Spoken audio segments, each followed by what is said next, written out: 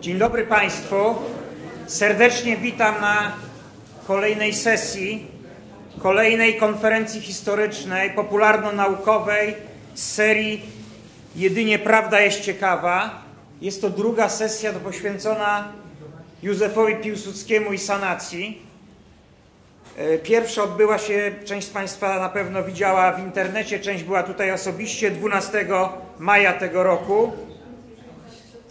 Natomiast e, e, dzisiejsza konferencja nosząca tytuł Piłsudski, sanacja, błędy i zbrodnie, bo będzie o różnych błędach politycznych, o różnych zbrodniach, do których e, polityka Piłsudskiego i sanacji doprowadziły, będzie właśnie mowa. Proszę Państwa, po tym krótkim moim tutaj wystąpieniu powitalnym jako pierwszy zabierze głos za kilka minut pan profesor Lech Wyszczelski, którego serdecznie witam. Temat referatu pana profesora Klęska wrześniowa skutkiem polityki zagranicznej sanacji. Następnie po panu profesorze Wyszczelskim będzie wystąpienie pana redaktora Stanisława Michalkiewicza, którego również serdecznie witam.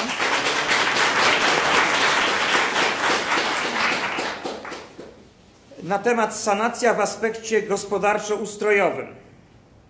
Kolejnym mówcą ma być, nie widzę w tej chwili na sali, pan redaktor Jan Engelgar, który będzie mówił na temat Sojusz z Czechosłowacją, niewykorzystana szansa. Kolejnym mówcą będzie profesor Artur Śliwiński, którego serdecznie witam. Temat referatu pana profesora Blaski i cienie sanacyjnej polityki gospodarczej. Dobrze powiedziałem? Dziękuję. Kolejną, kolejną e, osobą, która będzie mówiła, będzie pani doktor Marta Cywińska. Nie widzę Marty. E, będzie mówiła na temat sanacyjnego modelu wychowania i edukacji. Następnie e, będzie pan redaktor Adam Śmiech redaktor e, e, Myśli Polskiej, e, którego nie widzę, bo mówił, że będzie dopiero około 12. Będzie mówił o represjach wobec ruchu narodowego, obozu narodowego przedwojennego, temat referatu Piłsudczyzna kontra Endecja, zarys historii represji politycznych. I ostatnie przed przerwą wystąpienie będzie miała pani doktor lekarz stomatologii pani Anna Pruska-Wiśniowska na temat religijność Józefa Piłsudskiego, czyli Piłsudski jako rewolucjonista moralny. Po przerwie, trudno jest ustalić, bo tu nieraz referaty, generalnie umawialiśmy się na 20 do 25 minut, ale bywa tak, że niektóre są trochę dłuższe, ale staramy się trzymać tego harmonogramu. Po przerwie e, wystąpi pan Tomasz Ciołkowski, autor książki Józef Piłsudski bez retuszu i będzie mówił na temat okultyzm i masoneria w życiu Józefa Piłsudskiego. Kolejnym mówcą będzie dr Mariusz Patej. Będzie mówił o przeciwstawnych wizjach rozwoju Polski i sanacji, e, przepraszam, rozwoju Polski, wizjach sanacji i polskiego obozu narodowego. Kolejnym mówcą będzie pan Marcin Skalski, między innymi z portalu kresy.pl, będzie mówił na temat sanacja wobec mniejszości narodowych i prometeizmu. I dwa ostatnie wystąpienia e, to będzie e, pan Paweł Tomasik, autor zresztą książki na temat Adama Doboszyńskiego. Będzie mówił na temat Adam Doboszyński przeciw sanacji, od działalności politycznej do najazdu na Myślenicę. A na samo zakończenie o sprawach geopolitycznych i polityce zagranicznej będzie mówił pan Nikt, czyli Tomasz Gryguć. Temat referatu Jacht Czarodziejka, czyli jak sanacja doprowadziła do klęski wrześniowej. No to byłoby chyba na tyle. Będę tutaj przed każdym wystąpieniem albo w przerwach pokazywał różne wydawnictwa, które są yy, dostępne. Yy, Proszę Państwa, e, w tej chwili pokażę, zareklamuję może dwa z tych wszystkich, które tu zgromadziłem. Po pierwsze jest do nabycia y, dzisiaj w promocyjnej cenie y, książka Piłsudski Sanacja, Prawda i Mity. Są to materiały, czyli 11 referatów z konferencji, która się odbyła w dniu 12 maja i do tego dołączone cztery bardzo ciekawe, myślę, aneksy dotyczące Piłsudskiego i sanacji. Bardzo zachęcam. Po dzisiejszej sesji, po zebraniu wszystkich referatów, myślę, że w przeciągu trzech tygodni mniej więcej, e, czyli na początku października powinniśmy wydać drugą część, e, będącą owocem e, tej, tej konferencji. Druga rzecz, którą polecam, niestety nie dotarł, bo wczoraj dopiero został wysłany, jest w drodze do Warszawy najnowszy numer Magna Polonia, Magna Polonia numer 10 i, kilka numerów poprzednich. Zachęcam do zakupu. W tym numerze akurat są też E, artykuły dotyczące Piłsudskiego i sanacji. W niektórych poprzednich e, także Państwo znajdą. Proszę się zapoznać ze spisem treści. A jako pierwszy będzie e, miał wystąpienie pan profesor Lech Wyszczelski spośród tylu różnych tutaj książek. Na ten moment mamy tylko jedną książkę pana profesora. Skrywane oblicza II Rzeczypospolitej. Zachęcam do nabycia. Myślę, że pan profesor po referacie, jak będzie chwila przerwy, chętnie się też na swojej książce e, podpiszę.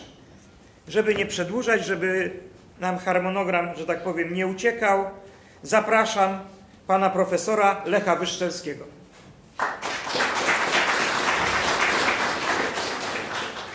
Dzień dobry Państwu. Chcę powiedzieć, że ja byłem także obecny na poprzedniej tutaj konferencji i tak się złożyło, że mówiłem o polityce wojskowej Józefa Piłsudskiego. Mikrofony są e, nieczynne, ale głos będzie raczej, postaram się troszeczkę głośniej mówić. Otóż, e, kiedy otrzymałem propozycję wystąpienia dzisiejszego, no, pomimo, że doświadczenie mam już duże, zastanowiłem się, czy podołam temu zadaniu, bowiem tytuł referatu brzmi Klęska wrześniowa 39 i wpływ na nią polityki zagranicznej sanacji 1926-1939. Co to oznacza? To oznacza niemalże całe dwudziestolecie, prawie dwudziestolecie e, II Rzeczypospolitej i jej polityki zagranicznej. Na ten temat ukazało się wiele monografii, chociaż można różnie oceniać, różnie one prezentują e, wydarzenia. A ja dostałem na to no, 25 minut, jak widzę z tego porządku. No, tak, tak, tak no, Ale cóż, e, podejmuje się i ryzykownych e, wyzwań wobec tego, oczywiście zaznaczając z góry, że jest to pewien abstrakt, tylko te wystąpienie. Szersze będzie tekst e, drukowany, bo to gdzieś tam już pan dosłał, Ja wiem, ale trzy, trzykrotnie trochę przekroczy to, co powiem e, w tej chwili, a i tak to na, na pewno będzie tylko pewien szkic. Proszę Państwa, przewrót majowy 1926 roku miał duży wpływ na wiele dziedzin życia Polski, w tym na politykę zagraniczną. Miała ona zapewnić w myśl Józefa Piłsudskiego, który powiedzmy sobie, odpowiadał z własnej inicjatywy zarówno za politykę zagraniczną, wojskową i inne, ale na tym miał szczególną bacz, baczył, aby e, trzymać kurs. Otóż określił on, że ta polityka bezpieczeństwa e, realizowana poprzez politykę zagraniczną to polityka równych dystansów między Warszawą a Berlinem oraz Warszawą i Moskwą. Gwarantem tej polityki miały być siły zbrojne i to samodzielnie prowadzące ewentualną wojnę. Jednocześnie Piłsudski starał się przekonywać, że jego celem jest dążenie do stabilizacji w Europie Środkowo-Wschodniej i zachowanie istniejącego status quo. Ale cóż, stosunki z Francją słaby systematycznie.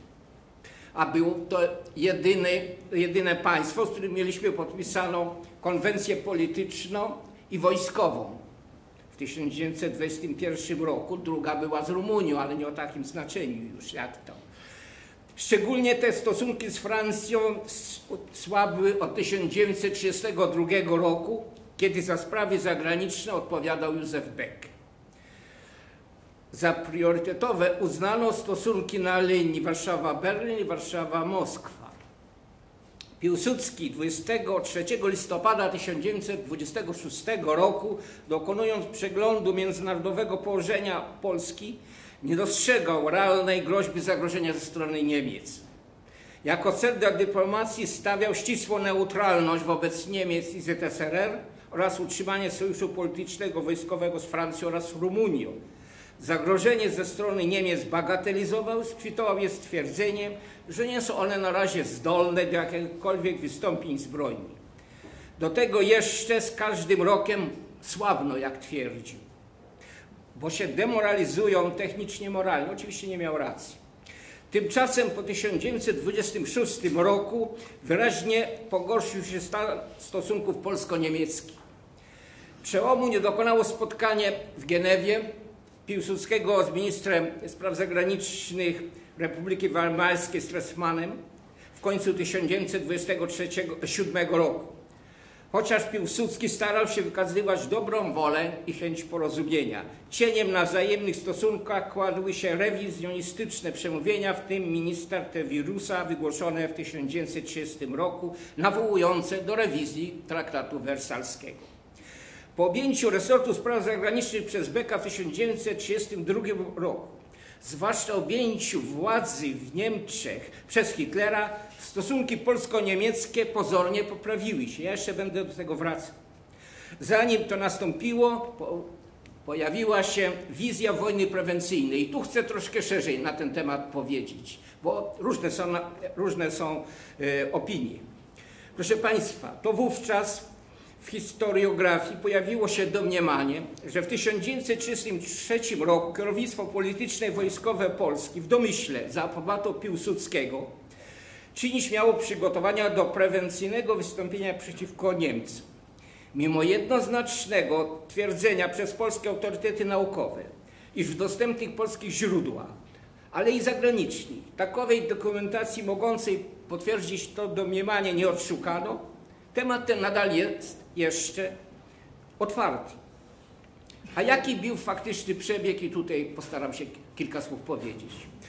Otóż ustalone jest, że w styczniu 1933 roku pewne rozmowy, najprawdopodobniej o charakterze sondażowym w sprawie wspólnego współdziałania militarnego polsko-francuskiego e, dla przyhamowania tego, co się działo w, e, w Niemczech, a to jest przecież dojście Hitlera do władzy, styczeń, e, należy, e, powiedzmy, przeprowadzić coś w rodzaju wojny prewencyjnej. Taki sondaż prowadzić miał Jerzy Potocki, późniejszy poseł polski w Rzymie.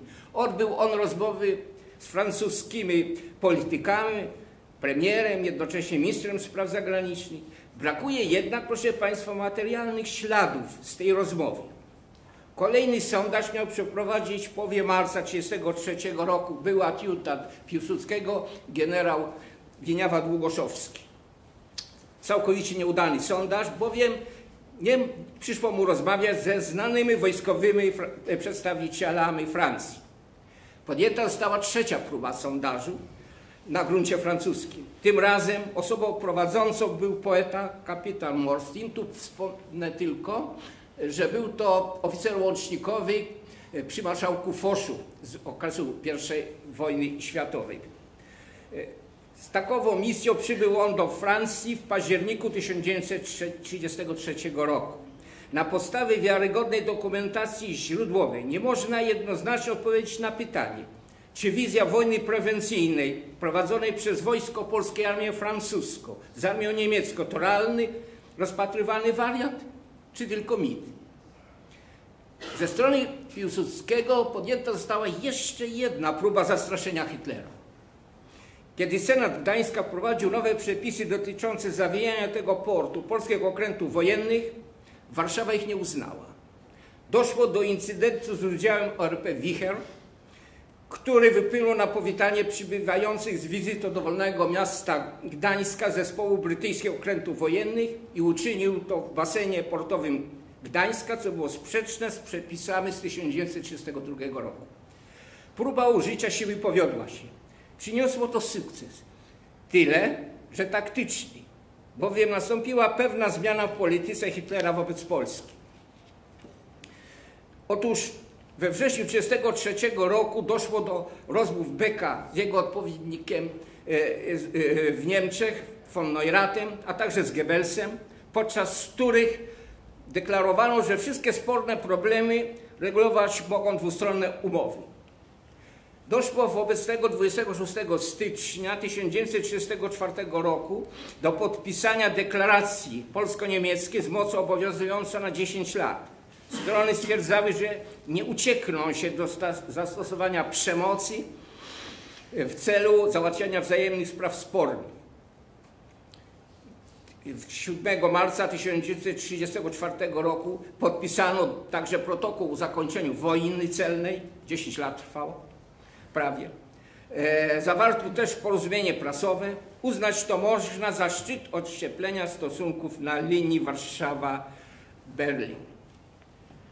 Pytanie jest tylko takie, czy Hitler się wystraszył i czy rzeczywiście coś robiono dla realizacji tej wojny prewencyjnej. Hitler się wystraszył. Są dokumenty wskazujące, że szef sztabu Reiswery, bo jeszcze wtedy Wehrmachtu nie było, generał Adams zreferował Hitlerowi, że armia, armia niemiecka zupełnie nie jest w stanie przeciwstawić się ewentualnej atakowi francusko-polskiemu. Wobec tego Hitler zmienił taktycznie swoją politykę, taktycznie bowiem doszło do tego wspomnianego porozumienia. Ale faktycznie to powiemy sobie może dalej, co się będzie działo. Teraz chcę powiedzieć, że zachowując politykę równych dystansów, Piłsudski starał się także doprowadzić do poprawy stosunków z Moskwą. W sierpniu 26 roku Moskwa przedstawiła projekt paktu gwarancyjnego oraz zaprosiła ówczesnego ministra Zaleskiego do przyjazdu do ZSRR dla podpisania tego paktu. Trwało to jednak długo. Dopiero w 1932 roku podpisano polsko-radziecki układ o nieagresji. Przyjąć można wobec tego, że połowa 1934 roku to szczyt zbliżenia między Warszawą i Moskwą w całym dwudziestoleciu międzywojennym. Czyli by paradoksalnie wyglądało, że są najlepsze stosunki z obydwoma ewentualnymi przeciwnikami.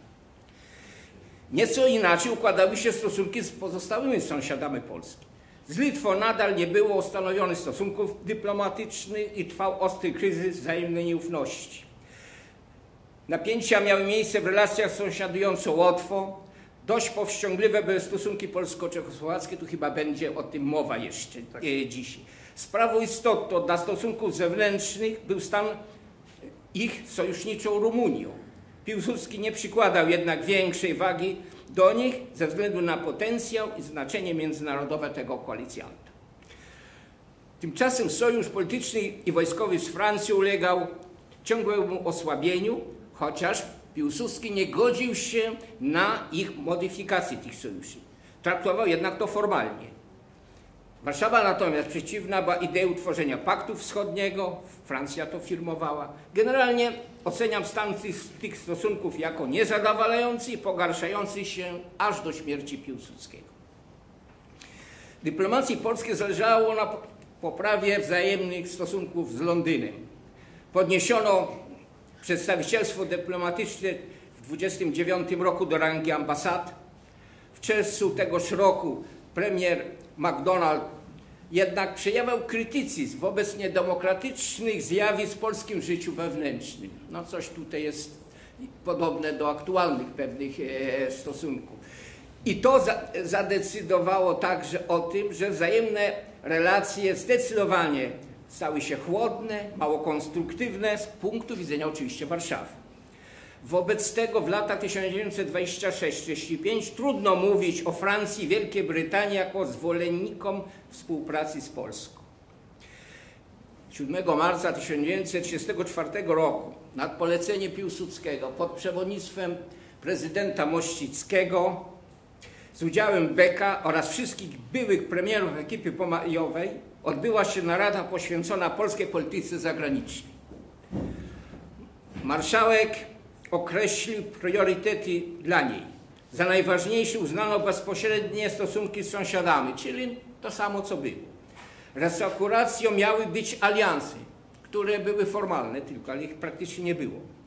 Zabrakło czasu z uwagi na śmierć Piłsudskiego nawet na próbę realizacji tych wytycznych.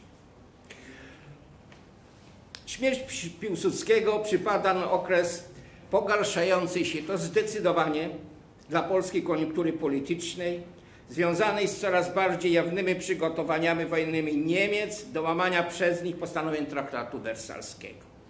Hitler jednak koketuje Warszawę sygnałami chęci dobrosąsiedzkich stosunków na bazie tej deklaracji z 1934 roku. Z drugiej dokonuje jednocześnie gwałtu na traktacie wersalskim. Chodzi o 1935 e, rok i wprowadzenie powszechnego obowiązku służby wojskowej w Niemczech, czyli automatycznie zwiększenie ilości dywizji trzykrotnie. I inne jeszcze były reakcje. E, cóż na to polska dyplomacja? Reakcja Beka na łamanie tegoż prawa międzynarodowego i przygotowania do wojny jest łagodna. Nadal kolaboruje z Geringiem, uważanym za rzecznika porozumienia z Polską. Odbył, mówię o Geringu, w 1935 oficjalną wizytę i to wielokrotnie, nie będę do tego mówił, w Polsce. Rozmawiał przede wszystkim Śmigłym Rydzem i z innymi. Pytanie. Kto ze strony polskich decydentów był inicjatorem pomysłu zaproponowania stronie francuskiej uczestnictwa, i to nawet militarnego, w egzekwowaniu od Niemiec poszanowania postanowień traktatu wersalskiego. Chodzi o kryzys nadreński z marca 1936 roku. Czy był to Beck, czy Śmigły Rys, wtedy jeszcze generał. Wydaje się, że ten pierwszy, ale nie mogło to mieć miejsca bez uzgodnienia tego stanowiska z drugim. Pierwsze sygnały Warszawy o chęci wypełnienia idei Sojuszu Polsko-Francuskiego to deklaracja Beka z marca 1936 roku o wywiązaniu się z zobowiązań militarnych na wypadek takowych działań ze strony Paryża, czyli na uruchomienie sojuszu wojskowego polsko-francuskiego. Reakcja Paryża była powściągliwa. Francja nie zamierzała interweniować zbrojnie. Jedyną reakcją miała być akcja dyplomatyczna i skarga złożona w Lidze Narodów. Do tego niepotrzebne były polskie deklaracje nastawione na działania militarne. Wobec tego po co one były? Proszę Państwa, w tym wypadku inicjatorem był Śmigły Rydz, któremu zależało i to bardzo na poprawie stosunków z Francją. Jakiej racji? Jedną z, z pierwszych decyzji Śmigłego Rydza po objęciu stanowiska generalnego inspektora sił zbrojnych było zlecenie e, sztabowi głównemu przygotowania oceny stanu bojowego Wojska Polskiego i potencjalnych przeciwników. Nie będę odkrywczy, kiedy powiem, że wypadła ona tragicznie. Tragicznie. Wobec tego Śmigły Rydz uznał, że należy coś czynić na wielu polach, ale między innymi na polu dozbrojenia i modernizacji Wojska Polskiego. Polska była słaba ekonomicznie. Trzeba było środków zewnętrznych, pożyczki. I stąd uznał, że należy robić krok w, sto, w stosunku do Paryża, aby reaktywować faktycznie zamrożony przez Piłsudskiego sojusz polsko-francuski, a przy okazji wynegocjować pożyczki na dozbrojenie tegoż wojska. Otóż chcę powiedzieć, że strona francuska, także ambasador, nowy ambasador w Warszawie, Leon Noel, trafnie oceniał dążność Miłego Rydza do ponownego zbliżenia obu państw. Do tego yy, on jednak chciał wykorzystać tę sytuację do jednej jakże istotnej rzeczy. Chciał pozbyć się Beka. Rydz miał w czasie wizyty we Francji być przyciśnięty do muru po to, żeby pozbyć się Beka uważanego za no, germanofila. Za germanofila. Tak, e, tak, e, takie, takie były jego oceny. Proszę Państwa, nie udało się to. Rząd francuski po prostu, nie wiem, czy się przestraszył, czy w ogóle e, zlekceważył to, co Noel mu proponował i nie przycisnął tegoż naszego generalnego inspektora sił zbrojnych. Nie wiadomo, czy byłby to skuteczne nawet, no bo powiedzmy sobie, trend Za politykę zagraniczną Polski po 1935 roku odpowiadał jednak Beck. Ale w konsultacji coraz bardziej śmigłym rytm, zwłaszcza w 1938-1939 roku. Wszystkie te sprawy już były konsultowane. Chcę zwrócić jeszcze uwagę na taką rzecz, że wizyta ta francuska Śmigłego, ona, no powiedzmy, o ile nie doprowadziła do jakiegoś rewelacyjnego uaktywnienia sojuszu polsko-francuskiego, to jednak no, pożyczka z Rambouillet o nieco ponad 2 miliardy franków, no ona była dość istotna, między innymi części wykorzystana do budowy COP-u, Centralnego Okręgu Przemysłowego. Proszę Państwa, ale tutaj nie wszystko nam się udało.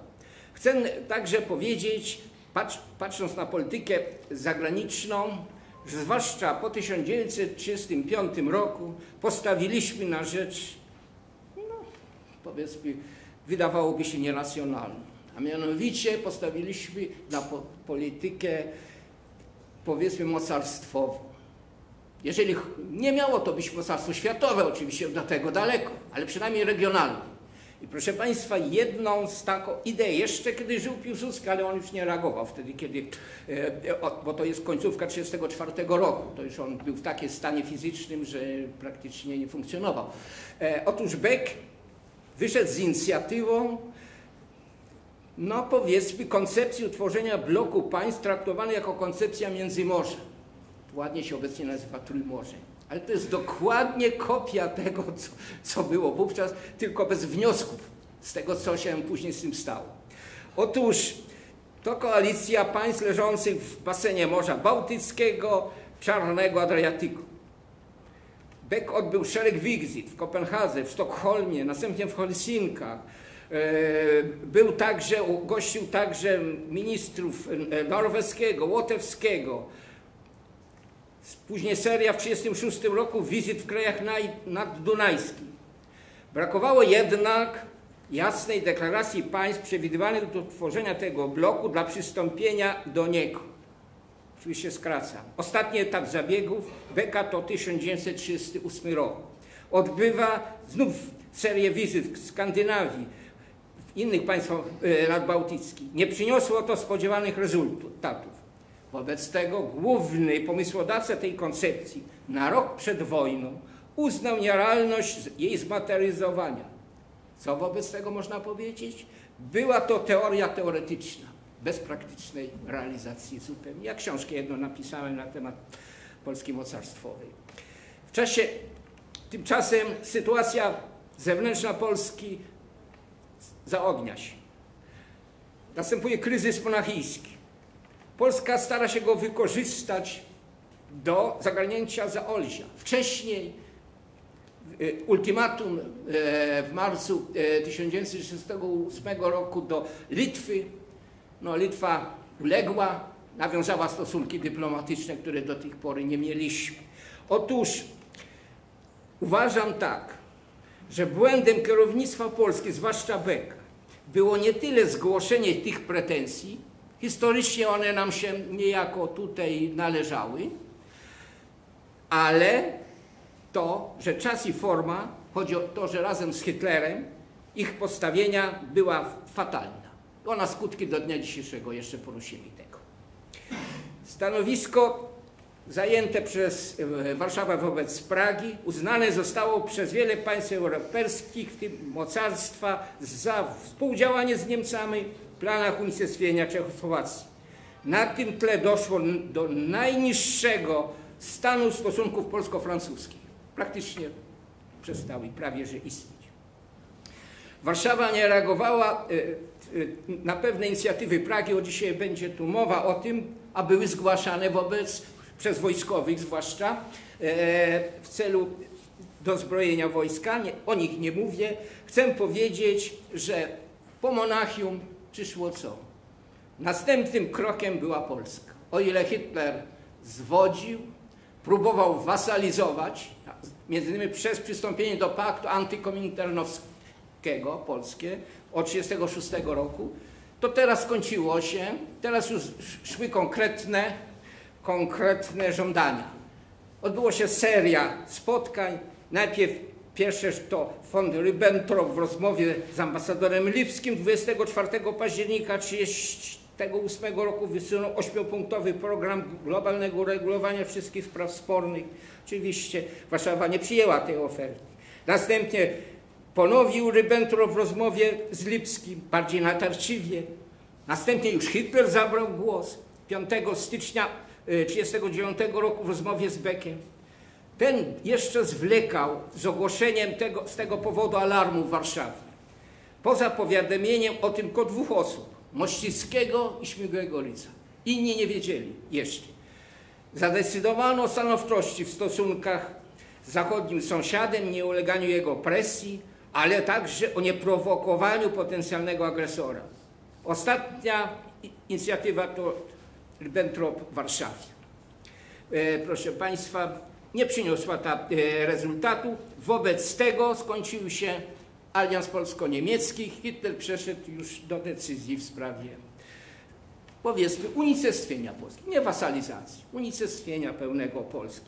E, proszę Państwa, chcę powiedzieć także na koniec o, o tym, że mocarstwa zachodnie w 1939 roku zwłaszcza, ale i wcześniej też, one koniunkturalnie traktowały Polskę. Kiedy wybuchła sprawa, powiedzmy sobie, fiaska polityka piśmentu, kiedy praktycznie, można powiedzieć, trzeba było coś robić, bo inaczej gabinet Chamberlaina by upadł, wobec tego uznano, że Polskę należy wciągnąć do bloku państw, które byłyby przeszkodą na drodze agresji Niemiec. Z tym, że, proszę Państwa, to była gra bardzo, bardzo, tak może jeszcze trzeci raz powiem, bardzo nieszczera wobec Polski. Wszystkie te deklaracje, ja książkę też napisałem y, na ten temat dwie, bo jedna kiedyś tam cenzura się przyczepiła i nie doznaczy została część jej tam naprzemiał, ale później tajna gra mocar wobec Polski, wiosna, lato 1939 roku, gdzie dokładnie opisuje to, co się działo. Teraz powiem y, już, że niefrasobliwość Beka, który uważał się za wybitnego sternika polityki, widoczna jest wielokrotnie, ale ja na jedno zwrócę uwagę mało eksponowanej sprawy. A mianowicie popełnił on błąd i to straszny, nie rozpoznając stanowiska Rumunii, silnie penetrowanej od wiosny 1939 roku przez Niemcy, i kiedy już wojna się rozpoczęła we wrześniu 1939 roku, on nakłonił Śmigłego Rydza, ażeby zwolnił Rumunów sojuszniczych zobowiązań na wypadek agresji ZSRR. E, chodzi o sojusz polityczny i wojskowy, który z Rumunią mieliśmy. I on był skierowany na wypadek agresji ZSRR. Proszę Państwa, chodzi o taką rzecz. Ta decyzja spowodowała, że Rumuni mieli prawo międzynarodowe do internowania naszych władz. Bo gdyby, te, e, gdyby ten sojusz funkcjonował, 17 e, września rozpoczęła się agresja ZSRR i przynajmniej formalnie z punktu prawa międzynarodowego Rumunia musiała być sojusznikiem. Politycznym przynajmniej. Już ja nie mówię o militarnym, bo to nie było szans na, na to. Proszę Państwa, no i trzeba coś po, e, powiedzieć, podsumować oczywiście. Chcę powiedzieć, że, że po wybuchu wojny we wrześniu 1939 roku Polska była osamotniona w prowadzeniu działań militarnych. Mocarstwa nie zamierzały y, y, powiedzmy udzielać jej pomocy. Ja w tekście tym pisanym jest tam wyjaśnione dlaczego. Po prostu, najogólniej mówiąc, chodziło o skierowanie agresji niemieckiej na wschód, a nie na Francję. I to był podstawowy cel. Sztaby na ten temat pracowały. Otóż mocarstwa zachodnie nie zamierzały także po klęsce Polski tolerować ekipy sanacyjnej, stąd pułapka francuska, Noela, między innymi koniec kariery tych polityków. Czy jednak powyższe wskazywać mają na zupełną nieudolność tej polityki? Proszę Państwa, ja staram się być obiektywny w pewnych sądach. Otóż uważam, że efektywność prowadzenia polityki zależała nie tylko od Warszawy, ale główne mocarstwa, powiedzmy, jak i najwięksi nasi potencjalni przeciwnicy mieli w tym wiele, wiele do zrobienia. Czynniki zewnętrzne w poważnym stopniu ograniczały efektywność prowadzonej przez Polskę polityki zagranicznej.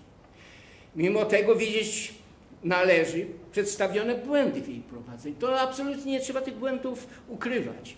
Trzeba je pokazywać. Ale proszę Państwa, i to już koniec, geopolityczne położenie Polski we wrześniu 1939 roku było najfatalniejsze, jakie mogło być. Proszę Państwa, nie mieliśmy nawet odrobiny możliwości, żeby ktoś nam udzielił pomocy. Może tak powiem jeszcze, że jedynym państwem, na które Niemcy naciskali, że przyłączył się do agresji, a który odpowiedział, że ze względu na stosunki historyczne z Polską on tego nie podejmie, to były Węgry. Pre, pre, premier Teleki odpowiedział, że on nie będzie uczestniczył. Natomiast, o czym też się nie do końca, e, przynajmniej mówi tak, e, powiedzmy, jak powinno, oprócz Niemiec 1 września był jeszcze drugi agresor, Słowacja. 17 września trzeci. No i cóż można było w tej sytuacji zrobić? Państwo 20 lat, dalekie gospodarczo od ambicji, które posiadało, no ale te ambicje były za wielkie. I tu trzeba także zwrócić uwagę, i w tym chyba wina jest sanacji, że te aspiracje mocarstwowe w niczym nie pasowały do efektywnych możliwości państwa. Dziękuję za uwagę. Dziękuję bardzo panie profesorze.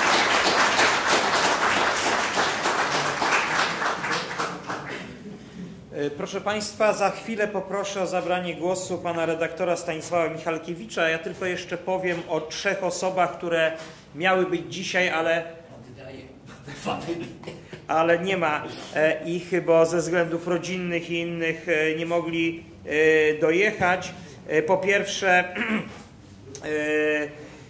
jest do nabycia książka Sławomira Suchodolskiego Czarna Księga Sanacji. Bardzo serdecznie zachęcam, bardzo dobra, merytoryczna praca.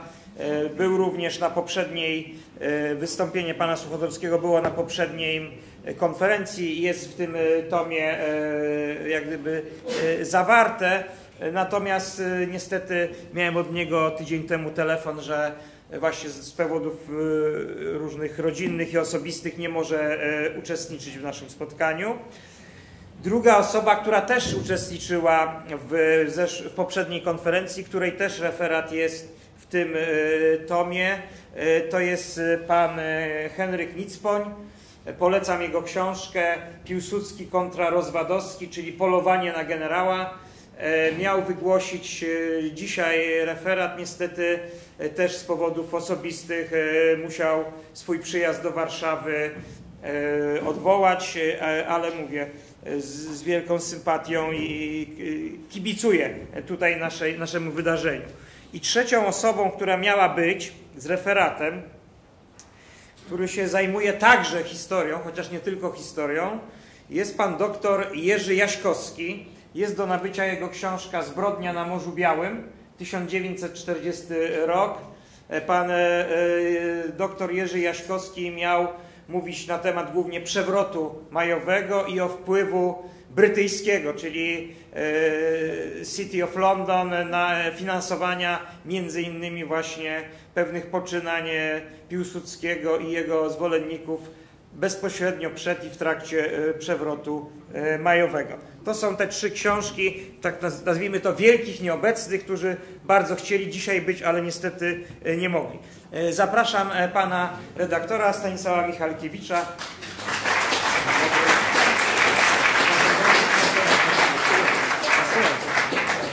Temat, temat podany przez pana redaktora to sanacja w aspekcie gospodarczo-ustrojowym. Proszę bardzo. Proszę Państwa, zanim przejdę do przedstawienia mojego referatu, to zatrzymajmy się chwilę. Dlaczego właściwie w 92 lata po zamachu majowym my się jeszcze tym zajmujemy? Myślę, że Proszę nie rozmawiać. Nie wiem, czy takie intencje są organizatorów i Państwa tutaj obecności przyczyny. Myślę, że warto się nad tym zatrzymać i tym zajmować, dlatego że y, mamy y, taką grupę rekonstrukcji historycznej sanacji w tej chwili. Y, No i warto, dlatego warto poznać mechanizmy, jakie wtedy się pojawiły i jakie, jakich recydywę chyba przeżywamy dzisiaj. No i stąd to Państwa zainteresowanie tą konferencją. Sanacja w aspekcie politycznym i gospodarczym. Któż to tak śnieżkiem pruszy z niebiosów? Dyć oczywiście pan wojewoda. Módl się dziecino z całą krainą, niech Bóg mu siły doda. Śnieżkiem popruszył, śnieżek poruszył, dobry pan wojewoda. Zaczynał Konstanty Ildefons Gałczyński swój wiersz Zima z wypisów szkolnych, a kończył jak następuje. Jeżeli tedy sanki usłyszysz i dzwonki ich tajemnicze, wiedz, to minister w skupionej ciszy nacisnął taki guziczek, że sanki dzwonią i gwiazdki lśnią nad miastem i nad wsią. Jeszcze rządowa telewizja trochę się chyba wstydzi pokazywać takie rzeczy na serio, ale wszystko przed nami, bo już dzisiaj wiemy, że słońce wschodzi i zachodzi dzięki panu premierowi Mateuszowi Morawieckiemu, który został w tym celu wyszukany w korcu maku przez naczelnika państwa Jarosława Kaczyńskiego, który z kolei został wyznaczony przez opatrzność, by zbawił Polskę. Gałczyński oczywiście w postaci karykaturalnej przedstawił obraz życia w ramach tzw. Tak sanacji, a właściwie nie tyle obraz rzeczywisty, co jego sielankową wersję podawaną obywatelom do wierzenia. Karykatura zniekształca wprawdzie rzeczywistą postać, ale wydobywa z niej i eksponuje charakterystyczne jej właściwości. Cóż wtedy wynika z tej karykatury? Ano, z jednej strony infantylizm obywateli, którzy powinni być przekonani, że wszystko, nawet zima, jest dziełem funkcjonariuszy publicznych którzy jeśli nawet nie są wszechmogący, bo jednak w intencji Pana Wojewody trzeba modlić się do Boga, to są kimś w rodzaju przedstawicieli, kimś w rodzaju delegatów Pana Boga na Polskę. Z tego właśnie ma wynikać wiara w ich potężną dobroć i niepodobieństwo jakiegokolwiek sprzeciwu. Sanacja pojawiła się w Polsce po zamachu majowym w 1926 roku w rezultacie zniecierpliwienia wyznawców Józefa Piłsudskiego faktem, że nie tylko nie wszyscy nawrócili się na, tej, na tę religię, ale nawet ośmielają się poddawać wątpliwość jej dogmaty. A kimże mogą być tacy niedowiarkowie? Nie tylko durniami niezdolnymi do przyjęcia prawdy objawionej, ale i osobnikami podejrzanymi moralnie, bo przecież ta niezdolność miała swoje źródło w nikczemnych skłonnościach. Ludzi o nikczemnych skłonnościach nie brakuje w żadnym państwie, zwłaszcza w środowisku władzy, która ich przyciąga niczym magnes opiłki żelaza. To też w każdym społeczeństwie podejrzliwość wobec sprawujących władzę i niechęć do nich jest rozpowszechniona. Nakradł się, nakradł i umarł. Tak warszawski fryzjer skomentował śmierć francuskiego polityka Arystydesa Brianda. To też Józef Piłsudski, podobnie jak jego wyznawcy, nie łamali sobie głowy nad jakimiś programami, tylko odwołali się do tej podejrzliwości i niechęci. Bić kurwy i złodziei to była najkrótsza, ale oddająca istotę rzeczy wersja programu politycznego sanacji. No dobrze, bić, ale konkretnie kogo? Kto jest kurwą i złodziejem? Ano wiadomo, ten, kogo wskaże nieubłagany palec. Ciekawe, że 42 lata później to tak samo objaśniał Antoniemu Zambrowskiemu te skomplikowane sprawy jego towarzysz niedoli w więziennej celi. Nie ten Żyd co Żyd, ale ten, kogo partia wskaże. Ale to zaledwie jedna strona medalu, bo jest rzeczą oczywistą, że ci, którzy owe kurwy i złodziei biją, muszą charakteryzować się jakimiś zaletami, których suma składa się na ich wyższość moralną, a kto wie, czy również nie intelektualną, że to oni właśnie stanowią legion najlepszych synów ojczyzny. Takie właśnie określenie najlepsi synowie pojawia się w artykule pierwszym ustępie drugim sanacyjnej konstytucji z 23 kwietnia 1935 roku, która była prawnym uwieńczeniem sanacyjnej teorii i sanacyjnej praktyki. Wprawdzie zgodnie z ustępem pierwszym tego artykułu państwo polskie jest wspólnym dobrem wszystkich obywateli, ale skoro wśród obywateli są synowie najlepsi, to jest oczywiste, że obok nich muszą być również ci gorsi. Ale to nie wszystko, bo znacznie ważniejsza wydaje się deklaracja, że wspólnym dobrem tych wszystkich obywateli, zarówno najlepszych synów, jak i synów gorszych, a nawet synów, bo przecież i oni też są obywatelami, jest państwo polskie. Co to konkretnie znaczy, to możemy wydedukować z następnych przepisów tej Konstytucji, która jest, co jest charakterystyczne, dyskretnym milczeniem pomija informację, kto właściwie w tym państwie polskim piastuje władzę suwerenną. Nie piastują jej obywatele, którzy przecież tworzą społeczeństwo, bo artykuł 4 ustęp 1 Konstytucji stanowi, że w ramach państwa i w oparciu o nie kształtuje się życie społeczeństwa. Wynika stąd wniosek, że poza państwem nie ma życia. Co więcej, w ustępie drugim tego, z ustępu drugiego tego artykułu wynika też, że w razie potrzeby to właśnie państwo nadaje życiu społecznemu kierunek. Charakterystyczne, że podobną formułę przedstawił przywódca włoskich faszystów Benito Mussolini. Wszystko w państwie, nic poza państwem, nic przeciwko państwu. Nie da się zatem ukryć, że państwo jest w stosunku do społeczeństwa, a nawet do narodu czymś nadrzędnym, więc tym bardziej intrygujące staje się pytanie, co tak naprawdę pisząc o państwie mieli na myśli autorzy Konstytucji Kwietniowej. Wszystko wskazuje na to, że przez państwo rozumieli strukturę biurokratyczną stworzoną przez najlepszych synów ojczyzny, na czele której stoi prezydent. Nie jest on odpowiedzialny ani przed społeczeństwem, ani przed obywatelami, ani przed narodem, tylko przed Bogiem i historią.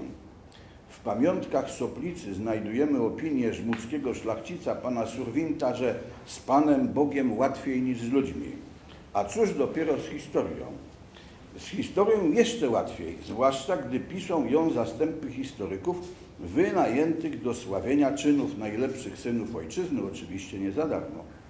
To też nic dziwnego, że również generał Wojciech Jaruzelski wolał odpowiadać przed historią niż przed zwyczajnym sądem, bo jeszcze nigdy nie słyszano, żeby historia wpakowała kogoś do więzienia albo skierowała na szafot.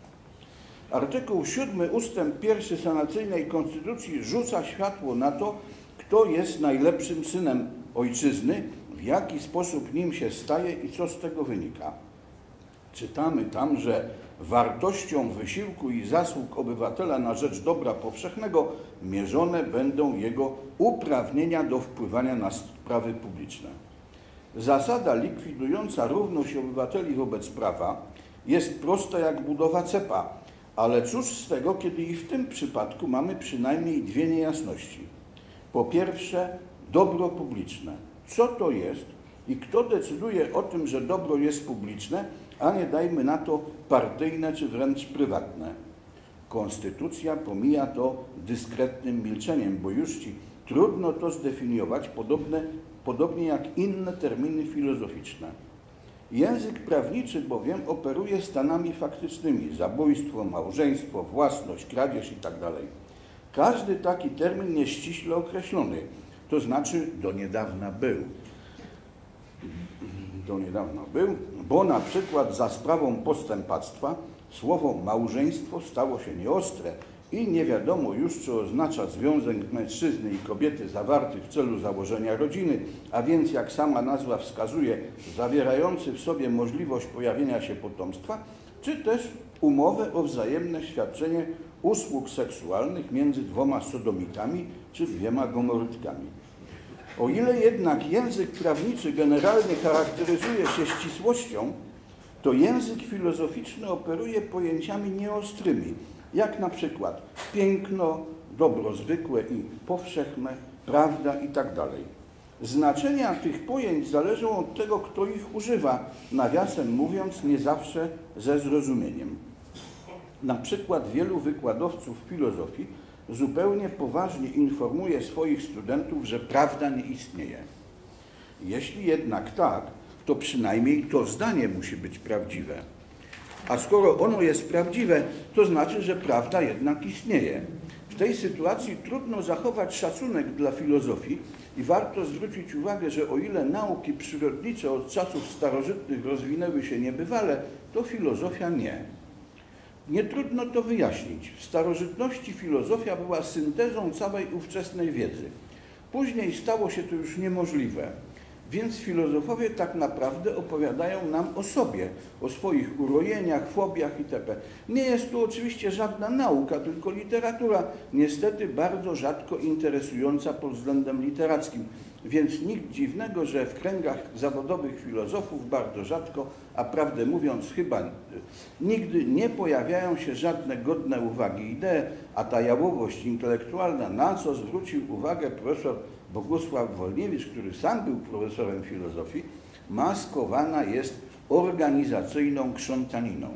Mniejsza już o to, bo poruszyłem ten wątek, by pokazać, jak bardzo niewłaściwe jest włączanie do tekstów ustaw, zwłaszcza konstytucji, terminologii właściwej dla filozofii. Zatem wyjaśnienia wymagałaby kwestia, które dobro jest powszechne, a które nie ale też kto właściwie i na jakiej podstawie mierzyć miałby wartość wysiłku i zasług obywatela, by na tej podstawie ustalić zakres jego uprawnień do wpływania na sprawy publiczne. W gospodarce rynkowej istnieje miernik wartości wysiłku i zasług w postaci zapłaty za pracę. Jeżeli jakiś inny człowiek dobrowolnie zapłaci za pracę innego człowieka, to znaczy, że owoce tej pracy były mu potrzebne, a sama praca była pożyteczna. Ponieważ z pożytecznej pracy bierze się ogólny dobrobyt, to właśnie ją można by ewentualnie uznać za wysiłek na rzecz dobra powszechnego, chociaż jak wspomniałem, jest to pojęcie bardzo nieostre. Na przykład, gdy idę do sklepu, by kupić buty za 300 zł, to w tej sytuacji 300 zł przedstawia dla mnie wartość mniejszą niż buty, bo w przeciwnym razie nigdy bym się tak nie zamienił. Z kolei dla sprzedawcy odwrotnie 300 zł przedstawia wartość większą niż buty, bo w przeciwnym razie nigdy by ich nie oddał. Jeżeli tedy dochodzi do transakcji, to każdy z jej uczestników ma subiektywne poczucie korzyści, chociaż nie wiadomo, który ma rację. Zwróćmy jednak uwagę, że przy takiej transakcji państwo wcale nie jest nam potrzebne. Więc prawdopodobnie autorzy konstytucji kwietniowej musieli mieć na myśli nie zapłatę za pracę, bo gdyby tak było, to po prostu by tak napisali, tylko coś zupełnie innego. Wszystko wskazuje na to, że chodziło im o swobodne uznanie uczestników biurokratycznej struktury zwanej w Konstytucji państwem, kto lepiej, a kto się dla tej struktury zasłużył. Oczywiście z żadnym dobrem powszechnym, cokolwiek by to miało znaczyć, nie musi to mieć nic wspólnego, więc trzeba powiedzieć, że uprawnienia do obywateli do wpływania na sprawy publiczne byłyby mierzone uznaniem użyteczności wysiłku obywatela z punktu widzenia grupowego interesu owej biurokratycznej struktury. Słowem, co jest dobre dla biurokracji, to jest dobrem powszechnym, a co nie jest dla niej korzystne, to nie. Umacnia nas w tych podejrzeniach artykuł 9 Konstytucji Kwietniowej, mówiący, że Państwo dąży do zespolenia wszystkich obywateli w harmonijnym współdziałaniu na rzecz dobra powszechnego. W tym dążeniu to właśnie państwo zespalać ma obywateli i to w dodatku wszystkich we współdziałaniu na rzecz dobra powszechnego, ale nie jakimś zwykłym, tylko harmonijnym. Kiedy współdziałanie jest harmonijne, a kiedy nie, o tym oczywiście decyduje państwo, czyli państwowa biurokracja. Ona też ma swoje interesy grupowe, o czym informuje nas pozbawiony złudzeń ksiądz biskup Ignacy Krasicki, pisząc we wstępie do bajek. Był minister rzetelny, o sobie nie myślał. A oto jak się to przekładało na konkrety. Objęcie władzy wojewódzkiej przez Stefana Kirtiklisa oznaczało jednocześnie objęcie steru spraw społecznych przez panią Stefanową Kirtiklisową. Zaczęła się plaga pracy społecznej. Nie wystarczało być rozsądnym, uczciwym i pracowitym urzędnikiem. Trzeba było koniecznie pracować społecznie, to jest poza godzinami urzędowania. Czy to było wychowanie fizyczne, czy Liga Morska i Kolonialna, czy Liga Obrony Powietrznej Państwa, czy rodzina urzędnicza, byle urzędnik w tym pracował, to jest co miesiąc, a może i częściej, brał udział w posiedzeniach i pustosłowiu. Wspomina Michał Kryspin-Pawlikowski, urzędnik w Wilnie w książce Wojna i sezon. Czyż nie przypomina to organizacyjnej krzątaniny impotentnych ideowo filozofów, która uczestnikom może nawet dostarcza poczucia uczestniczenia w czymś ważnym, ale z żadnym dobrem powszechnym, cokolwiek by to miało znaczyć, prawdopodobnie nie ma nic wspólnego. Sanacja była ruchem nie tylko autorytarnym, ale również etatystycznym, a w porywach nawet socjalistycznym. Wprawdzie Józef Piłsudski twierdził, że z czerwonego tramwaju wysiadł na przystanku Niepodległość, ale prawdopodobnie po to, by nie tylko na tym przystanku, ale jak największej przestrzeni wokół niego zaprowadzić socjalizm. Tak właśnie sam przedstawił cel niepodległości. Socjalista musi dążyć do niepodległości kraju, a niepodległość jest znamiennym warunkiem zwycięstwa socjalizmu w Polsce. To są słowa własnego Lecha A kiedy możemy mówić o zwycięstwie socjalizmu? Ano wtedy, gdy własność prywatna cofa się pod naporem własności publicznej, czyli państwowej. W Polsce za sanacji 30% obywateli mieszkało w miastach, a reszta na wsi. W 1938 roku z rolnictwa utrzymywało się 59,1% obywateli, a reszta ze źródeł pozarolniczych, w tym w przemyśle i górnictwie 23,2%, a reszta z handlu, rzemiosła i wolnych zawodów. Jednak w 1937 roku Przemysł wytwarzał 40% dochodu narodowego, rolnictwo już tylko 32,7%, budownictwo 5,5%, a pozostałe dziedziny, a więc handel, rzemiosło i wolne zawody 21,8%. W roku 1936 rusza budowa Centralnego Okręgu Przemysłowego, będącego obok Gdyni sztandarową inwestycją państwową okresu międzywojennego. Celem była rozbudowa przemysłu ciężkiego, przede wszystkim zbrojeniowego, a ubocznym zmniejszenie bezrobocia. W latach 1936-1939 na Centralny Okręg Przemysłowy rząd przeznaczył 60% wydatków inwestycyjnych państwa, czyli miliard 925 milionów złotych. Kwota ta stanowiła jedną ósmą dochodu narodowego Polski z 1937 roku, 16,5 miliarda złotych. Zarówno kryzys gospodarczy w początkach lat 30., jak i państwowe inwestycje doprowadziły do wzrostu etatyzmu. Było to zgodne z ideologią sanacji, w myśl której organizatorem życia gospodarczego, podobnie zresztą jak i każdego innego, miało być państwo. Wymagało to systematycznego zwiększenia udziału własności państwowej w gospodarce i tak właśnie działo się przez cały okres lat 30. Co prawda sanacyjny wicepremier i minister skarbu Eugeniusz Kwiatkowski przeprowadził komercjalizację przedsiębiorstw państwowych, to znaczy wyodrębnienie ich z administracji państwowej i nadanie im osobowości prawnej, ale i on na pytanie jednego z uczestników zjazdu przemysłowców w Lwowie w 1929 roku, dlaczego rząd udziela kredytów inwestycyjnych nawet w sytuacji, gdy jest stuprocentowa pewność, że nie zostaną one spłacone, odpowiedział, że właśnie dlatego, że jest to najskuteczniejszy sposób rozciągnięcia nad przedsiębiorstwami państwowej kontroli, czy wreszcie ich przejęcia. Rozmaicie z tym bywało, na co wskazuje historia lubelskich zakładów Pluge i Laskiewicz, które padły ofiarą pragnienia generała Ludomira Rajskiego, by cały przemysł lotniczy w Polsce skupić w rękach państwowych. Uruchomiona została kampania prasowa, że samoloty tej wytwórni są do luftu, że to latające trumny i tak.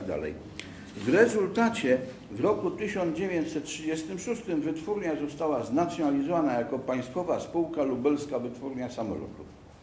Ciekawe, że nacjonalizacja nie doprowadziła do jakiejś rewolucji, jeśli chodzi o produkcję, więc jej przyczyny były prawdopodobnie natury ideologicznej.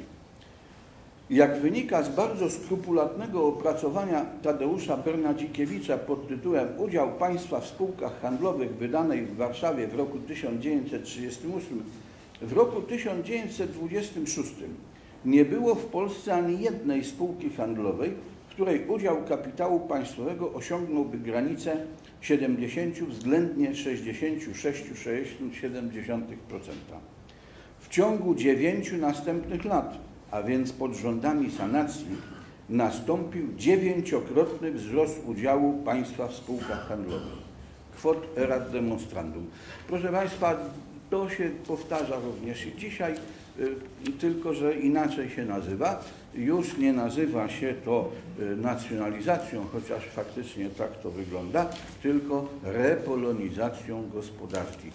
No, ale jak zwał, tak zwał, liczą się efekty końcowe. Mam nadzieję, że rezultat nie będzie tak opłakany, jak to nam przedstawił przed, w poprzednim referacie pan profesor. Dziękuję bardzo. Dziękuję bardzo.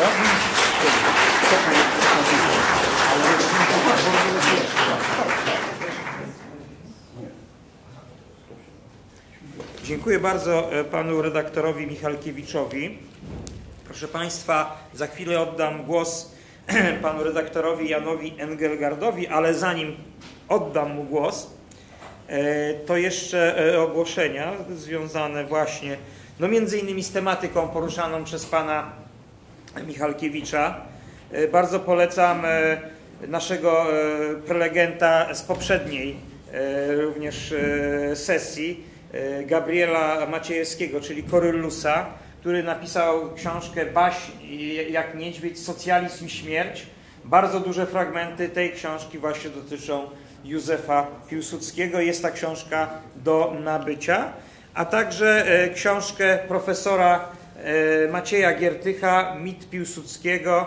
E, przypomnijmy, ojciec profesora Macieja Giertycha, Jędrzej Giertych, miał wielkie zasługi w czasie swego zwłaszcza pobytu na emigracji w Londynie. Wydał bardzo dużo książek dotyczących Piłsudskiego i sanacji. E, tutaj pan profesor e, kontynuuje jak gdyby jego dzieło. E, również ta książka jest do nabycia. A jeżeli chodzi o pana redaktora Engelgarda, no to oczywiście jest przedstawicielem, jest redaktorem naczelnym pisma Myśl Polska. Będzie również drugi przedstawiciel tego pisma, trzy referaty dalej, pan redaktor Adam Śmiech, również z Myśli Polskiej. Natomiast Myśl Polska chyba była jedynym wydaniem, nazwijmy to papierowym, który umieścił e, informacje o naszej konferencji z całym e, programem, no jeszcze przed zmianami. Tu jeszcze jest pan Micpoń, e, właśnie jest pan Suchodolski, czyli ci, którzy w ostatniej chwili się jak gdyby z powodów osobistych musieli wycofać, ale niemniej ten. I dlatego polecam najnowsze numery myśli polskiej są do nabycia tutaj na korytarzu. Tu między innymi jest e, e, sanacyjny etatyzm, to jest właśnie referat pana Suchodolskiego, e, który został wygłoszony tutaj 12 maja tego roku na tej poprzedniej sesji dotyczącej Piłsudskiego i sanacji. Bardzo proszę, pan redaktor Jan Engelgard. Wolisz na siedząco? Przynieść trochę wody? Można. Dobra. E, proszę Państwa, e, z informacji, jakie mam od Pana redaktora, temat jego wystąpienia to sojusz z Czechosłowacją, myślnik niewykorzystana szansa ze znakiem zapytania. Proszę bardzo. Dzień dobry Państwu. No, temat jest bardzo ciekawy, y, ale od razu mogę powiedzieć w ten sposób, że o ile ewentualność sojuszu polsko-niemieckiego jest przedmiotem zainteresowania publicystów, by wymienić tutaj książki Rafała Ziemkiewicza i Piotra Zychowicza, to sprawa Czechosłowacji, która była rok wcześniej, czyli roku 1938, jakoś nie cieszy się e, zainteresowaniem e, publicystów i zwolenników historii alternatywnej. Tak to zacznijmy. A moim zdaniem to jest ważniejszy rok. Rok 38 jest rokiem zasadniczym dla późniejszej klęski Polski, a nie rok 39. Czyli w roku 38 rozstrzygnęły się losy Polski. Oczywiście e, kierownicy polskiej polityki mogli tego nie wiedzieć, ale my wiemy i dlatego mamy prawo do e, takich, nie innych ocen. Po roku 89 mamy do czynienia w historiografii, już mówię o zawodowej historiografii, z całkowitym zwrotem ocen związanych z polityką Polski wobec Czechosłowacji. O ile przed 89 rokiem praktycznie wszyscy historycy byli e, zwolennikami tezy, że Polska prowadziła całkowicie błędną politykę wobec Czechosłowacji i zaprzepaściła szansę wspólnego wystąpienia również militarnego przeciwko III Rzeszy, o tyle tuż po 1989 roku nieraz ci sami historycy zaczęli głosić tezy zupełnie inne, zgodne no, z linią obrony Józefa Beka. E, by wymienić książki e, tutaj e, Marka K. Kamińskiego, chociażby, czy też pana Zachariasa, to już w roku, na początku lat 90. się ukazały i one były powieleniem tez, które były na emigracji publikowane przez cały okres do 1989 roku. A więc jak to jest, proszę Państwa, kto ma rację?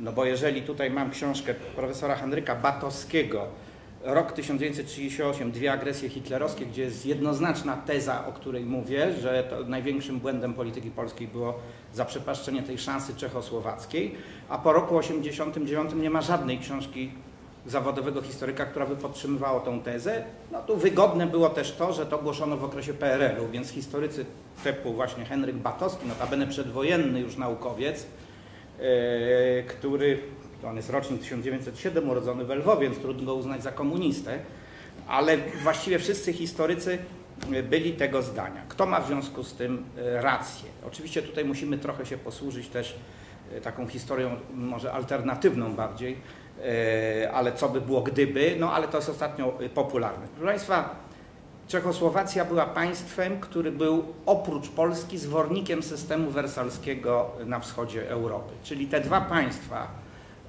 były jakby kośćcem układu wersalskiego no, w Europie Środkowej.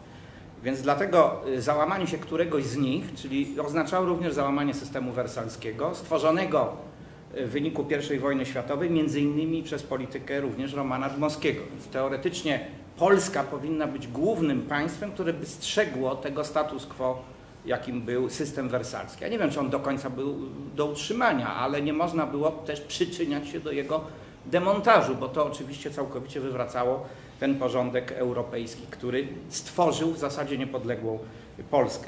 Tymczasem po roku 26, kiedy sanacja Mm, objęła władzę, stosunek do Czechosłowacji uległ zasadniczej zmianie. O ile w latach dwudziestych, kiedy rządziła Endecja, Piast, y, ten stosunek był raczej przychylny, to po roku 26 y, on coraz bardziej był negatywny. Czyli właściwie można powiedzieć, że y, jedyne państwo, które no, mogło być realnym sojusznikiem najbliższe nam, stawało się takim państwem, które w zasadzie było do likwidacji. Do tego dążyła później polityka Józefa Beka, żeby Czechosłowację dokonać jej rozbioru. Dlaczego tak było? Dlaczego do roku 26 ten stosunek do Czechosłowacji był inny, a po 26? Dlatego, że większość polityków obozu piłsudczykowskiego jakby no, genetycznie nie znosiło Czechosłowacji. Nie lubiło Czechów, o tak to myśmy powiedzieli. Teoretycznie w polityce nie jest to żadna kategoria, bo geopolityka y, posługuje się tym, że nie ma sympatii, antypatii, są interesy. W tym przypadku jednak te emocje odgrywały dużą rolę, takie antyczeskie, i potem je ubierano w jakąś ideologię, która próbowała uzasadnić to polską racją stanu.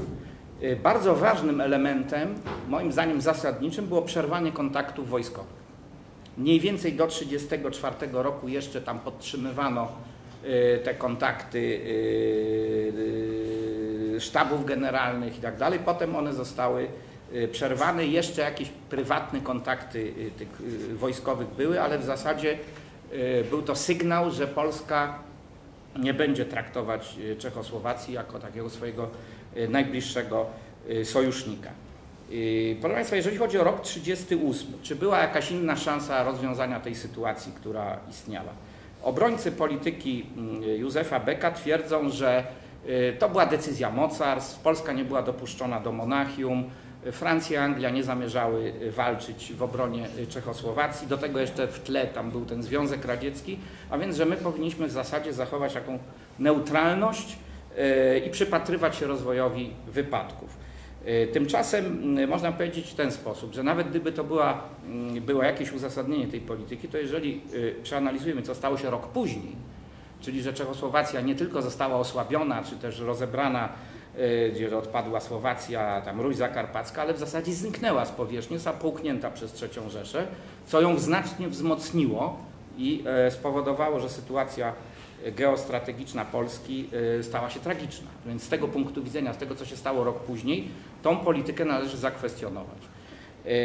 Czy były inne możliwości? Bo druga obrona jest taka, no nawet gdybyśmy chcieli, to nie było partnera po drugiej stronie, ponieważ zarówno Benesz, jak i większość polityków czeskich też nie lubili Polski i wszelkie próby nawiązania kontaktów były odrzucane. Proszę Państwa, na pewno jest faktem, że ta sprawa obciąża jakby dwie strony, to znaczy i, i, i Polska popełniała błędy i Czechosłowacja, która uważała, że sama sobie poradzi. Tym niemniej e, historyk polski czy, czy polityk polski powinien oceniać nasze błędy czy nasze działania i je poddawać tutaj analizie. I bez wątpienia ta pewna, no nazwijmy to, wstrzemięźliwość rządu czechosłowackiego czy samego Benesza wobec Polski jakby nie, była dla nas pewnym usprawiedliwieniem dla polityki, którą prowadził Józef Beck, bo mówił, no ale nawet gdybyśmy chcieli, to nie było partnera. Państwa, w takich sytuacjach, jeżeli Oba państwa są rządzone przez elity, które do siebie nie mają zaufania. To jest sytuacja trudna, ale tutaj w grę wchodziło los obu państw i narodów i należało przejść nad tym do porządku dziennego. I tutaj oczywiście możemy powiedzieć, co Polska mogła zrobić w tej sytuacji. Jeżeli byśmy uznali, że rzeczywiście trzecia Rzesza była największym zagrożeniem dla polskiej niepodległości, a system wersalski był jakąś jakimś zabezpieczeniem międzynarodowym, to Polska powinna zrobić w roku 1938 roku wszystko, żeby nie dopuścić po pierwsze do upadku Czechosłowacji, nawet w tej nazwijmy to wersji monachijskiej, jej rozbioru i późniejszego zajęcia przez trzecią Rzeszę. Jak można było tego dokonać? No oczywiście tu wchodzimy już w elementy y, takich dywagacji, ale które ma, odznają, znają odzwierciedlenie jakby w faktach historycznych. Po pierwsze, publicznie jednoznacznie stanąć na stanowisku nienaruszalności granic ustanowionych w Wersalu, czego nie zrobiono. E, oczywiście można powiedzieć, że Zachód był miękki, ale e, Henryk Batowski, moim zdaniem słusznie, twierdzi, że we Francji i w Anglii były siły, które stawiały na powstrzymanie Hitlera, ale one wtedy nie rządziły, czyli nie miały takich wpływów. I oczywiście Polska mogła dać argument tym właśnie ośrodkom, we Francji i w Anglii, które były przeciwne polityce Hitlera i że uważały, że już teraz należy postawić tamę. Ale do tego potrzeba była jasna deklaracja Polski, że e, stanie w obronie Czechosłowacji, że w ogóle Polska przeciw, przeciwstawia się jakimkolwiek zmianom terytorialnym, również dotyczącym Czechosłowacji. Druga to jest kwestia jakiegoś sojuszu wojskowego. No i tutaj jest ta kwestia, która się pojawia e, bardzo często. W archiwach zachowały się notatki dotyczące kontaktów y, wojskowych polskich czy czechosłowackich z lat 37-38. Między innymi opublikował na ten temat materiał Henryk Buchak, to jeszcze w okresie mm, lat 70. I otóż okazuje się, że były sygnały od ze strony czeskich atasze wojskowych w Bukareszcie i w Moskwie, że no, należałoby sprawę omówić, y, jesteśmy zagrożeni zarówno wy, jak i my, E, nawet pojawiła się taka notatka, może nie do końca sprawdzona, że czescy wojskowi nie są zadowoleni z polityki własnych e, władz i że sugerowali, że w razie czego e, mogłyby nastąpić zmiana władzy w Pradze, czyli krótko mówiąc przewrót wojskowy.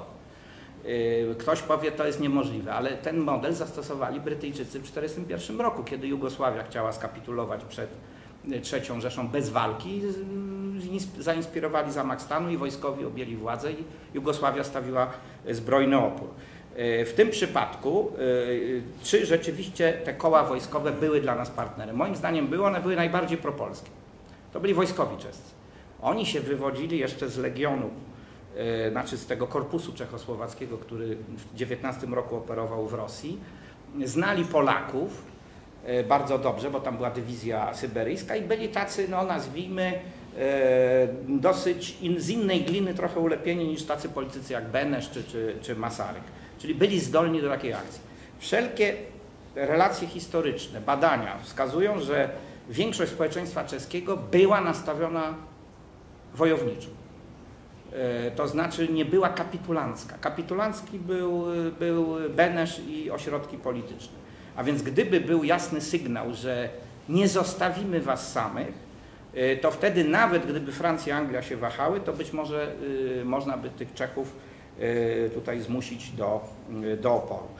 Ciekawa rzecz, proszę Państwa, w tej elicie czeskich wojskowych, no to był oczywiście generał Krejci, i to był jeszcze generał pochodzenia polskiego, o czym mało kto wie, e, Siergiej Wojciechowski. To był biały Rosjanin, ale pochodzenia polskiego z terenu dzisiejszej Białorusi, który znał Czechów z okresu wojny domowej i po rewolucji oczywiście uciekł e, z Rosji bolszewickiej, osiedlił się w Pradze i tam zaczął budować zręby armii czechosłowackiej i on doszedł do bardzo wielkiego znaczenia. No praktycznie niektórzy mówili, że to był taki de facto dowódca tej armii. Wojciechowski. I to był jedyny generał, który odmówił wykonania rozkazu y, kapitulacji, bez walki. Między innymi wypowiedział taką sentencję, że nie po to budowałem najlepszą armię w Europie, żeby y, bez strzału y, skapitulowała. No to się został zdymisjonowany i tak dalej. Ale mówię o tym Wojciechowskim chociażby dlatego, żeby pokazać, że po tamtej stronie też byli partnerzy. Oczywiście generał Wojciechowski nie był Czechem, więc jakby adresat powinien być zupełnie inny. Powinni być generałowie tam Gajda, generał Krejci, Syrowy. To byli ci Czesi, którzy mogli odegrać rolę. No i teraz jak y, y, strona polska reaguje na te sygnały z tych atasze? Bo przypomnę, to był atasze wojskowy w Bukareszcie i w Moskwie. Jeden się nazywał y, chyba Burda, a drugi Dastych. To były takie sygnały, że co wy na to? Gdyby co do tego doszło, to my jesteśmy gotowi. I otóż proszę sobie wyobrazić, że ci polscy atasze, którzy nawiązali kontakt, czy odbyli te rozmowy z tymi czeskimi oficerami, zostali zrugani. No, głównie przez polski MSZ, który wówczas kierował wszystkim. Czyli oni zorientowali się, że nie ma y, jakby atmosfery do, y, do, do takich rozmów i sprawa umarła. Nie, nie podjęto nawet próby sprawdzenia, czy na ile to są proszę Państwa, y, sygnały y, poważne, niepoważne, czy należy podjąć jakieś inne rozmowy.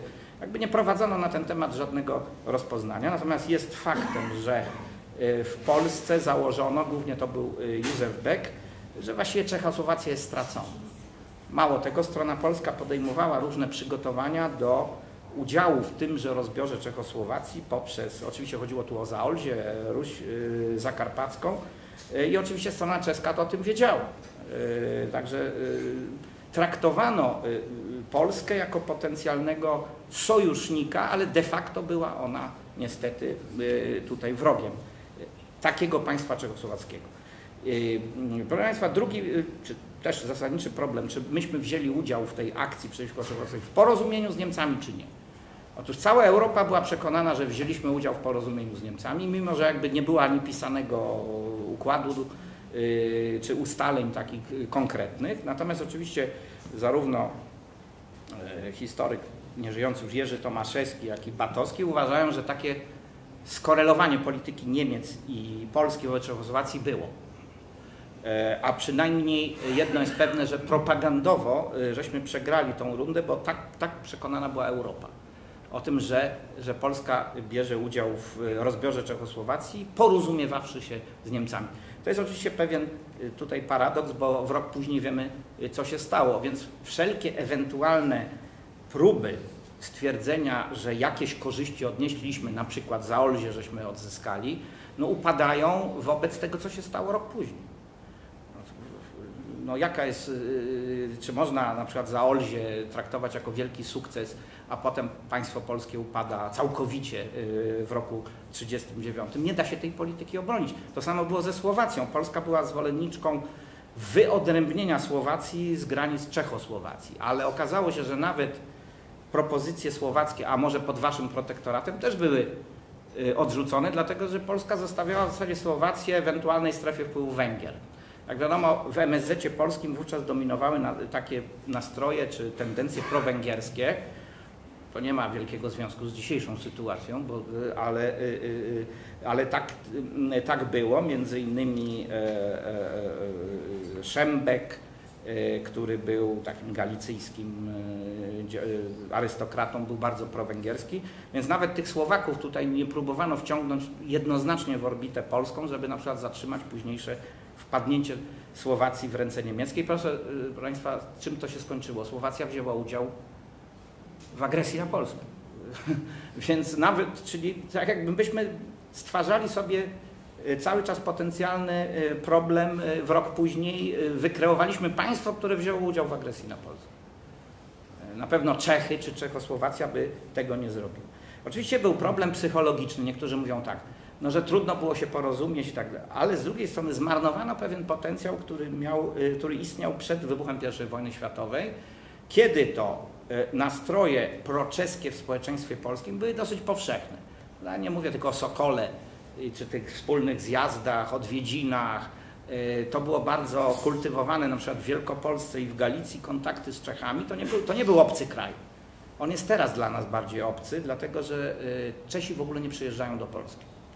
Nie ma turystów czeskich w Polsce. Polacy chętnie oczywiście jeżdżą tam. Natomiast w tamtym czasie do Krakowa bardzo dużo Czechów przyjeżdżało, były wspólne uroczystości i tak. Czyli nie można mówić, że to były dwa całkowicie sobie obce narody. Ten rów potem y, wykopano. A więc ten potencjał istniał. Istniały też elity polityczne w innych obozach, nie beneszowskim i nie sanacyjnym, które miały zrozumienie tej sytuacji. Po polskiej stronie był to niewątpliwie, była endecja, aczkolwiek w tym czasie, w 1938, tak zwani młodzi byli przeciw Czechosłowacji, ponieważ podchodzili ideologicznie. Czechosłowacja to jest kraj masoński, a więc nie ma co tutaj się angażować. Czyli nie geopolityka, tylko ideologia. Ale stara endecja typu tam Kozicki, no ale chociaż Giertych był yy, młody, to jednak był też za obroną Czechosłowacji, także to nie, nie, zawsze się pokrywało. Ale generalnie ta stara endecja, ta wersalska nazwijmy, była jednoznacznie tutaj stanowiska, że, Czech, Czechosłowacja jest bardzo ważnym elementem, partnerem. Jeżeli chodzi o inne partie polityczne, to oczywiście PSL Piast, czy PSL, potem Witos, Front Morsz niewątpliwie, czyli Paderewski, Korfanty, a więc to już jest sporo e, tych sił, które miały z Czechami e, kontakty i wreszcie, proszę Państwa, nawet w obozie sanacyjnym nie wszyscy byli zachwyceni polityką wobec Czechosłowacji. Tu się wymienia przede wszystkim dwie postacie. To jest Kazimierz Sosnkowski, który był zdecydowanym, no zdecydowanym, on się jakoś nie wypowiadał, ale był przeciwnikiem polityki Beka i Eugeniusz Kwiatkowski. Eugeniusz Kwiatkowski pochodził z Związku Młodzieży Polskiej Z, więc był taki bardziej pod wpływem ideologii narodowej. Tym niemniej to nie oni decydowali wówczas o polityce sanacji i taką datą graniczną e, tego, że Polska rezygnuje z jakichkolwiek prób porozumienia z Czechosłowacją, e, czy też odrzuca, czy nie podejmuje jakichś działań, był e, narada 12 maja 1938 roku, czyli bardzo symboliczna data, 12 maja zamach majowy, 12 maja 35 śmierć Piłsudskiego i 12 maja 38 na zamku jest narada wszystkich czołowych polityków sanacji, że polityka wobec Czechosłowacji nie ulegnie zmianie. Czyli jakby dano zielone światło polityce Beka i w tym uczestniczyli m.in. prezydent Mościcki, Józef Beck, y, marszałek Ryc y, Śmigły oraz y, pracownicy czy dyplomaci z MSZ-u. I tak się skończyło. W zasadzie to była taka zakończenie już te, tej, tych prób nawiązania kontaktów i zakończyło się to tak, jak się zakończyło. Proszę Państwa, kończąc, bo myślę, że to już reszta będzie w tekście. E, myślę, że to jest temat, który powinien jednak wracać. E, chciałem zauważyć, że po roku 1989 pojawił się problem, e, jak my oceniamy 38. No i tu trzeba powiedzieć, bez względu na ocenę postaci, że nieżyjący już y, prezydent Lech Kaczyński w jednej z wypowiedzi czy oświadczeń przeprosił za 38. Nie było to jakoś tam uzasadniane, to był taki, uznawano, że to jest taki gest y, polityczno-sentymentalny, ale za tym nie poszła żadna refleksja na przykład w nauce historii czy w publicystyce.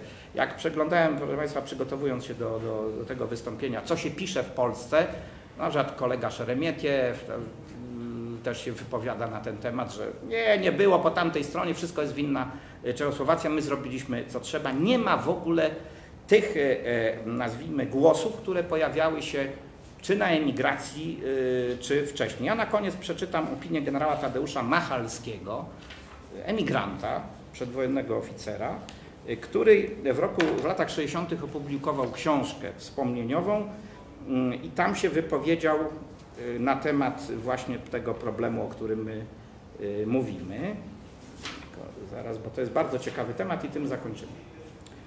Y, A nie, to jest cień ciała. Y, No oprócz tego oczywiście, że wypowiadali się tam, y, to tu nie i zaraz będzie ten... Jak znajdę, proszę Pani. Otóż generał Machalski stał na stanowisku, że była to utracona szansa. E, Malinowski. O.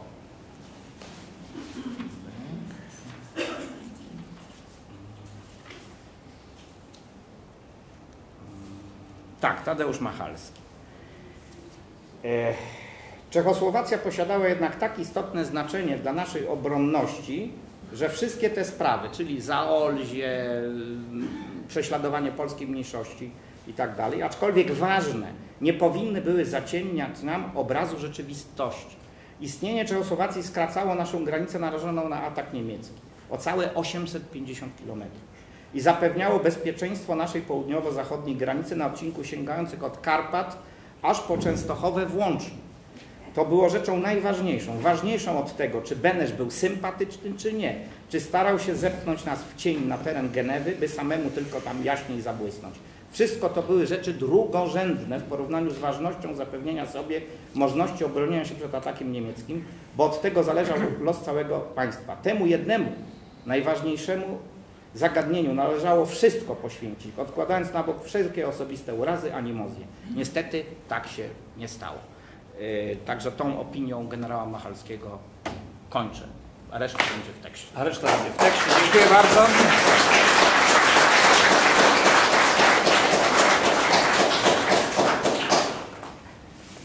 Tak jak mówiłem, e, e, myśl polska do nabycia e, tutaj na naszych stoiskach. Zachęcam również do nabywania tych książek, o których wcześniej mówiłem. Mamy parę, 10 minut opóźnienia. E, Bardzo bym prosił teraz e, o zabranie głosu pana profesora Artura Śliwińskiego, ekonomistę. Zapraszam panie profesorze.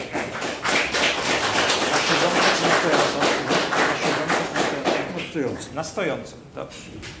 Proszę Państwa, może zanim zacznę swoją wypowiedź, dorzucę, że do poprzedniej wypowiedzi, że Czechosłowacja miała bardzo mocno rozwinięty nowoczesny przemysł zbrojeniowy, czego nam brakowało. Proszę Państwa, ja zacznę od pewnej refleksji, która mnie niepokoi z wielu względów. Mianowicie my mamy, przeżywamy, analizując patrząc na historię Polski, przeżywamy pewną szczególną zapaść. Mianowicie jest to zanik historii gospodarczej. I oczywiście to powoduje pewne deformacje w ocenie tych zdarzeń i również postaci historycznych, z jakimi poprzednio mieliśmy do czynienia. I wydaje mi się, że jako ekonomista to tutaj mógłbym wiele zrobić, ale temat jest tak szeroki, zaniedbania są tak potężne, że ja staram się tutaj wypowiadać bardzo oszczędnie i w bardzo wąskim zakresie.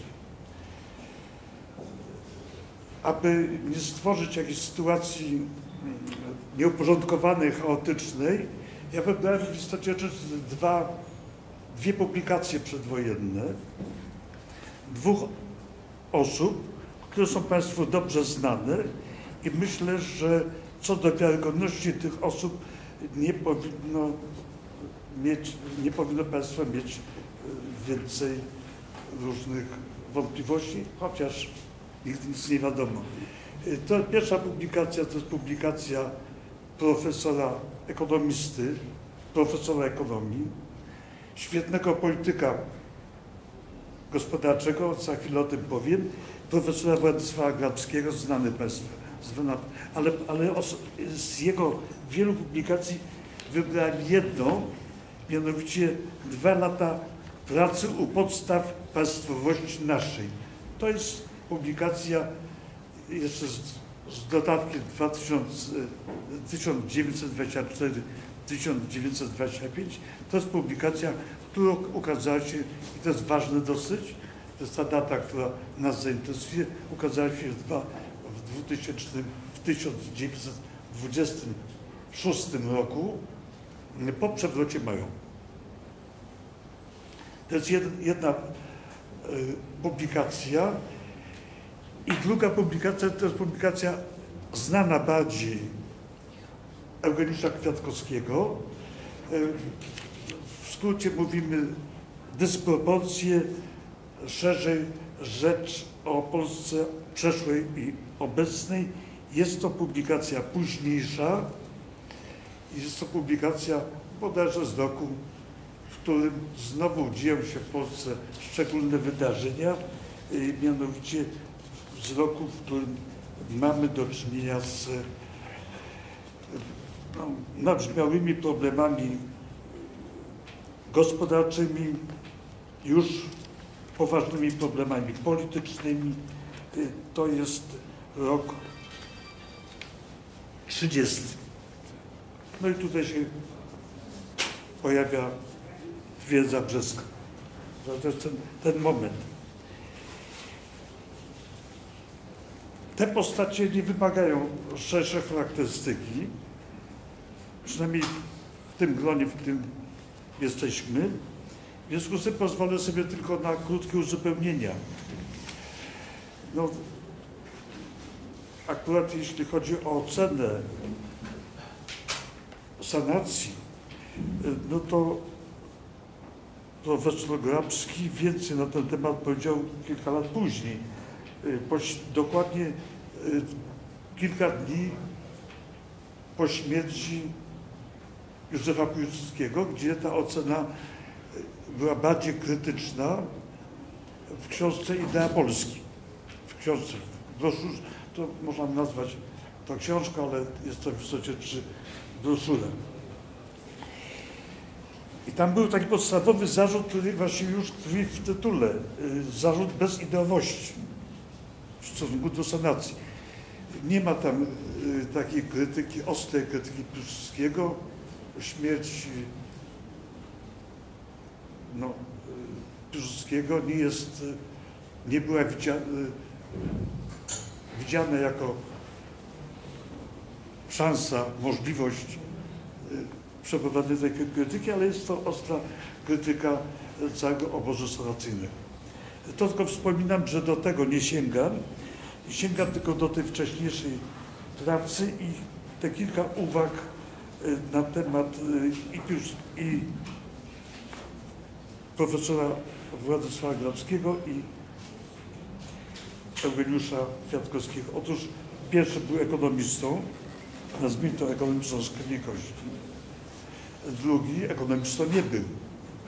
On był inżynierem z bardzo dużym doświadczeniem organizacyjnym i z dużymi umiejętnościami w tym zakresie.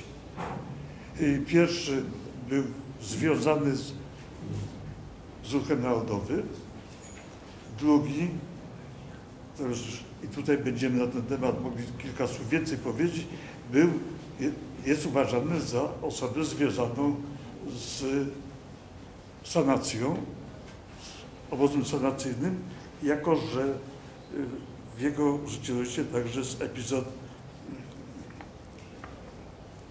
legionisty, był legionistą.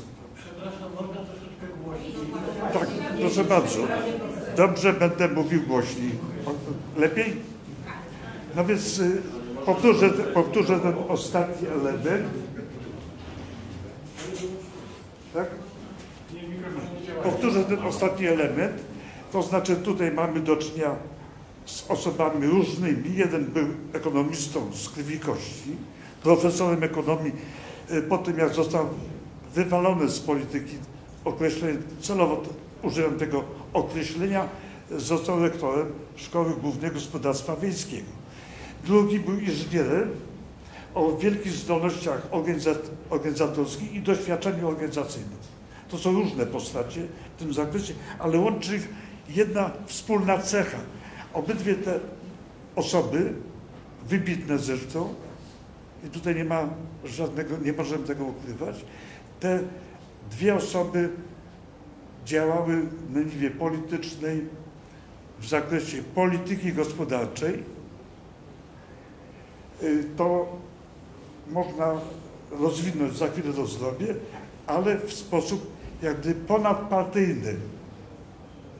Bardzo trudna sytuacja zarówno jednej, jak i drugiej osoby, gdzie ten cały wir polityczny, te konflikty, które w owym czasie występowały, one niestety stanowiły poważne utrudnienie w realizowaniu jakiejkolwiek sensownej polityki ekonomicznej.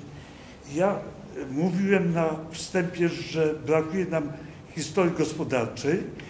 Ja tutaj nie jestem w stanie przedstawić zjawisk z zakresu historii gospodarczej wprost, ale skupię się wyłącznie na polityce ekonomicznej.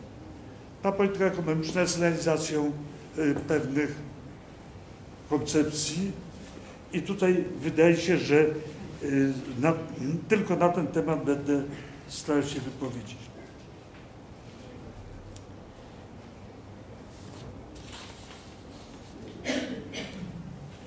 I może jeszcze y, dodam takie uzupełnienie, że profesor Władysław Grabski był twórcą powojennej skarbowości. My dzisiaj to nazywamy Ministerstwem Finansów, żeby Państwo wiedzieli o co chodzi. Prawda? Więc on stworzył system finansów publicznych i był autorem i wykonawcą polityki finansowej. Y, To jest, sytuacja jest dość nieszczęśliwa, dlatego że w Polsce obecnie funkcjonują prace z zakresu finansów publicznych, w których bardzo krytycznie patrzy się na skarbowość przedwojenną, a może nawet wcześniejszą.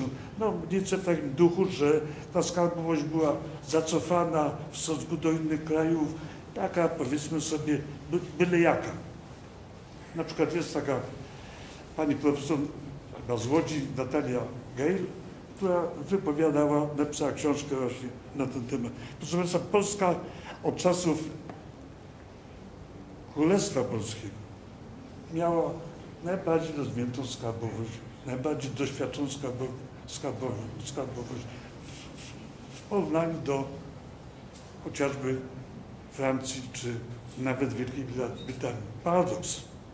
Ja tu mogę przypomnieć tylko dwie anegdotyczne sytuacje historyczne. No, sytuację z ministrem skarbu, księciem, księciem Lubeckim. On jak rozliczył reparacje wojenne na rzecz Rosji carskiej za udział Polaków w kampanii napoleońskiej,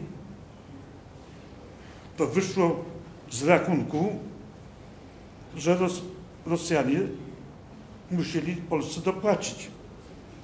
I proszę wiedzieć, że dopłacili. Austriacy też. Czyli tutaj można powiedzieć była pewna e, twardość i egzekucja, ale nam chodzi o coś jeszcze innego. Później o tym powiem. Chodzi nam o dyscyplinę finansową. Dyscyplina finansowa. Polityka finansowa polega przede wszystkim na stworzeniu systemu dyscypliny finansowej. I to zaczęło się sypać właśnie po 26 roku. To, co dla mnie jest najistotniejsze z ekonomicznego czy punktu widzenia, to jest odejście od dyscypliny finansowej przez już pierwszego ministra skarbu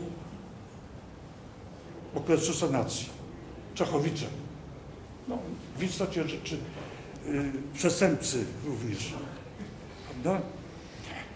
Y, ale tutaj y, do tego wrócimy, natomiast jeżeli popatrzymy na, na to, jak tak się to toczyła, to jeszcze druga anegdota historyczna, jeszcze wcześniejsza, po powstaniu listopadowym. August Cieczkowski, moim zdaniem najwybitniejszy Polak, nie tylko tej epoki rozbiorów Polski, ale do dnia dzisiejszego osoba, która w istocie rzeczy najbardziej przyczyniła się do odzyskania niepodległości z bardzo dużym wyprzedzeniem historycznym. To jest człowiek, którego prace na temat finansów, na temat skarbowości Wielkiej Brytanii są do tej pory lepsze niż to, co czytamy, co wychodzi spod ręki naszych dzisiejszych autorów różnych dywagacji na temat finansów. A więc podkreślam, warto docenić ten wysiłek. Więcej, ja cztery lata temu miałem, prowadziłem audycję w telewizji 2 w rozmowach niedokończonych na temat cudu nad Wisłą. I co, co tam się stało? W tej audycji po, moim, po moich wypowiedziach sprawy przyjęły klasyczny obrót. Mianowicie wszyscy zaczęli dzielić się na zwolenników Piłsudskiego i na zwolenników generała Rozwadowskiego. Czyli jak zawsze. Jak zawsze. Proszę Państwa, otóż ideą tego mojego wystąpienia, podkreślam jako ekonomist, było zupełnie co innego. Proszę sobie wyobrazić, jakie należy, może, trzeba mieć uzdolnienia organizacyjne, finansowe, techniczne, naukowe, ażeby w okresie kilku miesięcy dokonać tak zaskakującej mobilizacji wojennej. Stworzyć i wyposażyć milionową armię w kraju, który jest jeszcze poraniony wojną światową, pierwszą wojną światową, kraju, który jest rozdarty, bo tutaj to scalanie rozbiorów jeszcze się nie, nie dokonało, kraju, który jest biedny. Prawda? Proszę zauważyć. To jest sytuacja, w której musimy widzieć, że y, te aspekty organizacyjne, naukowe, ekonomiczne, to one tutaj odgrywały nie mniejszą rolę niż y, gra strategiczna generałów, ówczesnych generałów. Ja oczywiście tutaj y, nie wykluczam sensowności zainteresowań i wypowiedzi na ten temat, ale widzę pewien niedobór w tym zakresie. I przytaczam ten przykład, ażeby wyraźnie zaznaczyć, że tutaj, tutaj mamy y, inne trochę spojrzenie. Zacznijmy od tego roku 2006. Kilka miesięcy wcześniej Grabski y, po raz któryś ustępuje ale tym razem w sposób udany ustępuje... Ale 1926. 1900... Bo pan profesor powiedział 2006. Tak, ja już kilkakrotnie się pomyliłem, to... tylko że ja jestem osobą współczesną. Ja wiem, ale minimalnie głośniej. Ja, y, więc y, zobaczmy, że w tym 1926 roku, no kilka miesięcy przed, y, przedtem, ustępuje z urzędu premiera Polski jednocześnie osoby, która bezspornie kieruje polityką finansową, Władysław Grabski. Pojawia się postać dość słaba, postać Jerzego Zdziechowskiego, nie, nie mylić z innym Zdziechowskim, ale to tylko ostrzeżenie. I tutaj nagle zaczyna się bez pardonowy atak ze wszystkich stron, jak się później okazuje z wypowiedzi y, samego Grabskiego, w dużym stopniu inspirowany przez kręgi sanacyjne, późniejsze kręgi sanacyjne, osoby, które do tych kręgów należały, atak na jego osobę bezpośrednio, jako osobę, która wywołała kryzys, y, dzisiaj powiem, finansów publicznych, skarbowości. A był to rok, jeszcze bodajże dwa lata później, dwa lata później tak, y, także to trwało, był to rok wyjątkowej stabilizacji gospodarczej. A więc ten atak e, był jak gdyby bezprzedmiotowy. Tak by się wydawało. I teraz chciałbym e, ilustrować e, wypowiedziami z, tego, z tej publikacji, wypowiedziami Grodzkiego, to co przed chwilą powiedziałem. Do wytworzenia tej opinii przyczynił się mój następca. Tej opinii negatywnej, prawda? Chcąc wyjaskrawić duże, zresztą istotne trudności, z jakimi miał do czynienia. A następnie na ten temat rozpisał się Witos w broszurze, w broszurze do ludu napisanej, w której postanowił sobie, postawił sobie za zadanie za pomocą fałszywych zestawień zrehabilitować swoje rządy w porównaniu z moimi.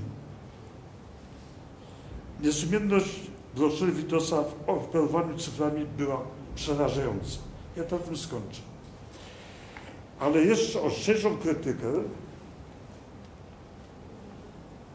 jak gdyby kontynuując ten atak, daje sanacyjny minister skarbu Gabriel Czechowicz, o którym wspomniałem.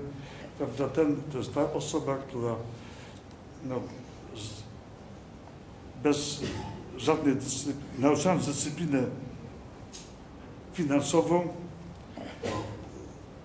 no, wyasygnowała sporą kwotę na fundusz, prywatny fundusz Józefa Piłsudskiego. To jest malwersacja. Sąd też kariera Czechowicza nie była zbyt długo trwała, ale y, jak widać to jest, to przekazał 8 milionów złotych na ten fundusz reprezentacyjny. Został postawiony nas przed Trybunałem Stanu.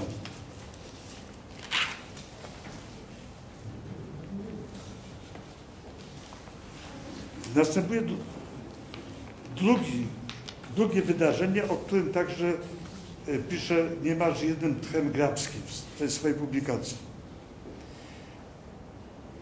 Gdy, zaczę, gdy zaczęły przenikać wieści, czytam, że szykuje się dla Polski pożyczka zagraniczna kosztem ustanowienia kontroli obcej w, ba w, w Banku Polskim i przyjęcia obcego planu sanacyjnego, łącznie z dewaluacją złotego, wystąpiłem ostro przeciwko temu.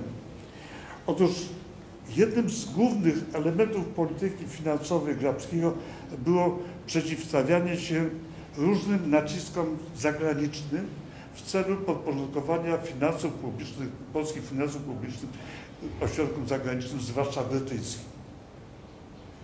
I oczywiście tutaj ten czynnik szantażu e, zawsze był taki sam i do tej pory jest taki sam. To znaczy uzyskacie podwyżki, pożyczki, przepraszam, jeśli zgodzicie się na takie, a nie inne warunki dyscypliny, którą my wam narzucimy. To, co robi dzisiaj Międzynarodowy Fundusz Walutowy. I to jest drugi element. Ja może zatrzymam się na chwilę nad tymi dwoma elementami, o których tu wspomniałem. O tym pierwszym elemencie gdzie mamy do, mamy do czynienia z, z takim e, odejściem od dyscypliny finansowej, od dyscypliny finansów publicznych i drugim elemencie oddanie się pod kontrolę zagranicznych ośrodków finansowych. To są te same elementy, z którymi dzisiaj mamy do czynienia. Dzisiaj nie ma żadnej dyscypliny finansowej. To, co nazywamy budżetem, a budżet jest planem finansowym. I istotą budżetu jest, jest stworzenie systemu dyscypliny finansowej, a więc kontroli wydatków publicznych. No, tego nie ma. Tylko jest pewien rytuał tworzenia planu finansowego, tworzenia budżetu, a potem jak trzeba, to w ciągu dwóch tygodni można dopisać coś z- y, odpisać, zmienić, przewrócić i tak dalej. I to u nas się dzieje. U nas istnieje setki w tej chwili funduszy, takich jak ten fundusz, za który Czechowicz został postawiony przed Trybunałem Stanu. Czyli to nie są sprawy tylko historyczne, to są sprawy dzisiejsze. To jest bardzo istotny element, dyscyplina finansów publicznych. Nie ma tej dyscypliny finansów publicznych. I ten drugi element poddania się naciskom zagranicznych ośrodków finansowych, no to jest dla nas sprawa już oczywista, y, to jest niewolnictwo y, kredytowe, prawda? Jak popatrzymy na skalę zadłużenia zarówno publicznego, jak i prywatnego w Polsce, y, to wiemy dokładnie, że jest to już niewolnictwo finansowe. No nie wiem, czy Państwo wiedzą, że Polska jest jednym, jednym z, tych, z kilku najbardziej zadłużonych krajów w walutach obcych, jest krajem, którego gospodarstwa domowe, a więc gospodarstwa domowe są najbardziej zadłużone w dolarach, w walutach obcych. Kłaniają się rozwiązania typu Frankowicza. Na drugim jest, to jest 20, bo, nie, przepraszam, około 15% łącznego zadłużenia w walutach obcych przypada na gospodarstwa domowe. A tylko w drugim kraju, w którym coś takiego występuje również, takie zadłużenie w walutach obcych, to w Chile to jest 3%. Y, Żeby nie było wątpliwości, mówimy o zadłużeniu w walutach obcych, nie mówimy o zadłużeniu w, zadłużeniu w ogóle, zwłaszcza w walutach, w walucie krajowej, bo niewątpliwie Stany Zjednoczone y, są krajem, y, gdzie gospodarstwa domowe są zadłużone po uszy, ale w dolarach, w walucie krajowej. To jest co innego. To jest sprawa suwerenności. To jest sprawa suwerenności. I teraz możemy powiedzieć, że tutaj y, w tym świetle y, widać wyraźnie tą głęboką niechęć do polityki Władysława Grabskiego ze strony sanacji. Mógłby Pan powtórzyć te zadłużenie jeszcze raz, głośno? Y, No tutaj były dwa elementy. Pierwszy element to jest, to jest to, że zadłużenie w walutach obcych w Polsce jest najwyższe spośród krajów, które mają wysoki poziom zadłużenia w ogóle w walutach obcych. To jest 15% zadłużenia w stosunku do PKB. Ale gospodarstw domowych. Gospodarstw domowych wyłącznie, a to jest bardzo groźne, bo to dotyczy ludzi, bezpośrednio gospodarstw domowych. I po tym oczywiście kryje, kryje się to, ten epizod w cudzysłowie, Niewolnictwa finansowego. tak, ale to, to, jest, to są ci również Falkowicze. A drugi element to jest zadłużenie, ogólnie to jest, y, mamy zadłużenie, Polska jest krajem zadłużonym, zadłużonym w walutach obcych mniej więcej na czwartym poziomie, trzeci, czwarty. Polityką oddania banków narodowych. Przepraszam Tak. bardzo, ale skupmy się na I- i- e, sanacji, tym bardziej, że e, pa- panie profesorze, ile jeszcze pan potrzebuje czasu? 3-5 minut? Pięć minut. No to 5 Proszę minut, bardzo bym prosił. Ale Co, ja podsumowuję, podsumowuję Grabski początek sanacji.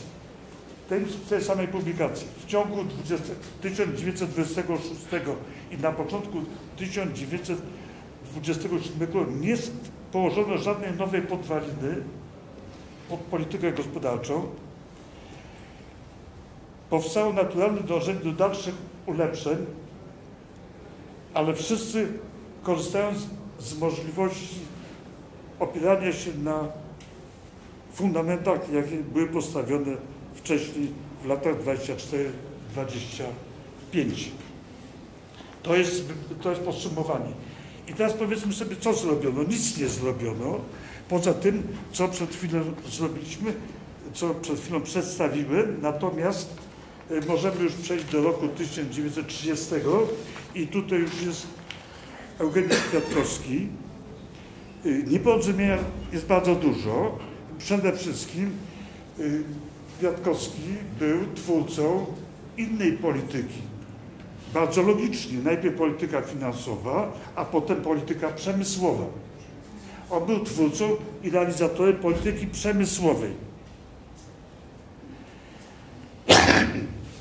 Ale kiedy? Kiedy on był twórcą polityki przemysłowej?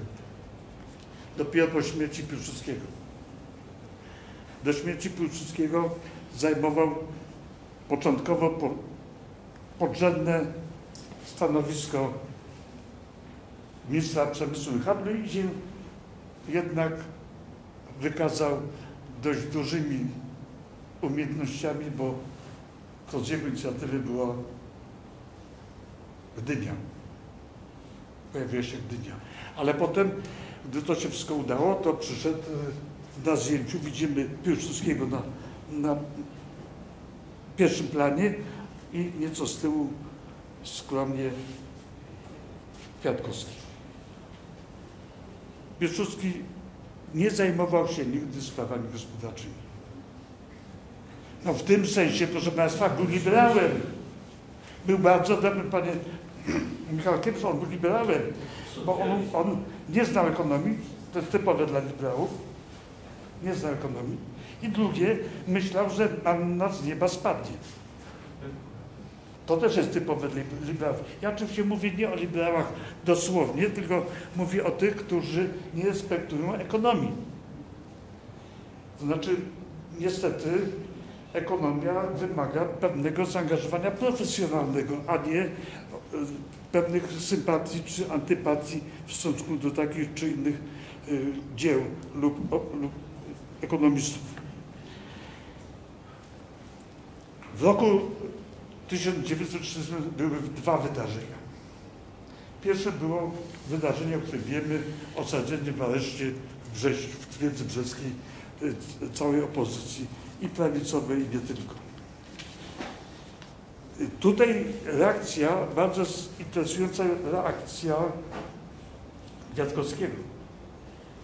Nie jest to ta reakcja, która jest opisana w podręcznikach marksistowskich, podręcznikach historii gospodarczej i obecnych, bardzo rzadko spotykanych publikacjach historycznych, gdzie przypisuje się, że, że Kwiatkowski był taką postacią no, niejako sztandarową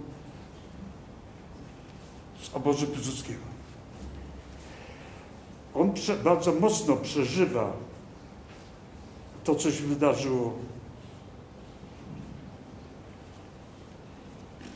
Wydarzyło wówczas te aresztowania i oczywiście represje, dość ostre represje, ja nie chcę tego rozwijać.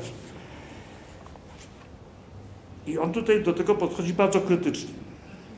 Na tyle krytycznie, ażeby nie zostać zupełnie wyeliminowany z, z polityki, co jest, nawiasem mówiąc, mu się nie udaje. Mamy mało czasu, więc może ja tylko w tej chwili y, powiem, y, że powiem, że tutaj Kwiatkowski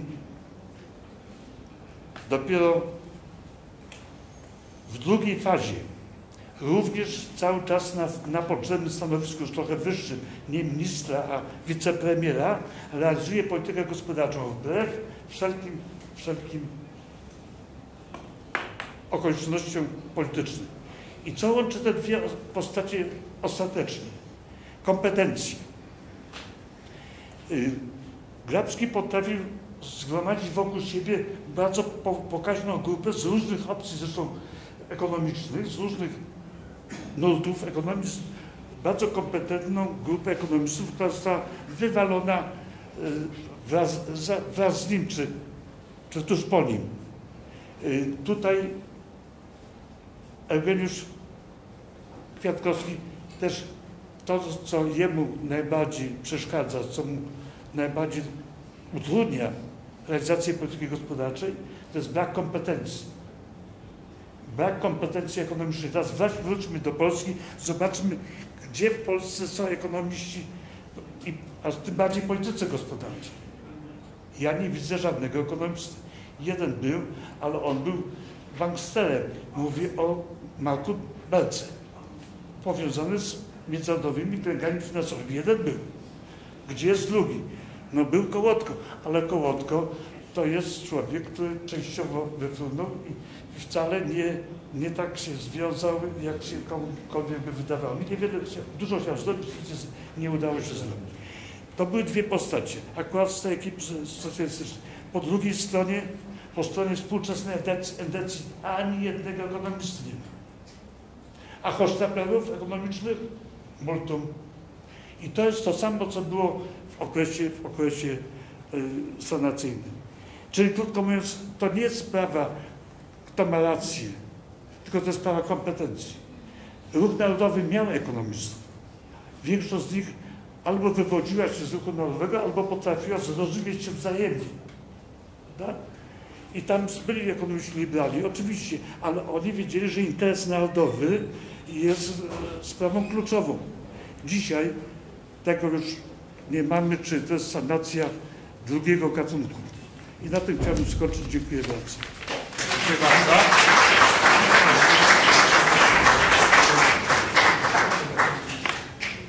E, Proszę Państwa, e, skoro o sprawach ekonomicznych, to chciałbym puścić buszkę. E, Proszę o wsparcie naszych kolejnych inicjatyw, naszych kolejnych spotkań, wydarzeń, które będziemy organizowali.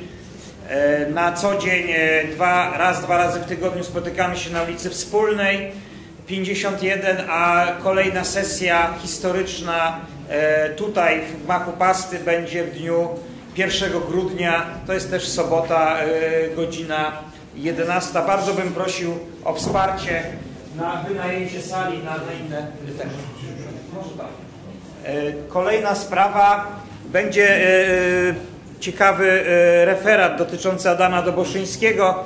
Adam Doboszyński był tym działaczem ruchu narodowego, który napisał między innymi książkę Gospodarka Narodowa w okresie międzywojennym, więc też polecam album bardzo bogato ilustrowany z dużą ilością informacji na, na, na, na ten temat.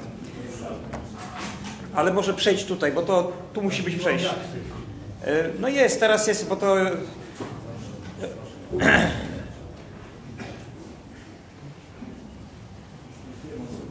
E, Proszę Państwa, e, z innych książek, które są do, e, do nabycia, e, to bardzo e, polecam książki e, Adolfa Nowoczyńskiego, Mocarstwo Anonimowe, dotyczące e, stosunków polsko-żydowskich.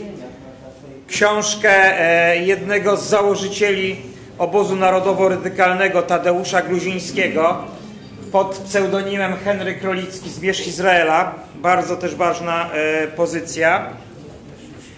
Książkę Romana Dmowskiego, też napisaną pod pseudonimem Kazimierz Wybranowski, Dziedzictwo. To jest właśnie powieść e, z lat 30. e, i e, bardzo, bardzo ją serdecznie polecam. No a także książkę naszego prelegenta z, z, z maja, pana Marka Kamińskiego, lekarza medycyny, pod tytułem Ostatnia tajemnica marszałka Piłsudskiego. Jest to książka o tym, jak austriacki profesor medycyny e, Człowieku, no po to to krzesło stoi, żeby tędy nie łazić. Proszę tędy nie chodzić. No.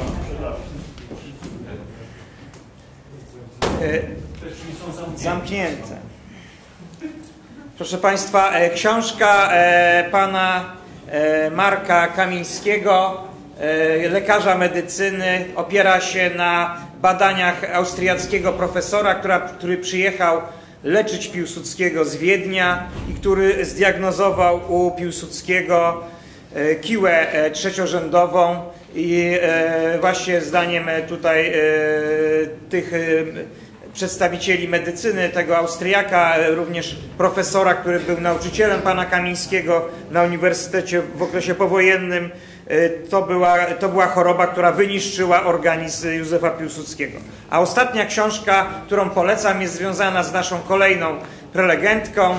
E, witam serdecznie e, Martę Cywińską, która będzie e, mówiła na temat e, sanacyjnego modelu wychowania i edukacji.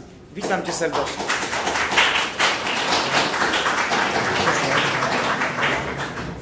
Jest do nabycia jedna z najnowszych książek Marty, bo Marta dużo wydaje, więc myślę, że w tym roku tych książek jest już kilka. E, książka Spory niegdysiejsze i spory współczesne. Marta Cywińska. Jest tam do nabycia książka. Proszę bardzo. Dziękuję. Witam Państwa serdecznie. Czy mnie dobrze słychać? Przepraszam Państwa, że będę y, snuć opowieść o pedagogice i wychowaniu sanacyjnym na siedząco. To są różne przypadłości fizyczne, które mi uniemożliwiają dłuższe stanie. Dziękuję bardzo.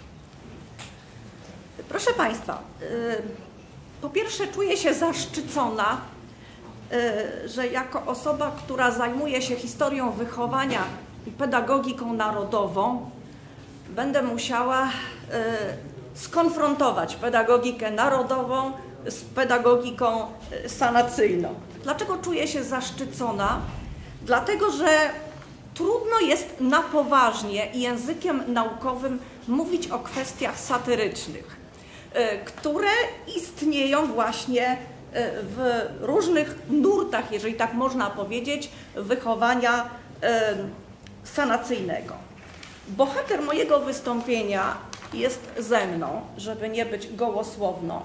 I chciałabym Państwu przeczytać fragment tekstu napisanego przez skromną nauczycielkę, y, która starała się zadbać o to, by dzieci miały rzetelną wiedzę na temat y, marszałka i jego miłości do młodzieży. Proszę uważnie posłuchać tego fragmentu. Miłość marszałka do młodzieży nie była ślepa nigdy nie była nigdy bezkrytyczna. Była zawsze mądra, y, ponieważ marszałek zawsze jasno widzi zalety młodzieży, jak i przywary. I swoim przykładem pomaga młodzieży przywary zwalczać. A znajomość tych metod czerpie marszałek, zwróćmy uwagę, on jest pedagogiem w tym tekście, y, Przede wszystkim ze wskazań swej zmarłej matki, która jest dla niego ideałem kobiety i ideałem matki Polki.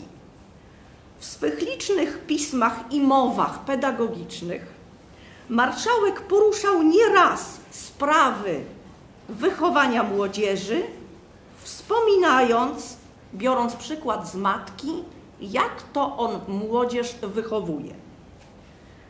Swoją miłość dla dzieci i młodzieży marszałek oblekał w czyn. Gdybyśmy filologicznie przeanalizowali ten tekst, mielibyśmy do czynienia z ziemskim ideałem. Natomiast jak sprawa wyglądała w rzeczywistości?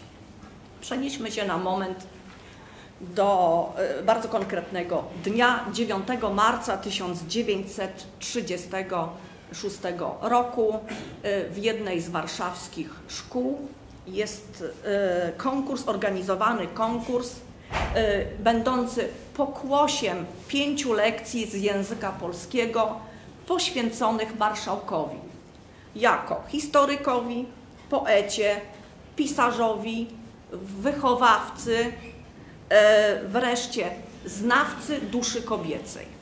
Znacie Państwo biogram marszałka i przynajmniej z tym można by się zgodzić. Zacytuję Państwu fragment wiersza. Przepraszam, że może osłabić Państwa wrażliwość poetycką, bo to jest rym niżej niż częstochowski. Wiersz został napisany przez ucznia klasy czwartej Anatola Gubarewicza i opublikowany w prasie nauczycielskiej. Zacytuję. Oto dzień Twych imienin przychodzi Wiosna idzie kwiatami pachnące i codziennie dzień większy się rodzi, co dzień więcej i światła i słońca. Cały kraj jest Twoim imieniem spowity, lecz jak smutnie w tej naszej krainie, oto orzeł nasz kirem owity łka z rozpaczy po zmarłym swym synie. To tylko jeden z przykładów wierszy, które powstały po owych lekcjach. Teraz pozwolę sobie przytoczyć fragment e, lektury zalecanej przez polonistów w większości szkół jako obowiązkowy Wiersz nosi tytuł 19 marca, został opublikowany w dodatkowych materiałach dydaktycznych do nauki języka polskiego 16 marca 1936 roku. Dzień ten jeszcze rok temu powitały jak wiosnę nasze ciała wzniesione, nasze oczy radosne. Hej, jaśniały w Twe święto przed belwederskim progiem, nasze słowa jak kwiaty, nasze oczy jak ogień. Przyznają Państwo, że jest to makabryczne dosyć. Pusty dom Twój marszałku, Polska osierocona, odszedłeś, odszedłeś, ale pamiętasz o nas. W dumnym królewskim grobie ten sam dla nas zostaniesz, nie umarło po Tobie wierne nasze kochanie. Brzmi jak erotyk, prawda? Klasyczny. Oszczędzę Państwu kolejnych sześciu strof, mniej więcej w tej samej są y, konwencji.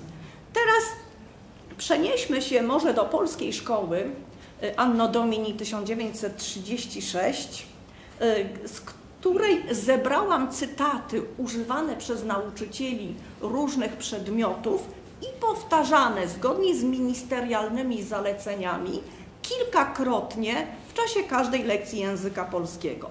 Na przykład zostawił trafne spostrzeżenia o duszy polskiej. Tak? Poloniści mieli takie zalecenie, żeby tą frazę wielokrotnie powtarzać. Co należało powtarzać na godzinie wychowawczej. E, pisał zawsze o żołnierzu polskim, o wielkości samotnego bohaterstwa.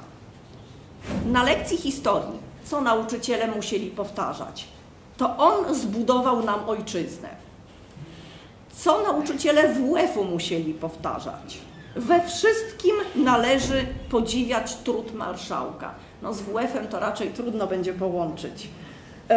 Dalej, na lekcji matematyki, co należało powtarzać? Marszałek umiał dowodzić, umiał przemawiać, dobrze liczyć i umiał pisać.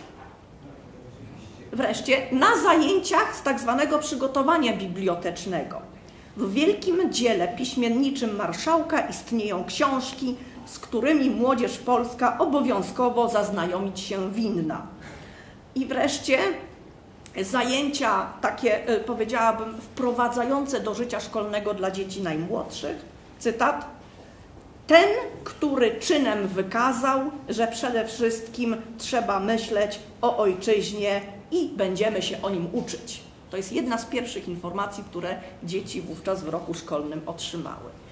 Nie chciałabym stosować, e, że tak powiem, sentymentu e, pajdokracji. Może powiem kilka słów o sytuacji nauczycieli w, e, w, czasach, gdy jeszcze pedagogika i wychowanie sanacyjne królowały i pod strzechą, i pod silnym dachem szkoły. Tak na marginesie zaznaczę, że moje luźne notatki sięgają 35 stron. Oszczędzę Państwu szczegółów. Stwierdziłam, że tekst cały ukaże się w, w księdze pokonferencyjnej. Żeby mm, zrozumieć sytuację nauczycieli, E, szczególnie nauczycieli o przekonaniach narodowych, sięgnęłabym do bardzo konkretnego przykładu, który jest mi niezmiernie bliski. Przenieśmy się, proszę Państwa, teraz do Wilna na moment. Pewien bardzo dobroduszny nauczyciel, kochany przez swoich uczniów, serdeczny, polonista, erudyta, wychowany w rodzinie o poglądach e, narodowych, był również krytykiem literackim i w jednym z wileńskich periodyków nieopatrznie popełnił recenzję książki Melchiora Wańkowicza zatytułowanej COP – Ognisko Siły. I e, w tejże recenzji ów nauczyciel napisał Wańkowicz zadaje kłam słowom pewnego kabotyna, który mawiał o Polsce, że jest jak obważanek, tylko to coś jest warte, co jest po brzegach, a w środku pustka. Cytat. Oczywiście, mowa o słynnym porównaniu Polski, tak, do obważanka. Od dnia, kiedy ta recenzja się ukazała, na wspaniałego polonistę z Wilna zaczęły spadać e, same nieszczęścia. Mam na myśli profesora Stanisława Cywińskiego. Tak. E, Ja mówię profesora w sensie e, licealno-gimnazjalnym, tak? bo on prowadził i zajęcia na e, Uniwersytecie Stefana Batorego, ale jednocześnie prowadził zajęcia w szkołach. Dlatego używam słowa profesor, tak? Słucham? Pani jest nim spokrewniona może? Nie n- mówię zbieżność nazwisk, przypadkowa. A, a niech to będzie tajemnicą. Em, Do jego domu wtargnęła grupa oficerów, którzy pobili go na oczach żony i córek. Wówczas, chyba bodajże tego samego dnia, zostali też pobici inni dziennikarze piszący dla dziennika wileńskiego, w którym ukazała się ta recenzja, a redakcję doszczętnie zdemolowano.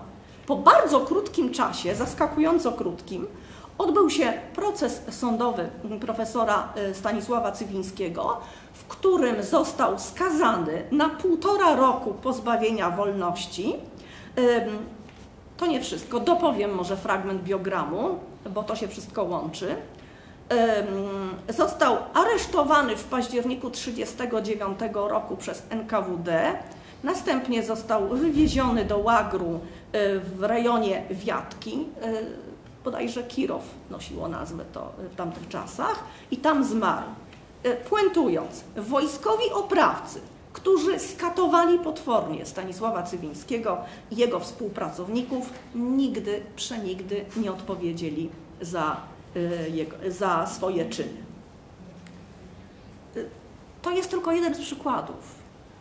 Y, Pozwolą Państwo, że teraz w sposób poważny powiem, y, bardzo poważny o takim zderzeniu pedagogiki i wychowania sanacyjnego z wychowaniem y, i pedagogiką narodową. Dlatego, że nie wyobrażam sobie, by o pedagogice sanacyjnej można było mówić y, w sposób y, wyimkowy. Na gruncie pedagogiki sanacyjnej ukształtował się szczególny ideał wychowawczy, dla którego dachem czy też baldachimem mm, było państwo. To znaczy, że był to sposób przygotowania młodego człowieka do dorosłości. Nie w ten sposób, żeby darzył atencją swoich rodziców, swoich dziadków, opowieści pradziadów, wbrew deklaracjom, które padały w szkole, ale tak, by jego matką, ojcem, dziadkiem, babcią było państwo.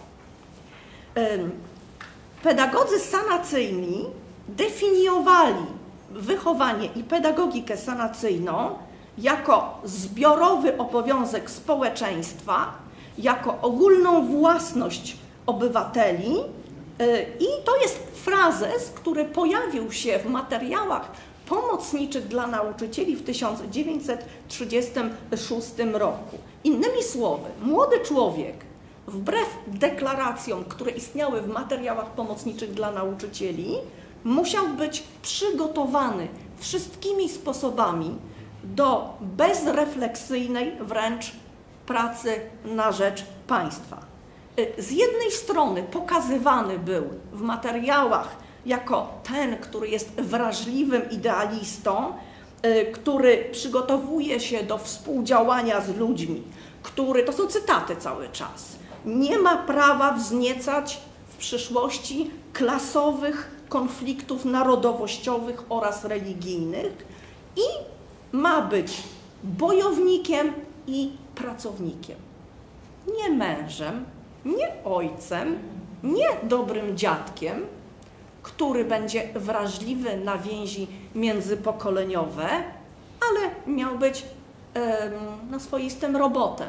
Tak? Mniej więcej chyba w tamtych czasach po raz pierwszy słowo robot pojawiło się w językach europejskich za sprawą bodajże Karyla Czapka.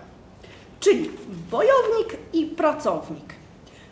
I nim przejdę do e, konfrontowania tego modelu sanacyjnego z modelem narodowym, pozwolę sobie znowu sięgnąć do prawdziwej sytuacji, która miała miejsce w, jednych, w jednej ze szkół warszawskich i która została e, opisana w ówczesnych periodykach e, dla nauczycieli, a mianowicie e, to dotyczy pewnej sytuacji, której jest bliżej do horroru e, niż do zdarzenia wychowawczego.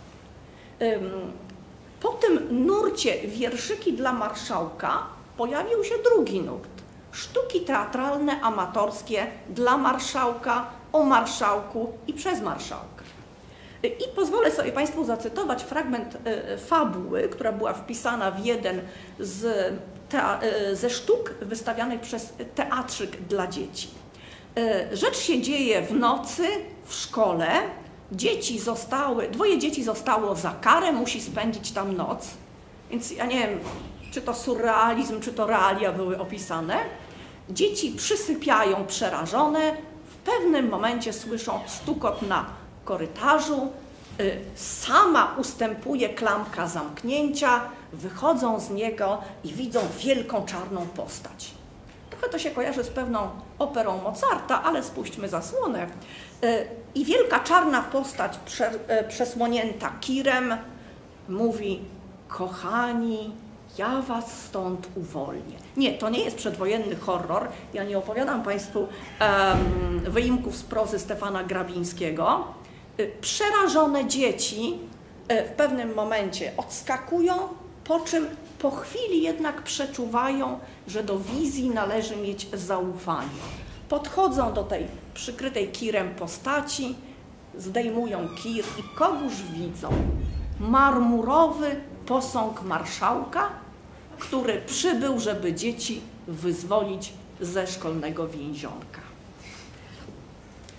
A teraz spróbujmy odpowiedzieć sobie na pytanie, w jaki sposób pedagogika sanacyjna odnosiła się do tak zwanej pedagogiki e, narodowej. Tutaj pokrótce dosłownie e, przypomnę e, nazwisko mojego ulubionego pedagoga narodowego, Mam na myśli Lucjana Zarzeckiego, który niestety jest dzisiaj pedagogiem zapomnianym.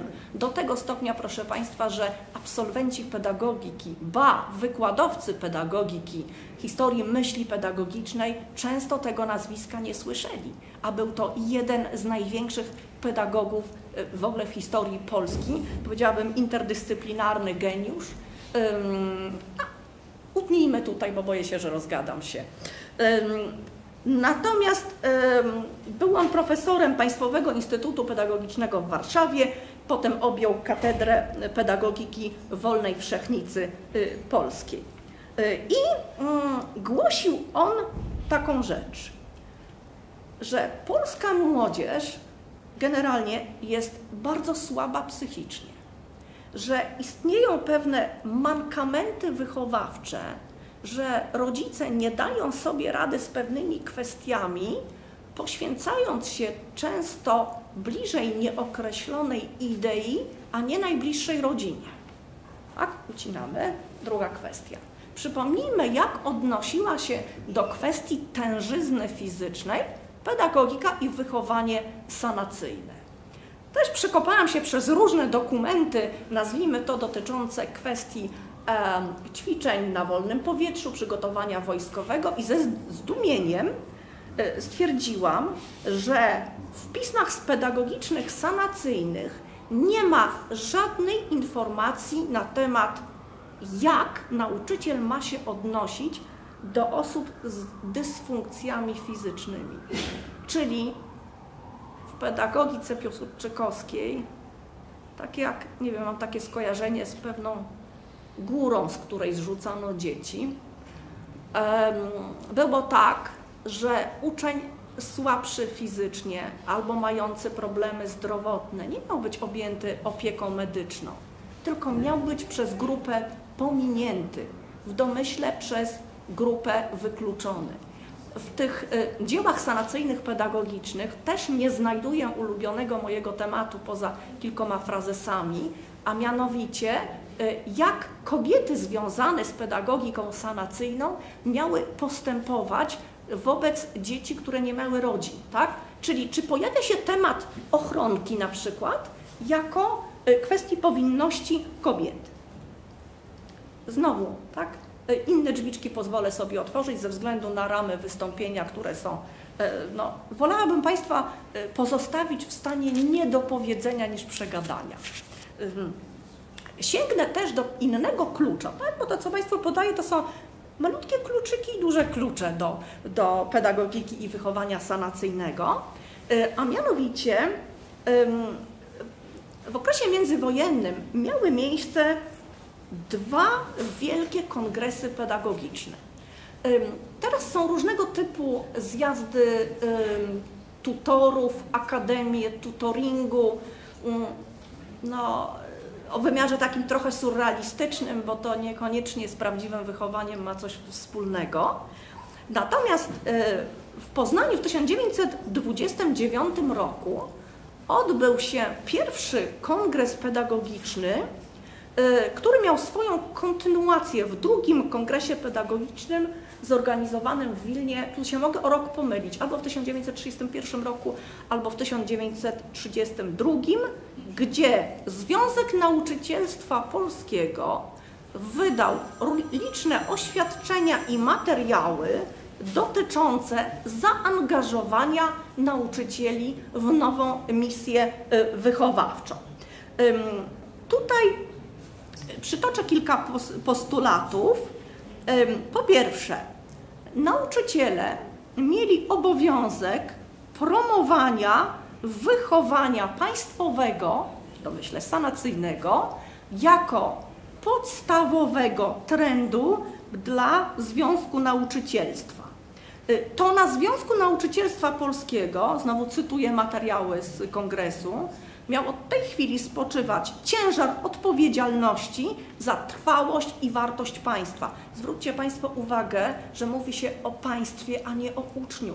Tutaj nie mówi się o chłopcach, o dziewczynkach, o braciszkach, o siostrzyczkach, tak, o dzieciach swoich rodziców, tylko bliżej nieokreślone byty odnoszone do pojęcia państwa.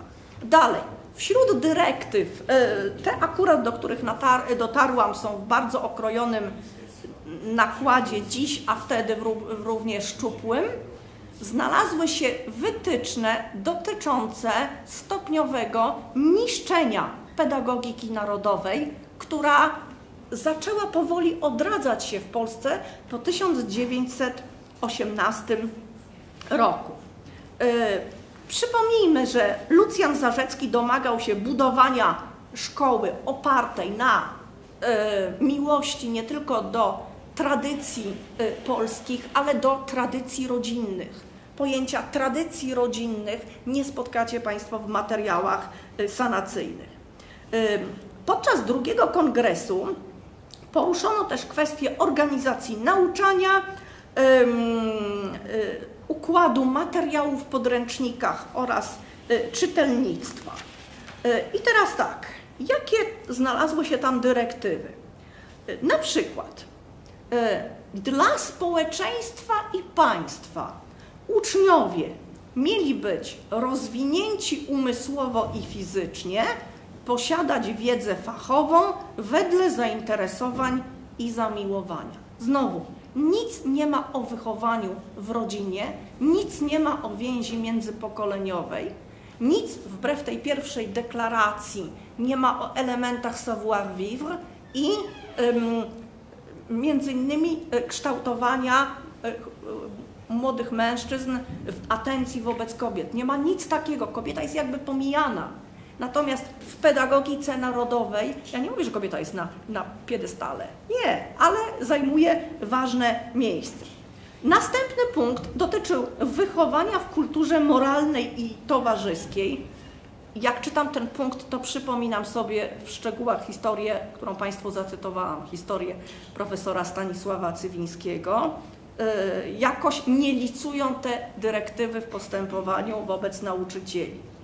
Y, nareszcie, y, ostatni punkt dotyczył tego, że szkoła ma wpływać na uczniów z uwzględnieniem zasady współdziałania i solidarności z innymi członkami grupy. Zwróćcie Państwo uwagę, że nie było miejsca dla indywidualistów, nadwrażliwców, ludzi twórczych, uczniów, którzy chcieli zapostulować jakąś zmianę. Ja nie mówię, że narzucić nauczycielowi ale w dobrej wierze zapostulować jakąś zmianę. I omijam te różne e, przykłady, które tutaj mam. Z takich ciekawostek motywy piłsudczykowskie były włączone praktycznie do nauczania każdego przedmiotu. Na przykład, tutaj zacytuję mm, materiały pedagogiczne z 1931 roku zatytułowane Rola wychowawcza organizacja, organizacji młodzieży szkolnej, czyli między innymi o harcerstwie, w jaki sposób harcerze mają się odnosić do historii. Cytuję, nauka historii miała być impulsem do wytworzenia w wychowanku świadomości wagi postępu i państwa. I wreszcie z innych określeń, tutaj powołuje się na inne materiały, cele wychowawcze nauki języka polskiego y, w połowie lat 30. Y, szkoła powinna przygotować dzieci do samowychowania i wzbogacenia podziwu dla tego, co dobre, piękne i marszałka. I, ma, i kogo? I marszałka. No, I marszałka. I marszałka. I marszałka. Przepraszam, bo musiałem wyjść, ale to aż mnie zaskoczyło. I marszałka. I marszałka. Proszę Państwa, e, e, podejrzewam, że wśród nas są miłośnicy tak zwanego teatrum politycznego. E, ja myślę, że to, co Państwu zacytuję, przebije chyba na współczesne różne wydarzenia. A mianowicie chciałabym zacytować fragment takiej teatro-wierszokletki z epoki, o której nikt teraz nie słyszał, niejaka Stanisława e, Koszutówna, która pisała na zamówienie e, teksty pedagogiczne sanacyjne. E, rzecz się dzieje w klasie lekcyjnej, udekorowanej biało-czerwonymi chorągiewkami i doniczkami z kwiatami, a dzieci opłakują śmierć marszałka. Chór śpiewa. Nie wiem skąd ten chór się wziął. To nieprawda, że Ciebie już nie ma, to nieprawda, że już jesteś w grobie, chociaż płacze cała polska ziemia, cała polska ziemia w żałobie. Byłeś dla nas droższy nad wszystko, bo nad wszystko większy i wyższy. Nam dźwięczało na co dzień Twoje nazwisko, hasłem boju w codziennej ciszy. I wreszcie, e, może tym spuentujemy, zalecano w takich występach, by dzieci uczyły się zbiorowej deklamacji. Tak to trochę do nastroju takiego tanatologicznego teatru antycznego chyba nawiązuje, ponieważ dzieci na przykład musiały wspólnie, małe dzieci, deklamować coś takiego. Marszałku, marszałku, wiodłeś ty nas na bój i daleko w przyszłość wybiegał wzrok twój. Twój. Twój. A to rymy trochę częstochowskie. Gorzej. Piłsudczykowskim. I e, zacytuję e, wobec tego e, fragment pewnej retrospekcji używanej na zajęciach z języka polskiego, retrospekcji dotyczącej, akurat dzieci omawiały wtedy na zajęciach tak zwane teksty o wymiarze profetycznym. I wśród przykładów cytowany jest tekst nie wiem, czy Państwo zgadną, kto jest bohaterem tego tekstu. Śniła Ci się Polska, szedłeś twardą drogą w trudzie i we łzach. Wiodłeś bratni chów, w bitwach okopach zatracił Ci się czas. Nakreśliłeś szablą granic polskich łuk. Polska się buduje, Sły, słychać młotów huk. Nie, ten utwór nie powstał w latach 50. Dziękuję Państwu. Dziękuję bardzo.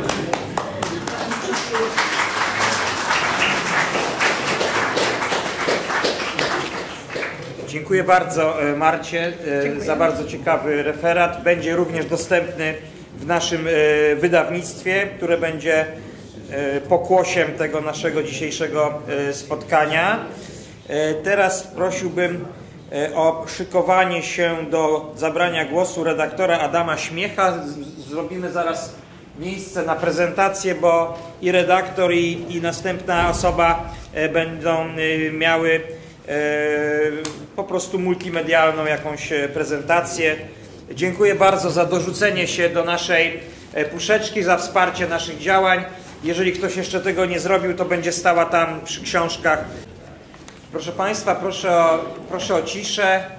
E, po krótkiej przerwie technicznej teraz będą dwa referaty z multimedialnymi prezentacjami. E, serdecznie witam pana redaktora Adama Śmiecha. Witam serdecznie. E, redaktor, redaktor pisma Myśl Polska przedstawi nam e, temat Piłsudczyzna kontra Endecja, czyli zarys historii represji politycznych. O, tak jak zresztą widać na załączonym obrazku. Proszę bardzo. Że pozwolą Państwo, że będę siedział ze względu na obsługę urządzenia i materiały, które przygotowałem. E, postaram się również mówić głośno. Bardzo dziękuję e, koledze za zaproszenie. Jestem tutaj, można powiedzieć, niejako w zastępstwie w, ostatniej chwili, także mam nadzieję, że pomimo tego, że jestem, że jestem w zastępstwie i w ostatniej chwili, to zainteresuję Państwa moim wystąpieniem. Tylko jedna uwaga, że w rzeczywistości kolory tła są zupełnie inne, ale, ale proszę mi wybaczyć, są pomarańczowe i takie muszą być, innych w tej chwili już nie sprokurujemy. Za chwilę będzie e, właściwy pokaz e, slajdów, natomiast e, tytułem wstępu. Temat jest oczywiście ogromny i z całą pewnością nie zmieściłbym się tutaj w żadnych granicach, gdybym zechciał omawiać go w sposób szczegółowy. Natomiast no, zanim przejdziemy do konkretów, to należą się Państwu słowa wstępu. A mianowicie, no skąd, ta skąd ta wrogość, skąd to przeciwieństwo między tymi kierunkami politycznymi. E, tym bardziej, że chociaż Dmowski, jak e, piszą różni ludzie, którzy z nim w ciągu jego e, długiego życia współpracowali, ale także jego koledzy ze studiów, co prawda mówią o tym, że ścierał się ze studentami socjalistami na Uniwersytecie Warszawskim, no niemniej jednak jego artykuł ukazał się też w przeglądzie socjalistycznym 1, a w głosie wcześniejszym który był no, poprzednikiem takim, można powiedzieć, e, proto-endeckim e, Ligi Polskiej, Ligi Narodowej. Powstałem w 1886 roku w Warszawie, gdzie e, redaktorem był Jan Ludwik Popławski. Pisali ludzie związani później z, i w tym czasie z kierunkiem socjalistycznym, a i przecież w samej Narodowej Demokracji Zygmunt Balicki wcześniej był socjalistą. Stanisław Grabski, później ten, który był na takim, e, taką zdobyczą endecką na kosztem ruchu e, socjalistycznego. A więc e, skąd, skąd ta potem taka zawzięta, zawzięta wrogość, która pozostała w praktyce do dnia dzisiejszego. No więc po ukształtowaniu się tych ruchów politycznych na przełomie XIX-XX wieku przyszło, przyszedł taki moment, kiedy E, historia potoczyła się w ten sposób, że mogły być one, ich idee wprowadzone w życie. Mówię tutaj przede wszystkim o e, rewolucji 1905 roku e, w Rosji, a co za tym idzie w zaborze rosyjskim. I tutaj to, co wcześniej było tylko podawane w pismach teoretycznych jednego i drugiego kierunku, zaczęło być w ostry sposób mm, zarysowywane w praktyce politycznej e, okazało się, że jedne i drugie idee są nie do pogodzenia.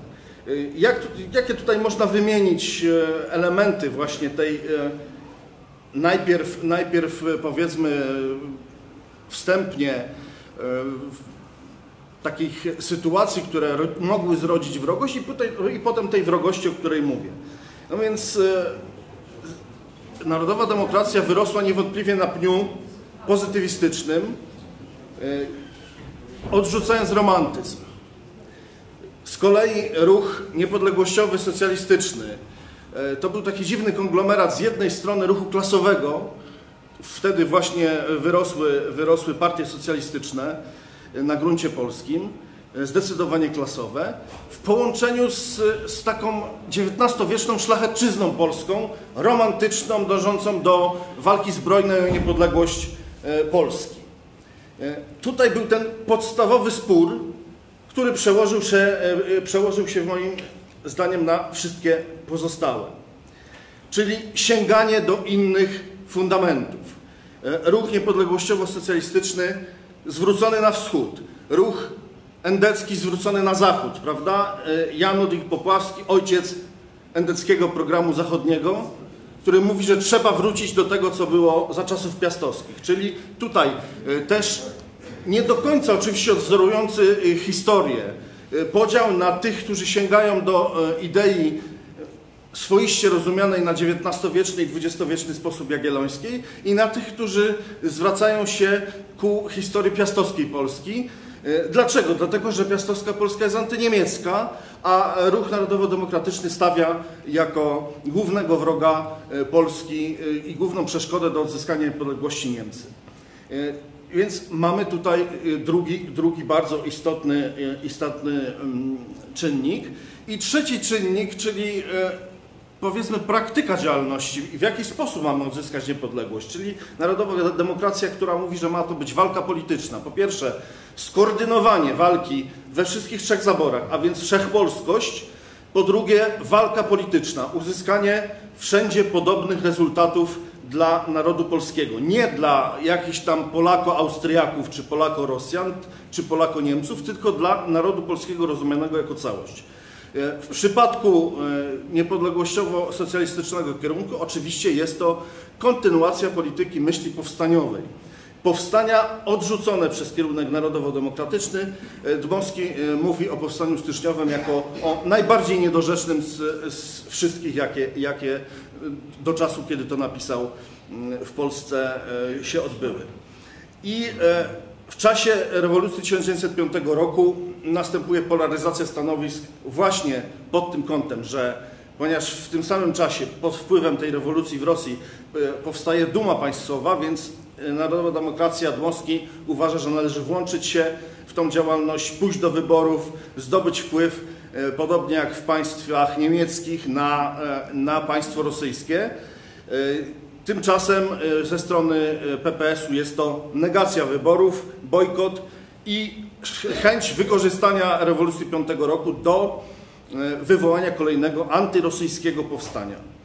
E, więc tutaj e, po raz pierwszy pojawiają się ulotki antyendeckie wyzywające od najgorszych zdrajców Dmowskiego i w zasadzie wszystkich endeków. Oczywiście wiemy o bratobójczych walkach, które nastąpiły później, zwłaszcza na terenie łódzkiego okręgu przemysłowego. I proszę Państwa, dalej słynna książka Dmowskiego Rosja, Niemcy, kwestia polska, czyli postawienie wyraźnie już postulatu, że najważniejszym wrogiem Polski są Niemcy. W związku z tym z Rosją, z Rosją współpracujemy na ile jest to możliwe, natomiast dążymy do tego, żeby zrzucić jarzmo niemieckie i to zdaniem Dmowskiego przyniesie nam niepodległość.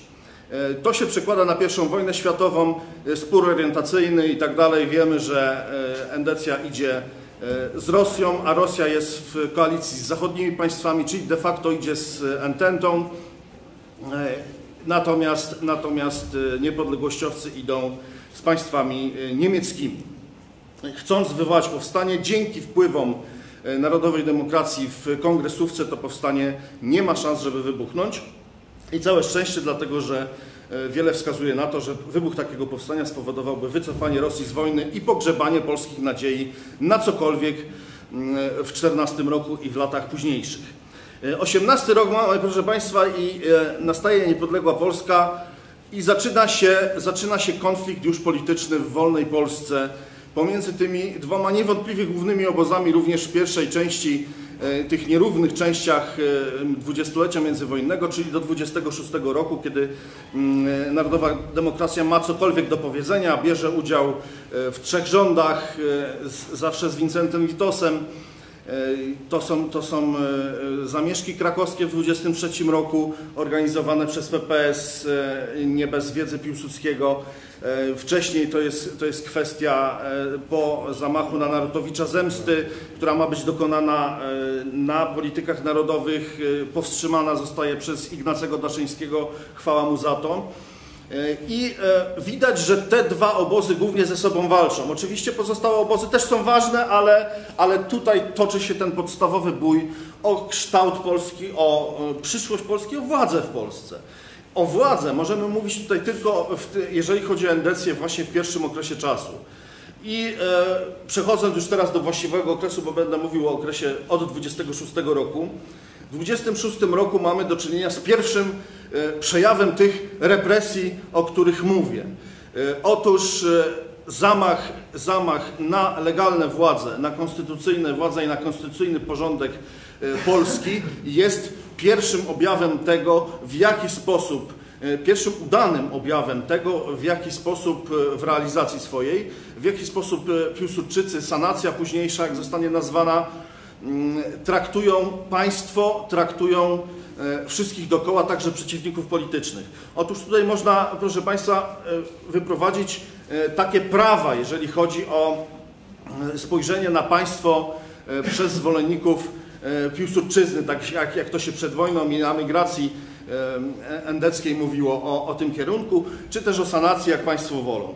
E, pierwsza sprawa, najistotniejsza, otóż dla Piłsudczyzny, dla sanacji, system prawny w państwie ma znaczenie drugo- albo trzeciorzędne. System ten ma znaczenie dla nich tylko wtedy, jeżeli służy ich interesom. To jest podstawowa sprawa, także nawet później mieliśmy do czynienia z naginaniem Konstytucji Kwietniowej, która została zresztą niezgodnie z obowiązującym prawem wprowadzona, przyjęta, y, ale potem już sama Konstytucja Kwietniowa i różne prawa na, na, jej, na jej podstawie wydane były naginane przez Piłsudczyków, y, bo pełnią rolę służebną. To jest podstawowe prawo. System prawny w państwie pełni rolę służebną wobec, y, wobec ludzi, którzy stanowią Piłsudczyznę, którzy stanowią sanację. Mm, ponieważ pełni rolę służebną, to oczywiście, tak jak powiedziałem, jest naginane.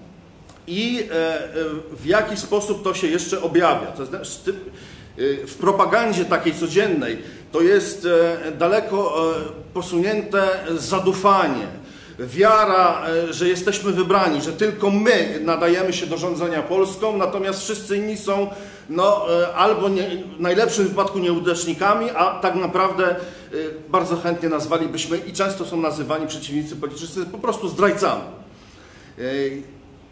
System sanacyjny jest systemem w gruncie rzeczy quasi-religijnym. Jest bardzo silny element mistycyzmu, który jest skoncentrowany wokół postaci wodza, ale to nie jest taki wódz nawet jak był wódz w tamtych latach w różnych krajach y, typu Włochy, Niemcy i inne kraje, gdzie systemy wodzowskie istniały. Mm, to jest e, idolatria, to jest quasi-religia, gdzie idolem jest oczywiście Piłsudski i jest on, nie tylko jest oddawana mu cześć jako wodzowi, ale jest czczony jako coś ponad wodza. E, tak jak tutaj moja, moja przedmówczyni e, pokazała przykłady wierszy, które idealnie jakby wpisują się w to, co również ja w tej chwili mówię. I tutaj Dmowski skomentował to w ten znany z ciętego języka, skomentował to w ten sposób, że e, Piłsudski otrzymał posadę Boga od jołopów, którzy go otaczają. To są słowa Dmowskiego, także nie przepraszam za niego, bo był zbyt wielką postacią, natomiast jeżeli Państwo e, czują tu jakiś dyskomfort, no to, no to nie są to moje słowa, ale tak powiedział Dmowski i, i w istocie taka, taka jest racja. Taka jest racja. E, po 26 roku, 26 rok, czyli Nieważne, do dzisiaj proszę zwrócić uwagę, że zwolennicy dzisiaj kierunku Piłsudczykowskiego, czyli przede wszystkim PiS, e, nie mówi, nie podnosi tego, że były to władze konstytucyjne, legalne, to gdzieś tam funkcjonuje, prawda, w podręczniku, natomiast w propagandzie nie. Wódz ze swoim wiernym wojskiem, ze swoim, nie z polskim, nie z wojskiem Rzeczpospolitej Polskiej, wojskiem polskim, które jest, też działa na mocy konstytucji, ale ze swoim wiernym wojskiem, i wódz i jego wierni żołnierze jakby wyjęci spoza tej konstytucji, prawda? Tak to wygląda. Mm, I e, proszę Państwa, to pogwałcenie było pierwszym w zasadzie, e, jak powiedziałem Państwu wcześniej, pokazaniem, co to znaczy, w jaki sposób traktuje się ustrój państwa, system istniejący, jakiekolwiek prawa i obowiązki, które przecież dotyczą również rządzących.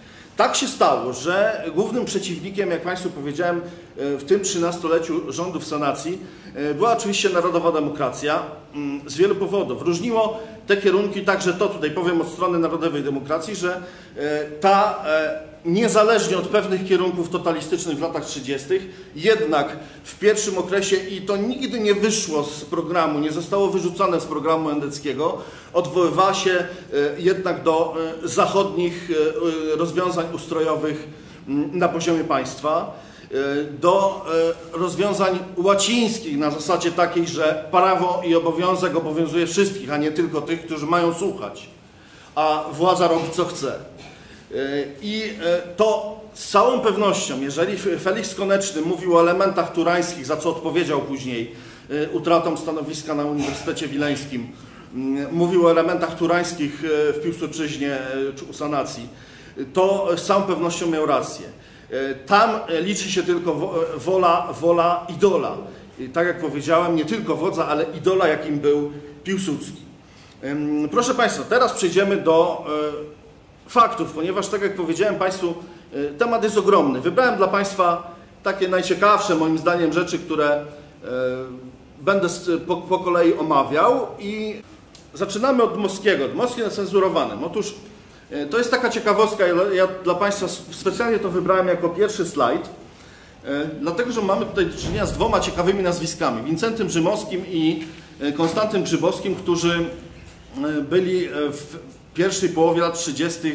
bliskimi współpracownikami sanacji, wręcz no, stanowili część tej sanacji BBWR-u. Konstanty Grzybowski był posłem i w, w latach, w roku 1931 Wincenty Rzymowski napisał taką książkę Roman Dmowski, Czciciel Diabła. Diabła, czyli ZSRR, bolszewi, bo było to po serii artykułów, w których Dmowski przeciwstawiał się wyprawie komiwojażera na Rosję. Miało to miejsce w roku 1930. Zresztą, nawiasem mówiąc, współpracował wówczas z posłem sowieckim w Polsce, Antonowym Owsiejenką i jego artykuły z Gazety Warszawskiej wydane były potem w Moskwie po rosyjsku z przedmową Feliksa Kona. Więc Rzymowski napisał, że Roman Dmowski jest czcicielem diabła, po czym w 1945 roku przystąpił do rządu PKWN i został ministrem spraw zagranicznych zresztą. To tak właśnie chciałem Państwu pokazać, jak, jakimi drogami chodzą ci, którzy zwalczają Dmowskiego. Z kolei Konstanty Grzybowski, tak jak Państwu powiedziałem, poseł BBWR. Ta prawa notatka od Państwa strony patrząc, to jest Życie Częstochowy, rok 1959, Roman Dmowski, wierny poddany Mikołaja II. No bardzo ładnie. Ale to jest, proszę Państwa, no, represja na poziomie publicystycznym i intelektualnym, natomiast faktyczne ofiary sanacji moralnej teraz na podstawie przykładów przedstawię Państwu tutaj ze zdjęciami tych, którzy byli tymi ofiarami. Minister Jerzy Zdziechowski, wybitny endek, wybitny ekonomista, który miał okazję przeżyć bardzo dużo, 95 lat miał, kiedy umierał.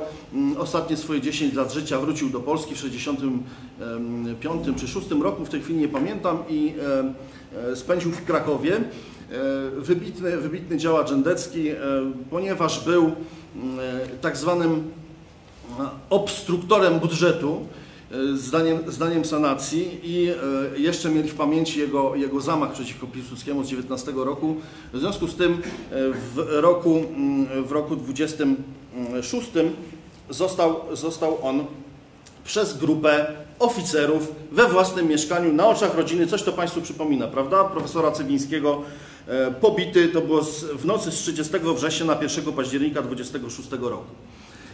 Następnie Tadeusz Dołęga-Mostowicz. Dlaczego, dlaczego Endek? Zaliczam go do Endeków, dlatego że pisał w Rzeczpospolitej Stanisława Strońskiego, który niewątpliwie był, był Endekiem, a jego porwanie z ulicy przez policję, pobicie i zostawienie w lesie w zasadzie na śmierć przypadkowo został uratowany, spowodowało, że no, porzucił karierę polityczną, ponieważ no, uważał, że nie ma sensu narażać życia i potem ośmieszał sanację swoimi książkami, powieściami, natomiast oprócz tego jeszcze pisał powieści, jak wiecie Państwo, miłosno-romantyczne, które, które przynosiły mu ogromny dochód i, i w ten sposób mógł utrzymywać się zawsze na powierzchni. Następna sprawa, proszę Państwa, następne osoby, które tutaj widzicie, Adolf Nowaczyński, też niezwykła postać polskiej literatury, w zasadzie no, wszechstronny od, jeżeli chodzi o każdy gatunek literacki, pamflecista przede wszystkim też jako, jako codzienny publicysta wielu, wielu gazet. Pisał m.in. w Myśli Narodowej, w, w Gazecie Warszawskiej. Otóż Adolf Nowaczyński trzykrotnie w latach 1927, 29 i 31 był porywany przez, przez oficerów i bity. Raz był zostawiony w, tak, zostawiony w takiej tak zwanej gliniance pod Warszawą, no zupełnie na, na śmierć. W końcu stracił oko pod wpływem tego bicia, a drugiego oko było zagrożone i mógł w ogóle stracić wzrok. No, na, szczęście, na szczęście został uratowany. E, Jeżeli chodzi o Władysława Owoca, tutaj Państwo pewnie znają go z późniejszej działalności w czasie II wojny światowej jako mm, dowódcę krakowskiego okręgu Narodowej Organizacji Wojskowej, później e, dowódcę w Narodowego Zje- Zjednoczenia Wojskowego.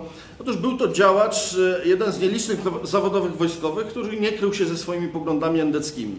Wówczas e, w, w tym okresie, o którym tutaj mowa, chodzi o rok 33, mm, maj 33 roku, e, w Brzozowie, e, w Małopolsce, e, do tej miejscowości przyjechał mm, poseł i wybitna postać endecji, mm, endecji parlamentarnej i nie tylko, teoretyk, autor licznych, licznych pozycji e, drukowanych artykułów, książek itd., Stanisław Rymar. E, I e, wraz z Owocem oraz e, niedawnym jeszcze sekretarzem Dmowskiego w, w Chludowie, Janem Chudzikiem, e, przebywali oni na, na e, plebaniu miejscowego proboszcza i istnieje podejrzenie, że celem, wyprzedzam tutaj Państwu, zamachu miał być Stanisław Rymar. Ale Stanisław Rymar zasiedział się u księdza proboszcza i z plebanii wyszli Owoc oraz Chudzi. I w tym momencie policjanci, ale nie działający jako policjanci, potem się okazało, że to byli trzej policjanci, e, dokonali zamachu, nie wiedząc, że tam nie ma Rymara, na Chudzika i na Owoca, e, wystrzeliwując z broni śrutowej. Tutaj widzimy po prawej drugi raz jest zdjęcie Władysława Owoca, pokazuje Marynarka. marynarkę, gdzie 21 em, dziur po śrucie, natomiast Chudzikowi strzelono z bliska w tył głowy i niestety e, zginął na miejscu. Po prostu młody człowiek, młody prawnik i tak jak powiedziałem jeszcze, jeszcze rok wcześniej e, sekretarz osobisty Dmowskiego w Chludowie koło Poznania. E, Oczywiście ci, ci panowie z policji, którzy, którzy tam, ten zamach dokonali, zostali skazani na śmieszne wyroki od 2 do 5 lat więzienia za, jakby nie było, morderstwo polityczne i za narażenie drugiego człowieka na, również na śmierć. Przepraszam, jeszcze 5 minut? Czy... E, 10? No, 7. Już bardzo szybko będę. 7. E, Proszę Państwa, dobrze, więc tutaj już nie będę omawiał tak szczegółowo, tylko pokażę Państwu tutaj e, od Państwa strony, pierwszy z lewej to jest Stanisław Rymar. E, Co go jeszcze spotkało? Otóż to jest bliskie mojemu okręgowi, nie jest moim miastem Łódź, ale w Łodzi, bo jestem z Pabianic, w Łodzi Stanisław Rymar w 1934 roku został wybrany na prezydenta, bo wtedy e, Narodowa Demokracja wygrała tam wybory samorządowe. Nie zostało to, aż do połowy roku e, czekano 35, nie zostało to zatwierdzone przez Ministerstwo Spraw Wewnętrznych i Rymar nie został prezydentem Łodzi, a Kazimierz Kowalski, późniejszy prezes Stronnictwa Narodowego, nie został wiceprezydentem. Tutaj widzimy również e, z prawej strony państwa Aleksandra Zwierzyńskiego. E, Aleksander, e, za chwilę będę o nim mówił, natomiast ofiary sanacji z kolei e, w Brześciu mm, e, to jest Aleksander Dębski, e, wcześniej wo- wojewoda wołyński, mm, wysoko, wysoko postawiony działacz obozu Wielkiej Polski, Jan Kwiatkowski, poseł Stronnictwa Narodowego, wcześniej Związku Ludowo-Narodowego na Sejm, mm, działacz pomorski.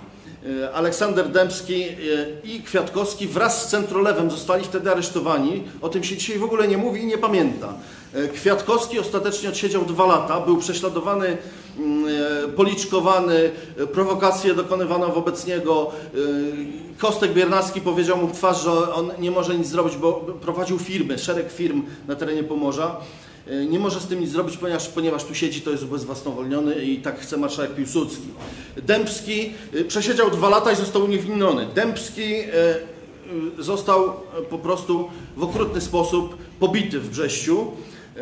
I powiem Państwu tylko, tylko nawiasem, że jego córka pozostawiła wspomnienia i to, co tutaj moja przedmówczyni tak pięknie pokazywała, żeby Państwa e, no, trochę nastroić optymistyczniej. Otóż ona wspomina, że w jej szkole w latach 30., oczywiście 1 września była pierwsza brygada e, grana i wszyscy mieli wstać, ale uczniowie endecy siadali połowa szkoły zawsze siedziała 1 września. Także tak to wyglądało, to nie było tak, że wszystkich amok ogarnął.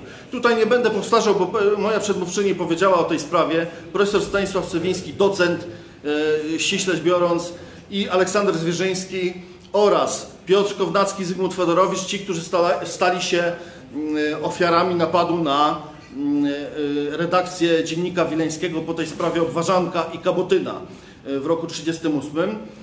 E, Kownacki dodatkowo trafił jeszcze do Berezy Kartuskiej. I tutaj jest, e, jest e, fragment procesu. Ja tylko uzupełnię, że w pierwszej instancji został Cywiński skazany na 3 lata, potem w apelacji zmieniono mu to na, zmniejszono na półtora roku. Mm, Zwierzyński nie został skazany. No i efektem tego, proszę Państwa, była ta skandaliczna i hańbiąca polski system prawny i całą polskie, polską historię prawa ustawa o ochronie imienia Józefa Piłsudskiego, pierwszego marszałka Polski. Proszę Państwa, no, y, można, można było, jak to Jędrzej Giertych skomentował, można wszystkich krytykować dowolnie w historii Polski, łącznie z Bolesławem Chrobrym i Władysławem Jagiełłą, poza Józefem Piłsudskim. Poza Józefem Piłsudskim, który do dzisiaj historycy piszą z wielkiej litery w poważnych naukowych tekstach, tak jakby byli niewolnikami po prostu tej idolatry i tej pośredniej ustawy. Akcja bezpośrednia, proszę Państwa, tak? y, Policja atakowała y, lokale Stronnictwa Narodowego. To, to są zdjęcia z lokalów w Kaliszu i w Warszawie. Tak wygląda po, po przejściu właśnie akcji bezpośredniej policji. Przypominam, że policja przedwojenna stosowała nie tylko broń palną, ale także, także y, pałki oczywiście, ale i broń białą. To jest lokal w Warszawie, tam jest portret y, byłego marszałka Sejmu mm, Ustawodawczego i Senatu Wojciecha Trąbczyńskiego. I to jest przed lokalem y, y, wyrzucone y, na zewnątrz ulotki wyborcze. To zdaje się wtedy chodziło o listę numer 4, co tutaj widać na, na ulotkach. Pod tym numerem startowała Narodowa Demokracja. In- Inwigilacja. Po- Pokazałem Państwu tutaj dwie okładki pozycji, które są bardzo cenne. Niestety niezakończone, to znaczy wy- wyszło kilka tomów w przypadku komunikatów informacyjnych, to jest, dotyczy Warszawy, chyba 9 tomów, sprawozdania wojewody łódzkiego, dwa tomy. Y, Co pokazują? Otóż one są ułożone w ten, w ten sposób, że są to relacje y, konfidentów w danych organizacjach politycznych właśnie dla rządu bądź dla wojewody łódzkiego, czyli też urzędnika rządowego e, odnośnie poszczególnych e, organizacji, w tym Stronnictwa Narodowego, czyli e, mamy, musimy mieć świadomość tego, że agenci, agenci policyjni e, wśród członków stronnictwa się znajdowali. E, Następna sprawa, rugi profesorskie, e, to jest przełom lat 20-30. Wspominałem o profesorze Feliksie Konecznym. Wacław Sobieski, profesor, e, na skutek tego, że we francuskiej wersji jego książki Historia Polski przypisał zwycięstwo w Bitwie Warszawskiej Rozwadowskiemu, rozpętano potworną kampanię przeciwko niemu, łącznie z artykułami, gdzie wzywano do linczu na nim i wzywano w najlepszym wypadku do wyrzucania go do Berezy. Nie wytrzymał i po prostu zmarł pod wpływem tej kampanii.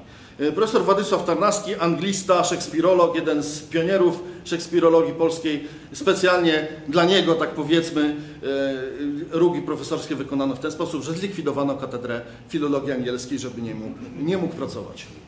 E, Cenzura. Cenzura, proszę Państwa, nie jest wymysł PRL-u, prawda, nie jest wymysł jakiś carski czy niemiecki, tylko, tylko rozszalała cenzura w, pod, pod panowaniem sanacji. Głos Wileński to jest właśnie e, czasopismo wydawane przez widzianego wcześniej Piotra Kownackiego. Artykuł skonfiskowany, czyli komentarz powyborczy, proszę, e, jest tylko winieta, nic więcej. I słynne e, częściowo uchylona konfiskata i to jest ten słynny pierwszy tom, ocalały około 300 stron, drugi 300 stron się nie ukazał. Ci, co e, mają dzisiaj dostęp czy w swoich zbiorach, e, to, to są szczęśliwi, bo ten oryginalny, który był całkowicie wycofany, e, no, trzeba wydać kilkaset złotych, żeby zakupić Jędrzeja Giertycha, Tragizm losów Polski.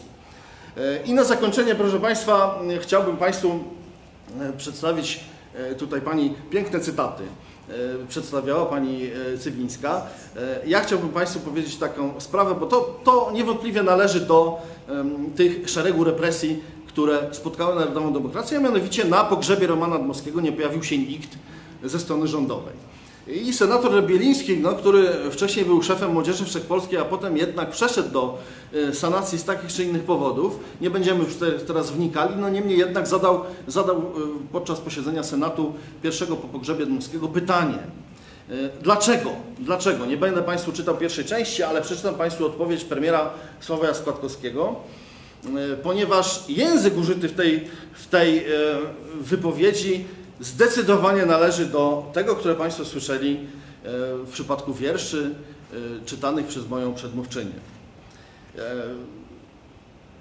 Stoi na stanowisku, na stanowisku, że nie należy nigdy walczyć ze zmarłymi, więc powody obojętnego ustosunkowania się rządu do uroczystości pogrzebowych świętej pamięci Romana Dmowskiego poruszam tylko dlatego, że sprawa ta została podniesiona przez pana senatora Rębielińskiego. Nie chcę bowiem, żeby pozostało wrażenie, iż sposób, w jaki rząd ustosunkował się do uroczystości pogrzebu świętej pamięci Dmowskiego był przypadkowy albo pochodził z jakiegokolwiek nieporozumienia. I teraz, proszę Państwa, proszę uważać.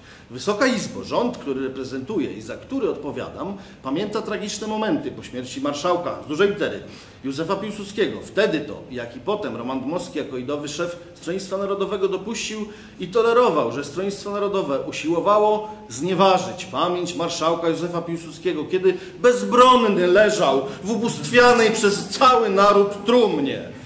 Rząd pamięta o tym i uważając, że nie ma podstawy obniżać wartości życia świętej pamięci Dmowskiego, nie miał jednak również możliwości wzięcia udziału w jego pogrzebie. W nawiasie huczne i długotrwałe oklaski. No ale oportunistów nie sieją, sami się rodzą, proszę Państwa.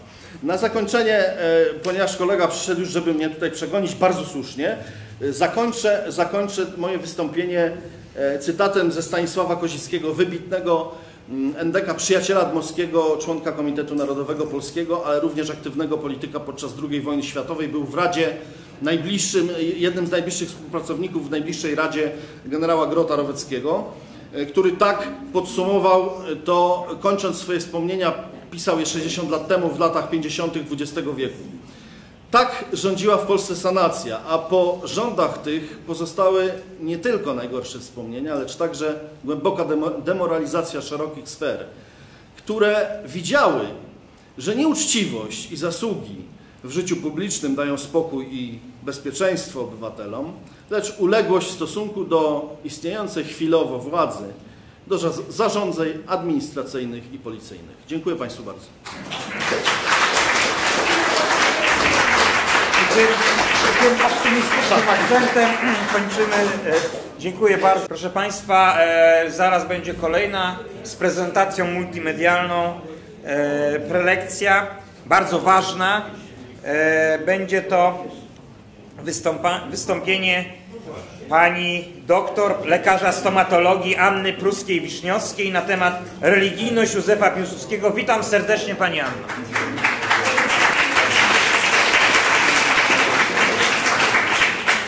Jest jeszcze taki podtytuł e, Józef Piłsudski jako rewolucjonista moralny. Temat, temat o tyle trudny, że, że mówienie o religijności e, marszałka Piłsudskiego e, to jest mówienie o czymś, czego według mnie nie było, więc mówienie o czymś, czego nie, by, czego nie było, było jest bardzo było. trudne. A było, było, było, tylko była specyficzna, tak?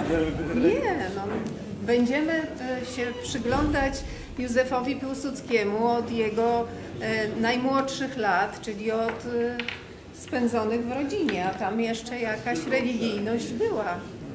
Tam była. Nie od razu urodził się marszałkiem. E, proszę Państwa, między innymi pani Anna oparła się o, na książkach księdza Józefa Warszawskiego, jezuity, e, który napisał o wyznaniowości religijnej Józefa Piłsudskiego. Wydał to w towarzystwie imienia Romana Dmowskiego w Londynie, czyli staraniem e, Jędrzeja Giertycha w latach 70., a także bardzo podobna książka, której współautorem jest ksiądz Piotr Natanek, Religijność Józefa Piłsudskiego.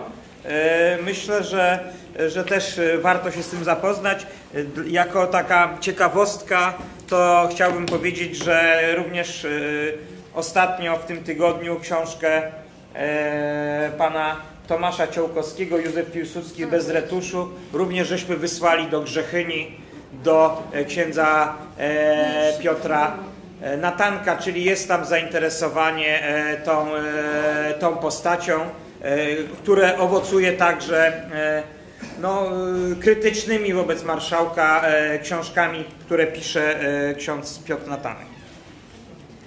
To ja co, mam, możemy zaczynać? Ja jeszcze, jeszcze? Chcia, już zaraz zaczynamy, tylko chciałam jeszcze z Panem tutaj ustalić pewne rzeczy, bo ta sprawa religijności Józefa Piłsudskiego jest niezwykle ważną y, kwestią, dlatego że ona służy nam do tego, żeby się zastanowić nad naszą własną religijnością w kontekście historycznym i w kontekście indywidualnym i społecznym.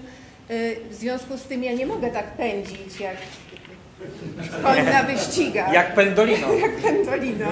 No to jest to są No sprawy dobrze, to, delikatne. to, to zamiast 25, 27 minut, Pani ale to y, na, nawet nie o to chodzi, tylko umówmy się, że jak gdzie, do, y, gdzie dotrzemy, tam dotrzemy, a potem może na wspólnej Na pewno, zrobimy na wykład pewno ten zrobimy bardziej całościowy wykład e, na wspólnej, e, w podobnej tematyce. Czyli co, tu już jest wszystko gotowe, tak? temat. Tak, wydaje się, że jest wszystko No to gotowe. ja już się posuwam w cień. Nie, no, E, pan Pani, mi pomaga. Pani Anna e, Wiśniowska, e, proszę bardzo, religijność Józefa Piłsudskiego myślę, że bardzo ważny, a dla niektórych bardzo kontrowersyjny temat.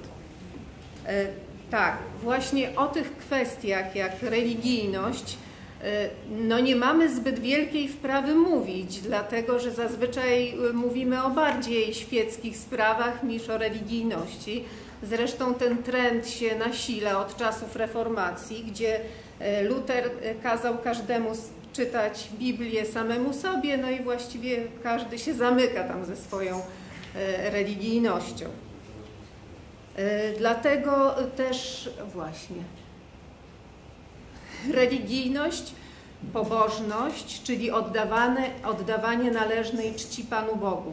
Święty Augustyn mówił, że jeżeli Bóg jest na pierwszym miejscu, wtedy wszystko jest na właściwym miejscu. Trzeba sobie odpowiedzieć e, na pytanie, kim jest Bóg. Bóg jest bytem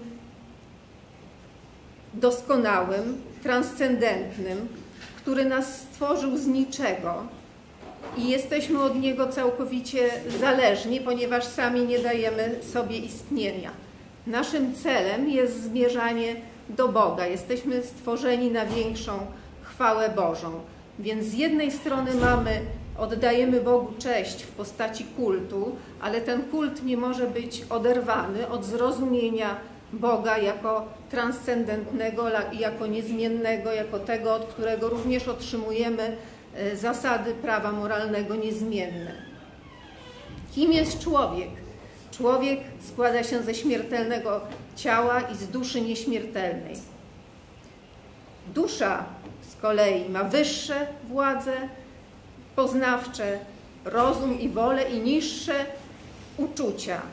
To jest ważne, bo potem będziemy definiować pewne rzeczy, a trzeba od początku wszystko mówić. Także człowiek musi rozpoznać swój cel, a tym celem jego ostatecznym jest podążać do ojczyzny wiecznej i zasłużyć na to zbawienie.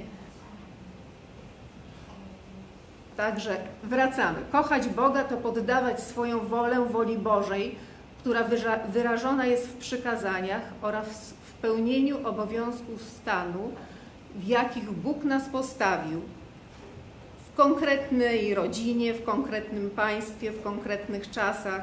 To są nasze obowiązki stanu. Stworzył nas mężczyzną albo kobietą, to też są nasze obowiązki stanu, z którymi nie dyskutujemy. Konieczna jest nieustanna praca nad, nad naszym charakterem, czyli nad wychowaniem woli, aby prawdziwe dobro wybierała i wzrastała w cnotach. Religia jest kierowniczką wszystkich cnót. Środki do zbawienia potrzebne to jest łaska uświęcająca, którą dostajemy e, od opatrzności Bożej w postaci sakramentów, a od nas zależy modlitwa i dobre uczynki. A więc czym jest cnota pobożności? Ona odnosi się, to jest cnota moralna, która odnosi się do pierwszych trzech przykazań, pierwszej tablicy mojżeszowej. Okazywania wdzięczności Panu Bogu, e, za wszystko oddawania Mu czci, okazywania wdzięczności, wyrażania żalu za to, że nie podążamy za Jego wolą i chyba to jest najtrudniejszy, najtrudniejsza część mojego referatu, żeby wszystko właśnie zrozumieć. Tak też nasza wola, jeżeli jest uzgodniona z wolą Bożą, to wtedy znajdujemy się w civitas Dei, miłość Boga do negacji siebie. Wola nasza rozumna podąża za wolą Bożą. Civitas terrena natomiast to jest miłość siebie do negacji Bo Boga, czyli samowola. dziś błędnie nazywana wolnością. Jeżeli cała rewolucja walczy o wolność, czyli o wolność od Boga i Jego praw. Jeszcze jest ważne zagadnienie, które porusza ojciec Jacek Woroniecki. Moralność indywidualna jest funkcją społeczną.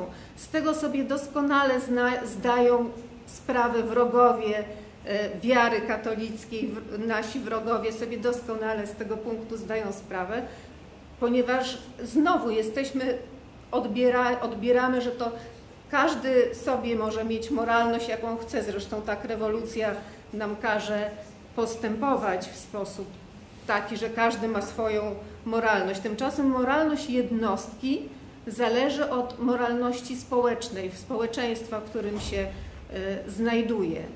I to działa w dwie strony, tak? Także trudno kogoś zdeprawować, jeśli on się znajduje akurat w społeczeństwie y, zachowującym etykę katolicką, a natomiast gorzej kogoś nawrócić, jeśli gdzieś wpadł w złe towarzystwo. Proszę bardzo. Dzięki.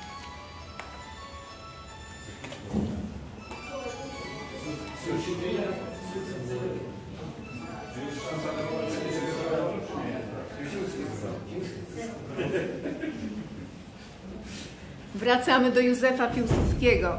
Dom rodzinny Józefa Piłsudskiego. Rodzice zawierają, zawierają sakrament małżeństwa 22 kwietnia 1863 roku w Tienieniach, niedaleko Taurogów.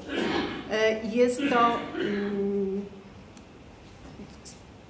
czas powstania e, styczniowego. Ojciec jest e, oddelegowany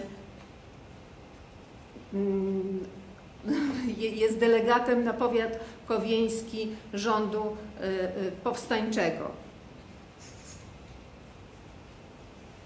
Józef Klemens urodził się w Zułowie, został ochrzczony 5 grudnia 1867 roku, ochrzczony 15 grudnia 1867 roku.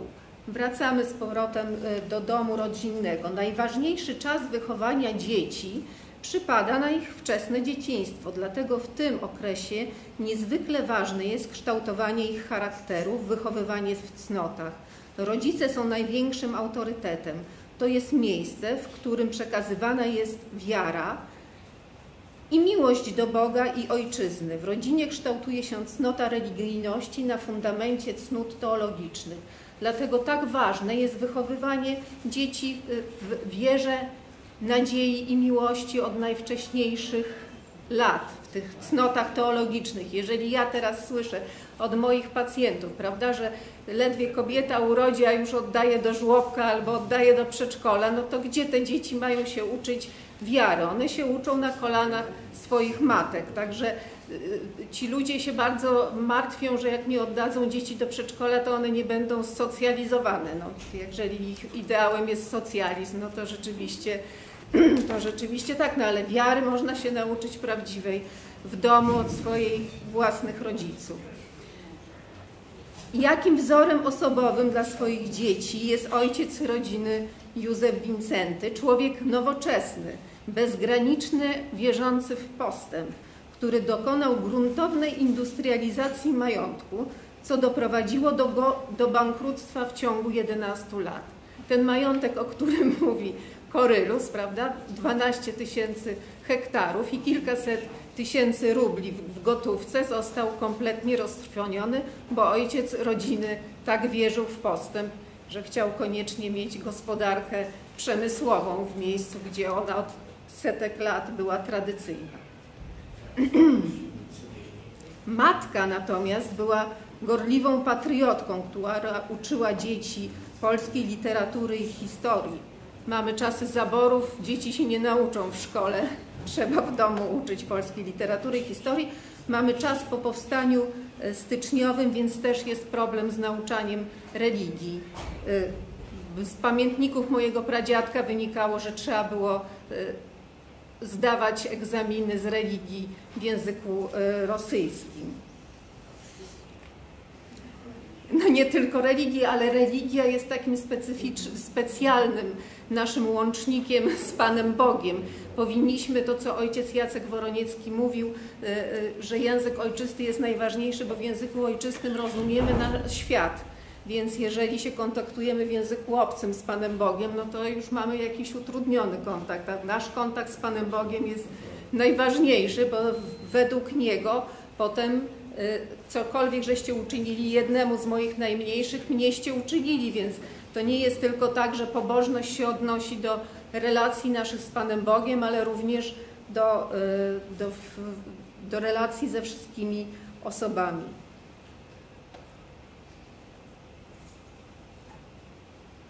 Cnota religijności w domu Piłsudskich. Modlono się innymi litanią pielgrzymską Mieckiewicia o niepodległość Polski, którą wieszcz połączył z wojną powszechną za wolność ludów.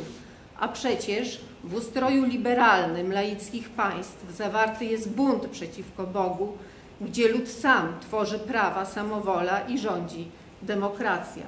Później zaczęła się u nas dyskusja co do pochodzenia religii. Na koniec wszyscy trzech zgodziliśmy się na jedno, że u człowieka główną rolę gra moralność, że religia i wszystkie przepisy są dla ludzi bez rozumu i wykształcenia. Jest to ich postrachem i chroni ich od zepsucia, a człowiekowi rozumnemu trzeba postępować tylko moralnie. To jest zapis z dziennika Bronisława Piłsudskiego, brata starszego o jeden rok, kiedy Bronisław ma około 16 lat. Ja rozumiem, że to jest czas buntu wśród młodzieży, ale tutaj wyraźnie widać tego ducha liberalnego, który jest uzależniony właśnie od Mickiewicza, co zaraz jeszcze powrócimy. Patriotyzm po Mickiewiczowsku pojęty fałszywa miłość ojczyzny. Wracamy 40 lat wcześniej na studia do, e, do pamiętników biskupa Zygmunta Szczęsnego-Fejlińskiego, który nam wyjaśnia, opowiada nam o swoich kolegach z okresu studiów w Moskwie. Miłość ojczyzny po Mickiewiczowsku pojęta, nie wyłączająca nienawiści, krwawej zemsty i zdrady pod względem religijnym panował najzupełniejszy w rzeczach wiary, wiary indyferentyzm, także koleżeńskich dysputach kwestie te nigdy nie były poruszane. Wyjątkowe tylko charaktery zachowały w duszy żywą wiarę wyniesioną z domu. Ogromna zaś większość albo całkiem zaniedbywała praktyki religijne, albo spełniała je bezmyślnie, w życiu praktycznym, nie oglądając się wcale na moralność chrześcijańską. Mamy już kolejne pokolenie. Piłsudski jest to jest już trzecie pokolenie wychowywane w duchu romantycznych wieszczów, rewolucjonistów, którzy widzą wyzwolenie Polski połączone z wszechświatową rewolucją i tworzeniem państw laickich, liberalnych, masońskich.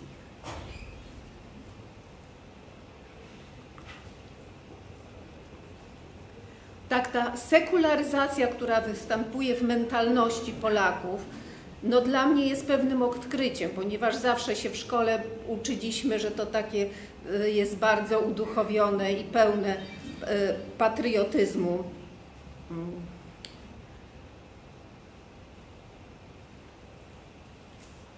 Rewolucja romantyzmu to rewolucja moralna, zaprzeczająca rozumnej naturze człowieka tego, czego oświeceniu się nie udało zrobić, bo człowiek musiał odrzucić Pana Boga z rozumu i ze swojej woli w, cał, w sposób całkiem świadomy.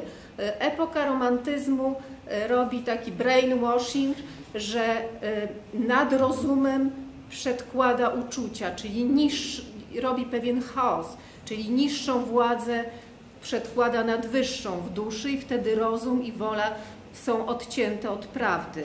Jeśli są od prawdy obiektywnej, niezmiennej, odcięte od prawa moralnego, wtedy rozum sam stwarza swoje wartości. To jest ten romantyk, który stoi na skale i teraz y, jest przekonany, że jest najwspanialszy, może, y, może sam stanowić o tym, co jest dobre i co złe. Y, człowiek równy Bogu.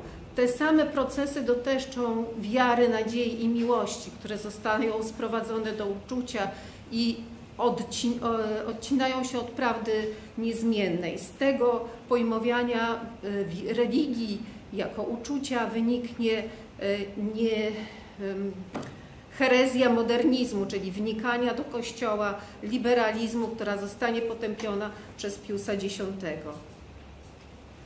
Następny poeta, którego Józef Piłsudski bardzo e, sobie cenił, to jest Juliusz Słowacki i ostatnie jego dzieło Król Duch.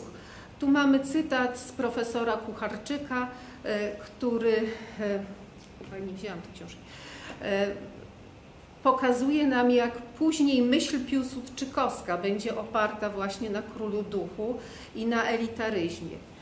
E, również na, w Królu Duchu jest pewien heglizm, bo tam występuje reinkarnacja i te duchy wyższe co i róż się wcielają w kolejne, w kolejnych królów duchów, a Matka Boża w pierwszej scenie jest pokazana jako pogańska bogini, więc to już e, jest e, straszne. Jak się spróbowałam skonsultować z profesorem od literatury, to powiedział, różnych mi wyjaśnień udzielał na inne tematy, a powiedział, na Królu Duchu to ja się nie znam nie jestem w stanie e, powiedzieć, a jak spytałam, czy młodzież może stracić wiarę czytając Króla Ducha, to mi odpowiedział, że młodzież obecnie nie czyta Króla Ducha, ale generalnie mi chodziło o to, czy można, czy Józef Piłsudski mógł stracić wiarę czytając Króla Ducha i zarazić się heglizmem. Dzieje Polski to sekwencja postępujących po sobie wybitnych jednostek, królów duchów, duchów wyższych, niezwiązanych z panującymi w danej epoce prawami czy obyczajami. Ich posłannictwo to genezis z ducha, posłannictwo z wolności, które dało Polsce doskonały niemal ustrój wolności republikańskiej Heroizm rozumiany jako święta anarchia, a więc przekonanie o tym, że najwybitniejsze w dziejach narodu jednostki nie tylko mają prawo, ale obowiązek łamać dotychczas istniejące tradycje, prawa, a nawet zasady moralne, bycie elitą oznacza niezrozumienie i osamotnienie wśród własnego narodu. Król duch panuje samotnie. Ponieważ Juliusz Słowacki był też zwolennikiem tej idei, że Polska odzyska niepodległość, współuczestnicząc e, w wiośnie ludów czy w tej e, powszechnej rewolucji ku tworzeniu państw liberalnych, laickich, gdzie lud będzie tym odpowiednikiem Boga, który będzie stanowił społeczeństwo, będzie stanowił prawa, będzie stanowił rząd. Więc teraz przeczytamy e, wiersz Wyjdzie stu robotników Juliusza Słowackiego. Wyjdzie stu robotników, oborzą miasta grunt, wyrzucą łokieć, funt, klatki pełne wróblików otworzą i przed tłuszczą ptaszki na wolność puszczą.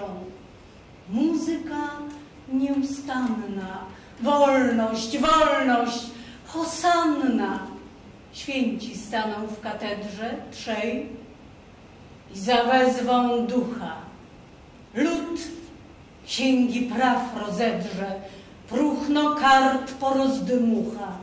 Weźmie stare sztandary, wyprowadzi jak mary za kościół, na mogiły zapali, by świeciły światu dawnymi dzieły.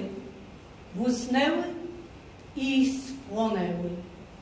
Bije godzina ranna, mary znikły. Hosanna! Rewo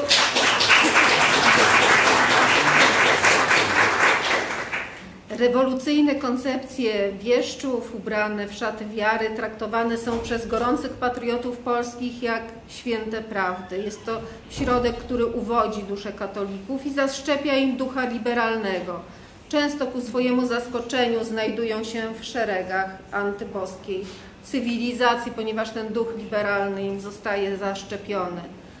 I tutaj taki cytat z księdza Sardy Salvaniego. Liberalizm jest grzechem. Liberalizm to dogmatyczne uznanie absolutnej niezależności umysłu indywidualnego i społecznego, Katolickość to dogmat absolutnego poddania porządku indywidualnego i społecznego objawie, objawionemu prawu Bożemu. Jedna doktryna jest dokładnie zaprzeczeniem drugiej. Są przeciwieństwami w bezpośrednim konflikcie.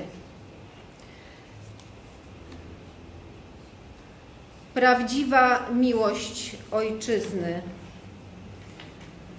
wynika z miłości do Boga i wyraża się ona w pełnieniu konkretnych obowiązków stanu, rzetelnej, codziennej pracy. Trzeba ojczyznę kochać i służyć jej, szerząc Królestwo Boże, wzrastać duchowo.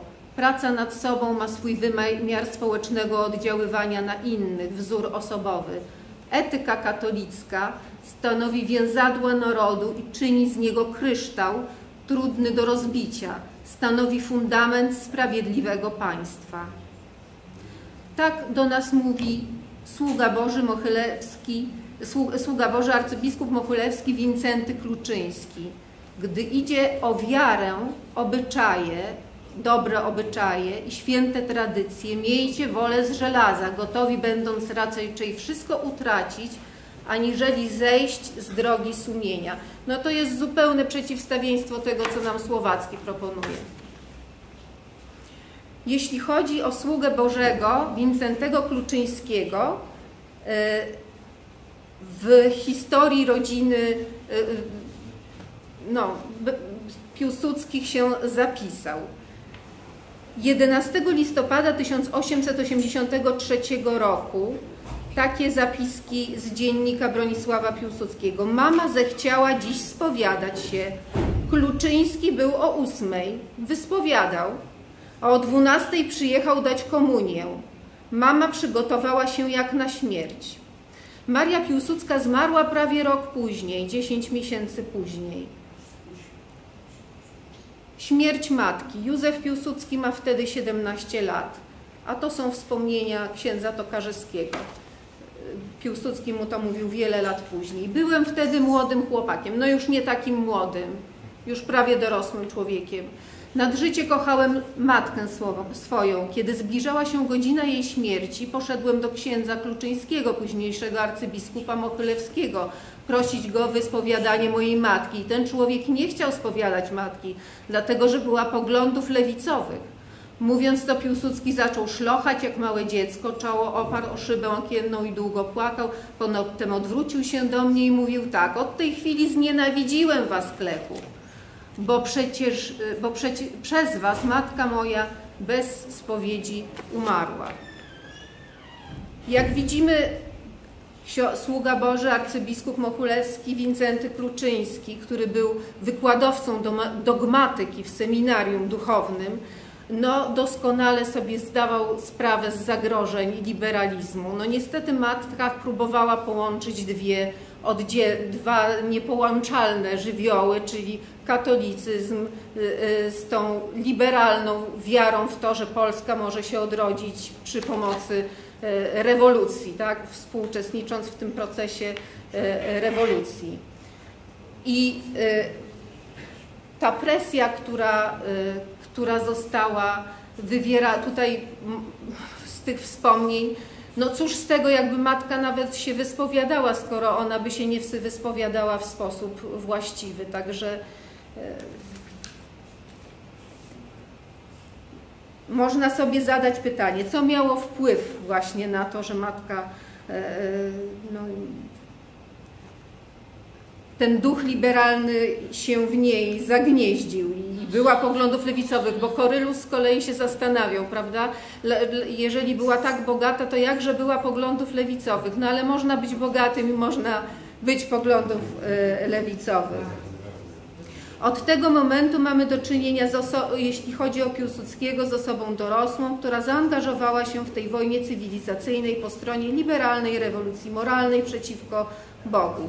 Młodzi bracia Bronisław i Józef Piłsudski śpiewali za Konradem z dziadów. Zemsta, zemsta na wroga z Bogiem i choćby mimo Boga. I nie przejmowali się przestrogami księdza Piotra, że to niezgodne z etyką katolicką. 22 marca Józef Piłsudski został aresztowany pod zarzutem udziału w spisku na życie cara Aleksandra III, którego Autorami byli członkowie frakcji terrorystycznej Narodnej Woli. Niczym Sybir, niczym knuty i bolesnych tortur król, lecz narodu duch otruty, to dopiero bólów ból. Przymusowe osiedlenie na Syberii od 19 do 24 roku życia, nie, nie musiał uczestniczyć w żadnych e, ciężkich pracach, po prostu został skazany na e, osiedlenie e, na Syberii. Tam przyjaźni się z rozmaitymi rewolucjonistami. Jego ojcem duchowym jest Bronisław Szwarce, emisariusz, konspirator, założyciel Czerwonych, prowokator i przywódca powstania styczniowego. Piłsudski uważał powstanie za pierwszą rewolucję moralną w społeczeństwie polskim. Będzie siebie przedstawił jak, przedstawiał jako jej kontynuatora e, i wodza. Jak pisał Zygmunt Szczęsny-Feliński, święty Zygmunt Szczęsny-Feliński o czerwonych. Do poruszenia mas widzieli środek w zagarnięciu własności klas zamożnych, grabież. Partii tej nie chodziło o niepodległość Polski, ale o rewolucyjny przewrót w społeczeństwie. Rzeczpospolita z wszechwładztwem ludu, socjalistycznymi instytucjami stanowi nieodzowną część programu. Także odbudowanie Polski pod innymi warunkami uważaliby za równą klęskę, jak pozostanie pod obcym jarzmem. Nie przyjmują oni żadnych, bądź religijnych, bądź moralnych zasad. Wszelkie środki uważając za dobre, skoro do zamierzonego celu prowadzą, nazwawszy swoją socjalną mrzonkę imieniem ogólnego dobra, nie wahają się oni dążyć do celu ohydniejszymi jeszcze drogami niż te, jakich najdzikszy używa despotyzm. Czy my pamiętamy, że podczas powstania styczniowego polscy patrioci wykorzystali, zostali do walki z despotycznym caratem o nowy porządek świata?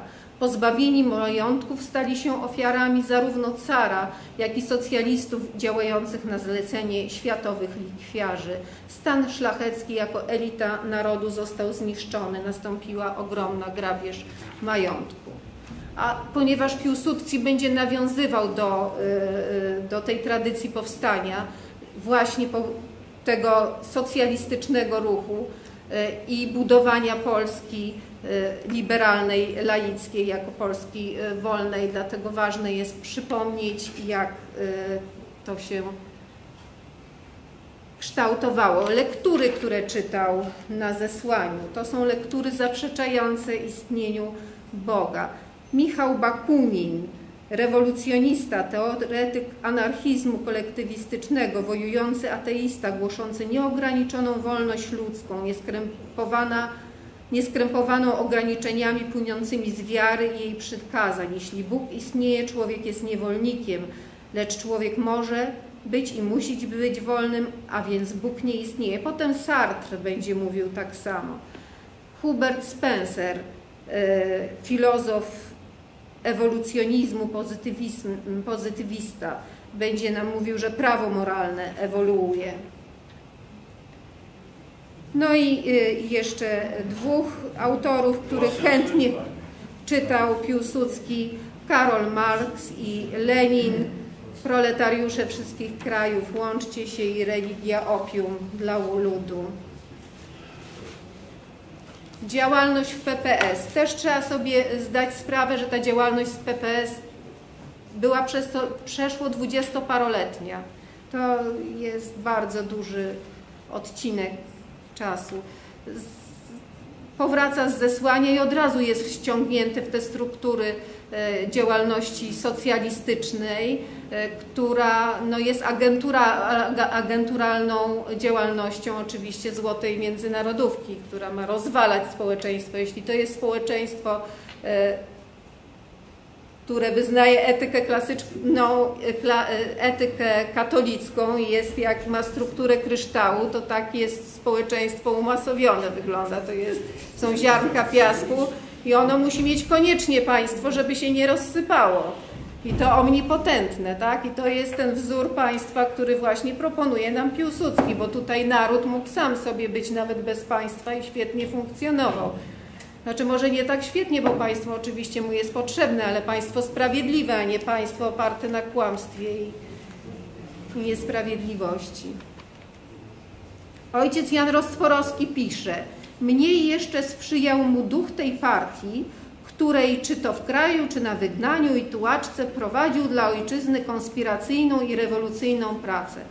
Nie tylko ten duch partii mu nie sprzyjał, ale był wprost, zapociągnął się w sługi, w szeregi sług bestii. Wszystko oparte jest tu na odchodzeniu od prawa moralnego głoszonego nam przez Zbawiciela. Cudzołóstwo jest na porządku dziennym nie tylko w teorii, ale i w praktyce działaczy i działaczek. Piłsudski przyłączył się do tej antykatolickiej rewolucji. Utrzymuje się, przecież 20 lat się z czegoś utrzymuje, utrzymuje się z tego, że jest najemnikiem i terrorystą. To stało się jego zawodem. Czy to była dobra praca dla ojczyzny? Komu służył ruch rewolucyjny, socjalistyczny? Jaki miał cel? Cały nasz ruch, czytamy w deklaracjach socjalistów zaboru austriackiego, rozwija się na tle walki z klerykalizmem. Liberali nie mają żadnego znaczenia, nie walczymy z liberałami.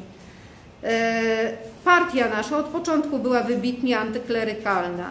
Teraz to stanowisko nasze musimy znacznie jeszcze musimy zaznaczyć jeszcze ostrzej. I drugi cytat. Księża zakładają bractwo pod wezwaniem żywego różańca, do którego wciągają nieświadomych robotników, a przeważnie robotnice. Celem tego bractwa jest zwalczanie socjalizmu.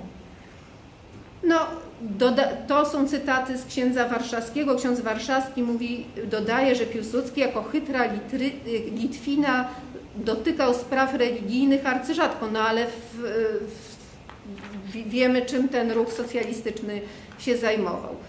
Tutaj mamy zdjęcie z kongresu drugiej międzynarodówki, który się odbył w Londynie.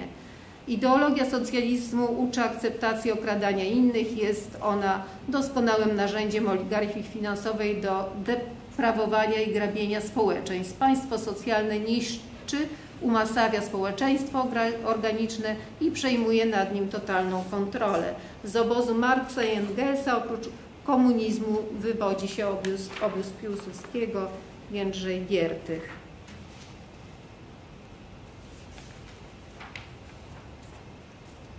Masoński liberalizm zamiast rozumnej wiary. Samouwielbienie człowieka, moje, a, moje ja miarą wszechrzeczy. Wielki Wschód belgijski ma jako zawołanie do swoich członków. Powiedzcie neofitom, że masoneria jest przede wszystkim szkołą ostateczną, w której wszelkie idee tego wieku łączą się i są zatwierdzane, aby być rozpowszechniane w, świe w świeckim społeczeństwie w formie praktycznej jesteśmy filozofią liberalizmu. No, praktycznie rozpowszechniali to rewolucjoniści. I y, reakcja katolicka. W tamtych czasach papieże pisali bardzo dokładnie, na czym polegają te błędy. Przeciw ideologiom szerzonym w praktyce przez rewolucjonistów wypowiadali się papieże w nauczaniu. Powstają liczne encykliki tłumaczące błędność tych ideologii i szkodliwość dla życia duchowego, społecznego i zbawienia dusz. Pius IX w sylabusie potępia liberalizm, Leon XIII w encyklice Libertas, o sekcie socjalistów, komunistów i nihilistów Leon XIII, o masonerii. Leon XIII również pisze, jak powinno wyglądać państwo katolickie, o państwie katolickim, rerum novarum, pokazuje, jak państwo powinno kształtować życie społeczne, indywidualne w oparciu o, w oparciu o magisterium Kościoła. Kler katolicki atakuje pozytywizm, liberalizm, mówi o tym, że laicyzm odbiera robotnikowi religię i o winie burżuazji. Przejście Piłsudskiego na protestantyzm. E, dokonuje się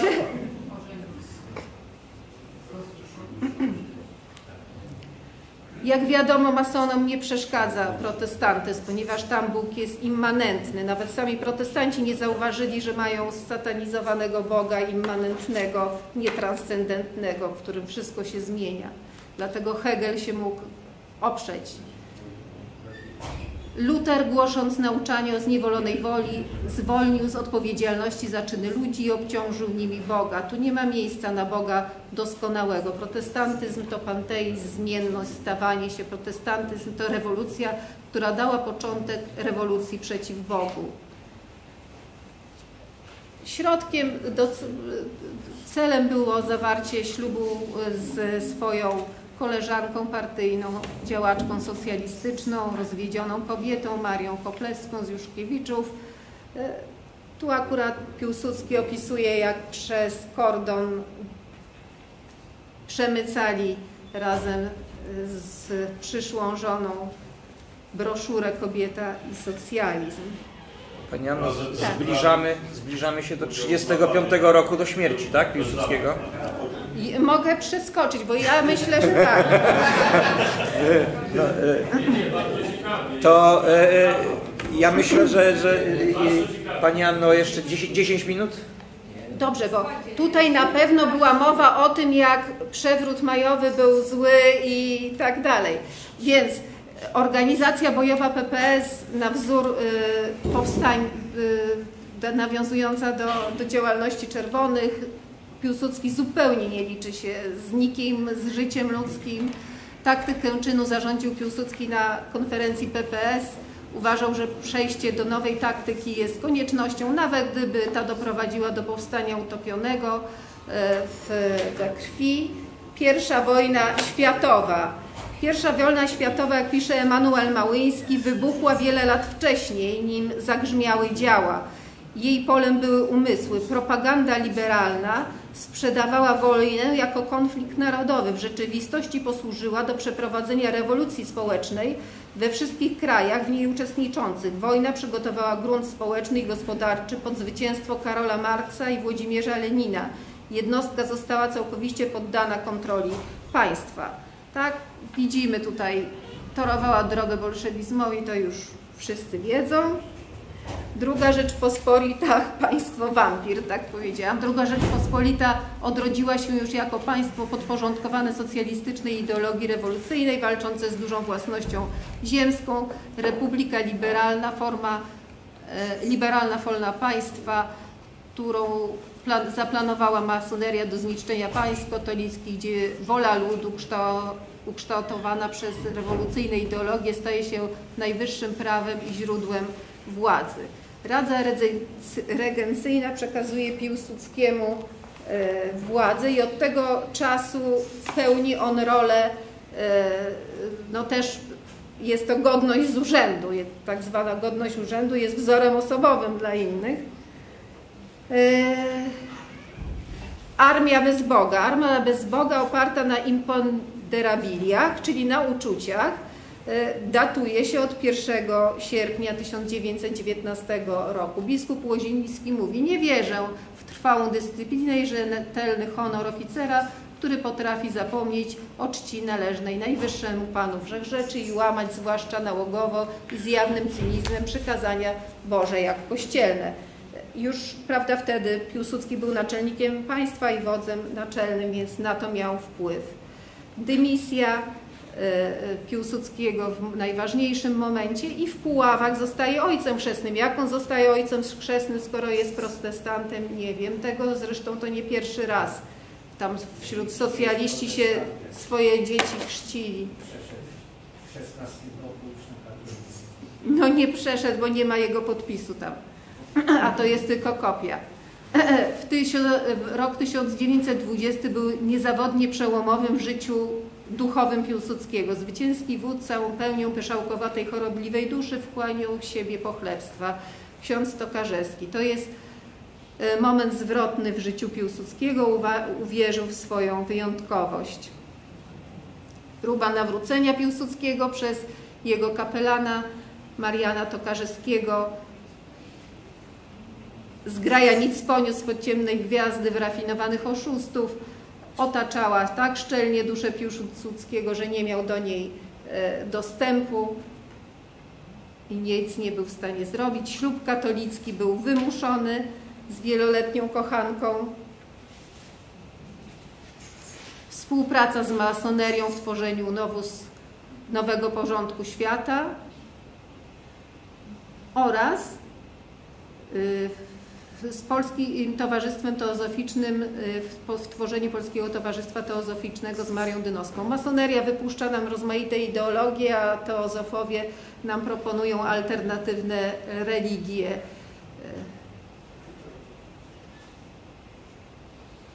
To jest założenie kościoła liberalnego, kościoła mm, katolickiego.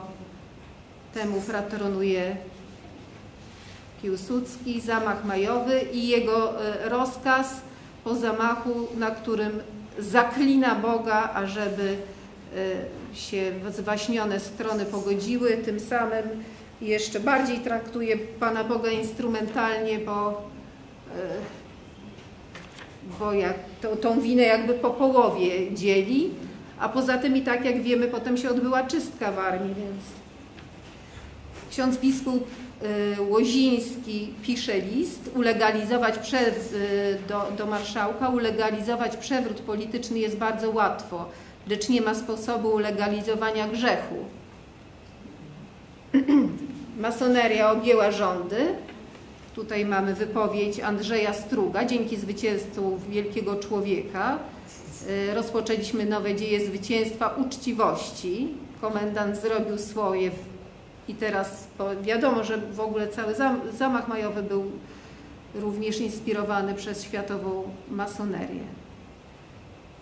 I odpowiedź świętego Maksymiliana na broku warszawskim polała się krew, krew polskiego żołnierza i przechodnia w stolicy Polski, wylana ręką bratnią. Tak postanowili masoni, wrogowie moralności, wrogowie niepokalanej, a my Czyż możemy, my, jej rycerze i rycerki, patrzeć na to obojętnie? Nie, precz z zacofanym pogaństwem, którym masoneria zaraża szkołę, sztukę, teatr i literaturę. My chcemy Boga, naszą królową.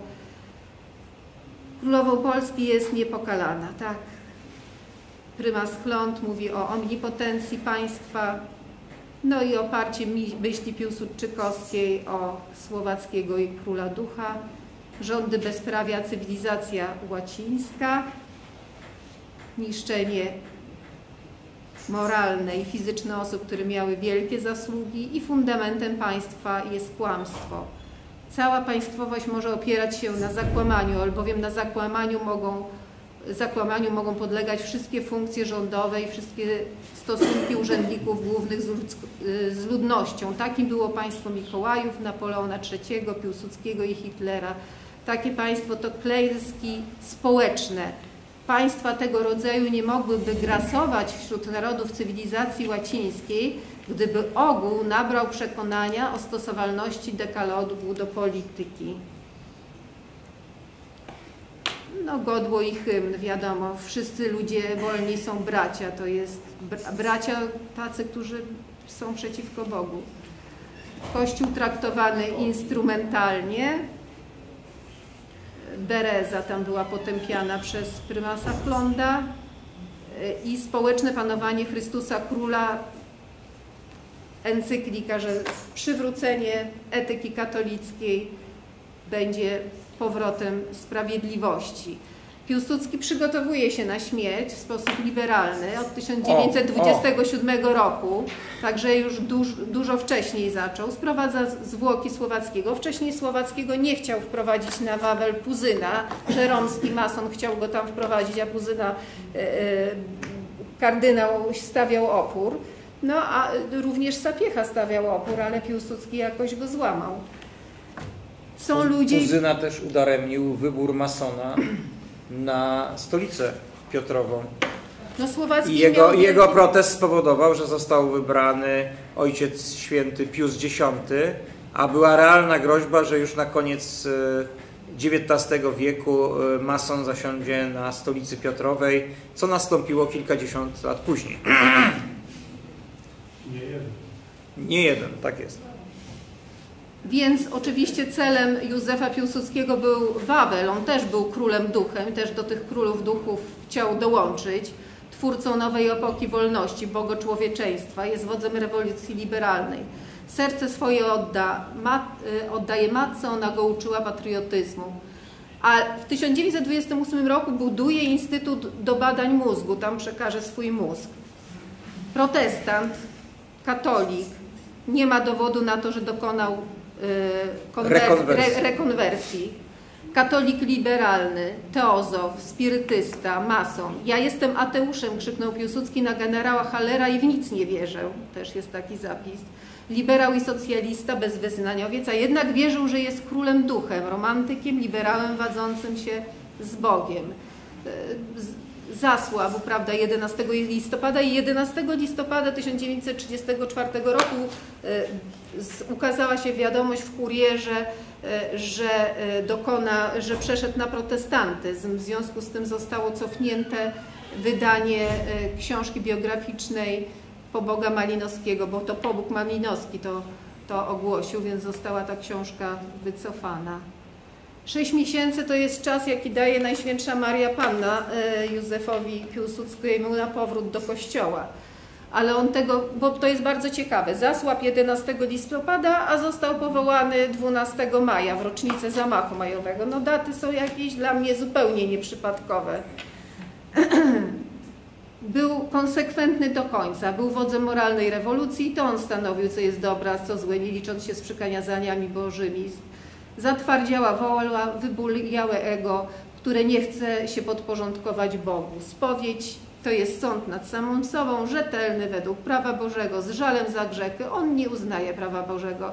Ma ten sam problem, co matka. Postanowił, że pójdzie drogą matki, nie będzie się spowiadał. Potem będzie inskrypcja na grobie w Wilnie. Dumni nieszczęściem nie mogą za innych śladem iść tą samą drogą. Dumni, a więc niepokorni. Dumni z porzucenia ortodoksyjnej wiary. Nie chciał się spowiadać brak aktu intencyjnego, czyli aktu rozumnej woli, chęci pogodzenia się z Bogiem umierającego Józefa Piłsudskiego. Ksiądz Korniłowicz od 8 maja siedzi pod telefonem yy, i wie, że ma przyjechać, ale go cały czas nie wołają. Yy, dopuszczają go dopiero do umierającego w chwili agonii rozgrzeszenia warunkowego nie można udzielić tym, którzy bez skruchy trwają w grzechu jawnym. Miał tylko wykonać formalny gest namaszczenia i upozorować katolicką śmierć. Ksiądz Korniłowicz został potraktowany instrumentalnie, dlatego nie chciał o tym mówić. Jego nieliczne relacje są ze sobą sprzeczne. To jest inskrypcja na tym grobie, gdzie jest jego serce. Jeśli się go włoży w epitafium, jest bardzo ciekawe, bo ja się właśnie z profesorem od literatury znowu konsultowałam i pytałam, czy jest jakieś opracowanie naukowe, bo jak się włoży to epitafium do poematu słowackiego, to mamy spowiedź y, zdrajcy ojczyzny. Profesor powiedział, że nikt na ten pomysł nie wpadł. Pani Zofie, proszę przeczytać spowiedź zdrajcy ojczyzny. A gdy się duma z nieszczęścia wylęgnie, to i Bóg czoła takiego nie sięgnie, to nawet wiara nie pochyli głowy, a cóż dopiero piorun, miecz, okowy, a nawet ludzkie przekleństwo i wzgarda.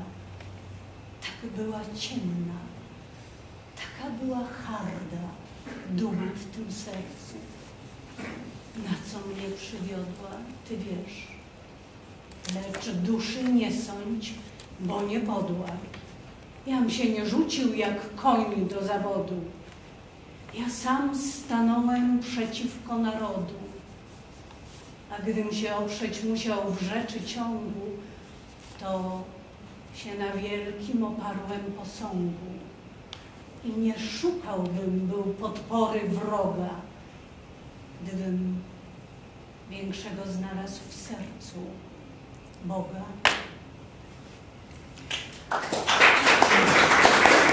Natomiast czy ta dusza nie była taka harda, to dowiadujemy się od y, siostry Faustyny. O, mo, możemy prosić? O godzino straszna, nie wiem, czy o godzino straszna, w której widzieć trzeba wszystkie czyny swoje w całej nagości i nędzy. Nie ginie z nich ani jeden. Wiernie towarzyszyć nam będą na sąd Boży. Dusza ta, jednak dusza ta zaczęła mi robić wymówki. Czemu nie chcę uznać jej wielkości, jaką mi oddają wszyscy za moje wielkie czyny? Czemuż ty jedna nie oddajesz mi chwały? Wtedy ujrzałam, iż w tej postaci szatan jest i rzekłam, Bogu samemu należy się chwała, idź precz szatanie. I w tej chwili dusza ta wpadła w otchłań straszliwą, niepojętą, nie do opisania. I rzekłam do tej nędznej duszy, że powiem o tym całemu Kościołowi.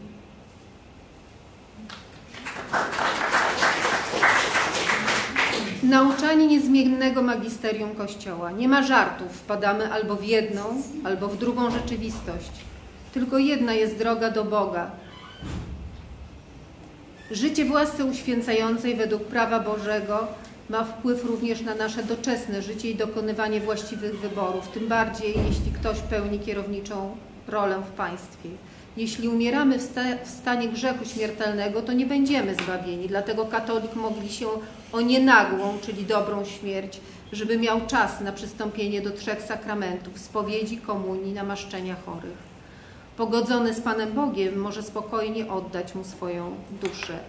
Siła moralna, czyli katolicka etyka wychowawcza, yy, siła moralna Kościoła, czyli, oddziele, czyli oddziaływanie etyki katolickiej na społeczeństwo słabła, głównie przez zaniechanie działań hierarchii kościelnej w walce z liberalną rewolucją moralną i jej przywódcami. Informuje nas o tym ksiądz Tokarzewski. 31 maja on, 1930 roku, on, pan już, i słuchać nie chce jakiejkolwiek rozmowie z kimkolwiek z episkopatu. Klika zrobiła swoje, ma w ręku wojsko, policję, szkoły, wszystkie urzędy obsadzone swoimi ludźmi. Nie na wszystkich pluje, drwi, lży i ordynarnie wymyśla. Przekonał się, że nasze wpływy moralne na lud są naszym wyłącznym złudzeniem. Siły żadnej nie mamy, więc po co mu jemu, my jemu do jego zamierzeń, czy nawet sprawy polskiej potrzebni jesteśmy. Mentalność liberalna laickiego państwa coraz bardziej wnikała do Kościoła. To jest to, o czym mówi ojciec Jacek Woloniecki. Przepraszam. Już prawie kończymy. Złowrogie przejęcie Kościoła. Era bogoczłowieczeństwa w duchu liberalnym narasta w kościele wraz, y, narastała w Kościele wraz z Soborem Watykańskim II. Człowiek drogą Kościoła, antropocentryzm. Ja przed Bogiem, również w liturgii. Następuje eliminacja etyki katolickiej z życia społecznego przez wprowadzenie wolności religijnej. Szerzy ona indyferentyzm wśród wiernych i potęguje ducha liberalizmu. Zmienia nauczanie Kościoła, który wyrzekł się społecznego panowania Chrystusa i praw katolickich. Zaaprobował sekularyzację i laickość, jak komunizm i liberalizm. Dialektyka heglowska wniknęła do Kościoła i zniknęła prawda. Mobilizm, ruch, postęp, stawanie się to jest ten duch czasu.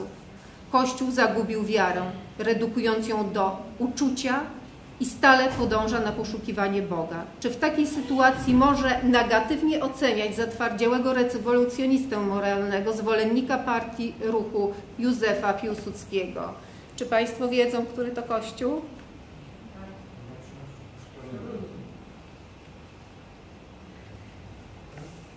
Te, posoborowy kościół. Tu jest Piłsudski, a Faustyna jest tutaj na dole. Piłsudski tam dumnie na górze siedzi, a Faustyna tam w okienku na dole.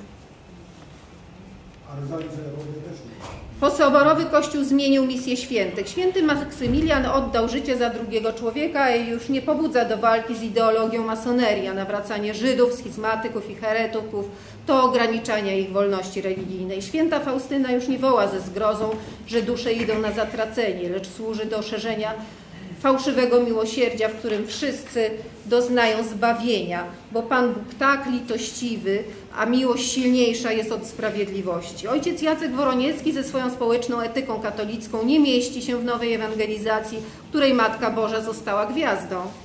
Sługa Boża Rozalia Celekówna nie może zostać świętą, bo jej misja została unieważniona. Królestwo Boże na ziemi to projekt wykreślony z doczesności, a co na to święty Augustyn? Już nie ma dwóch wrogich obozów. Wolność religijna prowadzi do indyferentyzmu. a ten do wolnego, wyemancypowanego ducha, non serviam i, nie będzie, i, be, i będziecie jako bogowie stanowić o tym, co jest dobre, a co złe. To era bogoczłowieczeństwa, ale pod wodzą Lucyfera. Cel rewolucji gnostyckiej, do którego dąży światowa oligarchia finansowa, to jest rząd dusz, nieograniczona władza finansowa, polityczna nad światem. Środek do celu? Budowa świata złożonego z jednakowych, wymienianych modat, ludzi pozbawionych tożsamości, umasowione społeczeństwo. Tym celu w społeczeństwie eliminowane są religia katoli eliminuje się religię katolicką, prawdę, czyli myślenie metafizyczne, które czerpie swe poznanie z rzeczywistości, ograniczone, z, og, e, ograniczone zbiorowości, rodzinę, naród, państwo, kościół, strukturę zakorzenienia i ostatnie formy własności. Ale oni się pomylą.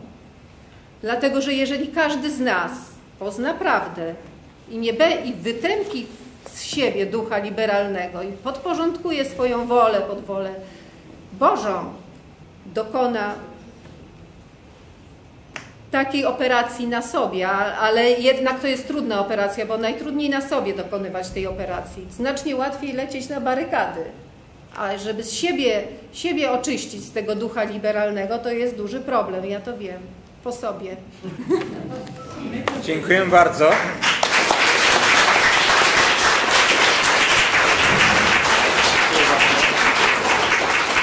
A to są rozmaite. Ale, to, ale nie, nie, nie. Jeszcze chwileczkę. A czerpała Pani wiedzę na temat... Yy, Ale proszę, nie ma, nie ma żadnej dyskusji. Kończymy, bo już Tak, kolejny to- prelegent czeka. Ja jestem y, prawnukiem powstańca Ale- ale to- stracił y, Ja też. i cudy. Ja, ta, ja no też. dobrze, ale proszę już... y, Ja też. Tak. y, po, po E, proszę państwa, bo Piłsudczyzna niszczyła tak. Proszę Państwa, e, przechodzimy do kolejnego wykładu. E, wykład, przepraszam bardzo, wykład kolejny wygłosi e, Tomasz Ciołkowski, autor książki Józef Piłsudski bez retuszu. Tematem, temat wykładu nawiązuje do tego, co mówiła e, pani Anna. Proszę o ciszę. Wykład e, Tomasza Ciołkowskiego dotyczy okultyzmu i masonerii w życiu Józefa Piłsudskiego. Sporo na ten temat jest w tej książce, która niedawno, mniej więcej dwa tygodnie temu e, ukazała się, jest w sprzedaży, e, zachęcamy. A że sprawy są bardzo aktualne, to najlepiej świadczy to, co mówili tu niektórzy nasi autorzy. 12 e, maja mówił Grzegorz Braun o grupie rekonstrukcji historycznej sanacji. Dzisiaj Stanisław Michalkiewicz mówił o grupie rekonstrukcji historycznej sanacji. I e, proszę Państwa, to, że okultyzm, masoneria wkracza w nasze życie, może świadczyć pomnik smoleński. Proszę o ciszę. Panie Włodzimierzu, proszę wyjść, jeżeli Pan chce rozmawiać. Bo Pan przeszkadza po prostu. Nie dość, że Pan przechodzi przed kamerą, to jeszcze Pan teraz yy, przeszkadza.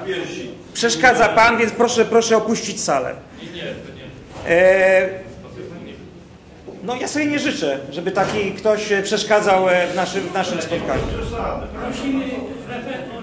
E, prosiłbym bardzo o zabranie głosu Tomasza Ciołkowskiego.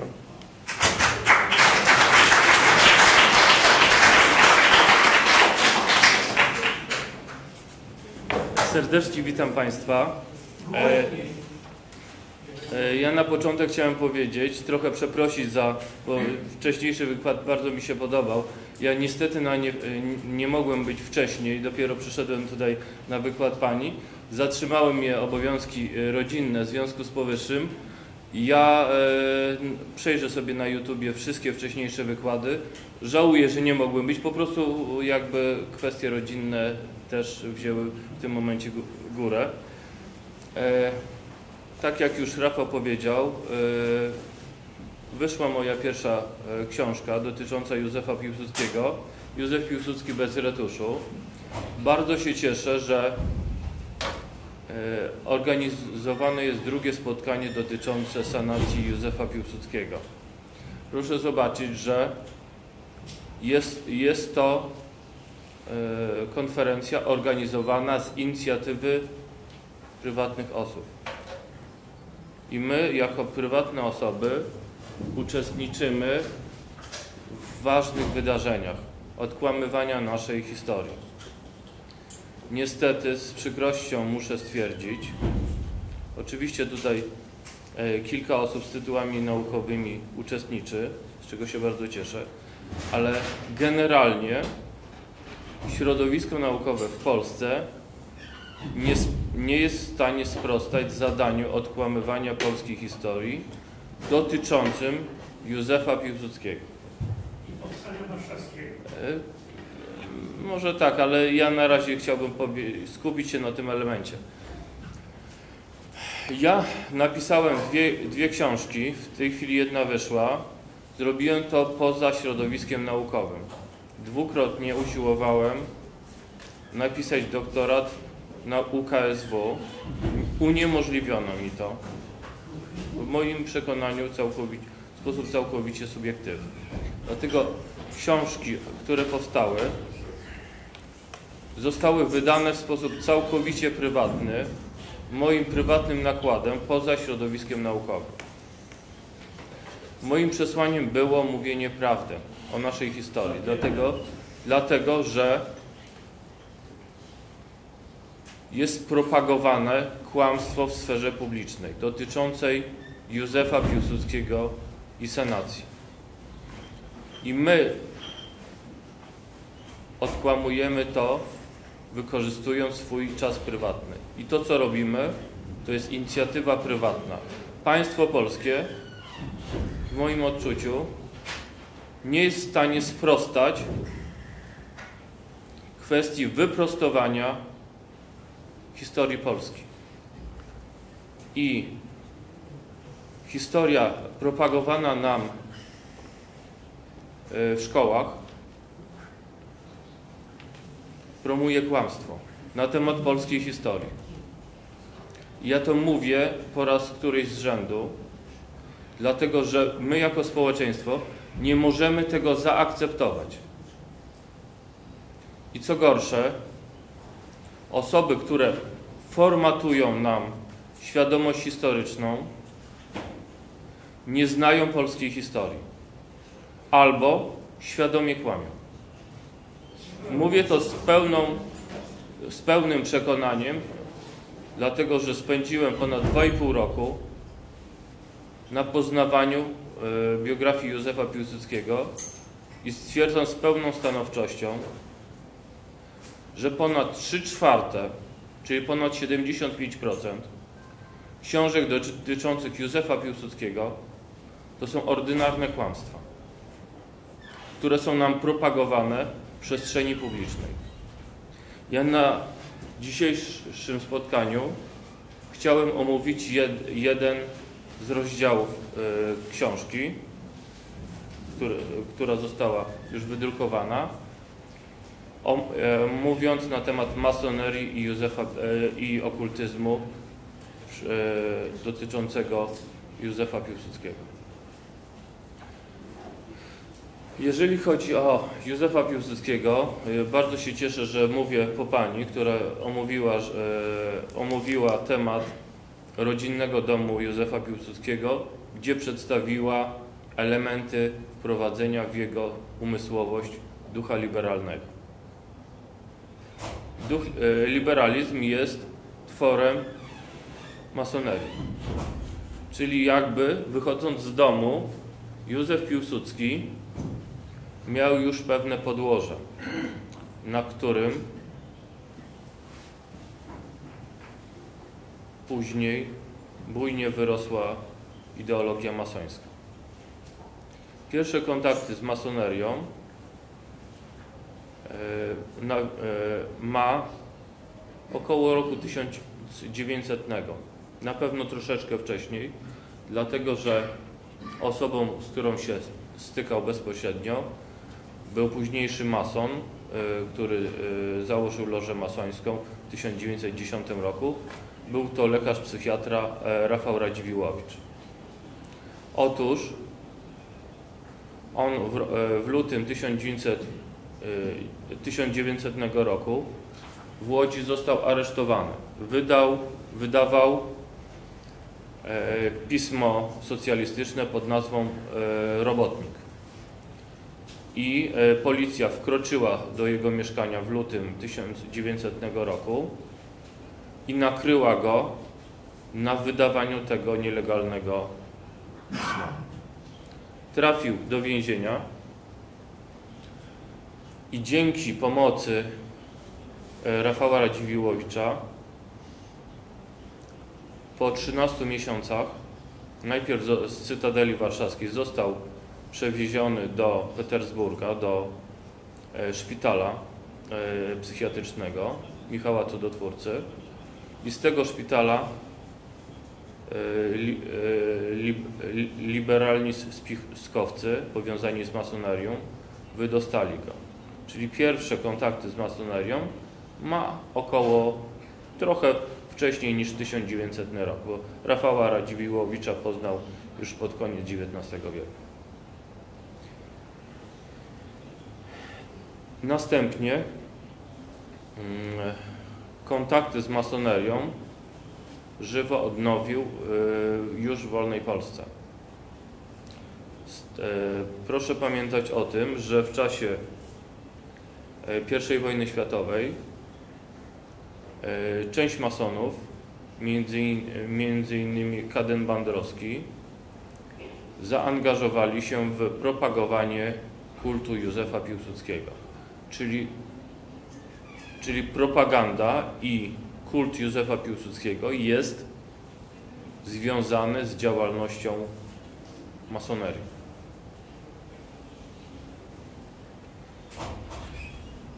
I w roku 1919 do Józefa Piłsudskiego zgłosił się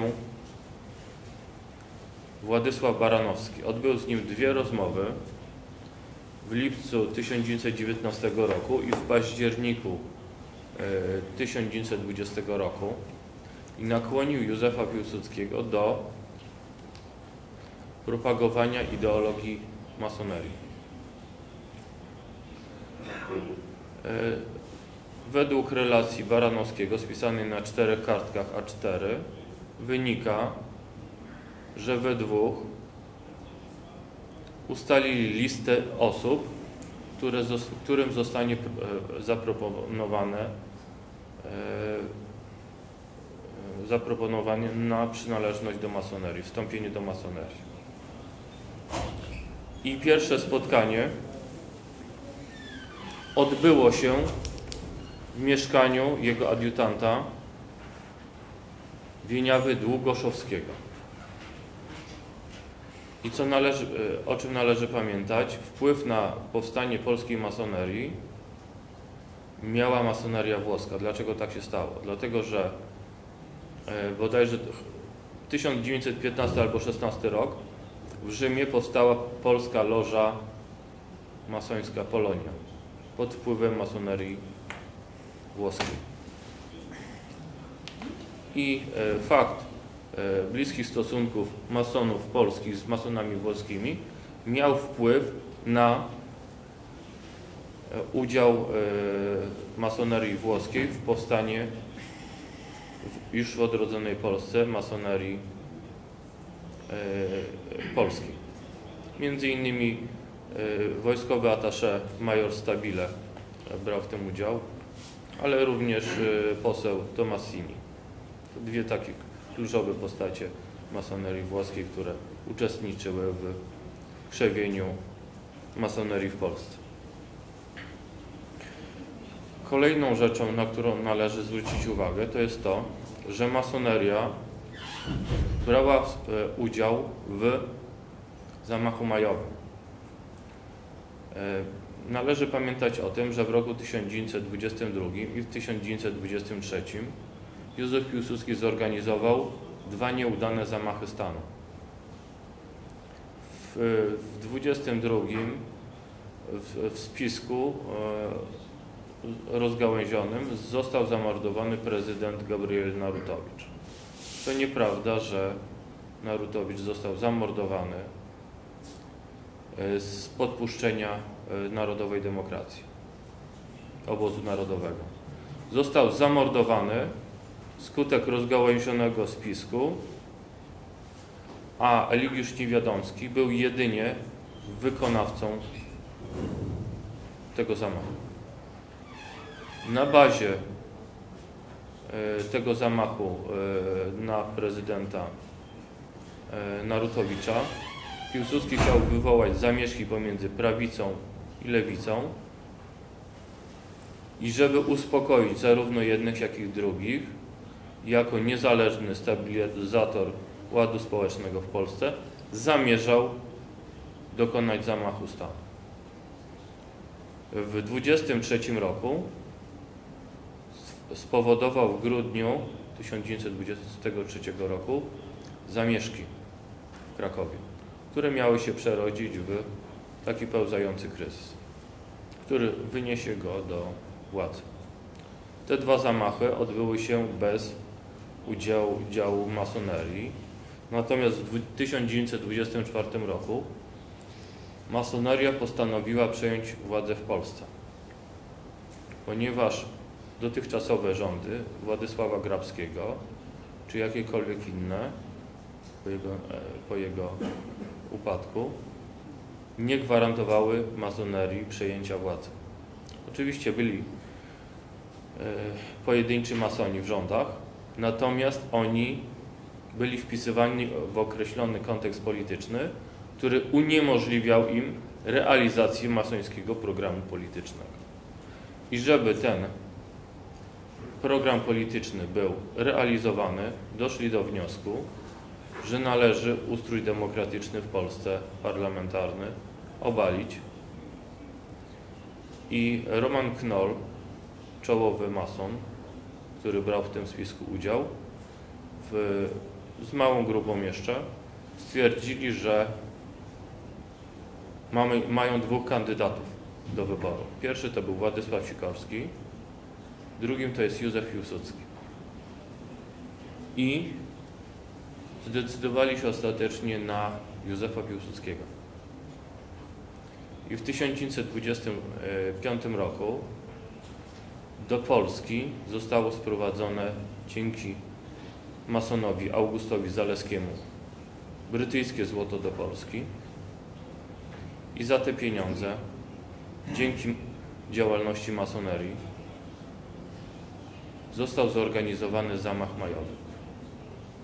Złoto zostało o wartości 800 tysięcy funtów zostało zdeponowane w banku żydowskiego bankiera Szereszewskiego, który pod depozyt brytyjskiego złota wypłacił zamachowcom 3 miliony 800 tysięcy złotych. I za te pieniądze został zrobiony zamach majowy. Czyli proszę zobaczyć, że Józef Piłsudski e, władzę w Polsce otrzymał z rąk masonerii. Bo gdyby nie te pieniądze, to nie udałoby mu się dojść do władzy. Proszę o tym pamiętać. Czyli Józef Piłsudski jest dzieckiem masonerii i jego kariera polityczna w Polsce po zamachu majowym. Po zamachu majowym Józef Piłsudski udziela masonerii rozlicznych koncesji. Zostało zmienione godło państwowe, o czym należy pamiętać, czyli zostało zmienione godło, które było w roku 1919 i zawierało krzyż w koronie i zamkniętą koronę. A godło zostało zmienione w sławetny dzień, który należy pamiętać, 13 grudnia. Coś nam to mówi? Prawda? Mamy jakieś takie daty, które się nam od razu kojarzą, prawda? 13 grudnia 1927 roku. To jakieś spiskowe teorie? Tak, spiskowe, ale całkowicie sensowne. Czy, czy spiskowa praktyka? No spiskowa praktyka, oczywiście. E, I e, wymazano, zdjęto e, z korony krzyż I zamiast korony zamkniętej, symbolu władzy niezależnej, mamy koronę otwartą. Symbol władzy, symbol władzy yy, podległej, podległej. I pentagramy na, skrzyd na skrzydłach. Czyli proszę zobaczyć, że zmieniono nam ideologię. Ideolog ideologię i e, symbolikę, do której powinniśmy się jako naród e, odwoływać. I co, I co istotniejsze, do dnia dzisiejszego nie uległo to zmianie. Dlatego, że Polska po 1989 roku przyjęła symbolikę masońską w godle państwa. Nie ma już gwiazd na skrzydłach, są trójliści. No, to jest tak. Ale przypominające gwiazdy. Nie, nie, przypominające trójliście jak na dawnych chorobach testowskich. No krzyża nie ma w każdym wypadku. Nie ma. Nie ma. E, Zawołanie na, Poza na gmachu e, kancelarii premiera jest honor i ojczyzna. tak, tak, dokładnie, Boga nie ma. Boga nie ma, Bóg, Bóg wyparował. Przez prezydenta świętej pamięci Kaczyńskiego. E, e, nie chciałbym tutaj w Nie wchodźmy, nie wchodźmy zwłaszcza w obecny, dyskusji. te, przepraszam za E. Czyli e, Józef Piłsudski e, zmienił symbolikę e, godła państwowego, wpuścił masonerię w system edukacji. Co ważniejsze, w czasie swojej dyktatury, również dzięki masonerii, w sposób instytucjonalny sfałszował własną biografię, dlatego że e, maczał palce w tym Andrzej Struk i Henryk Kołodziejski, czyli dwóch czołowych masonów polskich. I ksi- książki e, w polskiej edukacji zawierają te masońskie kłamstwa. O czym należy pamiętać. Czyli musimy całkowicie przeformatować naszą świadomość jako narodu i zrzucić ten cały balast, prawda? W roku mniej więcej 1929 dochodzi do rozdźwięków pomiędzy masonerią i Piłsudskim i częściowo wskutek tego konfliktu Józef Piłsudski ogranicza wpływy masonerii, między innymi został zlikwidowany e, jedna z gazet Głos Prawdy przykładowo i ograni ograniczył pewne koncesje. Iluś tam masonów e, z, Pols e, z władzy odeszło. Andrzej Struk został jakby wyeliminowany, ale część jakby pozostała w strukturach władzy. Między innymi w oddziale drugim, czyli w, e, w wywiadzie wojskowym masoni e, byli bardzo czynni i w polskiej polityce zagranicznej. To jakby takie dwa e, filary polskiej masonerii. Szkolnictwo trzeci filar i czwarty filar to jest organizacja pod nazwą Zakon Nieznanego Żołnierza. Rzecz bardzo słabo poznana. Zakon Nieznanego Żołnierza.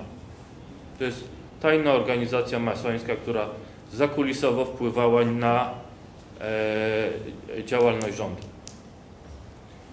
E, na ponad 550 ministrów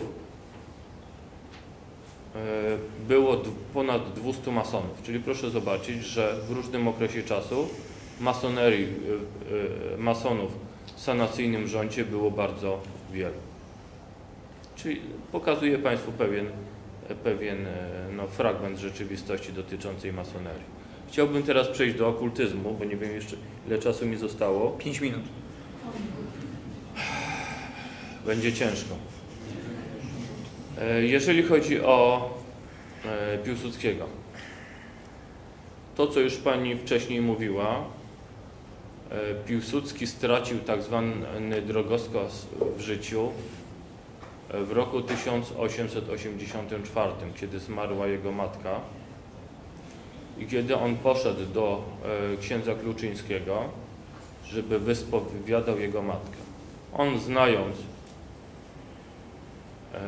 w jaki sposób jest e, e, chowana jego, e, jego rodzina, prawda, że w duchu liberalnym odmówił wyspowiadania jego matki. I w tym momencie rozpoczyna się całkowity odwrót Józefa Piłsudskiego od katolicyzmu, ale też w moim odczuciu on stracił pewną równowagę duchową. W sposób świadomy odrzuca katolicyzm, mając osobistą urazę do jednego z hierarchów kościelnych. Następnie proszę zobaczyć, że w 1887 roku, trzy lata po, po tym zdarzeniu, trafia na Syberię. Trafia w środowisko, gdzie e, kontaktuje się z rewolucjonistami, prawda? I tam e, po raz pierwszy ma pewne kontakty z okultyzmem, z chiromancją. Pokazuje pewnej cygance swoją rękę, a ona mówi: Będziesz carem. Czyli krótko mówiąc, że będzie kimś wielkim w przyszłości. Ta przepowiednia staje się motorem napędowym jego działań. W roku 1909 w Zakopanem układa sobie pasjansa. Świadkiem tego zdarzenia jest e, Władysław Żeromski. I co mówi? Stefan Żerowski, przepraszam, przepraszam, już e, o czymś myślę. I e, co mówi Piłsudski? Jak, jak mi wyjdzie ten pasjans, to zostanę dyktatorem Polski. Czyli proszę zobaczyć, że jakiekolwiek wróżby w jego przypadku są motorem napędowym jego działań. Na tym etapie e, również e, e, używa kart tarota, czyli zaczyna wchodzić w świat okultyzmu coraz mocniej. W, roku 1900, w grudniu 1915 roku uczestniczy w pierwszym seansie spirytystycznym. Jest relacja, jak wywołano gener e, duszę generała Linowskiego, który poległ na, na froncie rosyjskiego. Czyli proszę zobaczyć, on stopniowo wchodzi w ten świat okultyzmu. Następnie już w wolnej Polsce kontaktuje się z inżynierem ostsowieckim, Zaczyna się od, y, od różnych eksperymentów dotyczących odczytywania listów w kopertach, prawda, zalakowanych. Też seanse spirytystyczne, wywoływanie duchów i tak dalej, i tak. Natomiast prawdziwa tragedia zaczyna się od roku 1924 kontaktuje się z nim Wanda Dynowska,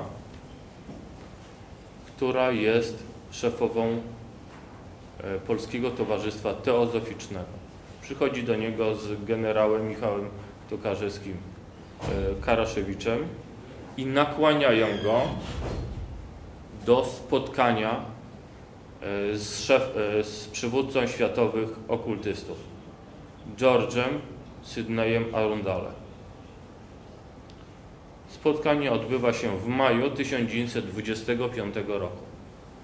George Sidney Arundale przyjeżdża do Sulejówka i namawia Józefa Piłsudskiego, przynajmniej poszlaki na to wskazują, do uczestniczenia w czarnych mszach. Sytuacja jest następująca. Na przełomie 1925 i 26 roku w mieszkaniu E, e, hrabiny e, Kazimiery Broel Plater pod, pod adresem Moniuszki 4 w Warszawie Józef Piłsudski uczestniczy w czarnych mszach, które mają go przysposobić do czarnej mszy wyższego rzędu. Czyli on zdobywa stopniowo pewną formację okultystyczną i przed zamachem majowym George Sydney Arundale ponownie z Indii, bo on przyjechał z Indii, z miejscowości Ajdar pod Madrasem, ponownie przyjeżdża do Polski. Nie jest dokładnie znana data, przynajmniej nie udało mi się jej ustalić, kiedy e, ponownie przyjeżdża do Polski. Natomiast pod, fakt, że przyjechał, potwierdza jedna z okultystek, Ewelina e, Karasiówna. I jak poszlaki na to wskazują, przed, e, przed zamachem majowym w 1926 roku Józef Piłsudski uczestniczy w Czarnej Mszy. I co ważniejsze, po tej Czarnej Mszy zmienia się jego psychika, jego osobowość. Na czym to polega? Otóż, jak wspomina jego żona, Aleksandra Piłsudska, Józef Piłsudski po tej czarnej mszy bał się ciemności, czyli e, bał się spać, e, spał z, z, z włączonym światłem przez całą noc. Potwierdza to jego adiutant Lepecki, że zawsze jakiś kinkiet w jego gabinecie się palił, dlatego że on e, no, nie był zdolny do spania w ciemnościach. Ale to nie wszystko. Józef Piłsudski również doznawał omamów słuchowych i wzrokowych. Czyli słyszał kroki, szmery, hałasy w nocy. I widział duchy. Duchy, zjawy. W roku 1928 z 4 na 5 grudnia sprawa jego problemów psychicznych powoduje, że dopuszcza się zamordowania jednego z żandarmów o nazwisku Stanisław Koryzma. Ów żandarm pełnił wartę przed Belwederem i robił obchód. I poszedł, podszedł nieopatrznie pod okno e, w Belwederze w pokoju, w którym przebywał Józef Piłsudski i skończyło się to jego śmiercią. Dwie kule, e, e, dwie rany postrzałowe głowy, lewe oko i czoło centralnie. Śmierć na miejscu.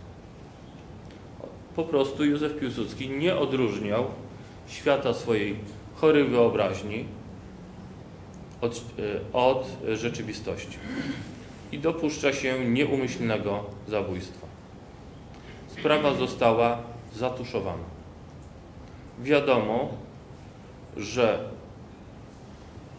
e, pociski, które, które, e, których e, jakby sprawca używał, były dokładnie tego samego kalibru, z której korzystał Józef Piłsudski. Był to Browning, kaliber 7,65. Natomiast badań balistycznych z badania jego broni w żaden sposób nie wykonano. Sprawa została zatuszowana. I tym optymistycznym akcentem i tym optymistycznym akcentem kończymy e, prelekcję Tomasza Ciołkowskiego. Myślę, że e, o tych i podobnych sprawach będzie jeszcze okazja porozmawiać na przykład na ulicy Wspólnej. Polecam książkę, jeszcze kilka egzemplarzy jest do nabycia. Myślę, że autor chociaż nie lubi, nie lubi składać autografów, ale jak już ktoś go bardzo poprosi i kupi, to, to jakiś autograf tam złoży. Dziękuję bardzo Tobie.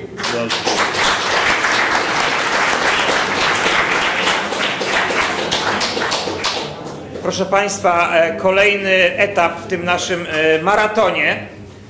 E, tym razem naszym prelegentem jest dr Mariusz Patej, którego serdecznie witam. Witaj Mariusz. Tematem, tematem e, którym się zajmie e, Mariusz Patej jest, są przeciwstawne wizje rozwoju Polski.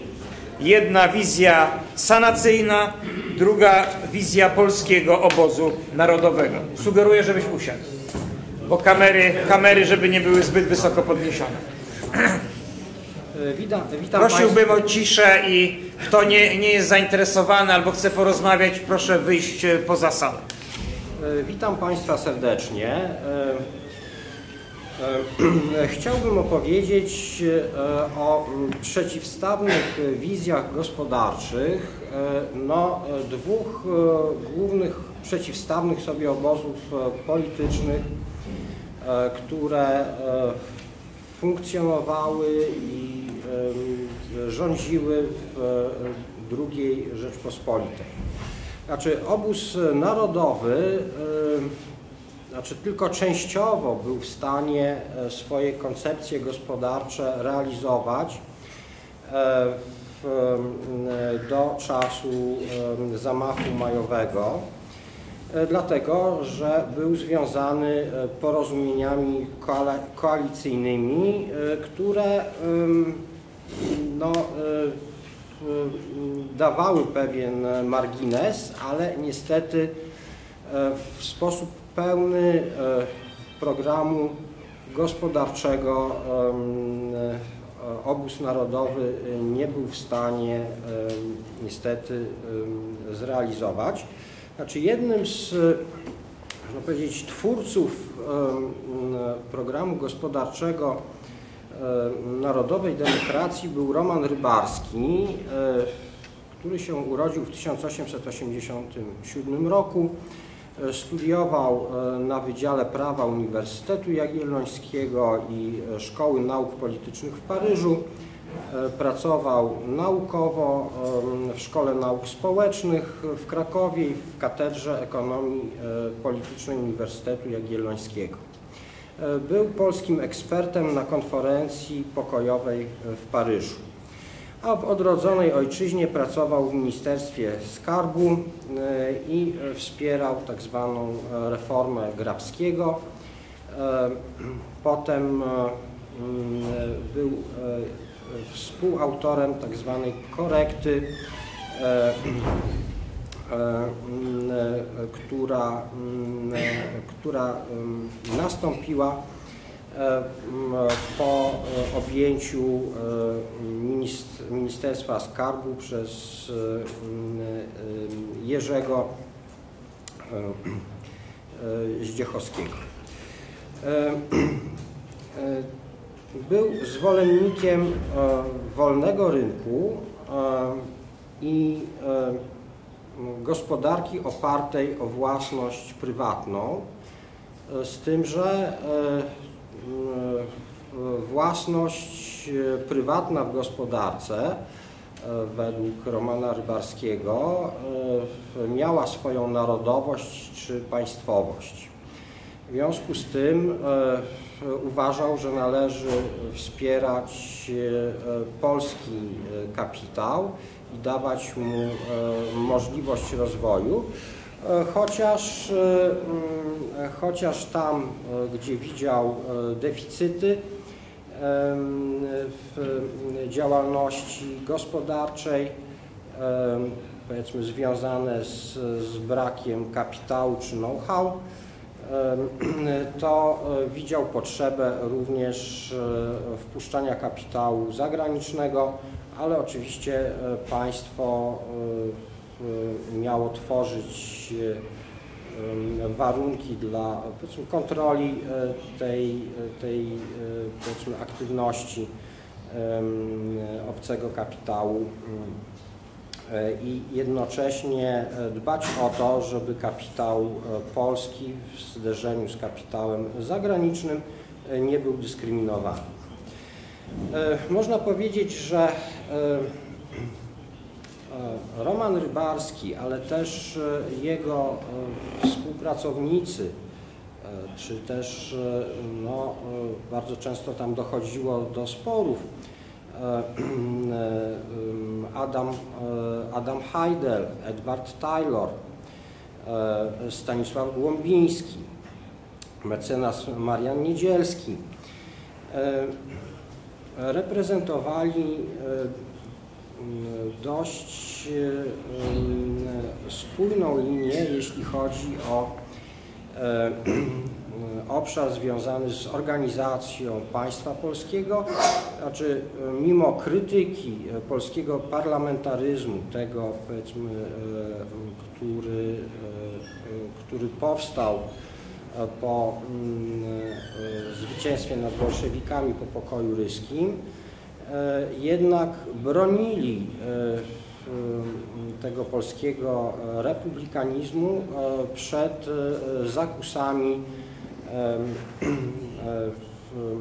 Piłsudczyków, przed zakusami sanacji, bowiem uważali, że naród polski najpełniej będzie się rozwijać w warunkach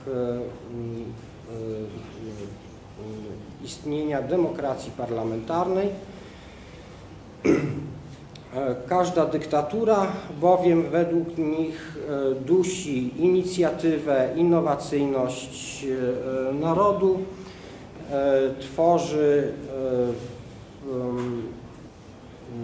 przesłanki dla znaczy budowy jakichś samozwańczych elit, co z kolei negatywnie się odbija na rozwoju gospodarczym, kulturalnym, duchowym narodu.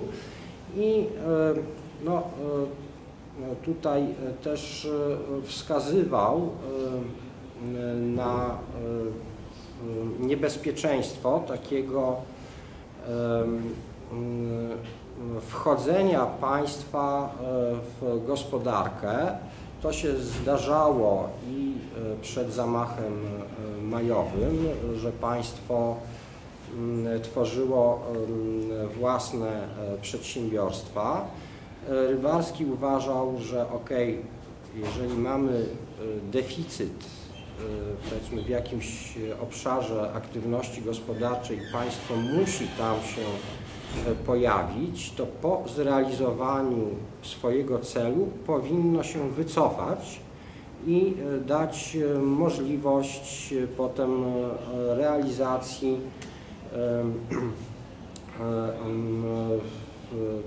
tych działań gospodarczych przez rodzący się kapitał prywatny.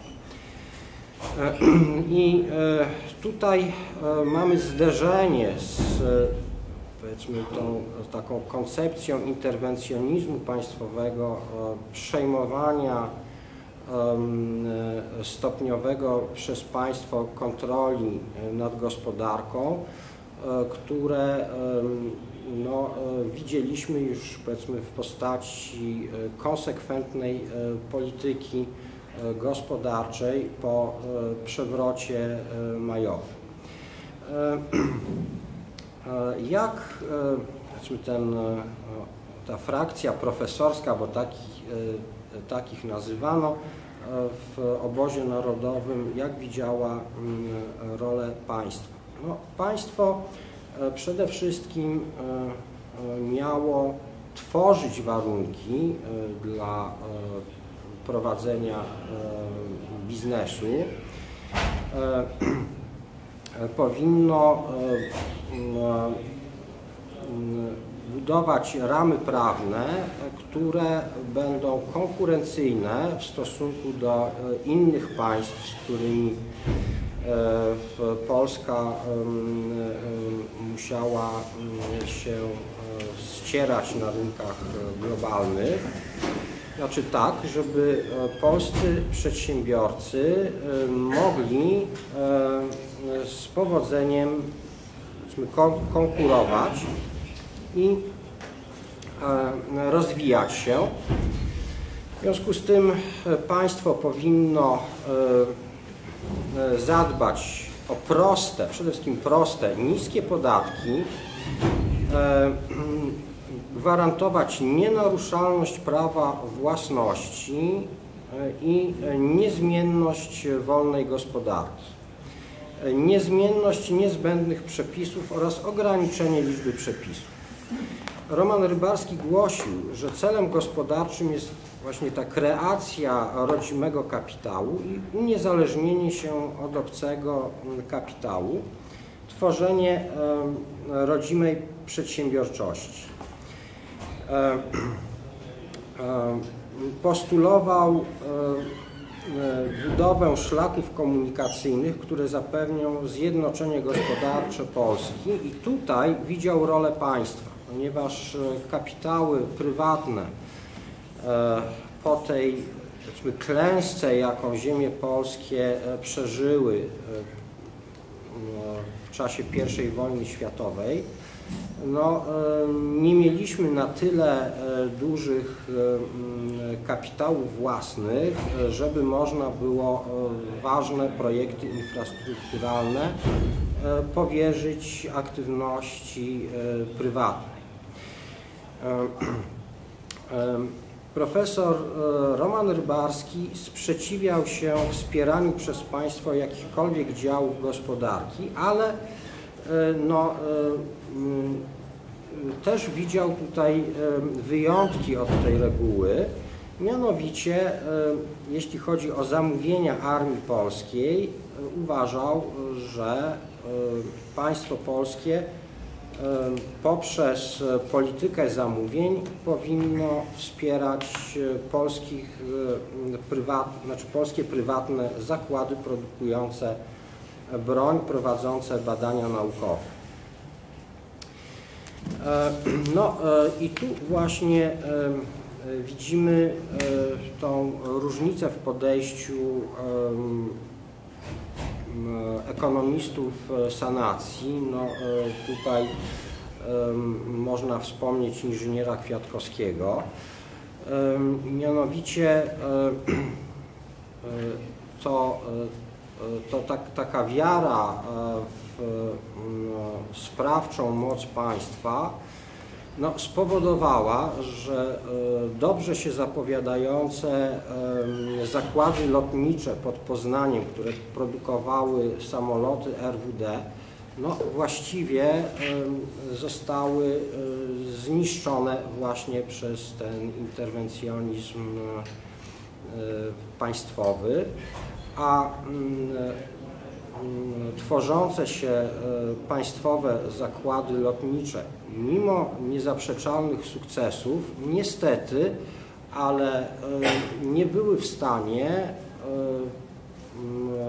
wyprodukować no, na przykład nowoczesnych myśliwców i w związku z tym polskie niebo nie było w 1939 roku należycie chronione. Również raczkujący polski przemysł samochodowy został zniszczony z kolei przez oddanie monopolistycznej pozycji koncernowi Fiata, no, który w zamian za obietnicę inwestycji no, dostał właściwie monopolistyczną pozycję na rynku polskim, no i w związku z tym polskie, polscy wytwórcy samochodów musieli skapitulować. I to też się potem odbiło na możliwościach potencjału polskiego przemysłu, bo zanim odbudowano, zbudowano przemysł państwowy, no to już potem nie starczyło czasu na produkcję na rzecz, na rzecz wojska.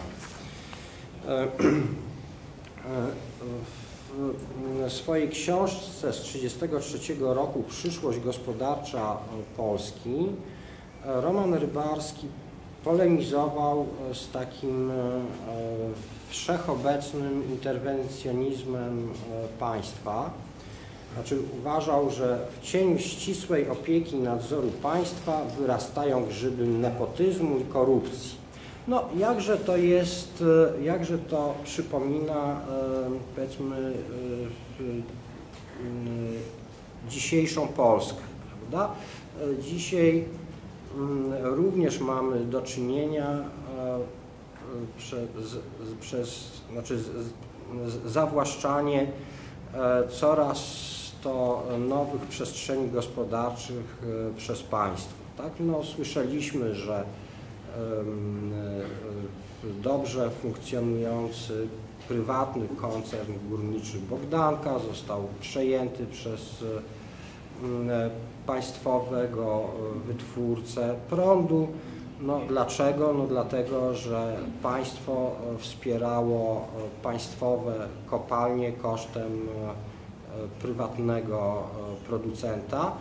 No i państwowe, wspierane państwowym groszem podatnika mogły sobie pozwolić na dumpingowe ceny, natomiast niesubwencjonowany polski prywatny kapitał no, musiał odsprzedać swoje udziały państwu. Inny przykład no to niedawne przejęcie PES, tak, producenta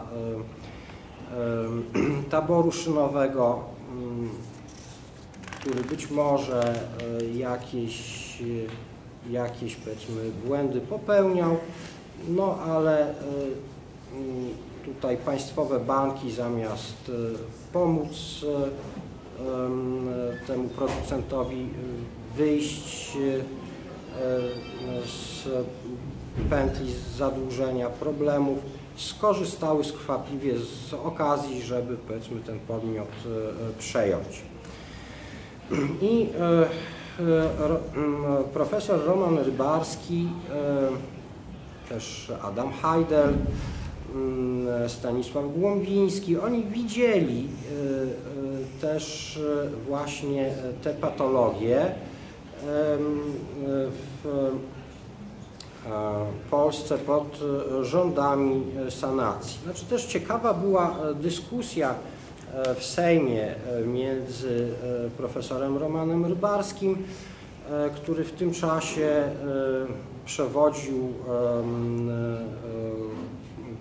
klubowi narodowemu z inżynierem Kwiatkowskim. I profesor Rybarski choć nie kwestionował potrzeby inwestowania publicznych pieniędzy w takie projekty jak Gdynia czy Centralny Okręg Przemysłowy, ale e, uważał, że po e, zakończeniu tych inwestycji e, państwo powinno poprzez powiedzmy giełdę warszawską pozbyć się tych udziałów i w ten sposób dokapitalizować tą giełdę i umożliwić e, budowanie e, polskiego, e, polskiego kapitału.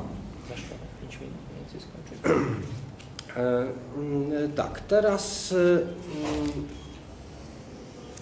jeszcze odnosząc się do powiedzmy sanacyjnej, sanacyjnej polityki, no, można powiedzieć, że sanacja budowała e, rodzaj socjalizmu. Co prawda wysiedli na przystanku niepodległość, ale e, z powiedzmy idei socjalistycznych mm, nie zrealizowano. Widać to było i w sferze wartości. No, można tutaj przypomnieć, że w 1932 roku częściowo zalegalizowano aborcję na przykład prawda? czyli tam e, z powodów e, ścisłych wskazań medycznych, ale również gdy ciąża zaistniała w wyniku zgwałcenia, kazirodztwa bądź współżycia z nieletnią, no e, co dziecko winne, prawda? No ale to, to była właśnie taka moralność elit sanacyjnych. Tutaj bardzo tutaj polecam monografię Sławomira Suchodolskiego Jak sanacja budowała socjalizm. E, e, etatyzm, ale również e, przymusowe ubezpieczenia społeczne, no to już właśnie były produktem rządów sanacyjnych. E, ciekawe, że rosnące podatki w drugiej RP były większe o jakieś 70-100% od podatków na zachodzie e, i wraz z wzrostem podatków społeczeństwo ubożało w ramach bezpośrednich podatków, pobierano daniny przymusowe od nieruchomości, przemysłu, kapitału, dochodów z rent, dochodu z majątku. E, w podatku dochodowym było 80 progów podatkowych. E, podatek przemysłowy wynoszący 2% od obrotu no, miał to do siebie, że mm, był płacony wielokrotnie za każdym razem, gdy kolejna faza produkcji miała miejsce w innym przedsiębiorstwie, a wiemy, że polska wytwórczość bazowała na małych, średnich przedsiębiorcach, które outsourcowały wiele E, z procesów produkcyjnych w innych e, zakładach, przedsiębiorstwach. W związku z tym ten podatek 2% był zwielokrotniany. Proszę? Prawie jak VAT, ale gorszy niż VAT, bo VAT jest podatkiem od wartości dodanej, czyli, e, czyli tutaj tak, czyli E, tak, czyli tutaj mamy, e, mamy podatek tak naprawdę od e, sumy wartości dodanej w łańcuchach produkcyjnych, a tutaj za każdym razem był naliczany ten podatek obrotowy. Państwo tworzyło różne monopole. Pamiętamy ten przysłowiowy monopol zapałczany, tak? E,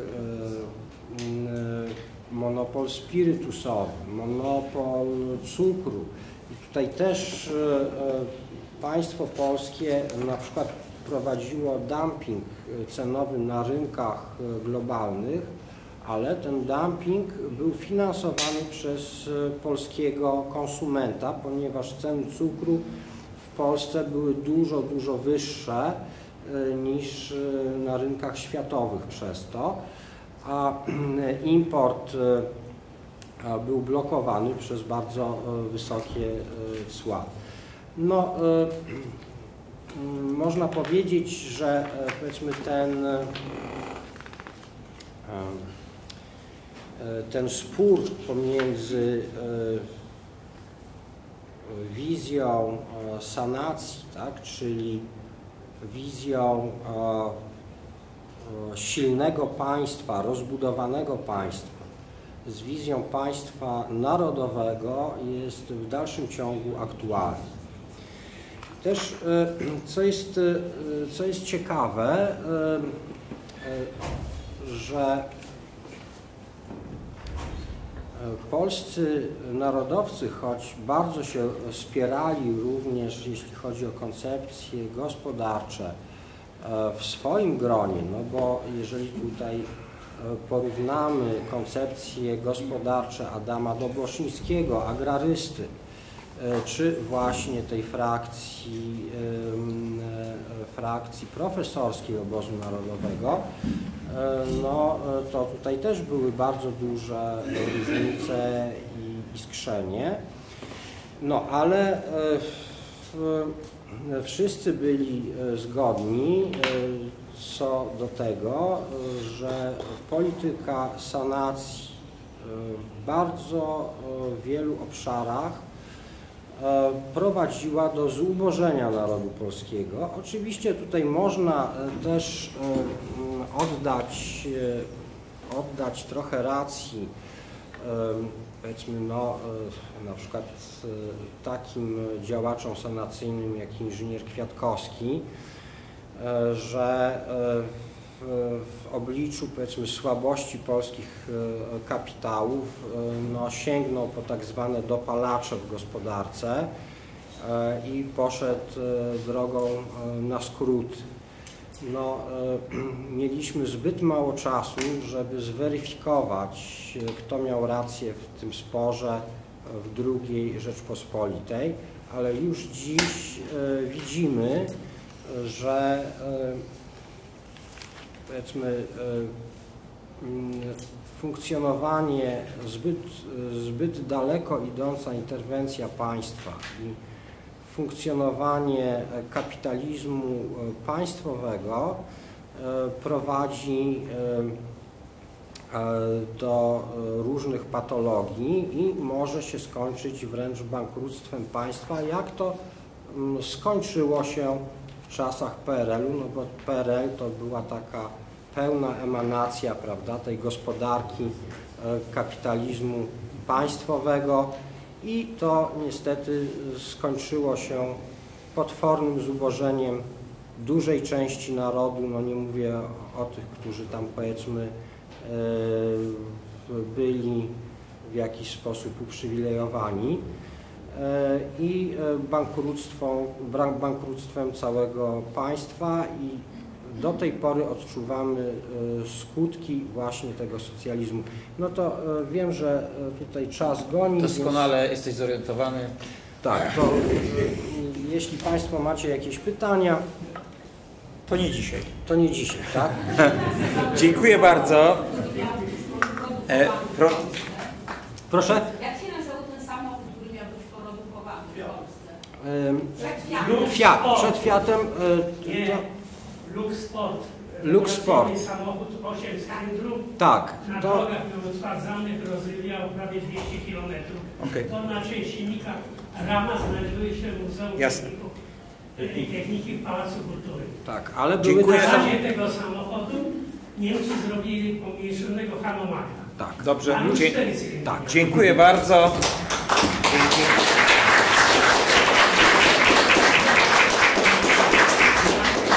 Proszę Państwa, e, zostały nam jeszcze dwa wykłady.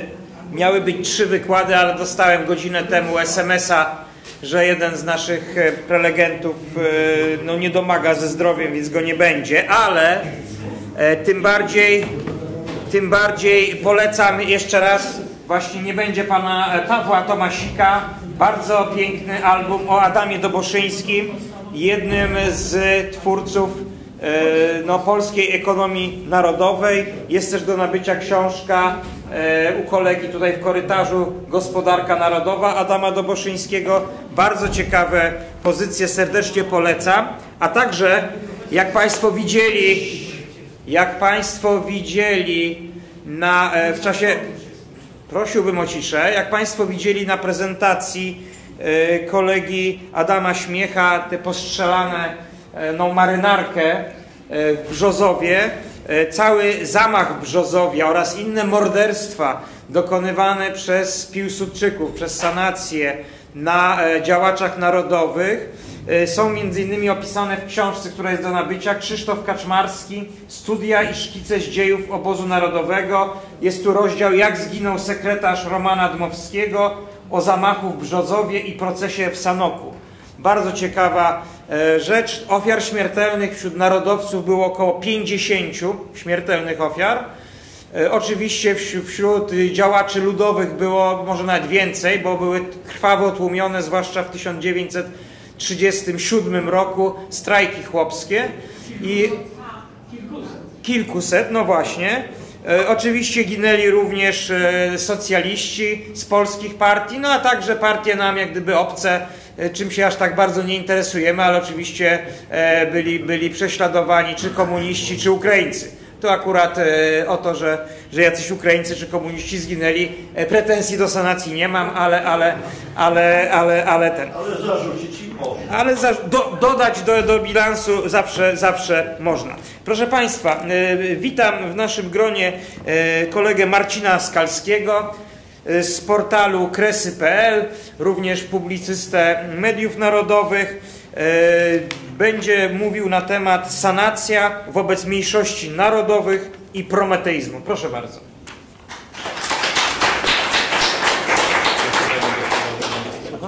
Będę siedział tam. Tak, tak, tak. Tylko mów w miarę głośno do ludzi tam.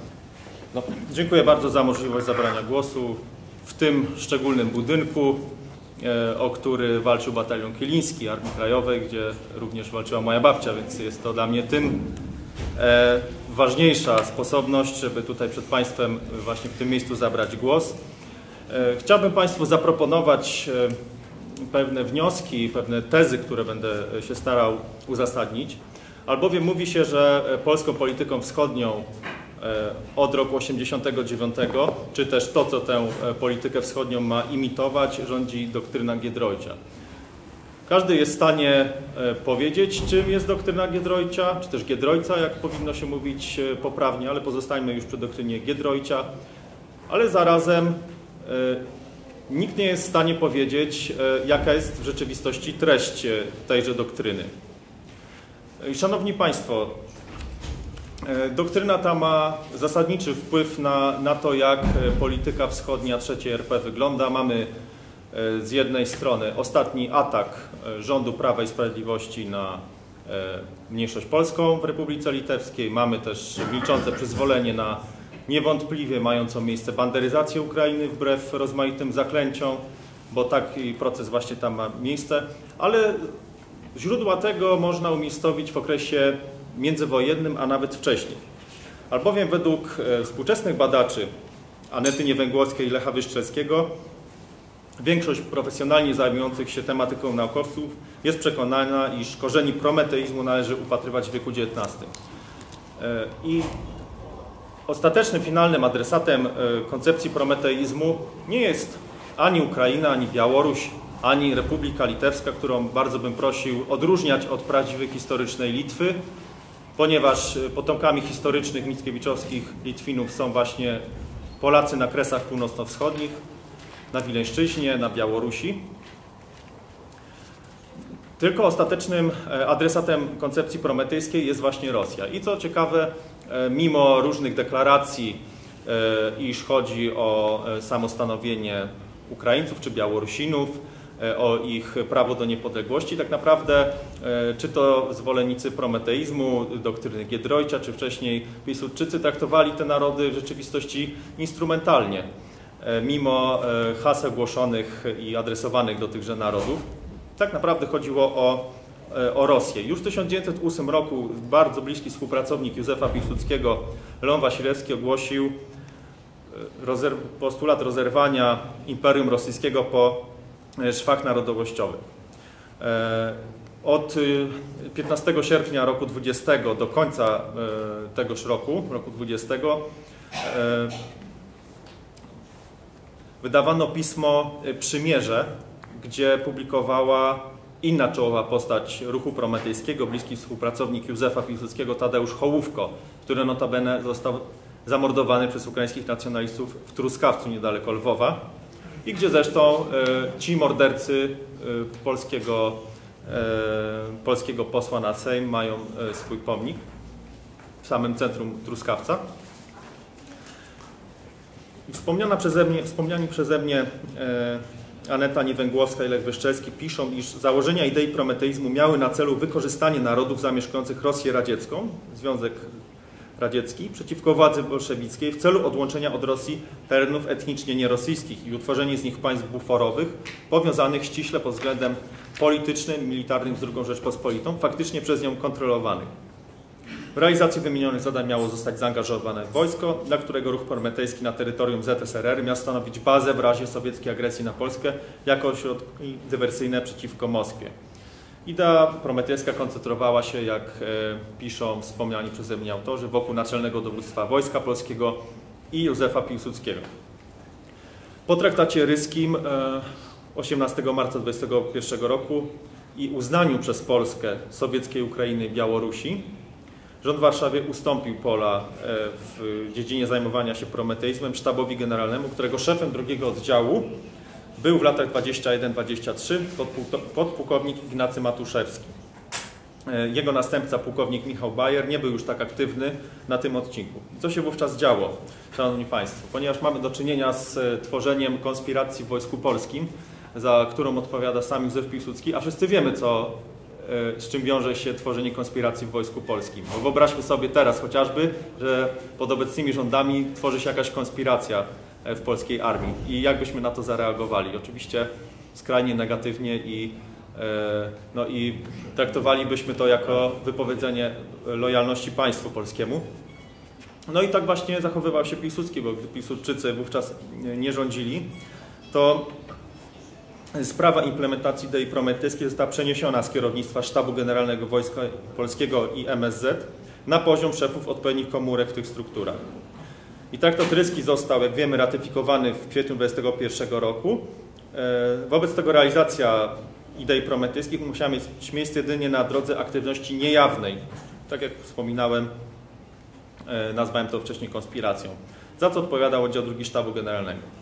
Jego wczesny szef podpułkownik Matuszewski współpracował z Piłsudskim, mimo że kierujący całym sztabem generalnym generał Władysław Sikorski potępiał plany pomocy antybolszewickiemu powstaniu na sowieckiej Ukrainie, które, miały, e, które to plany miały zrealizować służby wywiadowcze Wojska Polskiego.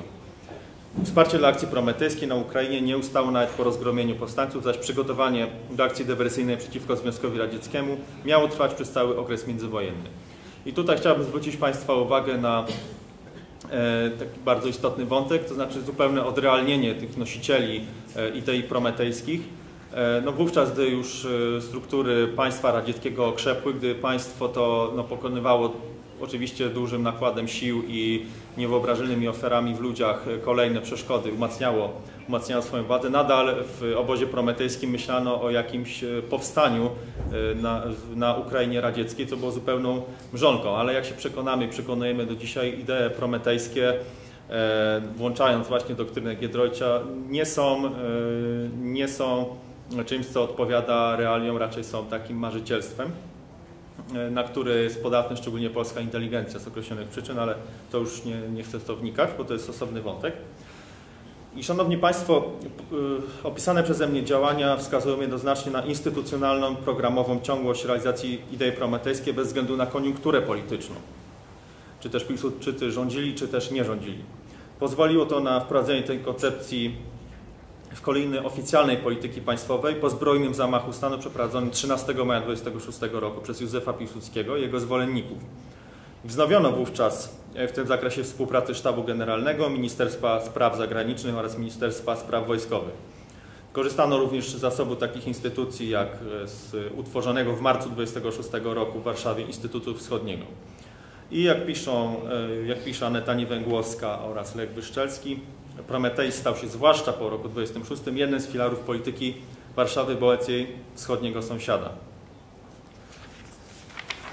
Od roku 27 na czele Wydziału Wschodniego w Ministerstwie Spraw Zagranicznych stanął e, wspomniany przeze mnie Tadeusz Hołówko. E, bezpośrednio po zamachu majowym wszedł on, czyli wcześniej, wszedł on w skład Komisji Rzeczoznawców wraz z Leonem Wasilewskim i Henrykiem Lewenhercem.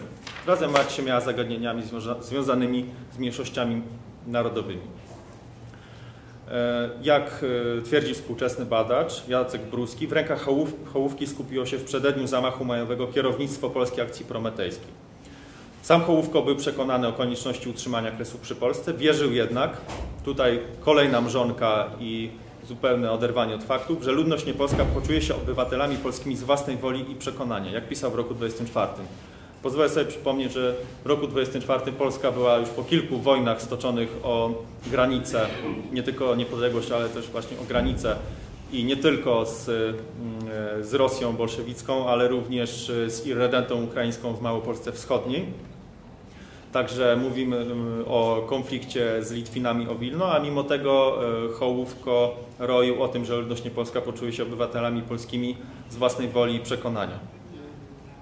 Jak się, możemy, jak się będziemy mogli przekonać, uspokojenie stosunków narodowościowych nie było ostatecznym celem polityki polskiej pod rządami Piłsudczyków, lecz jedynie problemem, który należało zażegnać na rzecz dalszej akcji politycznej. I e, no jeżeli starszy czasu, to będę chciał wspomnieć e, kilka słów o e, eksperymencie wołyńskim Józefskiego. I proszę też zwrócić uwagę na pewne analogie, że problemy, jakie obiektywnie występują dzisiaj w Polsce pod rządami no, tych, którzy się uważają za spadkobierców sanacji Piłsudczyków, w stosunkach z Ukrainą czy z Republiką Litewską nie są postrzegane jako problem sam w sobie, tylko jako coś, co trzeba zażegnać na rzecz dalszej akcji politycznej. To znaczy, mam na myśli, że banderyzacja Ukrainy jest o tyle problemem, o ile umożliwia tworzenie tego wymarzonego, wyśnionego Międzymorza. To samo problem dyskryminacji Polaków w Republice Litewskiej, w skład której wchodzi niestety Wileńszczyzna, nad czym bardzo ubolewam.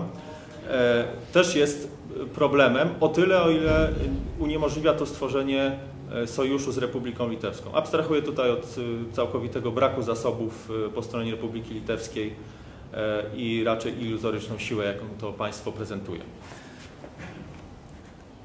I Szanowni Państwo, jak pisał wspomniany przeze mnie przed chwilą badacz Jacek Bruski, bez dojścia do ograniczonego choćby konsensusu z mniejszościami zamieszkującymi Kresy i zabezpieczenia w ten sposób polskich tyłów, nie było możliwe poczynienie przez Piłsudczyków kolejnego kroku podjęcie dywersji na terytorium przeciwnika. Narzędziem owej dywersji miał być prometeizm.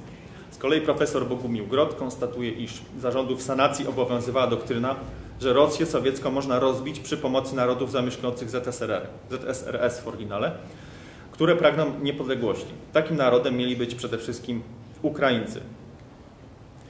E, profesor Grot pisze również, iż pragmatyka polityczna sanacji kreowała kanony polskiej polityki wschodniej i niestety nadal kreuje, pozwolę sobie dodać.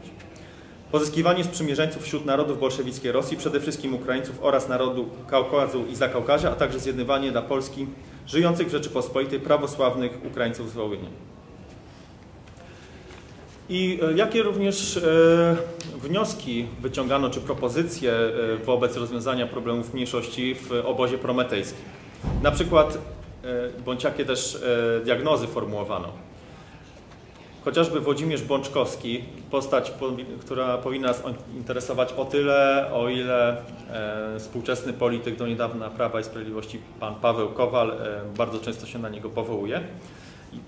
Włodzimierz Bączkowski bardzo negatywnie, bardzo taką ocenę negatywną formułował wobec dążności samoorganizacyjnych w sensie państwowym, e, wobec poziomu kultury politycznej i spójni narodowej e, u Ukraińców. Uważał on je za relatywnie słabe i niedostatecznie jeszcze ukonstytuowane.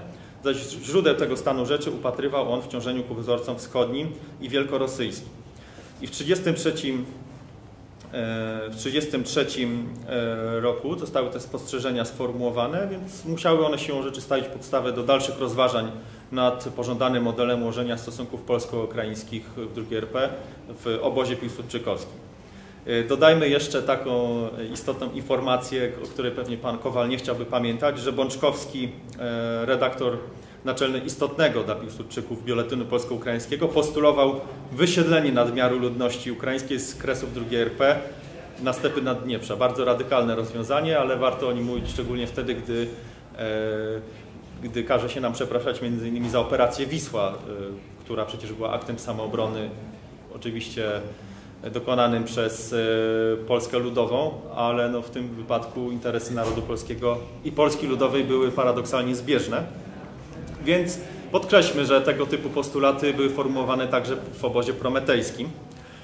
Natomiast, wraca, natomiast przechodząc do samego Józefa Piłsudskiego, trzeba sformułować e, bardzo daleko idącą tezę, ale uzasadnioną, że w kwestiach narodowościowych był on dyletantem i nie miał pomysłu na rozwiązanie tego węzła gordyjskiego. E, I tak, Szanowni Państwo, warto wspomnieć m.in. o relacji jego adiutanta, kapitana Mieczysława Lepeckiego z podróży do Zaleszczyk 5 września 1933 roku. Zaleszczyki znajdowały się, znajdują się nad Dniestrem, ówcześnie granica polsko-rumuńska. E, I mm, gdy Józef Piłsudski został zapytany o tematykę koegzystencji ludności polskiej i ukraińskiej, to według jego adiutanta miał powiedzieć ja już tego nie załatwię, samego życia nie da się to załatwić. I Piłsudski dodał z pewną irytacją, ja wszystkiego za was nie będę robił. Tak jakby Józef Piłsudski miał jakieś e, istotne zasługi na tym polu, miał jakieś e, rzeczywiście zaawansowane koncepcje i tylko wina leżała po stronie tych, którzy nie są w stanie dosięgnąć jego geniuszu. Tak naprawdę widzimy, że Piłsudski nie miał żadnego pomysłu na realizację, e, na zrealizowanie polskiej racji stanu, e, jakakolwiek miałaby ona być wobec ludności ukraińskiej. Surową ocenę kompetencji Piłsudskiego w kwestii ukraińskiej sformułował profesor Andrzej Chojnowski. Nic mi nie wiadomo o tym, żeby ten badacz był narodowcem, więc myślę, że można przytoczyć z dużą dozą uczciwości intelektualnej ten wniosek tego badacza. Niewątpliwie Piłsudski musiał rozumieć znaczenie problemu narodowościowego dla losów niepodległego państwa polskiego. Wydaje się natomiast, iż pozostawał on bezradny wobec istoty tego problemu. Szanowni Państwo, przytoczenie tego typu poglądów jak powyższy, relacji współpracowników Piłsudskiego oraz koncepcji formułowanych przez czołowych przedstawicieli obozu prometejskiego, który jak wiemy zdominował politykę prowadzoną przez Piłsudczyków, jest niezbędne w celu dokonania ocen postępowania obozu pomajowego na odcinku ukraińskim. Należy bowiem ustalić, za co właściwie obóz Piłsudczyków bierze odpowiedzialność, jakie motywy nim kierowały. Ponieważ problem ściągania z obozu politycznego rządzącego Polską po roku 26 odpowiedzialności za skutki własnych poczynań został już zasygnalizowany m.in. przez panią dr Lucynę Kulińską. Historyk ta bowiem twierdzi, iż w wyniku tego procesu za negatywne skutki polityki Piłsudczyków mają odpowiadać Polscy narodowi. Oczywiście e, na antypodach tego podejścia e, się, e, znajdowała się ówczesna myśl narodowa, szeroka bardzo i zróżnicowana. Natomiast jeden z przedstawicieli, jeden z przedstawicieli młodego pokolenia, pokolenia Jędrzeja Giertycha, młodego pokolenia ówczesnych narodowców, pisał tak. Przytaczam słowa Jana Rębielińskiego. Owe kresy, ów Tarnopol, Łuck, Nowogródek to jedna Polska, ta sama co w Krakowie i Warszawie, a nie kolonia, z której mamy tylko czerpać zyski, a nie miejsce syłki dla nieprawomyślnych oficerów i urzędników. Jedna jest Wielka Polska i każda pięć ziemi polskiej jest dla nas jednakowo bliska i droga. Dlatego powiedziałem Państwu też o Wileńszczyźnie, która niestety znajduje się w granicach Republiki Litewskiej, albowiem właśnie jedna jest Wielka Polska i każda pięć ziemi polskiej jest dla mnie jednakowo bliska i droga. Szanowni Państwo, e, teraz e, kilka słów, o ile starczy czasu. Pięć minut jeszcze. To starczy. E, kilka słów o eksperymencie wołyńskim, kto za niego odpowiadał i jakie były skutki tegoż eksperymentu, ponieważ pokutuje pewien mit, iż eksperyment wołyński to był właśnie ten taki właściwy model ułożenia stosunków narodowościowych, model, który jednocześnie utrwalał Mm, władze państwa polskiego, ale nie, nie antagonizował e, różnych narodów zamieszkujących, e, zamieszkujące tereny etnicznie mieszane. To też jest mit, który trzeba obalić. Kilka słów o Józefie Józefskim. Urodził się on w Kijowie, jeszcze przed rewolucjami w Rosji e, udzielał się w Polskiej Organizacji Wojskowej w swoim rodzinnym mieście. W kwietniu 1920 roku został wiceministrem spraw wewnętrznych w rządzie Ukraińskiej Republiki Ludowej. Po powrocie Piłsudskiego do władzy został w sierpniu roku 27 szefem gabinetu prezesa Rady Ministrów. Premierem był wówczas właśnie sam Piłsudski. Od lipca 28 do grudnia 29 był wojewodą wołyńskim po raz pierwszy. Później od grudnia 29 do czerwca 30 roku ministrem spraw wewnętrznych, a od 5 czerwca 30 roku do 13 kwietnia 38 roku ponownie był wojewodą wołyńskim. Życiorys Józefskiego wskazuje na to, iż była to jedna z czołowych postaci w obozie piłsudczykowskim, cieszącą się zaufaniem Józefa Piłsudskiego. Możemy więc e, e, z zachowaniem e, uczciwości i, zgodności z faktami powiedzieć, że, Józefskie, że działania Józefskiego były przez Józefa Piłsudskiego autoryzowane. Działalność wojewody Józefskiego była kulminacją wcielania w życie idei prometejskich, które, jak już wskazałem wcześniej, wiernie oddawały założenia programowe Piłsudczyków. I tak Timothy Snyder wskazuje, że e, taki był kontekst polityczny działań Józefskiego, że już w lutym 28 roku odtworzono w tajemnicy Armię Ukraińskiej Republiki Ludowej na terytorium Polski. Ponieważ cały czas e, program przeprowadzenia bądź wsparcia powstania na terytorium radzieckiej Ukrainy był według e, opcji prometejskiej aktualny. Snyder twierdzi również, że istniały w sekcji pierwszej Ukraińskiego Sztabu Generalnego plany wojenne zakładające okupację sowieckiej Ukrainy. Jednym z zadań sztabu było zaś stworzenie warunków na sowieckiej Ukrainie, które sprzyjałyby interwencji z zewnątrz. Działalność Józefskiego wpisywała się zatem we wspomniany kontekst, to znaczy konsekwentną realizację programu prometejskiego przez obóz Piłsudczykowski. Bezwzględnie negatywną ocenę sformułowała wobec eksperymentu wołyńskiego Lucyna Kulińska. Autorka powołuje się na zasoby archiwalne. Twierdzi ona, iż Józefski stał się grabarzem sprawy Polski na Wołyniu. Zamiast asymilacji postępowała ukrainizacja Wołynia. Większość znaczących towarzystw ukraińskich i cerkiew dostały się pod wpływy antypaństwowe, głównie organizacji ukraińskich nacjonalistów, jak twierdzi badaczka. Wniosek ten e, pani doktor Kulińska wyciąga na podstawie dokumentu powstałego w Korpusie Ochrony Pogranicza, przechowywanego w Centralnym Archiwum Wojskowym. Barbara Stoczewska, z kolei również współczesna badaczka, twierdzi, iż celem polityki Józefskiego było ścisłe zintegrowanie wojnia z Polską oraz odizolowanie miejscowych Ukraińców od wpływów zewnętrznych, a zwłaszcza wschodnio-galicyjskich. Rzeź wołyńska pokazała, że nie bardzo się to udało. E, natomiast według jednego z urzędników ówczesnego wymiaru sprawiedliwości Polityka wołyńska utrwalała wszystko z wyjątkiem utrwalania sił polskości. Tutaj cytat z dokumentu Uwagi prokuratora Sądu Apelacyjnego w Lublinie, Centralne Archiwum Wojskowe z oddziału drugiego, archiwa oddziału drugiego Sztabu Generalnego. Natomiast e, inny współczesny badacz, Robert Potocki, ocenia, iż nominacja Henryka Józefskiego była w pierwszej kolejności zamierzeniem mającym na celu restaurację Ukraińskiej Republiki Ludowej nad Dnieprem. Miało to być geopolitycznie zamierzenie. Ten sam autor podkreśla, że działacze galicysty dążyli w drugiej RP do uznania Ukraińców za naród podzielony, który posiada określone aspiracje terytorialne. Oznaczało to, że w razie utworzenia niepodległej Ukrainy nie zamierzali oni uznawać terytorialnego status quo na polskich kresach. Co zresztą się potwierdziło z uwagi na to, że Polska zapłaciła m.in. Lwowem za istnienie niepodległej Ukrainy, czego skutki e, odczuwamy do dzisiaj. W opinii wywiadu Korpusy Ochrony, Ochrony Pogranicza zbyt gwałtowna ukrainizacja cerkwi, rozbudowa średniego szkolnictwa tej, to znaczy ukraińskiej, mniejszości oraz istnienie mieszanego etnicznie samorządu lokalnego doprowadziły nie tylko do pojawienia się licznych przypadków nadużyć finansowych, ale i do wzrostu tendencji separatystycznych, jak pisze Robert Potocki. Z kolei według dr Lucyny Kulińskiej Józefski w miejsce zespolenia wojenia z Polską preferował uczynienie go wielonarodowym.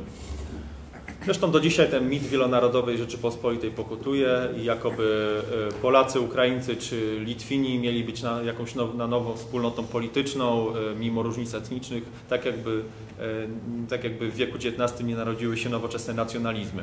Zresztą polski nacjonalizm był, taką pozwolę sobie postawić tezę, był reakcją na to, że powstawały na kresach Rzeczpospolitej nacjonalizmy właśnie takie jak ukraiński czy, czy, czy, czy nowolitewski, powiedzmy tak to nazwijmy po imieniu, e, żeby, e, żeby nie nazywać Litwą tego, co, co, co teraz się Litwą chce zwać. Żmudziński. Żmudzini to jest inny temat, myślę, że do Żmudzinów nie powinniśmy.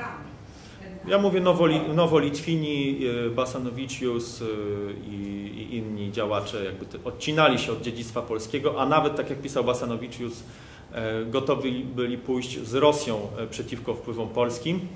E, na przykład właśnie Basanowiczus na łamach pisma Nowej Wriemia wydawanym w Petersburgu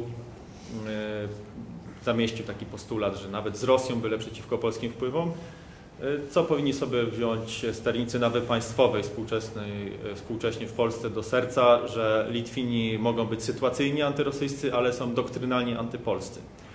E, czego dowodem jest zwalczanie wpływów e, polskich na Wileńszczyźnie, którą ja uważam za tymczasowo okupowaną e, i, które, i to, co zrobiono na Kowińszczyźnie w okresie międzywojennym, czyli zniszczenie polskości. Ale wracając do Józefskiego, sam przyznał on, iż nieporozumienia polsko-ukraińskie były faktem, ale gdzie upatrywał ten geniusz polityki wobec mniejszości narodowej przyczyn? Otóż, Szanowni Państwo, według niego odpowiedzialny za konflikt miał być wojujący polski nacjonalizm. Wszystko to miało miejsce w sytuacji, gdy realnym beneficjentem jego polityki byli ukraińscy nacjonaliści, nastawieni wobec państwa polskiego wrogo i dążący do pozbawienia go części terytorium drogą terroru i sabotażu. Uprawnionym jest jednak wniosek, że celem działalności Józefskiego, byłego wiceministra w rządzie Ukraińskiej Republiki Ludowej, a więc powinien się kwalifikować na agenturę wpływu w rzeczywistości, a nie na urzędnika państwowego państwa polskiego, było przede wszystkim uczynienia z Wołynia zaplecza dla restytucji Ukraińskiej Republiki Ludowej. Taki był jego główny cel. Ze wszystkimi tego konsekwencjami dla państwa polskiego. Z moją osobą łączyła się legenda petlurowska, Sojusz Polska-Ukraina dla niepodległości Ukrainy, jak przyznała sam Józefski. Gdzie tu jest interes Polski? Ciężko powiedzieć. Już kończę. Ponadto wojewoda miał eksperyment wołyński traktować jako element polityki zagranicznej, co nie musiało wszakże oznaczać realizacji stricte polskiej racji stanu. I tak jak teraz widzimy, Szanowni Państwo, że e, sprzyjanie Ukrainie e, przez obecne władze wcale nie ma na celu jakiegoś interesu polskiego, bo widzimy, że zlekceważono kwestię szkolnictwa polskiego na Ukrainie. Waszczykowski mówi, że przecież to tylko kilka szkół, więc właściwie machnął na to ręką. Najważniejsza jest silna Ukraina. Jak, jakim kosztem dla Polski to już jest kwestia drugorzędna, ponieważ ten prometeizm cały czas pokutuje, a do doktryny Giedroycia, o której mówiłem na początku, przyznaje się zarówno E, przyznawał się zarówno Aleksander Kwaśniewski, e, zarówno świętej pamięci Lech Kaczyński, gdy, gdy Komorowski. Komorowski, jeżeli ma w ogóle jakiekolwiek głębsze przemyślenia ten człowiek. E, Platforma Obywatelska. Duda, Duda, jeżeli ma jakieś przemyślenia. E, Andrzej Duda, prezydent Andrzej Duda. E, więc, e, więc warto o tym mówić, jakie są, jakie są źródła tego, źródła tych klęsk, jakich polska racja stanu doznaje teraz. I całokształt działalności wojewody józefskiego, mimo finalnego zarzucenia przez obóz piłsudczykowski, czym, y, co skutkowało demisją Józefskiego, polityki konsolidacji państwowej na rzecz konsolidacji narodowej o kilkanaście lat za późno, co najmniej, jak wiemy, wpisywał się w założenia prometeizmu, który przyświecał Piłsudczykom co najmniej od początków niepodległej Polski, a tak naprawdę wcześniej, i był immanentną, to znaczy wewnętrzną ideologią wobec tego obozu e, politycznego. I tymczasem, Szanowni Państwo, mimo całkowitego przejęcia odpowiedzialności za rządy nad Polską w latach 26-39 przez obóz Piłsudczykowski, idea prometyjska wciąż znajduje się we współczesnym obiegu intelektualnym. Kolei za ówczesne nieporozumienia, niepowodzenia polityki polskiej na odcinku ukraińskim odpowiadać ma szeroko rozumiany obóz narodowy. To samo dzisiaj mamy, że e, mm, zastrzeżenia wobec banderyzacji Ukrainy czy wobec litwanizacji Polaków na Wileńszczyźnie E, tak naprawdę nie są niczym istotnym wobec tego, jak to e, narodowcy, czy też ruska agentura, jak doprowadza do skłócania narodów, ale sam, sam uszczerbek dla interesu narodowego Polski Polaków tam żyjących jest jakąś sprawą trzeciorzędną dla obecnych sterników nawy państwowej i warto te analogie zauważyć. I tak się dzieje, że narodowcy są odpowiedzialni za klęskę polityki piłsudczykowskiej wobec mniejszości narodowych, a tutaj w tym przypadku mniejszości ukraińskiej. Narodowcy są obciążani mimo tego, że rządzili Piłsudczycy. I prowadzi to, Szanowni Państwo, do wniosku, iż programy polityczne na odcinku ukraińskim, czy w ogóle na odcinku e, wschodnim, dlatego polityka wschodnia Polski wygląda jak wygląda, nie przechodzą merytorycznej weryfikacji od czasów II Rzeczypospolitej.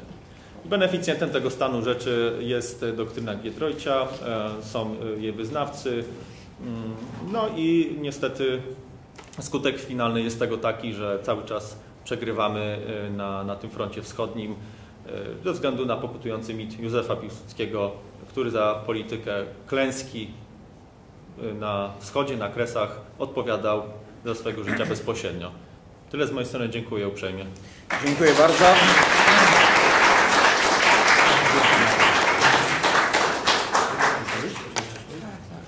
E, dziękujemy bardzo Marcinowi Skalskiemu. Proszę Państwa, proszę jeszcze o chwilę cierpliwości. E, ja krótkie e, ogłoszenia i przekazuję głos za dwie minutki Tomaszowi Gryguciowi, czyli panowi Nikt. Niktowi. Panowi Niktowi, tak jak niektórzy odmieniają. Proszę Państwa, po pierwsze, mm, bardzo dużo z tych treści E, kresowych wschodnich jest w tym najnowszym dziesiątym numerze Magna Polonia, ale nie tylko.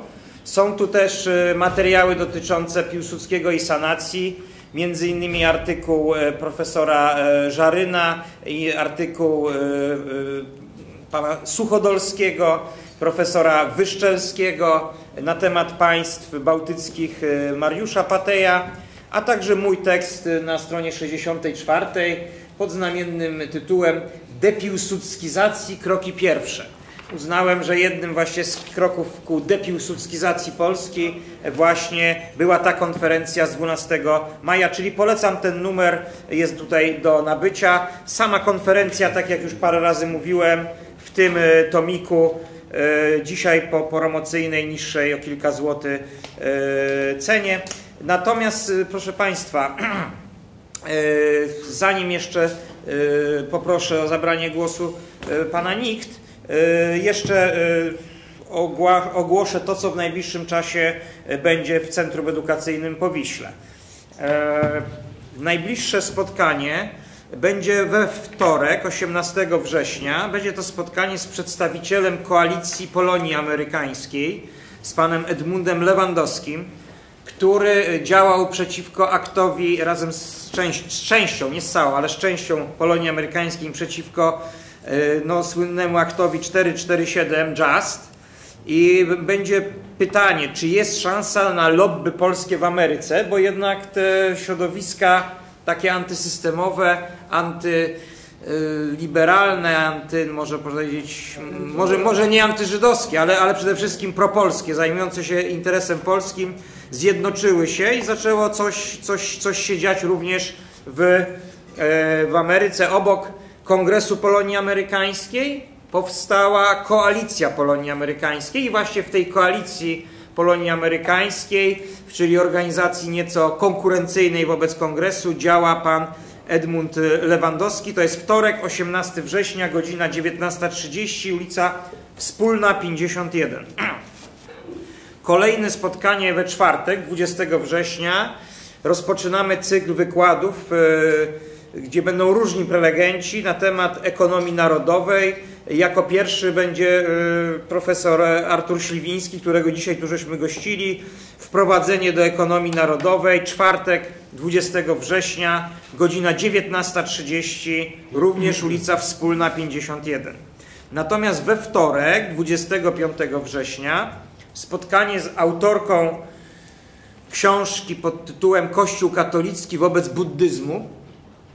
E, autorka pani dr Anna Mandrela e, będzie mówiła na temat e, buddyzmu, gnozy i New Age.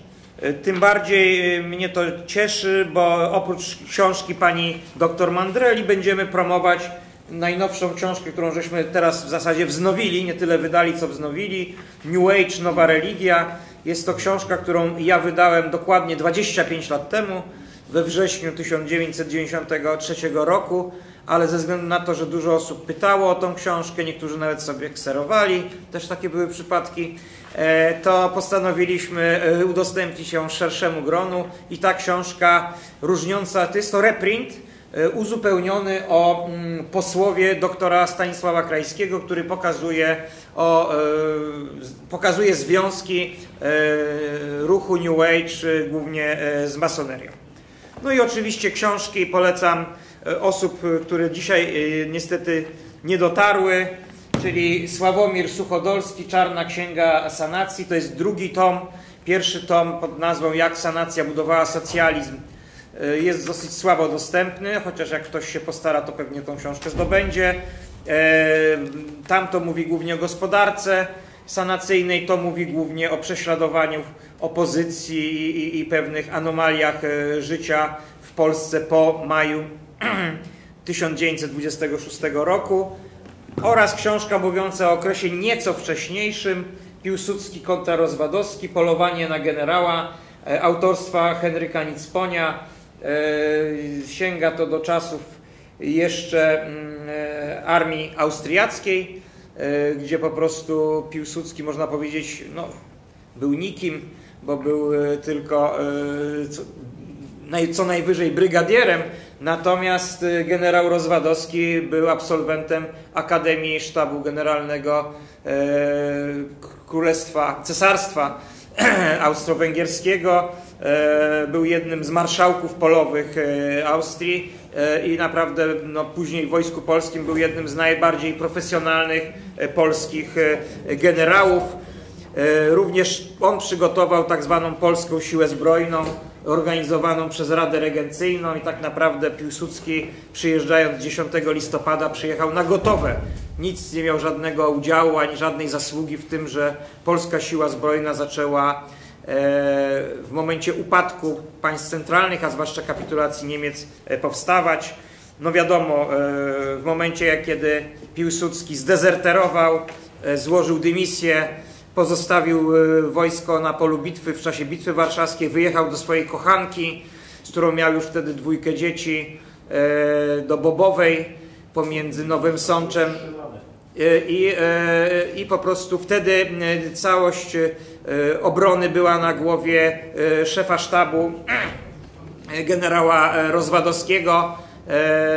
No, Piłsudski nie mógł mu tego darować, że, że, że, że i, z, i z armii austriackiej, i z okresu Rady Regencyjnej, a także właśnie z, z okresu Bitwy Warszawskiej generał Rozwadowski za dużo wiedział o Piłsudskim i dlatego po przewrocie majowym generał Rozwadowski został aresztowany, przebywał w więzieniu w Wilnie, a po wyjściu z tego więzienia bardzo szybko zmarł, dlatego wiele osób e, przypuszcza, że e, został w czasie tego uwięzienia w jakiś sposób podtruty, jego zdrowie zostało zrujnowane Zmarł bodajże w 1928 roku, czyli w 27 chyba wyszedł z więzienia i niecały rok później e, zmarł. Też polecam tą książkę, bardzo dobrze udokumentowaną.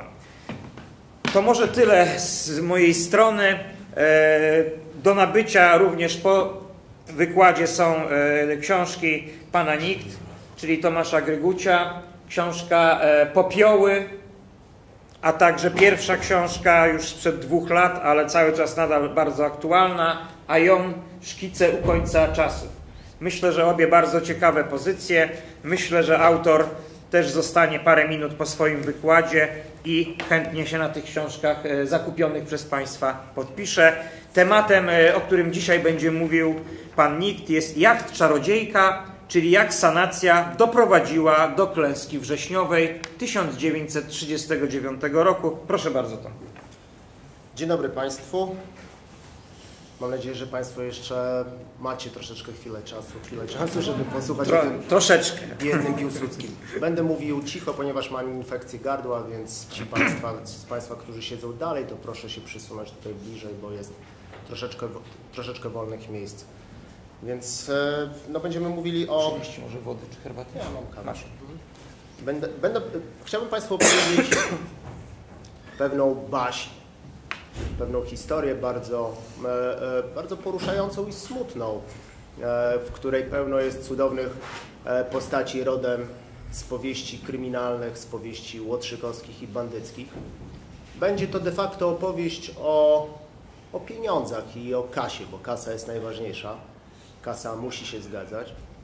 Pod, e, tą, mm, pod, tą, pod tym frazesem e, kryje się, kryje się tak naprawdę e, polityka, wielka geopolityka sprowadza się tak naprawdę do pieniędzy i o tym także, o tym przede wszystkim będę chciał powiedzieć.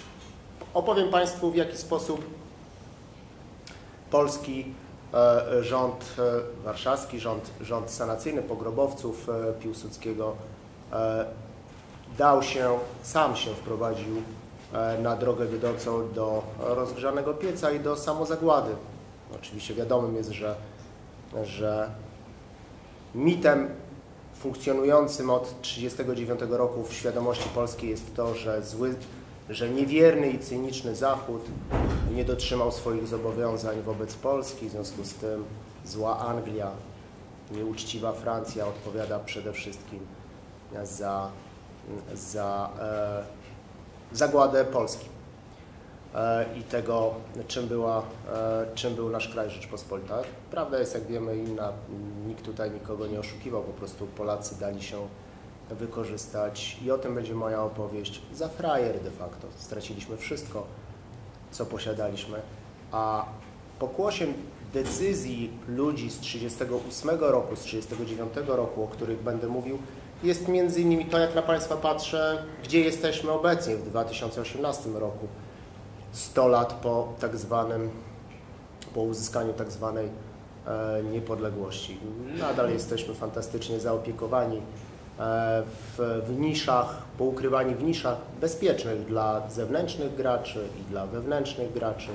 Odsyłam Państwa do mojego tekstu o państwach zewnętrznych i wewnętrznych. Radziłbym się uzbroić w cierpliwość, ponieważ będę troszeczkę dłużej mówił, więc ci spośród Państwa, którzy nie będą mieli czasu i cierpliwości, to proszę o cichutkie opuszczenie sali. E, będzie to, będzie sporo przerażających rzeczy, głęboko zasmucających, ale jak jeżeli Państwo jesteście tutaj, to jesteście przygotowani na opowieści dla dorosłych ludzi, a nie dla dzieci. E, dobrze. Będzie to opowieść o jachcie czarodziejka, o polskim złocie, o, o, o, o braciach lożowych, o, ale tak, tak naprawdę powiedziałem o, tak jak ja powiedziałem o pieniądzach. Zanim przejdę, zanim rozpocznę swoją opowieść o tym, dlaczego Polska e, podjęła decyzję, dlaczego Warszawa podjęła decyzję, aby iść z Londynem e, w, e, pod koniec lat 30. i dlaczego zdecydowała się na taki alians geostrategiczny, a nie inny, zanim przejdę do, do jakby nakreślę drogę, dlaczego, skąd ten wybór w ogóle, błędny całkowicie, co potwierdziły później fakty historyczne.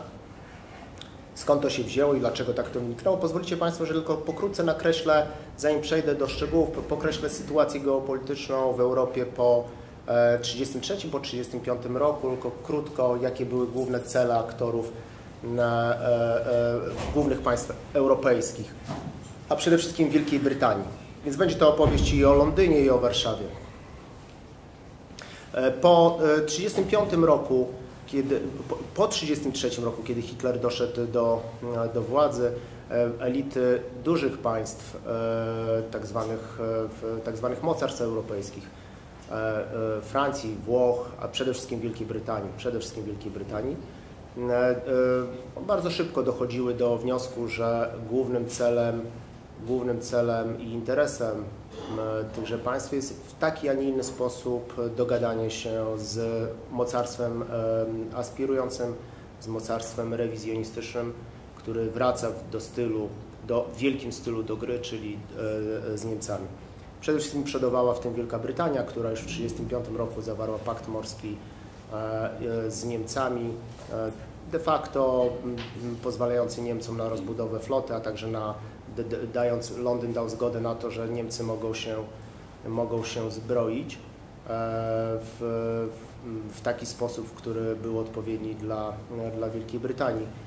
Polska, Polska w 1935 roku, po, przede wszystkim po e, pakcie francusko, francusko-sowieckim z maja 1935 roku w Warszawie już e, utwierdza się przekonanie na Wierzbowej, e, że i jeszcze za życia e, Józefa Piłsudskiego, przekonanie, że jedynym państwem, na którym można byłoby oprzeć swoje bezpieczeństwo, nie jest już Francja, która ewidentnie, tak jak zawsze w latach dwudziestych patrzyła na Związek Sowiecki. Po podpisaniu aliansu sowiecko, sowiecko-francuskiego Polacy stwierdzili, że w przypadku zagrożenia, narastającego zagrożenia e, w optyce Warszawy, zagrożenia niemieckiego, należałoby w przyszłości opierać swoje bezpieczeństwo o Londyn. Ja przypomnę, to Francja przede wszystkim wprowadziła Związek Sowiecki do Ligi Narodów w 1934 roku, więc na Francję przez naprawdę, i oczywiście, że obóz Piłsudczykowski e, krytycznie przez wiele, dzięki Francji uzyskał, dzięki lożom francuskim uzyskał władzę, e, e, jakby został umocowany, otrzymał, otrzymał wsparcie zewnętrzne z lóż francuskich w 1921 roku. Mm, odsyłam Państwa, do, tak jak mówiłem, do swojego tekstu o państwach zewnętrznych i wewnętrznych. E, z czasem, z biegiem lat ta polityka polska była mimo wszystko krytyczna obozu sanacyjnego wobec Francji, choć nadal opierano się o Francję, liczono na wsparcie wojskowe, na wsparcie finansowe ze strony Francji, ale w istocie, ale w istocie coraz bardziej ciążono ku Londynowi. To jest ciekawe, z jakich powodów, z jakich powodów i dlaczego wybierano taką, a nie inną opcję. Tu Mackiewicz miał rację, opcję egzotyczną, e, opcję egzotycznego sojuszu. Ja w ogóle chciałbym, e, jeszcze zapomniałem nadmienić na początku, że mój wykład proszę oczywiście e, postrzegać i odczytywać jako analogię do czasów współczesnych, dlatego że oczywiście błędy popełniane przez obóz sanacyjny w latach 38, 39, 37 są tożsame z błędami strategicznymi popełnianymi przez rząd Prawa i Sprawiedliwości. I tamci i ci tamci politycy i obecni politycy popełniają jeden fundamentalny błąd, fundamentalny błąd dla państwa takiego jak Polska położonego w takim, a nie innym miejscu, a mianowicie opierają swoje bezpieczeństwo na dalekim i odległym mocarstwie morskim. Pod koniec lat 30. było to Imperium Brytyjskie schodzące, a obecnie jest to inne imperium morskie także schodzące, czyli Stany Zjednoczone. I to jest, to jest pierwszy fundamentalny błąd. Ten błąd oczywiście polega na tym, że takie mocarstwa jak morskie, jak Anglia i Stany Zjednoczone są zainteresowane naszą strefą limitrofów, strefą państw pozornie własnych, strefą państw z tak zwanego borderline region, ale i są zainteresowane tak jak wieloma innymi obszarami o dużym znaczeniu geostrategicznym, ale zawsze ale zawsze mając na myśl, mając w pamięci to, że nie jest to region, od którego zależą ich kluczowe i żywotne interesy. W tym sensie, że zawsze można za pomocą polityki transakcyjnej nie opuszczając tego regionu politycznie i gospodarczo całkowicie, bo ani Anglia wtedy, ani Stany Zjednoczone nie mogą sobie na to pozwolić, ale zawsze można za przeproszeniem, proszę mi wybaczyć, coś spylić, coś sprzedać państwom, dwóm państwom, które mają tutaj żywotne interesy i e, które są żywotnie zainteresowane tą stratą, czyli mam na myśli Niemcy i Rosję. Jest jeszcze inny poza, pozaregionalny gracz, który obecnie wchodzi, nie obecnie wtedy przed wojną, a który obecnie wchodzi tutaj z butami w nasz region zupełnie w sposób wyraźny, za pomocą, oczywiście za, za przyzwoleniem, za przyzwoleniem obecnej tak zwanej władzy warszawskiej, czyli mam na myśli tutaj Izrael. To widać wyraźnie. E, tu przed spotkaniem miałem, e, przed spotkaniem Państwo zadają pytanie, co teraz, co dalej w najbliższym czasie. To zanim przejdę do historii, to odpowiem, że najprawdopodobniej nasza świetlana przyszłość może polegać w dwójnasób. Widzę to w taki sposób, że nie bądźmy skromni, to znaczy nie chodzi tutaj tylko i wyłącznie o, w tej całej grze geostrategicznej między mocarstwami, a dotyczącej naszego regionu, nie chodzi tylko o Polin, nie chodzi tylko o obszar Wisły, o obszar Narew Warszawa. Jakże ja uwielbiam te nazwy, także takie tak bardzo brutalne i bolesne dla Polaków, ale to są nazwy z rozmów polityków, mężów stanu z przeszłości. No i tak nas postrzegają. Obszar Narew Warszawa to jest określenie Adolfa Hitlera bardzo ściśle geostrategiczne, pochodzące z, z geografii wojskowej. Bardzo mądre określenie, dlatego że Narew i no, nie będę tego rozwijał. E, nie chodzi tutaj tylko o Polin. Otóż nie skupiajmy się tylko, to nam pomoże w myśleniu oczywiście. Nie, chodzi tutaj o takie, a nie inne przejęcie Polski. Patrzmy na to szerzej. Otóż Obecnie trwają, oczywiście, że cały porządek międzynarodowy podlega teraz e, strategicznemu drżeniu. Ule, uległ teraz strategi, ulega cały czas strategicznemu e, drżeniu. E, czekają nas, jesteśmy w trakcie tektonicznych zmian w strukturze ładu światowego. Stany Zjednoczone pod rządami Donalda Trumpa w ogóle nie rozumiem, dlaczego część, w ogóle tego dla mnie to jest niepojęte, dlaczego część prawicowców, e, konserwatystów polskich, patriotów polskich w jakiś dziwny sposób upatruje jakąkolwiek nadzieję albo wiarę w Donalda Trumpa. Dla mnie od samego początku, jakby śledzę jego linię polityczną troszeczkę dłużej niż okres jego prezydentury. Jest on funkcjonariuszem Wielkiego Syjonu. E, więc Donald Trump, e, Donald Trump i Stany Zjednoczone obecnie wychodzą z założenia, że Porządek światowy utworzony po 1945 roku, oparty o układ w Bretton Woods i układ e, w Dumbarton Oaks, czyli ONZ i także Bank Światowy, już przestaje zabezpieczać w sposób wydajny interesy Stanów Zjednoczonych. I to Stany Zjednoczone, słabnące i schodzące imperium, schodzące z takiej hegemonicznej próbujące utrzymać jak najdłużej swoją silną, wyjątkową pozycję w układzie światowym, chcą wywrócić cały dotychczasowy porządek i paradoksalnie to Chiny, Chiny i Rosja. Chiny i Rosja stoją w opozycji do tego i są zainteresowane tym, żeby dotychczasowy ład światowy funkcjonował, ponieważ dobrze zabezpiecza rosnącą e, potęgę chińską, a także zabezpiecza interesy rosyjskie. Ja tylko bardzo proszę, żebyście Państwo nie dawali się jestem nazywany rosyjskim agentem oczywiście, bo Polacy nie potrafią jakby, nie potrafią wyrwać się ze swojego takiego myślenia, schematów, schematów tak, schematów, bo czuję się bezpiecznie, jeżeli ja się spozycjonuję względem kogoś i także się spytam, aha, jakie, jakie jest Twoje zdanie na temat Rosji załóżmy, jeżeli wyrazisz to w sposób nieadekwatny do moich oczekiwań, no to najprawdopodobniej jesteś rosyjskim, niemieckim, żydowskim agentem itd., tak itd. Tak Proszę zwrócić uwagę, że tego typu określenia, że ktoś jest Żydem albo spośród osób, które e, spośród osób, które wypowiadają się w trzecim i w drugim obiegu, jak bardzo świadczą o realnej słabości tych osób, tych wolnych Polaków, którzy mienią się Polakami, bo to jest takie neokolonialne, nawet nie postkolonialne myślenie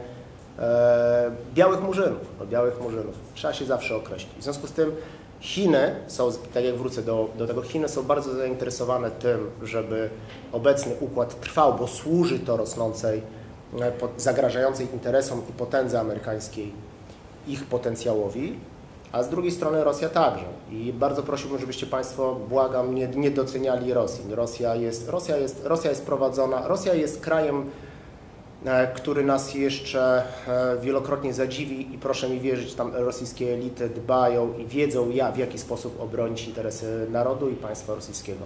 Są to E, są to elity charakteryzujące się wyjątkową skutecznością, e, mające jasno i wyraźnie sprecyzowane cele. Polityka rosyjska jest, tam nie ma, tam nie ma żadnych, tam wszystko jest jasne i czytelne, jeżeli chodzi o cele polityki rosyjskiej. Jest to państwo, które, e, które Amerykanie nazywają to E, imperium Chiny i Rosję imperium, re, imperiami rewizjonistycznymi swojej strategii bezpieczeństwa narodowego, ale to jest, to jest Rosja chce utrzymać się jak na najlepszej pozycji politycznej i wojskowej po to, że kiedy dojdzie do zwekslowania układu światowego, żeby być w, żeby być w najlepszej pozycji przy stole negocjacyjnym. Obecna polityka i obecnie to, co Państwo obserwują na Bliskim Wschodzie i w Europie,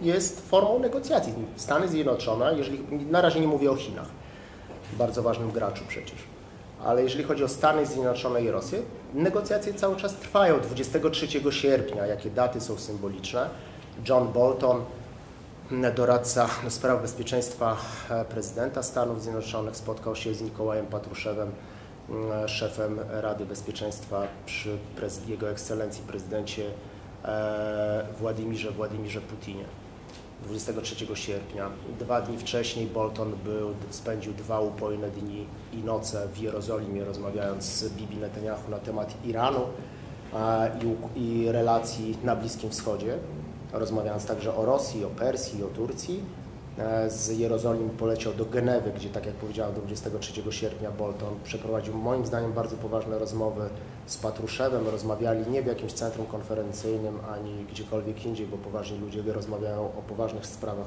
bez, na bezpiecznym terenie, czyli spotkali się w ambasadzie amerykańskiej w Szwajcarii po to, żeby mieć ochronę, zapewnioną ochronę kontrwywiadowczą, żeby ich nikt nie podsłuchał ani nie wiedział, o czym tak naprawdę rozmawiano. Moim zdaniem rozmawiano przede wszystkim, jak zawsze, o dwóch ważnych tematach o Bliskim Wschodzie, czyli o podziale, o podziale i o, o, o podziale stref wpływów na Wielkim Bliskim Wschodzie, nie tylko w Turcji, nie przepraszam, nie tylko w Syrii. Rozmawiano oczywiście o Turcji, o Persji i o, e, o Izraelu, o Arabii Saudyjskiej, o Egipcie.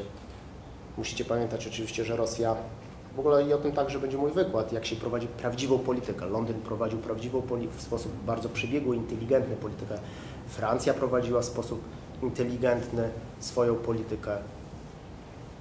Muszę Państwu powiedzieć, że chciałbym, żeby kiedyś Warszawa prowadziła swoją politykę zagraniczną w sposób przebiegły i inteligentny. Wszystkie kraje europejskie, znane mi kraje europejskie przed 1939 rokiem, nawet Litwa, prowadziły lepiej swoją politykę zagraniczną niż Polska. Nawet Rumunia i Bułgaria.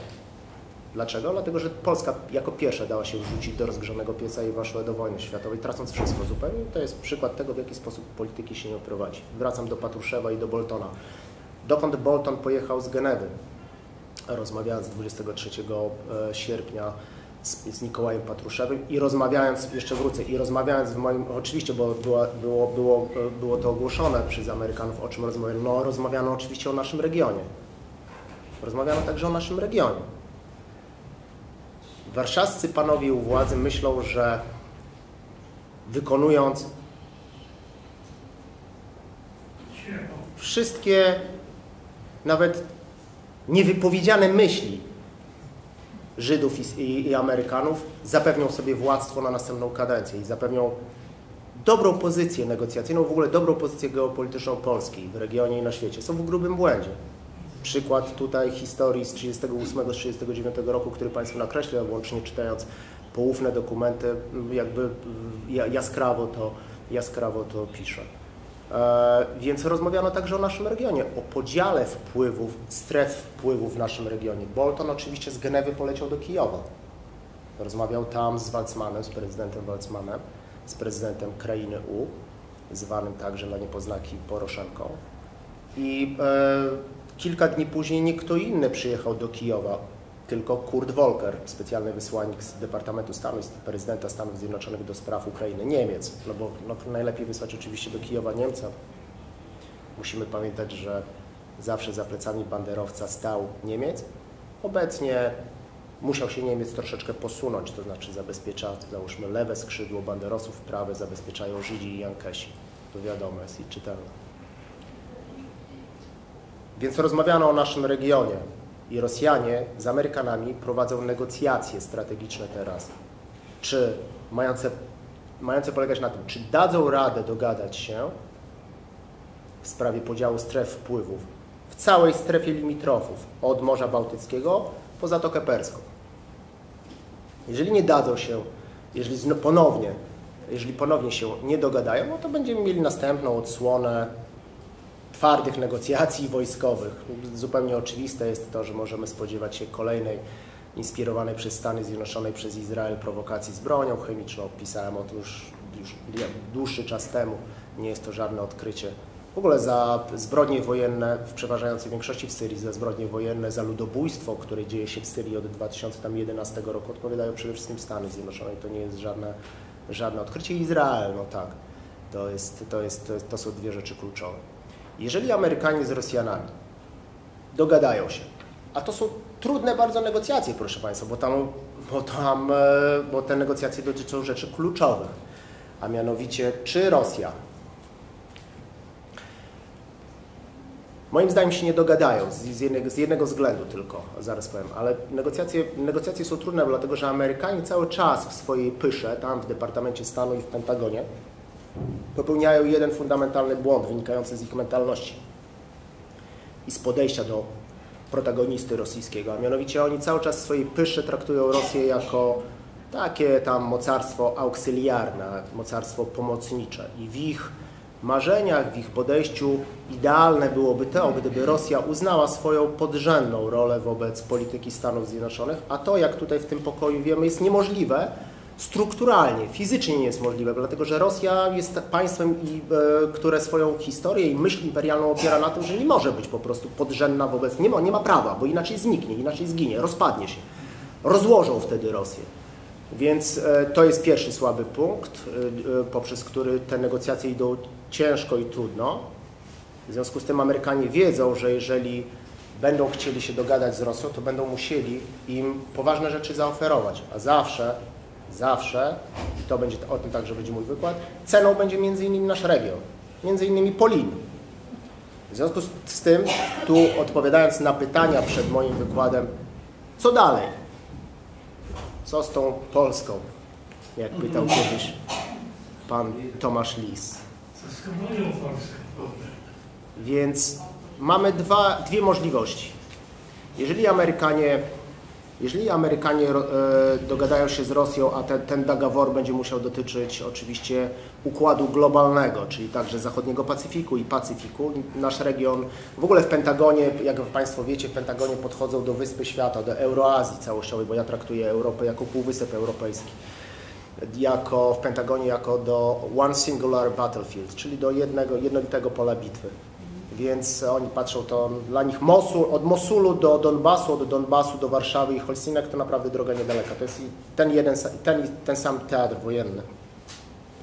W związku z tym, jeżeli Rosjanie się e, z Waszyngtonem dogadają, Rosja będzie musiała, e, Rosja będzie musiała pozwolić sobie na, też na zmianę swojego myślenia o e, strategicznym sąsiedztwie najbliższym, mam na myśli tutaj Białoruś, to najprawdopodobniej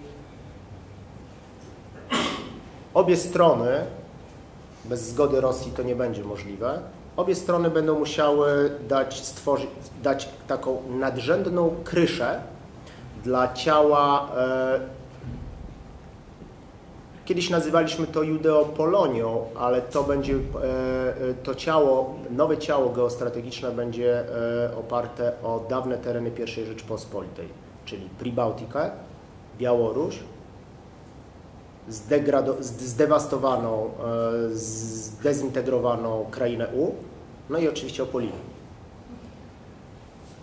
Z takim lub innym wsparciem ze strony tak zwanej Grupy Wyszehradzkiej ale przede wszystkim Rumunii, jako jednego z czołowych agentów amerykańskich w regionie, chyba nawet bardziej konstruktywnie działającego na rzecz Amerykanów, a to zaskakujące, że ktoś może być lepszy niż władza pisowska, Rumuni się naprawdę dobrze starają. Są moim zdaniem, uznali Jerozolimę za stolicę państwa położonego w Palestynie. Rumuni są, Rumuni są sprawniejsi niż Polacy, mimo wszystko, a to myślałem, że to jednak niemożliwe, a jednak.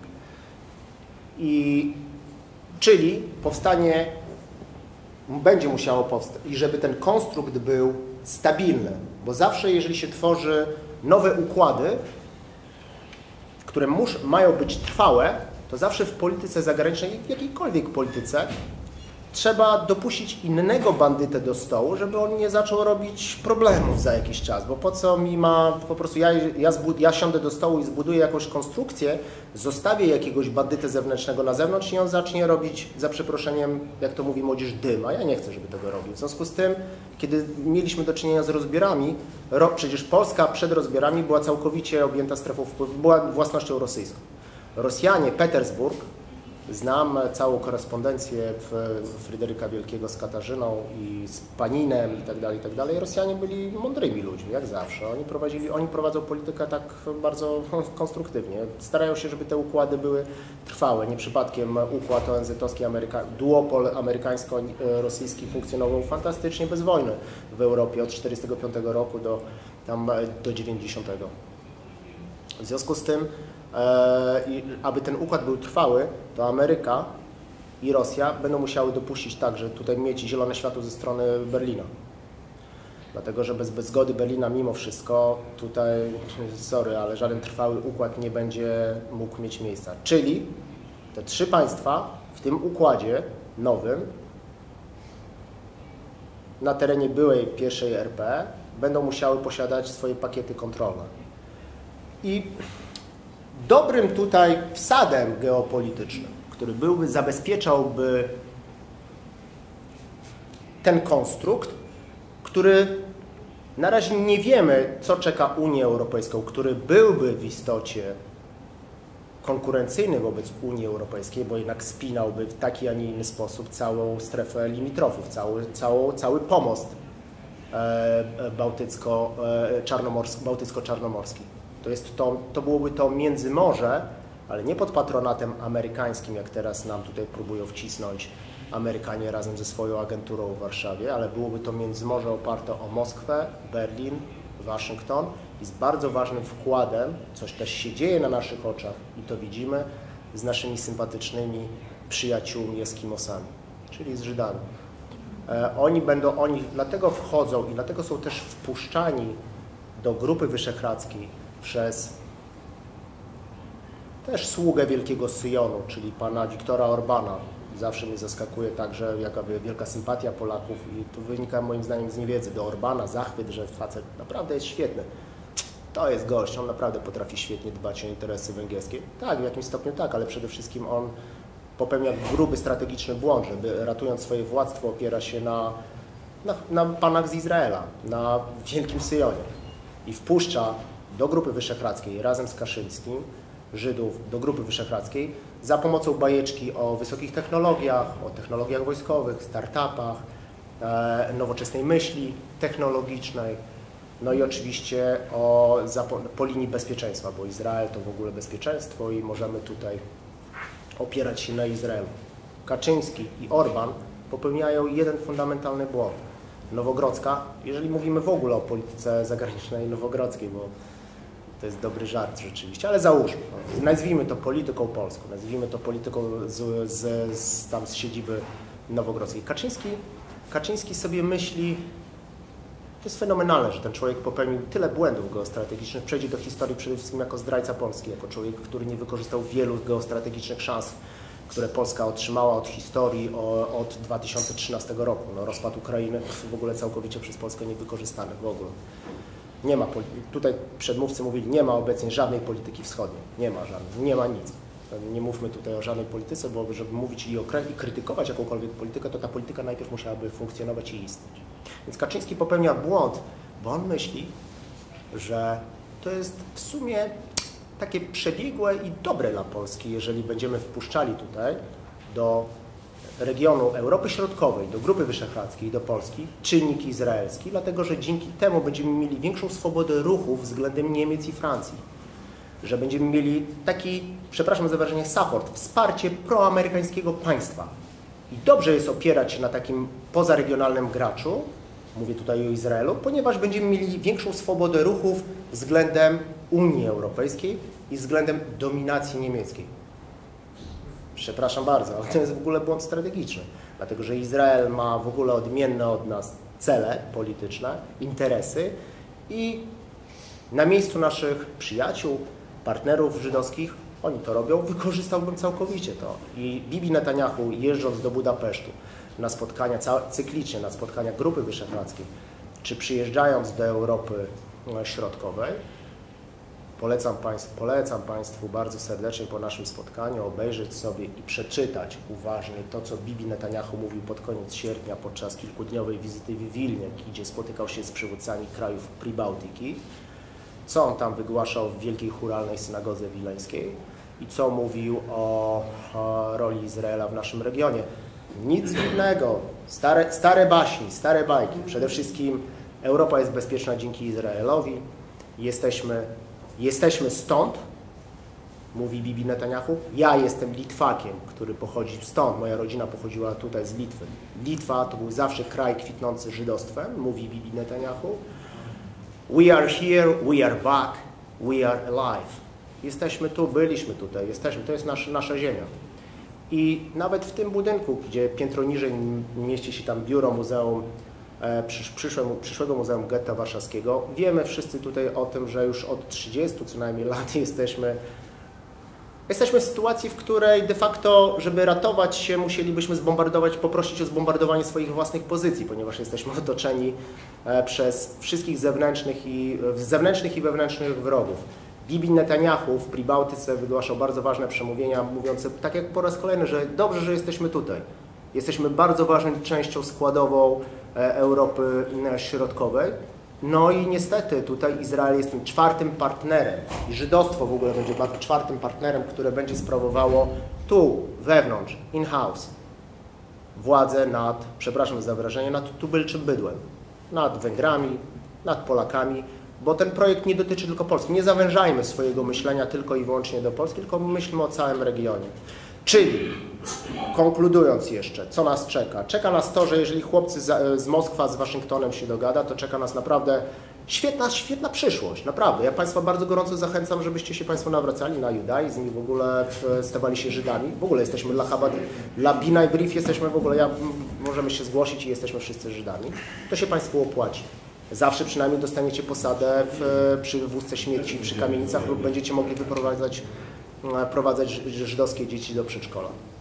W związku z tym, jeżeli się chłopcy dogadają, to czeka nas tutaj, tak jak powiedziałem, duży projekt, duży projekt geopolityczny pod kryszą e, moskiewsko-waszyngtońską, także berlińską, z wsadem żydowskim na terenie, proszę spojrzeć na mapę, proszę wrócić sobie do domu i zobaczyć na mapę. Polska, kraina U, Białoruś i Pribałtyka to są oczywiście tereny byłej i Rzeczpospolitej. Moskwa tutaj, decyzja Moskwy co do tego będzie tutaj kluczowa, dlatego że będzie musiała poświęcić także Białoruś. Co wydaje się, na, na, na dzień dzisiejszy wydaje się to trudno, ciężkie do przyjęcia, ale proszę pamiętać o tym, że mówię tutaj o posiadaniu poważnych pakietów kontrolnych przez Moskwę, więc Moskwa naprawdę będzie potrafiła sobie tutaj zabezpieczyć swoje interesy w tym tworze. W tym tworze. Będzie to i Stany Zjednoczone mogą na to pójść za cenę tego, że Rosja pójdzie z nimi na Chiny. To będzie główną ceną. A ten twór może stabilizować po pierwsze region, tak jak w przypadku, tak jak w przypadku e, rozbiorów, kiedy Rosja, tak jak powiedziałem, posiadała Polskę całkowicie, ale w Petersburgu myślano długofalowo, w związku z tym musiano dopuścić do stołu także e, Austrowe, przepraszam, Austrię i Prusy. Musiano dopuścić do stołu innych bandytów po to, żeby ten twór był trwały i był trwały, bo funkcjonował świetnie przez 123 lata. Aby ten twór tu w, w tym regionie był trwały, także trzeba dopuścić do stołu i będą musieli się, więcej graczy się porozumieć. Jeżeli nie dojdzie do porozumienia między Waszyngtonem a Moskwą, jest jeden kluczowy czynnik, który moim zdaniem spowoduje, że jednak się nie dogadają.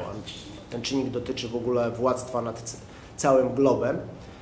A zawsze oczywiście tutaj w polityka, polityka jest drugorzędna. Ważne jest to, co e, posiadamy w, w magazynach broni. I to trepy rządzą przede wszystkim i wywiad wojskowy zawsze rządzi polityką tą zewnętrzną, tą zewnętrzną polityką państwa. Bo są, jest wielu jeszcze oczywiście innych ukrytych graczy, o których tutaj będę mówił. Jeżeli się e, Moskwa z Waszyngtonem nie dogadają, a mogą się nie dogadać co do jednej rzeczy, a mianowicie co do rywalizacji o tak zwany missile defense, czyli systemy antybalistyczne.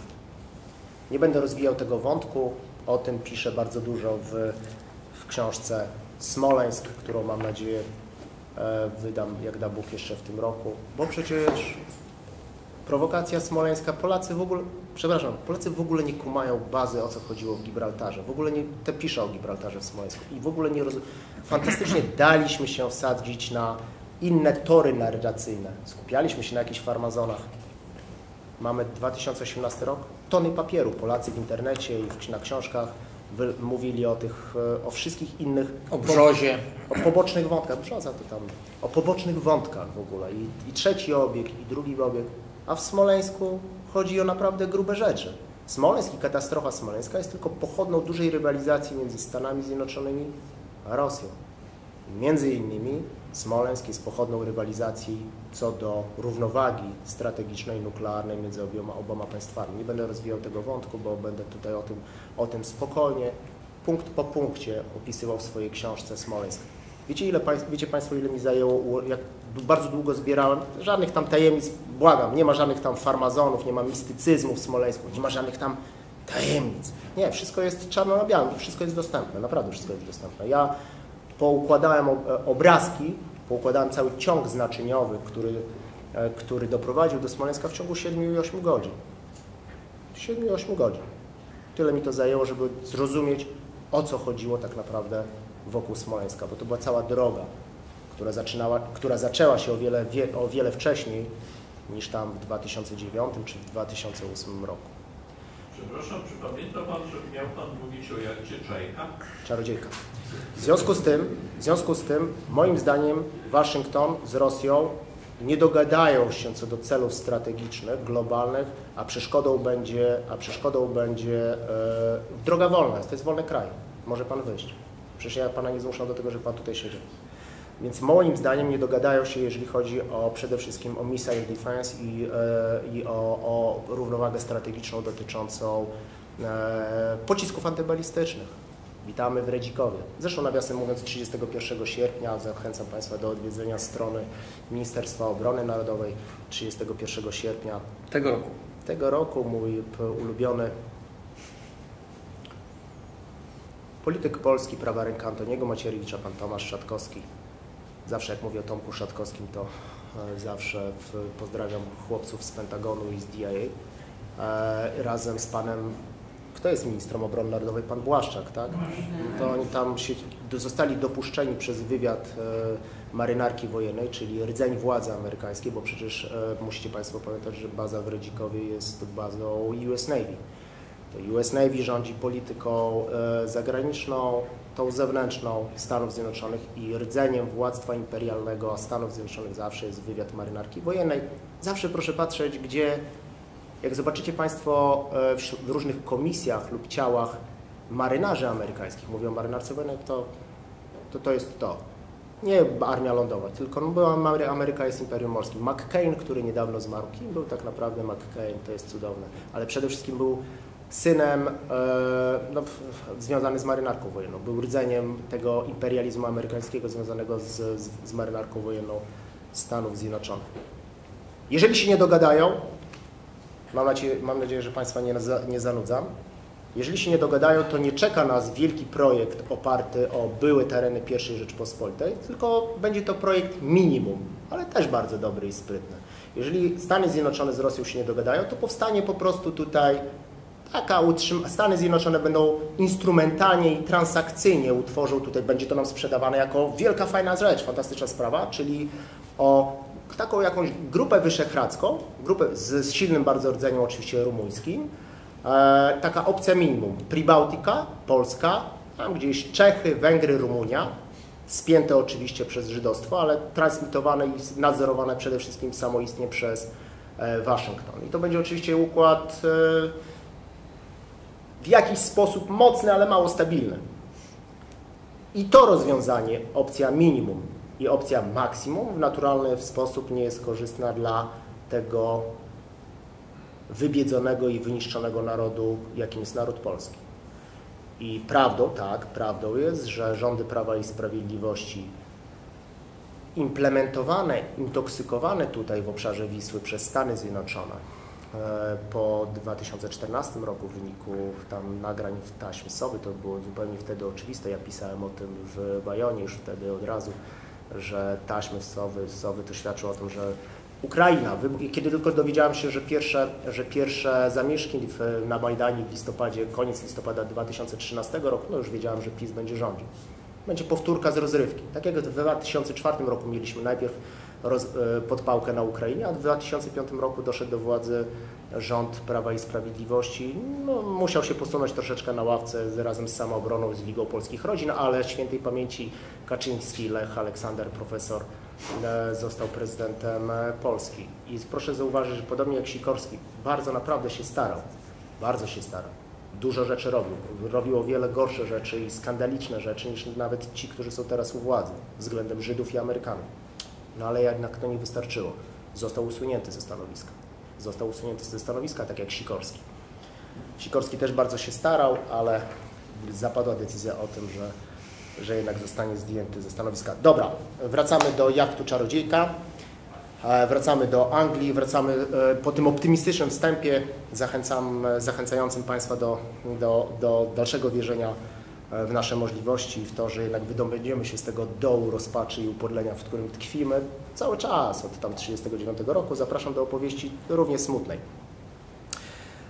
38 e, rok, 38 rok e, e, to jest rok oczywiście, w którym Hitler podjął decyzję, że trzeba zabezpieczyć, że trzeba uporządkować swoje podwórko, zanim uderzy na Francję. Głównym celem strategicznym uderzenia Niemiec w, w, w, Niemcy chciały rozpocząć II wojnę światową uderzając swojego głównego przeciwnika, najsłabszego, czyli zagrażające im imperium kontynentalne, czyli francuskie, a przed tym Hitler chciał zabezpieczyć się po pierwsze przed dwoma, aby nikt nie szurał mu, jeżeli chodzi o południe i o głównych agentów e, e, e, francusko-angielskich, czyli najpierw zlikwidował Austrię, a później Czechosłowację czyścił sobie po prostu, czyścił sobie, czekał cały czas, czekał cały czas na decyzję rządu polskiego.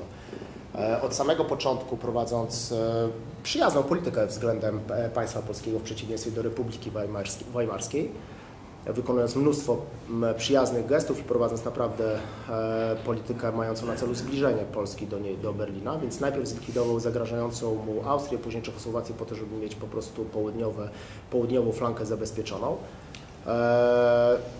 Polacy nawet wtedy nie pojęli, że zajęcie Czechosłowacji przez Polskę oznacza już wtedy koniec Polski pod względem wojskowym. Ten, ten twór nie był do obrony ze pod względem wojskowym, bo byliśmy otoczeni ze wszystkich stron. Powinniśmy wtedy de facto wojskowo, jeżeli Rosja by nie ruszyła, a oczywiście, że ruszyła, oprzeć się gdzieś tylko gdzieś o Polesie i o południowo, południowo-wschodnią flankę.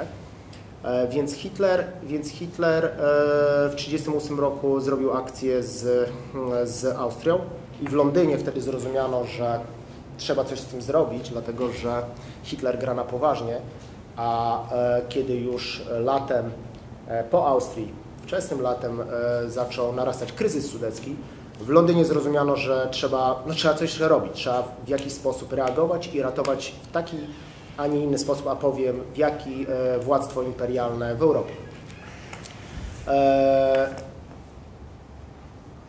Zawsze rdzeniem polityki angielskiej względem Niemiec była próba otoczenia, otoczenia Niemiec. Że tak, żeby równanie się zgadzało, czyli jeżeli Niemcy ruszą do wojny, to Anglia musi mieć drugiego sojusznika ze strony wschodniej. E, mo, mogła to być Polska, ale przede wszystkim e, zawsze jakakolwiek elita władzy myślała przede wszystkim o Rosji. Rosja zawsze była głównym sojusznikiem e, angielskim. Tak było oczywiście w drugiej, podczas II wojny światowej. Mm, 1938 rok, roku latem stwierdzono, że e, trzeba zrobić wywiad. Trzeba się dowiedzieć, co myślą tam w Warszawie, w jaki sposób będzie można wykorzystać Polskę.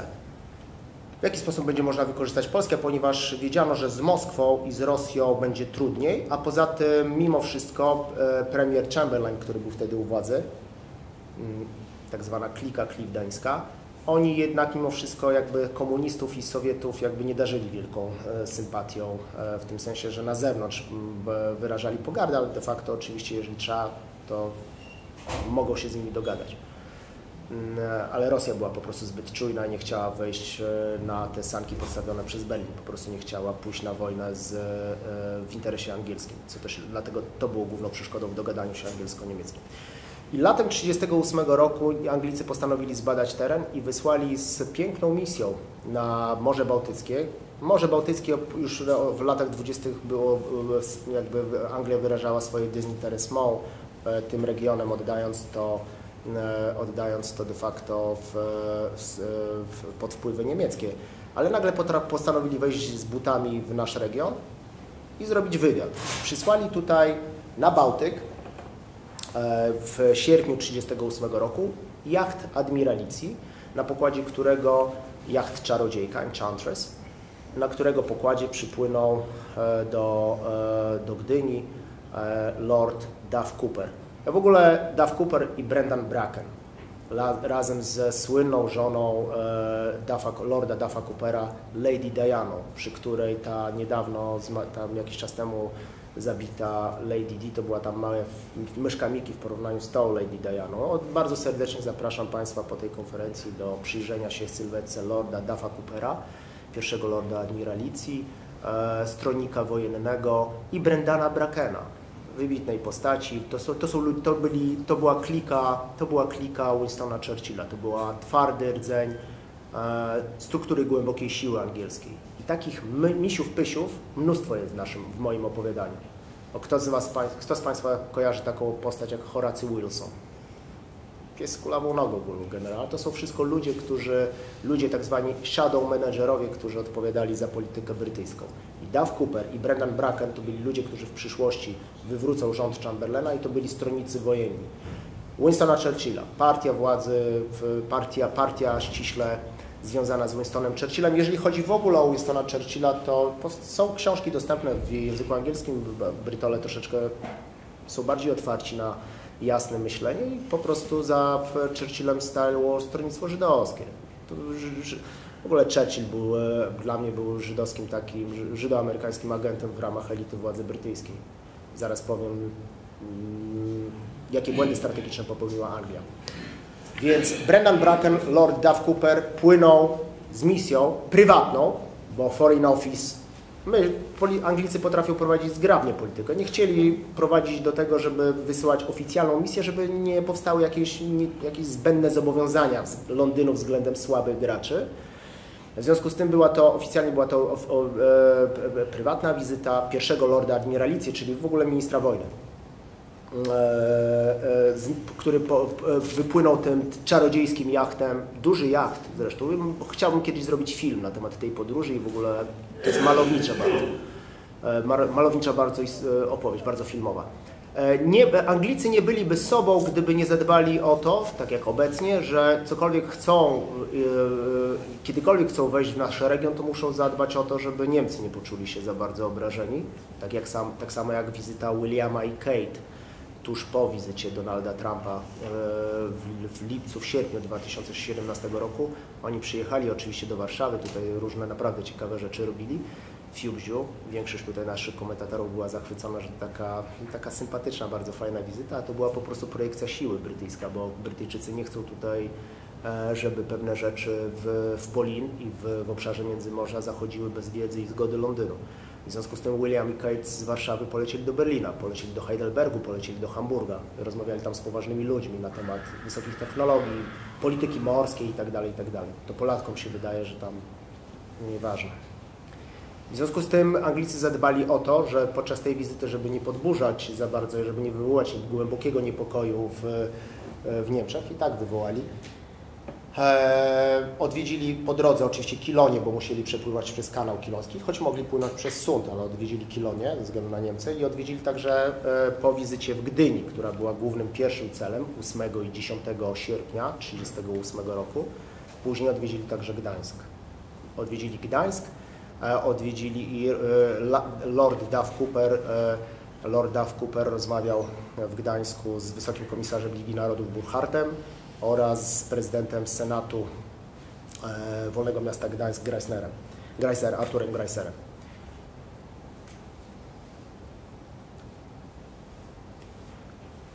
Polacy i Beck bardzo się ucieszyli na tę wizytę brytyjską w Gdyni.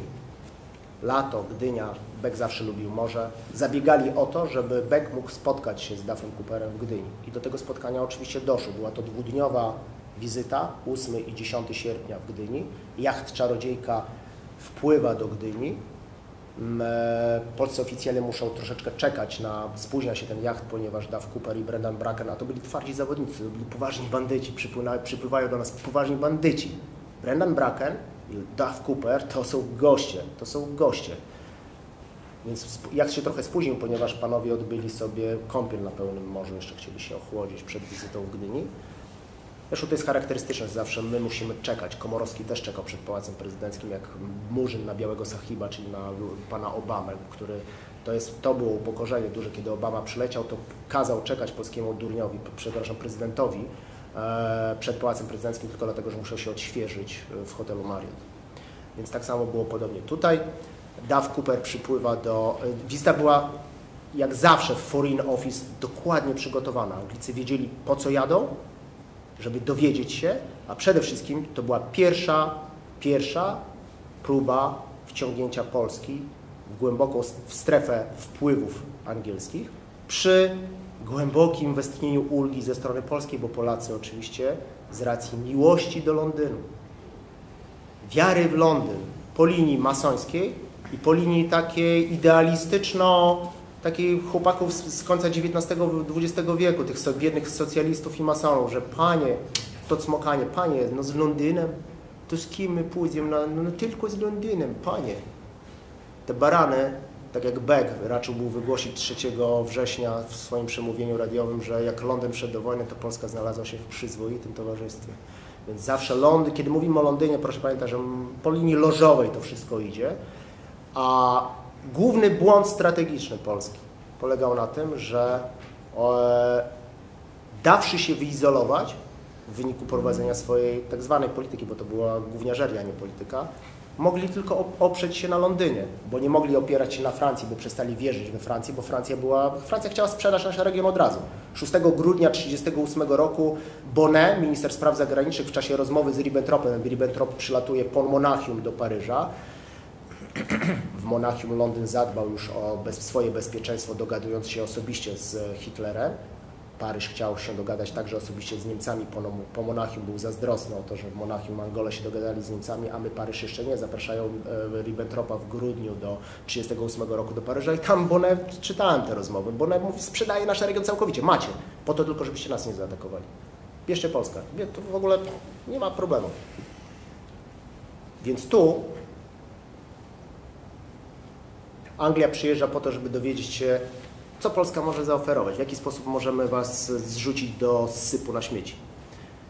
E, Beck e, podczas rozmów, e, dochodzi do tych rozmów, znamy, znamy te... Mm, aha, w ogóle w chwilę, bardzo ważne jest to, że Beck w połowie 1938 roku zbyt późno, próbując ratować sytuację Polski, zbyt późno podejmuje dobrą decyzję, tylko że Polska miała zbyt słaby wagomiar polityczny i było już zbyt mało czasu.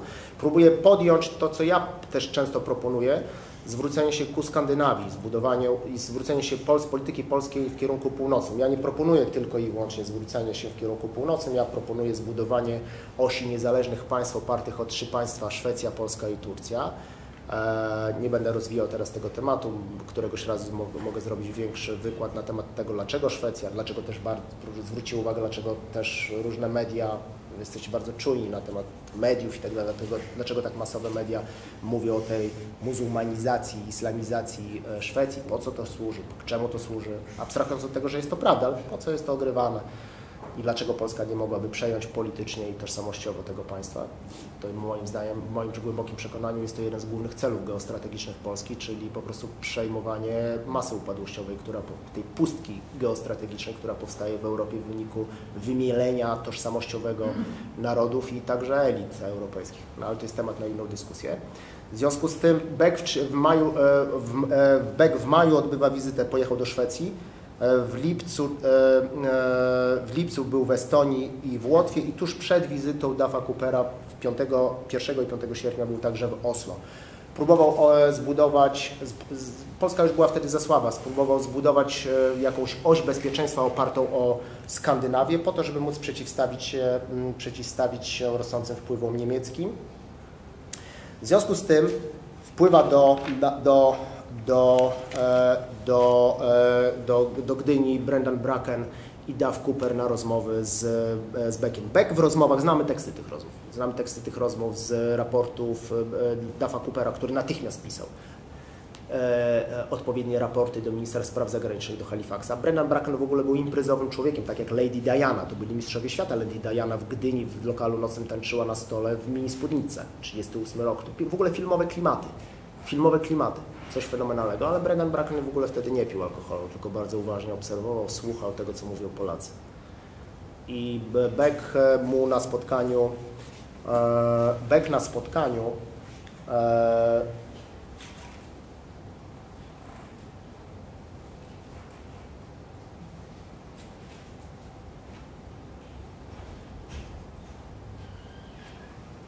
przede wszystkim zaczął mówić o, o istniejącej możliwości stworzenia, stworzenia bloku opartego o Skandynawię, Szwecję, Finlandię, Norwegię, Pribałtykę także e, i Polskę.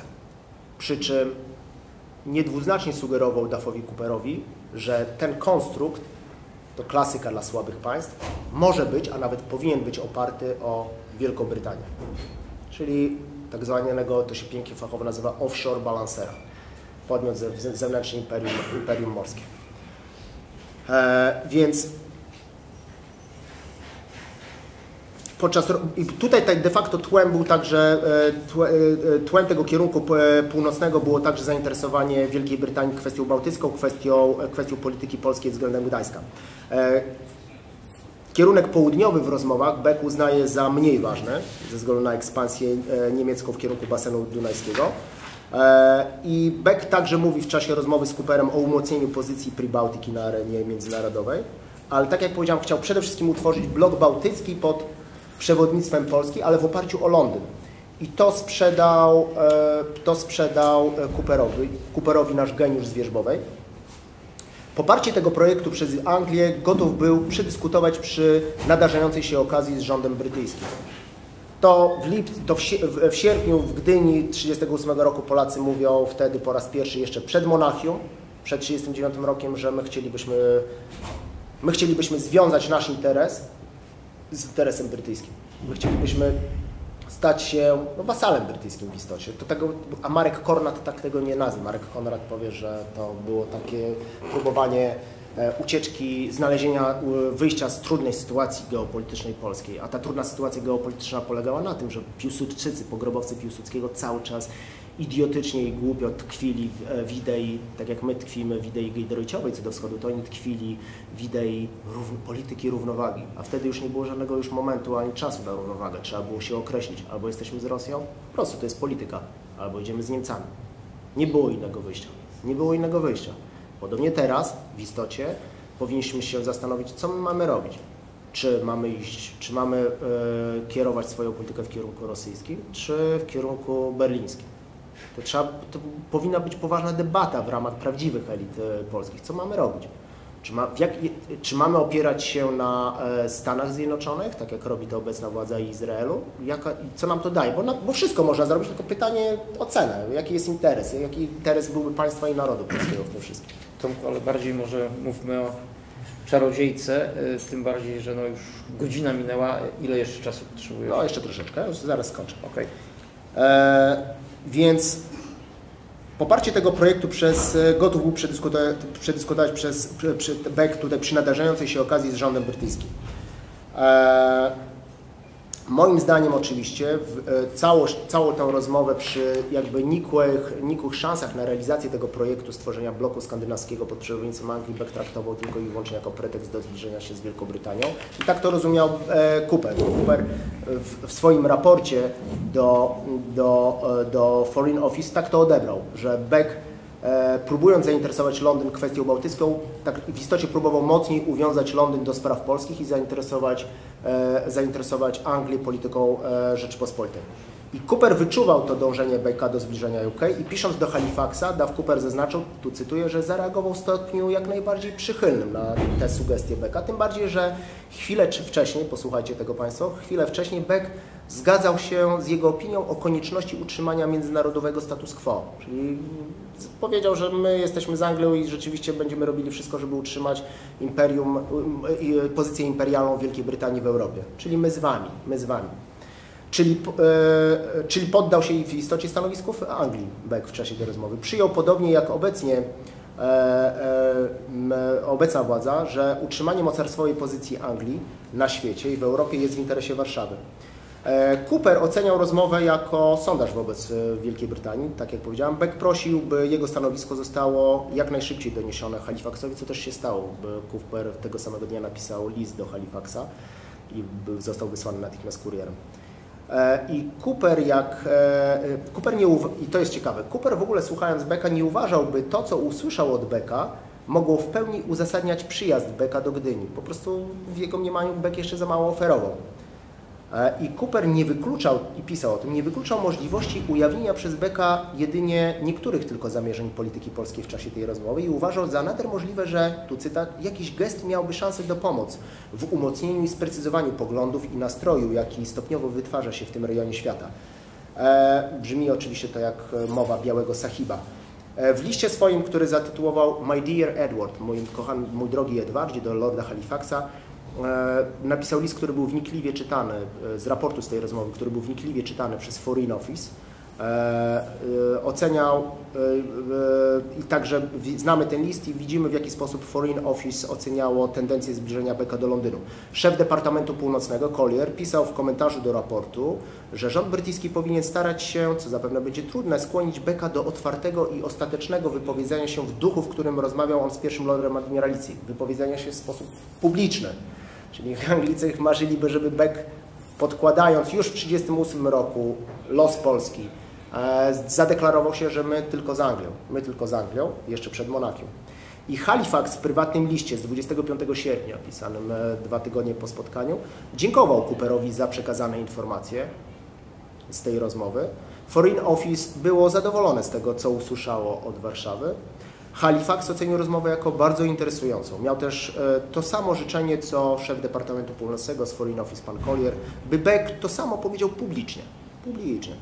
E, czyli, żeby, e, czyli po prostu, żeby Polska nie miała odwrotu, żeby określając się po stronie Anglii, żeby nie miała odwrotu i, by, i żeby Beck nieodwołalnie wystawił Polskę na strzał. Po prostu.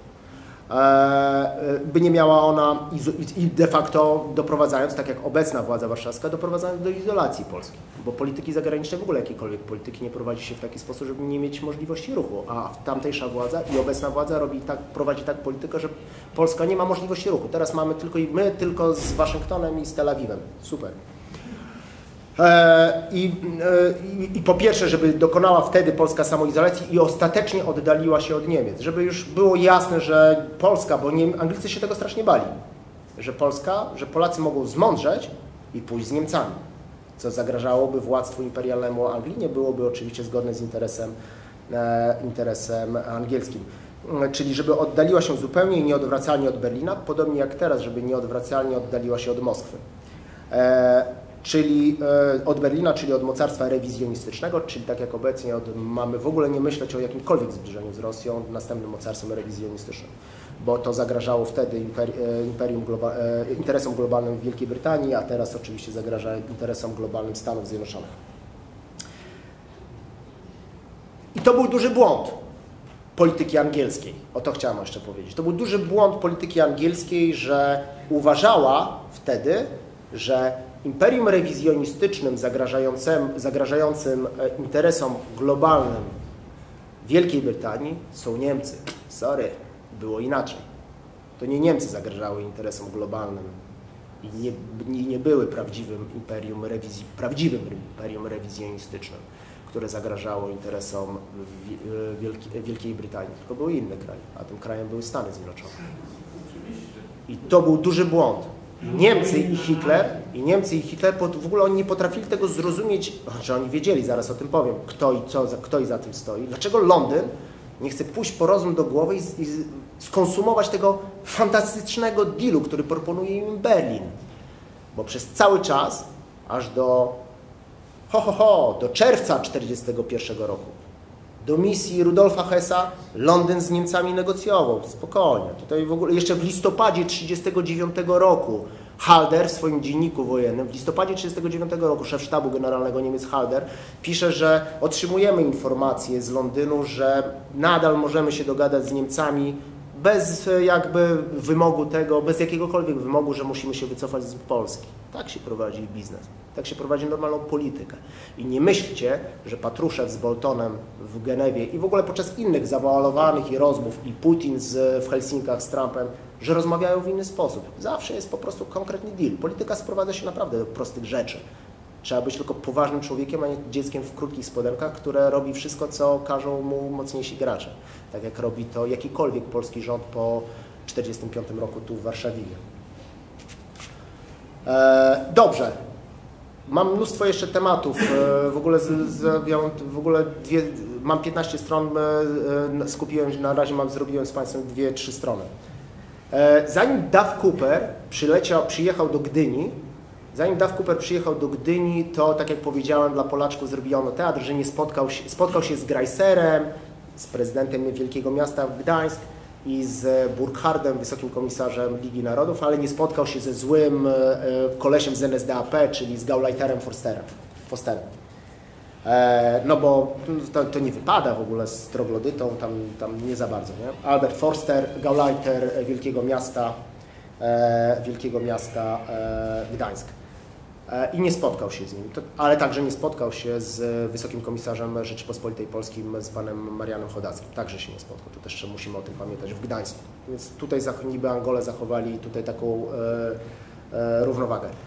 E, nie spotkał się z Forsterem, ale przeczytam Państwu, o czym rozmawiał nasz wielki przyjaciel Winston Churchill 14 e, lipca, na trzy tygodnie przed spotkaniem Dafa Coopera z Polaczkami w Gdyni. E, warto zawsze czytać dokumenty i kwity. Kwity nigdy nie płoną. To jest fajne. To jest nasza szansa, że bandyci, bandyci kiedy się sypią między sobą, to jest nasza, to jest nasza szansa polskich murzynów żeby na, polując na małpy i na lwy na sawanie rzeczywiście znaleźć jakiś dokument i sobie po, prostu fajne poczytać. To jest e, publikacja z 1949 roku, materiały i dokumenty opublikowane przez Ministerstwo Spraw Zagranicznych, materiały i dokumenty sprzed dnia II wojny światowej. To są kwity, które znaleźli Niemcy, e, a Rosjanie w, w Niemczech, kiedy zdobyli Berlin i obie strony się sypały. To jest odpowiedź rosyjska na publikację takich samych kwitów przez Amerykanów po II wojnie światowej.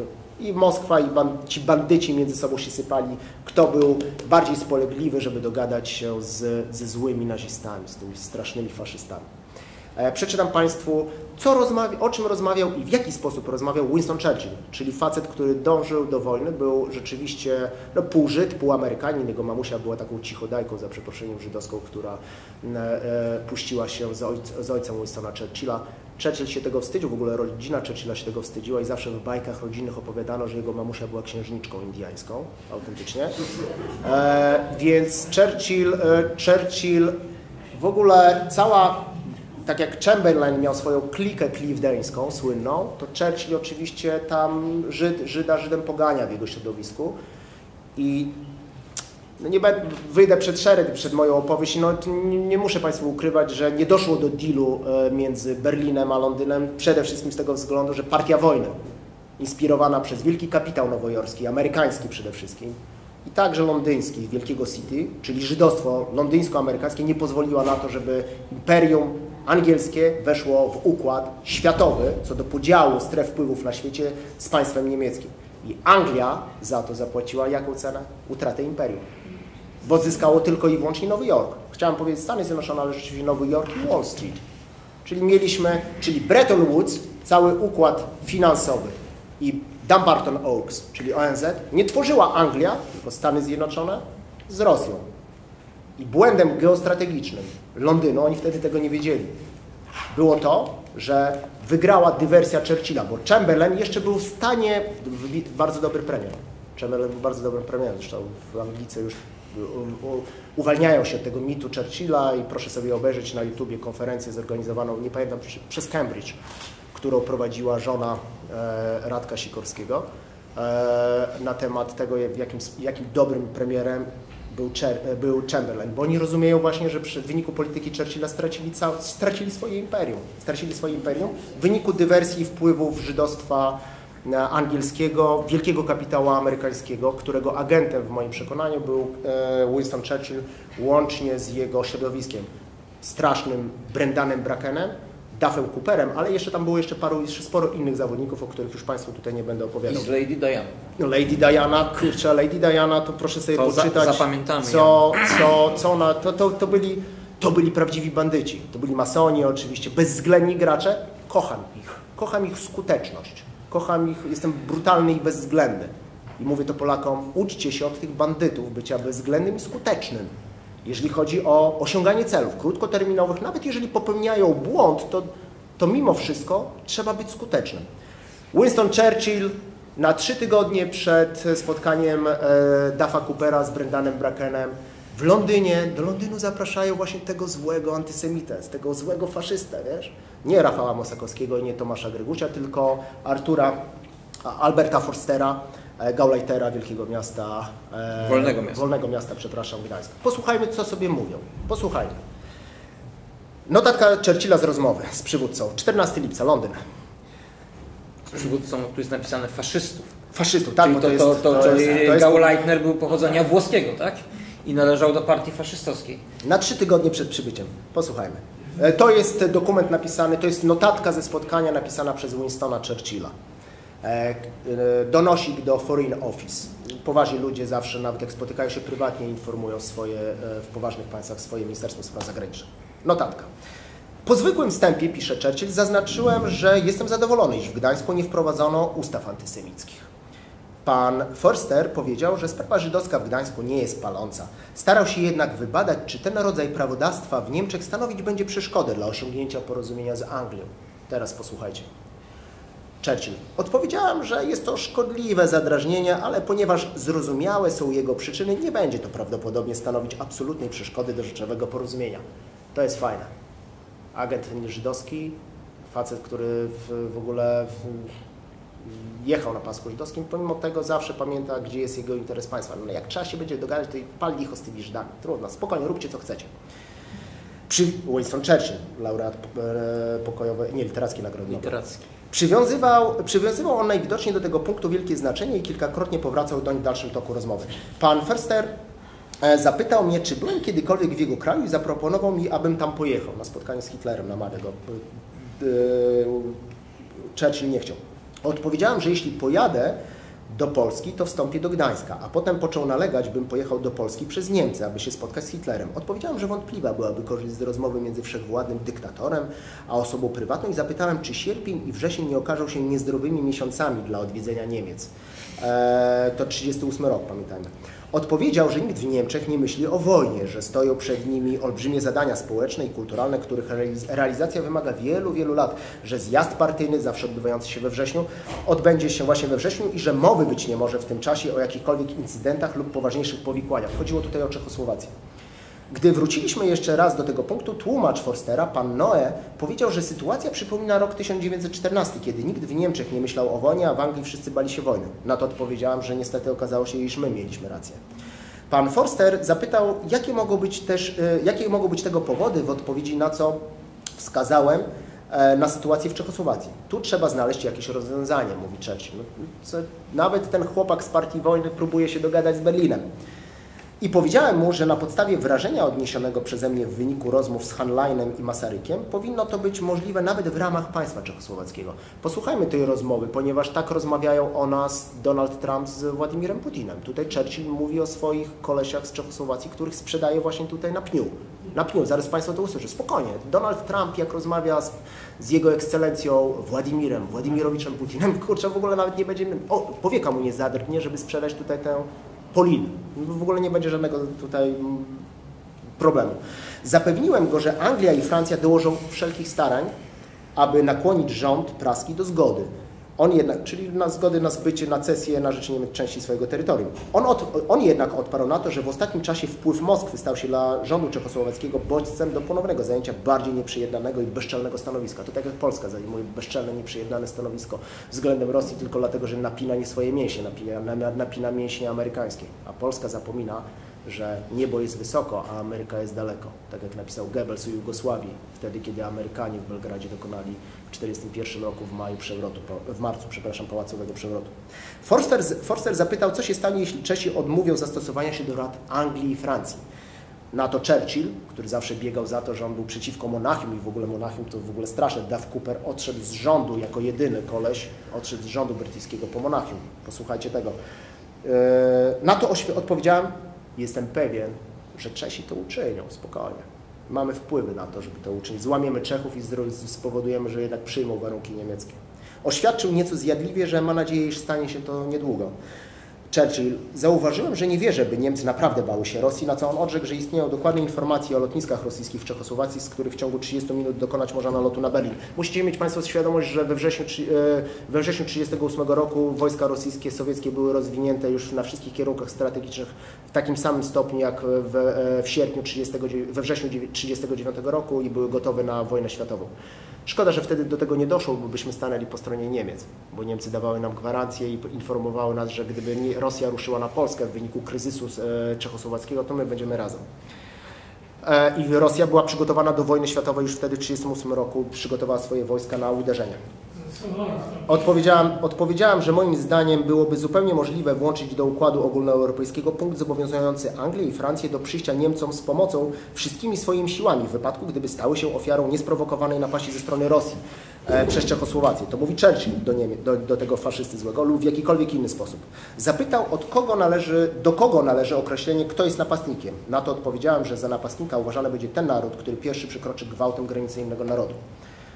Powiedziałem, posłuchajcie tego, on tu, Hitler mówi z pozycji oczywiście, e, przepraszam, Churchill mówi oczywiście, grozi, mówi z pozycji siły, ale cały czas Anglia chce się dogadać i przez, jeszcze przez długi czas chce się dogadać z, e, z Niemcami, a jeżeli to nie wyjdzie, to Churchill zrozumie, że po prostu trzeba wywołać wojnę z, z, z Niemcami, z Berlinem.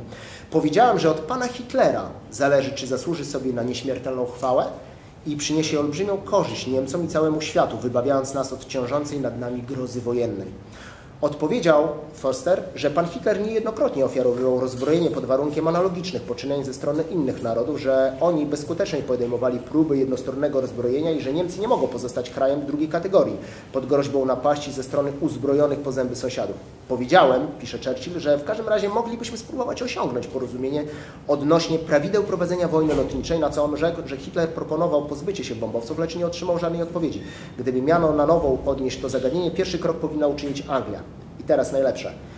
Churchill. Powiedziałem, że nie jestem wrogiem potęgi Niemiec i większość Anglików pragnie, aby Niemcy zajęły należne im miejsce jako jedno z dwóch lub trzech przodujących mocarstw świata. Nie przeszkadzalibyśmy też pokojowemu, stopniowemu wzrostowi niemieckich wpływów handlowych w basenie Dunaju, ale wszelkie działania drogą gwałtu doprowadzi niemal nieuchronnie do wojny. Sytuacja wciąż się pogarsza i wszystkie kraje marnotrawią swoje zasoby na zbrojenia. Myśmy zbudowali fabryki nawet w Kanadzie, także w trzecim lub czwartym roku wojny moglibyśmy rozporządzać nieograniczoną ilością samolotów. W mocy Hitlera, mówi Churchill, w mocy Hitlera leży rozproszenie nagromadzonych chmur. My mu w tym pomożemy. Dogadajmy się. Dogadajmy się co w sposób rozsądkowy co do stref wpływów, ale nie bądźcie tacy brutalni w tej Europie, bo to jest dla nas problem. No, my też musimy się jakoś określić, ale dogadajmy się. Pan Forster, uwaga, he, to dobre, końcówka. Pan Forster powiedział, że nie widzi żadnego realnego uzasadnienia, dla konfliktu między Anglią a Niemcami. Gdyby tylko Anglia i Niemcy dogadały się, mogłyby między siebie podzielić cały świat. w nawiasie. Tłumacz wolał nie tłumaczyć mi tego ostatniego zdania. Wizyta zakończyła się powtórnym zaproszeniem do złożenia wizyty Hitlerowi itd. itd. Tak rozmawiają ze sobą e, prawdziwi bandyci, a to, było przed, to była rozmowa Churchilla z, z Forsterem przed wizytą Duffa Coopera w, w, w, Gdyni. E, co, już chcesz, żebym kończył, no? No. A ja jeszcze nic nie powiedziałem. Ale to tak jak niektóre wcześniejsze tutaj wykłady powiedzieliśmy, że będą kontynuowane na przykład na wspólnej czy w innym miejscu, no też możemy zapowiedzieć, że w przeciągu, nie wiem, miesiąca urządzimy... To jest fantastyczne, że nie trzeba się trzymać, wbrew pozorom nie trzeba się trzymać wszelkich prawideł tam syntezy, ponieważ jest tyle informacji, którymi chciałbym się z Państwem podzielić, że mógłbym mówić tutaj godzinami. Przeczytam tylko Państwu, jak wyglądała ta rozmowa ang angielskich bandytów z tymi biedaczkami polskimi w Gdyni. E, wspomnienia Pawła Starzeńskiego, trzy lata z Bekiem, bardzo dobre wspomnienia. E, I Starzyński był na jachcie? E, Starzeński był w Gdyni, tak, razem z Bekiem. Tak, tak, spotka, spotkają się w Gdyni, w Gdyni, wiesz. E, więc posłuchajmy, co pisze Starzeński. Kurczę, tak mało, powiem Państwu, przeczytałem tony tych materiałów tak mało jest w polskiej, e, w polskiej myśli i wspomnieniach takiego realnego myślenia geopolitycznego. Tu Starzeński troszeczkę się stara, ale tak mało jest tego we wspomnieniach, w pamiętnikach, w dokumentach. Jest tak mało poważnie, poważnie myślących ludzi. 440 osób nas ogląda na żywo. Dobrze. Pozdrawiamy serdecznie wszystkich internautów. Pobyt gości angielskich w Gdyni potrwał dwa dni. Obfitował w liczne wyjazdy na Zatokę i aż na Hel. Malownicze, tuż przed upadkiem, tuż, tuż przed grozą, wyobraźcie sobie to lato, sierpień, plaże złote i jacht czarodziejka wpływający do Gdyni. To taka kronika zapowiedzianej śmierci. Nasza śmierć, tak jak teraz argonauci Międzymorza zapowi- zapowiadani przez nachodźców e, muzułmańskich. Wczoraj w Centrum Zdrowia Dziecka byłem na badaniach lekarskich z e, moimi dziećmi i tam patrzę, w ogóle w gabinecie obok leczą się muzułmanie. W Centrum Zdrowia Dziecka ze swoimi dziećmi przyszli. Straszne. To właśnie jest kronika zapowiedzianej śmierci. Nie myślcie, że będzie lepiej, że będzie wspanialej. Pobyt gości angielskich w Gdyni potrwał dwa dni. Obfitował w liczne wyjazdy na Zatokę i aż na Hel, a wieczór po przyjeździe poświęcony był poznania, poznaniu życia nocnego w Gdyni, dla którego Anglicy wykazywali znaczne zainteresowanie. Wieczór ten został już opisany przez Lady Diane, zwłaszcza kilka godzin spędzonych w jakiejś knajpie marynarskiej. Dowiedziałem się, że Polacy urżnęli się w sztok. O, od siebie dodam tylko, że Beck był alkoholikiem, naprawdę niewiele mu było trzeba. Od siebie dodam tylko, że kieliszków ani butelek nie liczyłem, ani też która z obu narodowości więcej ich wysuszyła, bo nikt z wyjątkiem pierwszego lorda, Lord, e, Nie pił. e, Duff Cooper naprawdę był imprezowym facetem, tam się nie oszczędzał, ale wtedy nie pił. E, Z wyjątkiem pierwszego lorda. W polskim nadmorskim nocnym lokalu zobaczyłem zresztą pierwszy miniskirt, czyli krótką spódniczkę w życiu, kiedy autorka, czyli Lady Diana angielskiego opisu tej fety, będąc więcej niż w świetnym nastroju, gdzieś po północy umieściła się na stole. Czyli chciałbym zobaczyć Lady Dianę tańczącą na stole w lokalu nocnym w Gdyni. E, Taki burdelik. ja, ja wiem, nie. Oj, bo- tak nie, delikatnie, nie, tak, nie. tak delikatnie zawsze mówi, burdelik, no. Nie, impreza, zepsuci, na maksa zepsuci fani imprezowi Londyn się bawi. Przyjechał Londyn do, biały, do, do, murzynów, do polskich murzynów. Tak. A na zewnątrz mamy Duff Cooper. Duff Cooper był zamknięty w sobie, wyglądał na zmęczonego i znudzonego. E, bodajże, Kto nie pije, ten kabluje. bodajże wychodzi on o wiele lepiej w swych książkach, na przykład o Tallerandzie, niż w kontaktach osobistych. E, widzę go jeszcze siedzącego obok Beka na kanapie w mieszkaniu państwa chodackich. Tu jest chyba błąd, bo to dotyczy mieszkania państwa chodackich w Gdańsku albo w Gdyni, Wysokiego Komisarza Rzeczypospolitej. Dobra, nieważne.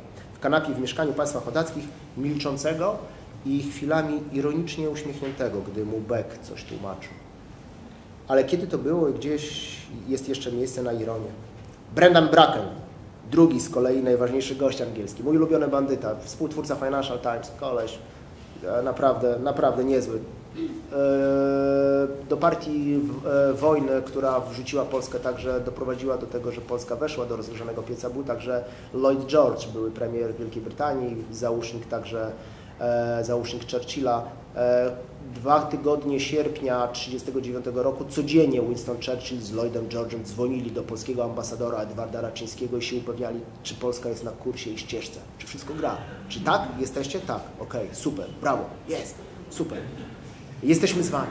Tak jak Donald Trump, nie bójcie się. Brendan Bracken, drugi z kolei najważniejszy gość angielski, był całkiem innego e, pokroju, bo to był koleś naprawdę poważny. Młodszy od Duffa Coopera, silny, barczysty i zamaszysty z płomieniem zjeżonej rudej czupryny, potrząsał nią w rozmowie, jak gdyby dla podkreślenia swych argumentów. I posłuchajmy tutaj tego, dwa bardzo ważne zdania. Ci ludzie przyjechali przede wszystkim do, e, do Gdyni po to, żeby Polskę namówić do jednej rzeczy, żebyście mieli świadomość. Oni przyjechali do Gdyni po to, żeby Polsce uzmysłowić, że Polska musi, musi też za cenę swojej niepodległości życia oprzeć się, współpracować z Rosją, żeby stworzyć bardzo konstruktywny front wschodni, drugi front przeciwko Niemcom. Polska nie chciała pójść z Rosją, wybrała tylko i wyłącznie Anglię. Anglia stwierdziła, ok, dobra, mogą być tylko Polacy, bo zyskujemy 8 miesięcy życia, żeby się dozbroić i tak tak trochę, y, trochę żeby Niemcy, Polacy zaszkodzili Niemcom, może być ta Polska. Moskwa była zbyt inteligentna, żeby wejść w tę grę angielską i nie chciała w ogóle wejść do wojny z, e, e, za cenę ratowania po to, żeby ratować Imperium Brytyjskie. Po prostu w 1939 roku. I to proste. Wiecie, e, czytałem wspomnienia e, William, e, e, ambasadora Steinharda, który przyjechał tuż przed wybuchem wojny do Moskwy, ambasador amerykański w Moskwie. To ten, który już 24 sierpnia znał całą treść paktu Ribbentrop-Mołotow i zadepeszował to do Departamentu Stanu. Żyd. E, więc Steinhardt pisał, kurczę, Rosjanie są niesamowici. Widziałem materiały szkoleniowe dla armii sowieckiej, dla prostych chłopaków sowieckich, którzy tam byli po, pierku, po kilku szkołach, proste materiały na jednej kartce, które tłumaczyło, który, dzięki któremu tłumaczyli, o co chodziło z paktem Ribbentrop-Mołotow, bo przecież Sowieci przez wiele lat byli e, indoktrynowani, interesowani, że wszelkie zło to Niemcy, faszyści. Nagle, kurczę, ten naród, ci bojcy Sowiecy byli, z, ale jak to, to co my teraz... Z, z faszystami. Teraz z faszystami? Tak. Więc oni, Rosjanie są niesamowici, mi to się podoba. E, na jednej kartce komisarze polityczni, Steinhardt o tym pisze, tłumaczyli tym bojcom, rysując trójkąt. Trójkąt równoramienny i mówi tak, na jednej stronie był narysowany trójkąt, gdzie była, na górze była Rosja, na dole Wielka, e, Wielka Brytania i, e, i Niemcy i mówili tak, celem polityki brytyjskiej było to, żeby Rosja była wystawiona na strzał, idąc, na, e, idąc, e, idąc, wchodząc do wojny na rzecz interesów brytyjskich, a towarzysz Stalin zrobił w ten sposób, że tu był znowu narysowany trójkąt, na szczycie była Anglia, a tu była Niemcy i Rosja, że to my zbliżyliśmy się z, do Niemiec i to my tutaj zrobiliśmy układankę w regionie. I to my nie daliśmy się wystawić na strzała, wyizolowaliśmy, zostawiliśmy Wielką Brytanię swojemu własnemu losowi. I to słuszna ich uwaga, bo musimy pamiętać, że były dwa układy normujące, e, normujące stosunki w strefie e, limitrofów. Pierwszy, pierwszy to był wielki układ niemiecko-rosyjski, czyli traktat, traktat brzeski. Traktat brzeski. E, Ukraina miała powstać, Chełmszczyzna miała być ukraińska, traktat brzeski, a drugi to układ Ribbentrop-Mołotow, po prostu. A dzisiaj chodzi o to, że Waszyngton chce to zrobić z Moskwą, tylko już za rolę Niemiec spełnia Waszyngton. Posłuchajmy, już kończę. Y, Brendan Bracken. Y, było ich, argumenty Brendana Brackena, było ich bardzo dużo, pisze Starzeński, nieraz brutalnie otwartych, zwłaszcza gdy poruszał sprawy możliwości wojny i naszego położenia geograficznego, bo on mówi do nich językiem czystej geopolityki. Odrzucał myśl, byśmy nie mieli poszukiwać pomocy ze strony Sowietów na wypadek starcia z Niemcami, a zwłaszcza z Hitlerem. Namawiał Polskę do tego, żebyśmy po prostu z, z, z Rosją sowiecką stworzyli blok antyniemiecki na wschodzie. Politykę równowagi, to a propos tej PiSu czy sanacyjnej, tej, tego sanacyjnego bełkotu, politykę równowagi między Niemcami a Rosją zbywał wzruszeniem ramion. I nic go nie obchodziły problemy mogące powstać dla Polski w razie udzielenia nam pomocy wojskowej przez wschodniego sąsiada. Nie była dla mnie łatwa z nim rozmowa, lecz bardzo pouczająca, pisze Starzyński. Płynęliśmy w pięknym słońcu trawlerem na Hel. Przysłuchiwał się tej rozmowie jednym uchem Beck, siedzący obok Dafa Coopera i w całości mi ją potem zaaprobował. Wywody Brendana Brackena stanowiły niewątpliwe odbicie poglądów Churchilla, w którym pozostało w zażyłych stosunkach. Wszystko to zaś dawało niezły pogląd na myśli istniejącego już wtedy drugiego obozu politycznego w Anglii, który wywróci później rząd e, Chamberlaina, który z całym przekonaniem szedł przeciw polityce apizmentu Chamberlaina, Halifaxa i innych, choć jedni i drudzy byli członkami tej samej mafii, czyli partii konserwatywnej. Oba jednak te prądy polityczne nie miały nic wspólnego z polską racją stanu. A mimo to Polacy poszli na, na, na, na Lepten i poszli po prostu za Anglią. Poszli za Anglią Miałem opowiedzieć w ogóle Państwu o tym, w jaki sposób straciliśmy zasoby złota, o misji Adama Koca i w jaki sposób e, już w lutym 1939 roku e, Adam Koc zostaje wysyłany z tajną poufną misją do londyńskiego City i spotyka się tam z takimi bandytami jak Sir Baron Montagu Norman, facet, który współtworzy Żyda, wielkiego, bogatego Żyda niemieckiego, e, angielskiego, wieloletniego prezesa bank, Banku Anglii, Bank of England, faceta, który, człowieka Rothschildów, który współpracował z Rothschildami, człowieka, który w ogóle współtworzył partię nazistowską, który supportował pieniędzmi, futrował pieniędzmi, całe NSDAP i dawał kasę dla Hitlera i tak dalej, i tak. E, I Adam Koc jedzie do takiego człowieka e, z misją w siedzi tam dwa tygodnie od 1 do 14 marca 1939 roku i później oczywiście prowadzi nieudane negocjacje w, o, o w czerwcu i w lipcu także w Londynie. Jedzie tam Adam Koc, wybitny, znaczy nie wybitny, mason, tak klasyczny piłsudczyk. Niestety, bardzo mi przykro, wstyd mi to powiedzieć, suwalczanin, tak jak ja. Aleksandra Piłsudska także suwalczanka, wstyd. Współczuję z tym biednym suwałkom. E, więc Adam Koc, mason. I muszę Państwu powiedzieć, że jak e, czytałem wspomnienia Adama Koca e, i poczytałem sobie od, o, w ogóle o, o, tym człowieku, to muszę powiedzieć, że to taka klasyka piłsudczykowska. Bierny, mierny, ale wierny. Głupiutki, głupiutki, jadący po linii takiej ideowej, masońskiej, demokrackiej wszystko, co mógł stracić w Londynie, nie osiągnął w ogóle niczego. Nie osiągnęliśmy, Londyn w ogóle cały czas prowadził negocjacje z Niemcami i z Rosją i Polakom nie dawał kasy, bo my pojechaliśmy tam po kasę, chcieliśmy 60 milionów funtów. Dostaliśmy w wyniku pierwszego, pierwszej tury negocjacji zaledwie 8 milionów funtów, a później pokazali nam to. I de facto nawet tych 8 milionów funtów w materiale także nie skonsumowaliśmy. Czyli po prostu weszliśmy do wojny za frajer, z góry deklarując, że my z Anglią a nie robi się tego. Po prostu bierze się kasę z góry, a potem się dogaduje, w jaki sposób możemy Wam pomóc. Ale najpierw dajcie nam kasę. Tak zrobiła Turcja. Tak zrobiła, nie, tak zrobiła Turcja w, 30, tak zrobiła Turcja w 1939 roku. I druga, rzecz, I druga rzecz, że Adam Koc poniósł i oczywiście spoty, i, pojechał, i z kim tam pojechał. W ogóle cała misja Koca do Londynu, to wszędzie nasi drodzy bracia w fartuchach. Proszę się przyjrzeć Szymonowi Landałowi. No, to jest koleś. Znajdźcie mi jakieś fajne informacje na temat jednego z najbogatszych ludzi w Polsce, Szymon Landau. To, to był koleś. E, bank handlowy, rada. To, chciałem Wam powiedzieć, w ogóle nie zdążyłem Wam powiedzieć, skupiłem się na tej polityce, zamiast powiedzieć Wam także o pieniądzach, o kasie. No będzie okazja, to jeszcze zrobimy e, spotkania. Więc Adam... już, już, już baterie odmawiają posłuszeństwa i, i, i więc, po siedmiu godzinach... Więc e, Szymon Landau, człowiek który, człowiek, który moim zdaniem, czytałem e, e, dwa dni temu raporty kontrwywiadu e, polskiego w Londynie, człowiek, który, Szymon Landau, Żyd, bogaty, jeden z najbogatszych ludzi w Polsce, człowiek, który jednak, jednak przyłożył rączki do Gibraltaru, bo musimy pamiętać, że Gibraltar to była walka lóż. Polacy w ogóle nie, nie okumają bazy, o co chodzi z Gibraltarem. Więc Szymon Landau, e, proszę sobie, e, i, on jedzie, i on jedzie i spotyka się tam, kurczę, z takimi, e, z takimi ludźmi. Alfred, Alfred Falter, następna postać, także właściciel de facto już później banku handlowego. Mason, masona, masonem pogania w tej historii. E, I co ciekawe, straciliśmy polskie złoto, do dzisiaj nie wiemy, gdzie jest nasze złoto. 80 ton, 363 miliardy, 4 miliona e, polskich ówczesnych złotych, to kasa pieniędzy. Postanowiliśmy je przeznaczyć na zakup uzbrojenia, ponieważ straciliśmy już całkowicie wszystko. To było kwintesencja polityki sanacyjnej. Nie, e, daliśmy ciała całkowicie Londynowi i Anglii, nic za to nie otrzymując, a finalnie jeszcze musieliśmy oddać swoje złoto. Straciliśmy ludzi, majątek i jeszcze straciliśmy swoje. To jest deal, to jest właściwie to jest dobry deal.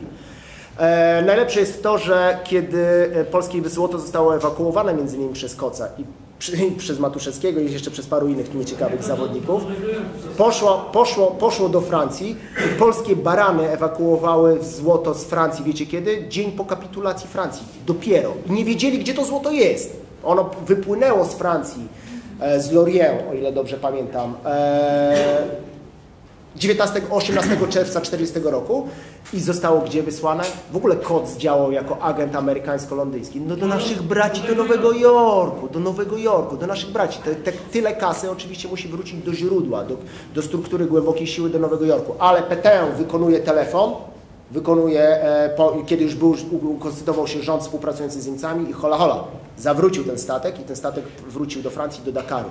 Co zrobili Polacy? Zastanawiali się, co my mamy teraz robić. Straciliśmy w ogóle wszystko, nie mamy kasy. Jedynymi osobami, które utrzymywały polski rząd na uchodźstwie był Szymon Landau i pan e, e, Boże, wypadło mi z nazwiska mój kochany, Alfred Falter, najbogatszy, dwóch najbogatszych Żydów. Po co oni utrzymywali polski rząd na uchodźstwie, bo byli największymi płatnikami na rzecz rządu na uchodźstwie. Dwóch Żydów. Czyli marszałek PT uratował polskie złoto na moment. Na chwilkę, ale... Na chwilkę. A Polacy zrobili myk taki, który wysłali Adama Koca po linii znowu masońskiej, wszędzie, bo tutaj następny wykład, do Nowego Jorku go wysłali żeby ratował to polskie złoto. Weź Sikorski go bierze na rozmowę. Wiem, nie lubimy się, jesteś Piłsudczykiem, choć jesteś masonem, jesteś w moim rządzie. W ogóle, jak Państwo przyjrzą się, kto z obozu Piłsudskiego, sanacyjnego, później służył Polsce, e, w, rządo, w rządzie Sikorskiego, albo który służył później w czasach PRL-u, to wszystko masoni. To wszystko masoni. Ja mam nazwiska ludzi, którzy przeszli spokojnie lekką ręką. Później służyli także w dyplomacji PRL-u. To byli masoni. Więc Siko, już ostatnie zdanie. Kolejne, kolejne Więc wysłali spotkanie. Koca do Nowego Jorku, wysłali Koca do Nowego Jorku, żeby ratował polskie złoto, a Koc oczywiście, no, no do kogo poszedł? No do kogo poszedł? Poszedł do, do bardzo ważnej, też z rekomendacji innego bardzo ważnego masona polskiego, przyszłego urzędnika Banku Światowego i on poszedł do i on poszedł do kancelarii, no już Państwu mówię, przepraszam.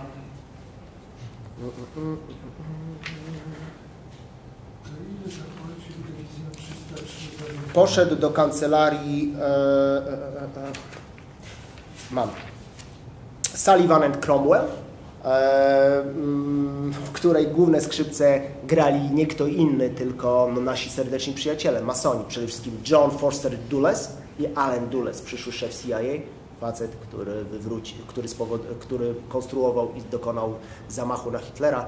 E, późniejszy także członek komisji Warrena, czyli poszedł do członków, po, mas, po linii masońskiej, do struktury głębokiej siły amerykańskiej. I udało się chłopakom tylko i wyłącznie dlatego, że Amerykanie mieli interes w tym, żeby zatrzymać i aresztować złoto francuskie, które było w, w ramach depozytów deponowane w, w Stanach Zjednoczonych i udało im się po prostu schaltować złoto francuskie na rzecz, e, na rzecz tego złota, ale to tylko dlatego, że Amerykanie byli w tym zainteresowani, bo był rząd Vichy i tak dalej, i tak dalej. Ale później my z tym nic nie zrobiliśmy. Tego złota, de facto polskiego złota nie wiemy, co się Rozpłynęło mogło się. stać i Jasne. tym pozytywnym I tym pozytywnym akcentem bardzo dziękujemy naszemu prelegentowi.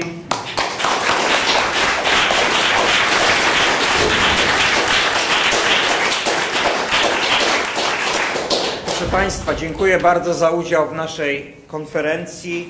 Kolejna konferencja tutaj w Gmachu Pasty w sobotę 1 grudnia o godzinie 11.